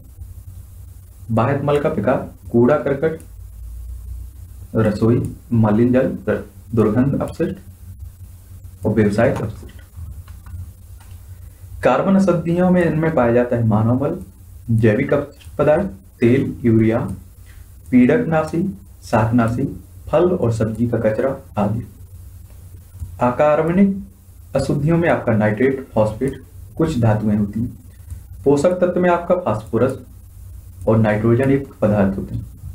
जीवाणु हैजरा और टाइफाइड आदि रोग उत्पन्न करने वाले क्रमशः वीवियो कोलेरा, कोलरा साल्मानेला पैराटाइटी आदि पाए जाते हैं। अन्य सूक्ष्म जीवों जीवों की बात करें तो पेचिस आदि रोग उत्पन्न करने वाले आपके पोटोजुआ इसमें पाए जाते हैं। बात करते हैं जल शोधन एक घटनापूर्ण यात्रा। घरों अथवा सार्वजनिक भवनों को स्वच्छ जल की आपूर्ति, सामान्यतः पाइपों के एक जाल द्वारा की जाती है। और पाइपों के एक अन्य जाल द्वारा उपयोग किए जा चुके जल को ले जाया जाता है।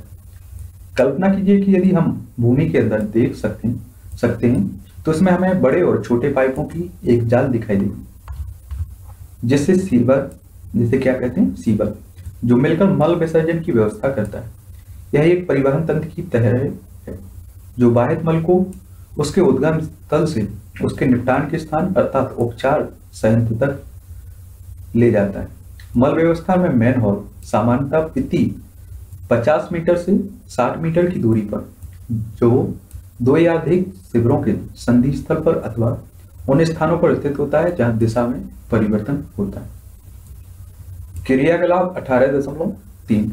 अपने घर, विद्यालय अथवा किसी सार्वजनिक भवन से वाहित जल के पथ पर का अध्ययन करें, निम्नलिखित कार्य करें। वाहित मल के पथ का रेखा चित्र बनाएँ, गली, सड़क अथवा परिसर में घूमकर उनका सर्वेक्षण करें और मैन होलों की संख्या मालूम करें।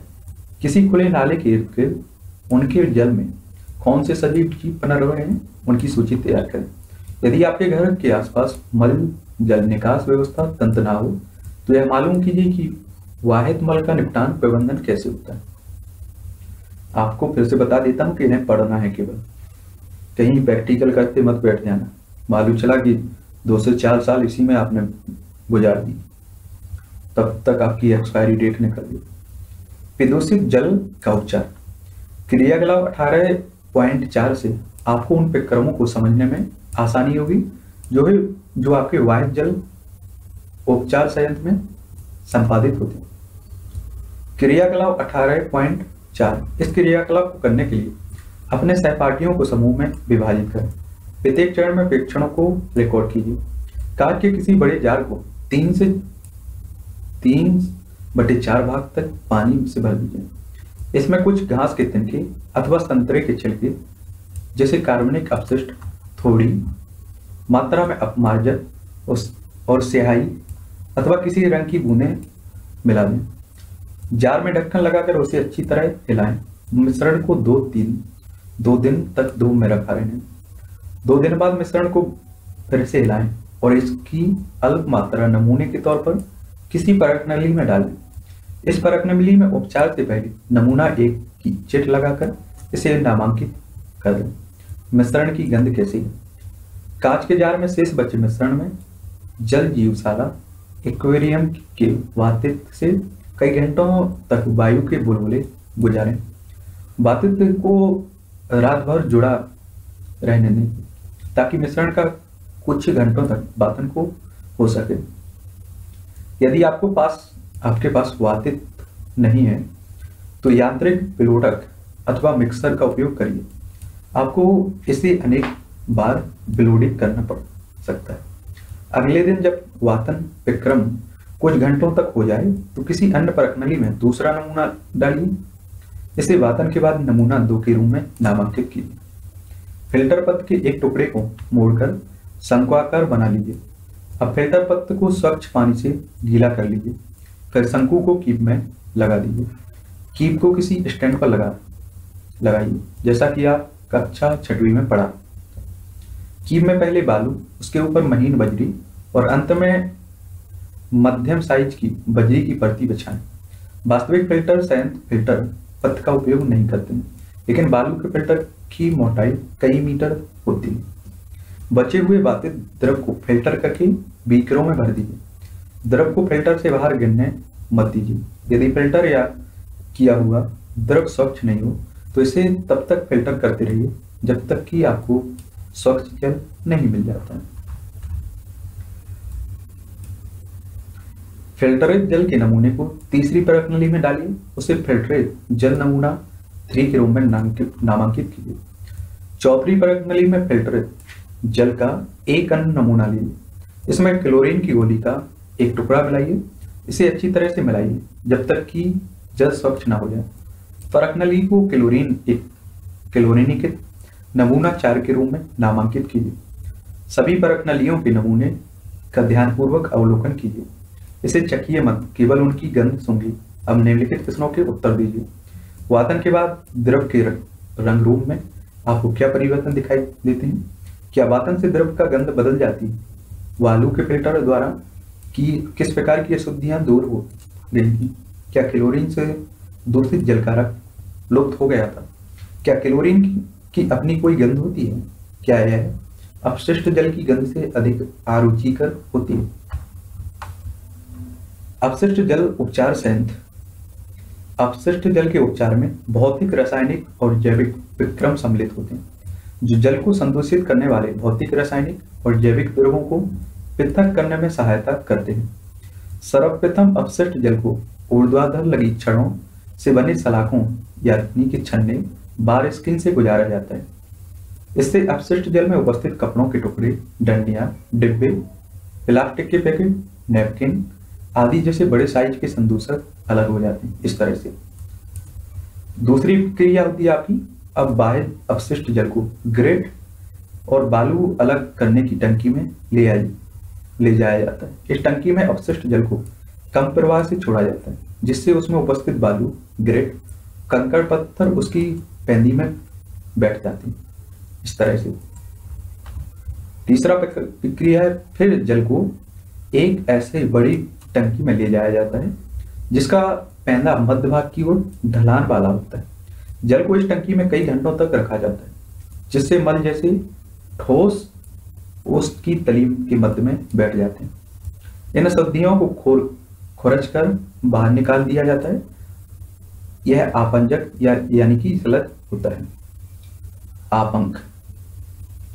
अपशिष्ट जल में तैरने वाले तेल, ग्रीस जैसी अशुद्धियों को हटाने के लिए अब मध्य स्कीमर का उपयोग किया जाता है। इस प्रकार साफ़ किया गया जल जल निर्मी, निर्मलीकृत जल कहलाता है। आप पंख को एक पृथक टंकी में स्थानांतरित किया जाता है, जहाँ यह अवायवीय जीवाणुओं द्वारा अवघटित हो जाता है। इस विक्रम में उत्पन्न होने वाली बायोगैस, जैव गैस का उपयोग ईंधन के रूप में अथवा विद्युत उत्पादन के लिए किया जाता है। फिर आता है आपका चरण फोर चौथा, निर्मलीकृत जल में पंप द्वारा वायु को गुजारा जाता है, जिससे उसमें वायवीय जीवाणुओं की वृद्धि होती है। ये जीवाणु निर्मलीकृत जल में अभी बचे हुए मानव अपशिष्ट पदार्थ, खाद्य अपशिष्ट, सावन और अन्य वांछित पदार्थों का उपयोग कर लेते हैं। इस तरह। कई घंटों के पश्चात जल में निलंबित सूक्ष्म जीव टंकी की पैंदी में संकेत आपंक के रूप में बैठ जाते हैं अब शीश भाग से जल का को निकाल निकाल दिया जाता है। संकेत संकेत आपंक लगभग संतानवे प्रतिशत जल है। जल को बालू बिछाकर बनाए शुष्कन तलों अथवा मशीन द्वारा हटा दिया जाता है। शुष्क आपंक का उपयोग खाद्य के रूप में किया जाता है, जिससे कार्बनिक पदार्थ और पोषक तत्व पुनः मृदा में वापस चले जाते हैं। उपचारित जल में अल्प मात्रा में कार्बनिक पदार्थ और निलंबित तत्व होती इसे समुद्र, नदी अथवा भूमि में विसर्जित कर दिया जाता है। प्राकृतिक विक्रम इसे और अधिक स्वच्छ कर देते हैं। कभी कभी जल को वितरित वितरण तंत्र में निर्मुक्त करने से पहले उसे क्लोरीन अथवा ओजोन जैसी रासायनिक, रसायनों से रोगाणुओं से कर लेना आवश्यक होता है। क्या आप जानते हैं कि यह सुझाव दिया गया कि हमें बाह्य मल संयंत्रों के चारों ओर यूकेलिप्टस के वृक्ष लगाने चाहिए। ये वृक्ष समस्त अतिरिक्त अपशिष्ट जल को अवशोषित कर लेते हैं। और वायुमंडल में शुद्ध शुद्ध जलवाष्प का, को निर्मुक्त कर देते हैं। बात करते हैं जागरूक नागरिक बने। अपशिष्ट पदार्थों की उत्पत्ति मानव के प्राकृतिक एवं सामाजिक क्रियाकलापों का परिणाम है। परंतु हम अपशिष्ट पदार्थों की मात्रा तथा उनकी विविधता को सीमित अवश्य कर सकते हैं। हम पर्याप्त कूड़े कचरे से उठने वाली दुर्गंध से परेशानी का अनुभव कर सकते हैं। खुली नालियों द्वारा का दृश्य घृणित लगता है। वर्षा काल में स्थिति और भी भयावह हो जाती जब नालियाँ उमड़ने उमड़ने लगती हैं और उनका कचरा सड़कों पर फैल जाता है। हमें कीचड़ से भरी सड़कों से अपना मार्ग ढूंढना पड़ता है। ये परिस्थितियाँ अत्यंत अस्वस्थकर रोग कारक हो सकती हैं। सड़कों पर बिखरे कचरे या अपशिष्ट पदार्थ, पदार्थों पर रोग बाहर मच्छर, मक्खियाँ तथा अन्य कीट पनपने लगते हैं। एक जागरूक नागरिक के नाते आपका कर्तव्य है कि आप नगर पालिका तथा ग्राम पंचायत को इन विषय परिस्थितियों के बारे में आगाह करें। उनसे यथो, यथोचित कदम उठाने के लिए आग्रह करें। यदि किसी घर से निकलने वाला वाहिद जल पास पड़ोस में गंदगी फैला रहा हो तो आप उस, उनसे अन्य नागरिकों के स्वास्थ्य के प्रति संवेदनशील होने का निवेदन करें। अच्छी गृह व्यवस्था बनाए रखने की प्रक्रिया, अपशिष्ट पदार्थों और विद्युषकों को उनके स्रोतों पर ही कम करने अथवा हटा देने की एक विधि इस प्रकार, इस बात के प्रति सचेत रहना चाहिए कि आप नालियों में किस प्रकार के पदार्थ बहा रहे खाना पकाने के तेल और बसाओं को नाली में नहा, नहीं बहाना चाहिए। ये पाइप में कठोर पदार्थों की परत जमाकर उन्हें अवरुद्ध कर सकते हैं। खुली नाली में वसा मृदा के रंधों को बंद कर देती जिससे उसकी जल को फ़िल्टर करने की प्रभाविकता कम हो जाती तेल और वसाओं को कूड़ेदान में ही फेंकें। प्रेंट विलायक कीटनाशक मोटर तेल औषधियाँ आदि, रसायन उन सूक्ष्म जीवों को मार सकते हैं, जो जल के शुद्धिकरण में सहायक होती हैं। इसलिए इन्हें नाली में मत बहाएँ प्रयुक्त चाय की पत्ती, बचे हुए ठोस खाद्य पदार्थ, मृदु खिलौना, रुई, सैनिटरी, टॉवल आदि को भी कूड़ेदान में ही फेंका जाना चाहिए। ये नालियाँ, नालियों को अवरुद्ध कर देते हैं।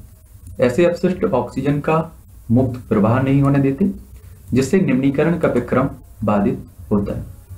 अब बात करते हैं स्वच्छता और रोग। स्वच्छता की कमी और संदूषित पेयजल अनेक रोगों का कारण बनते हैं। आइए हम अपने देश की स्थिति पर चर्चा करते हैं। हमारी जनसंख्या का एक बड़ा भाग आज भी मल परिवहन व्यवस्था की सुविधा से वंचित है। ऐसे व्यक्ति जल, मल विसर्जन के लिए कहा जाते हैं? हमारी जनसंख्या का बहुत बड़ा भाग खुले स्थानों नदी के किनारों, रेल की पटरियों, खेतों और अनेक बार सीधे जल स्रोतों में भी मल त्याग करते हैं। याद रखिए 2019 से पहले जब से आपके नरेंद्र मोदी ने 2 अक्टूबर से स्वच्छ भारत अभियान छेड़ा था, तब से ठीक है 2019 के पहले बहुत बुरी स्थिति थी 2014 के पहले। 2019 तक बहुत कुछ कंट्रोल कर दिया। और जो आपकी शौचालय का निर्माण योजना आई हुई थी उसने भी बहुत कंट्रोल कर लिया। फिर भी अभी वही लोग जो दिमाग से, या फिर उनकी कोई मजबूरी कह लीजिए, जो भी कहिए, वही लोग इस तरह से बाहर जाते हैं। ठीक है, वरना सबके यहाँ लगभग ये आपकी शौचालय निर्माण हो चुका है। मल स्वास्थ्य संकट का एक कारक है। इससे जल और मृदा का प्रदूषक हो सकता है। सतह पर उपलब्ध जल और भौमजल दोनों मानव मल से प्रदूषित हो जाते हैं। भौमजल कुओं ट्यूबवेल, नलकूपों, झरनों और अनेक नदियों के लिए जल का स्रोत है, जैसा कि आपने अध्याय 16 में पढ़ा। अतः अनुपचारित मानव मल, जल जनित रोगों का सबसे सुगम पथ बन जाता है। इनमें आपका हेजरा टाइफाइड, पोलियो, मैनी मैनिजाइटिस हेपेटाइटिस और पेचिस जैसे रोग सम्मिलित होते हैं। बाहित मल निपटान की वैकल्पिक व्यवस्था। स्वच्छता की स्थिति सुधारने के लिए कम लागत के यथास्थान बाहित मल निपटान तंत्रों को बढ़ावा दिया जा रहा है। इसके कुछ उदाहरण आपका सेप्टिक टैंक, रासायनिक शौचालय, कंपोस्टिंग पिट आदि का उपयोग है। सेप्टिक टैंक उन स्थानों के लिए उपयुक्त है जहाँ मल वहन की व्यवस्था नहीं है, जैसे अस्पताल अलग थलग भवन अथवा चार से पाँच घरों के समूह। कुछ संगठन मानव अपशिष्ट के स्वच्छता पूर्वक निपटान की तकनीकी सुविधाएँ प्रदान करते हैं। इन शौचालयों में अपमार्जन की आवश्यकता नहीं होती शौचालय से मल बंद नालियों से होता हुआ बायोगैस संयंत्र में चला जाता है।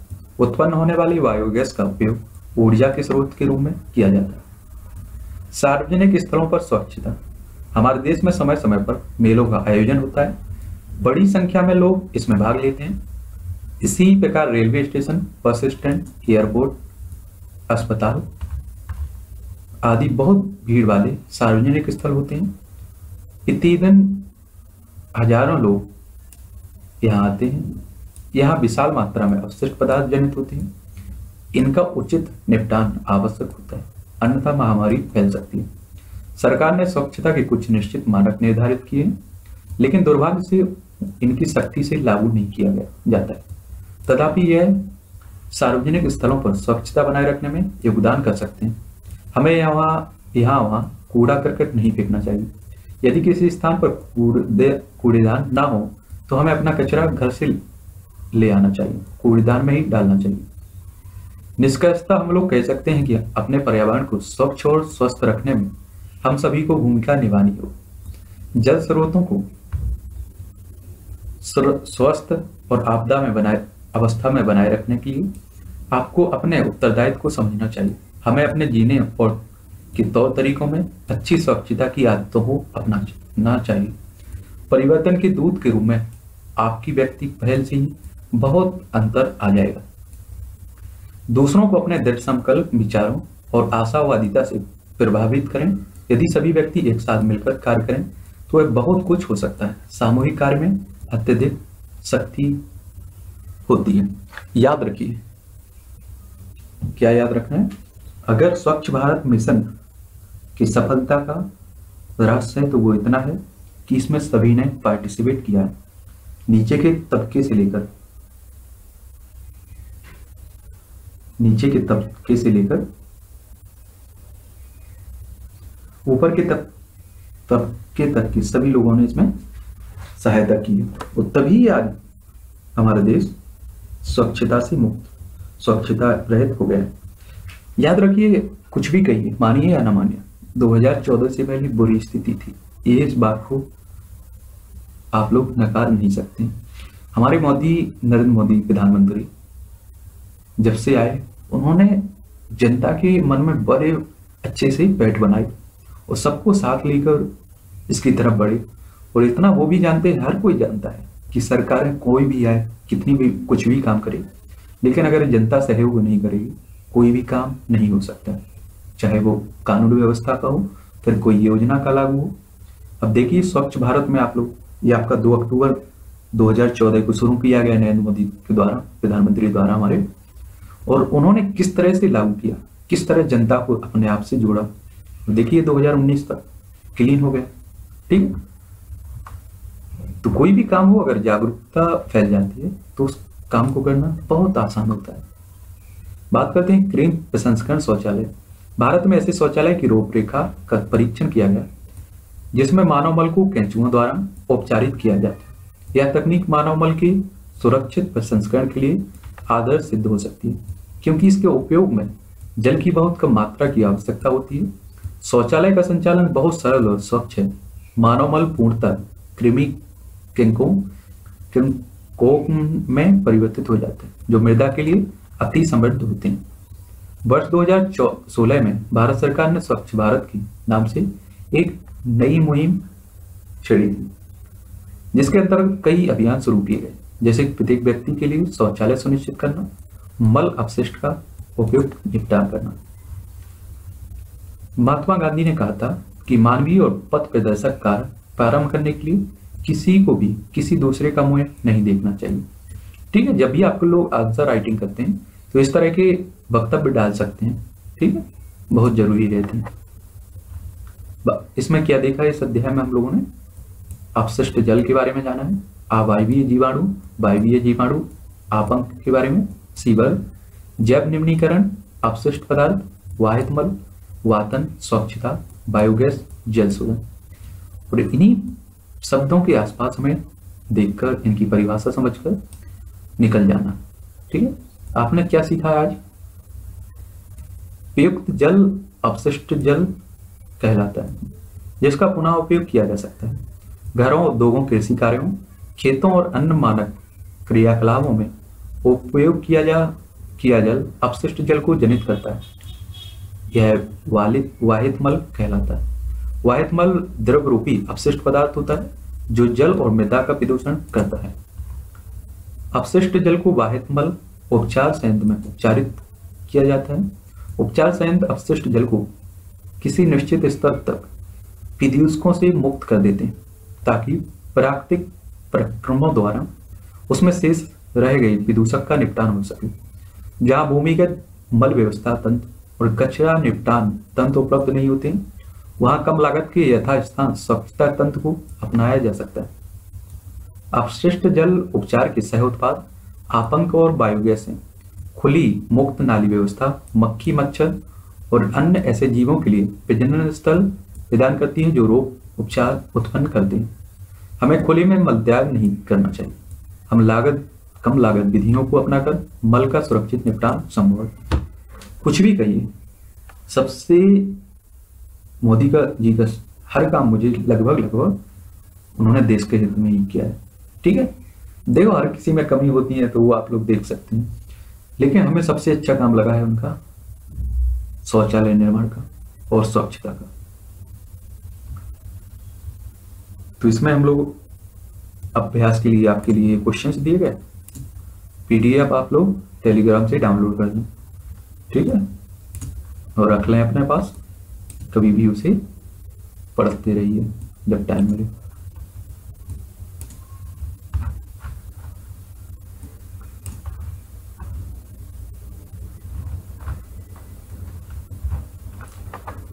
एक प्राचीन अभियान की उपलब्धि, सिंधु घाटी सभ्यता। हड़प्पा और मोहनजोदड़ो सबसे प्राचीन सभ्यताओं में से एक है, आपको पता ही होगा। संभवतः विश्व का पहला शहरी स्वच्छता संयंत्र यही विकसित हुआ है। शहर में स्थित प्रत्येक घर अथवा घरों के समूह कुओं से जल प्राप्त करते थे। स्नान के लिए पृथक कक्ष होता था, व्यर्थ जल बंद नालियों से बाहर निकालने का प्रबंध था, जो प्रमुख सड़कों और गलियों में बनी होती थी। ईंटों का बना सबसे पुराना शौचालय लगभग 4500 वर्ष पुराना है। कितना? 4500 वर्ष पुराना है। ठीक है? मुझे एक बात समझ में नहीं आती। बताए। हम लोग कहने के लिए 21वीं सदी में टाइम के हिसाब से आगे बढ़ते जा रहे हैं।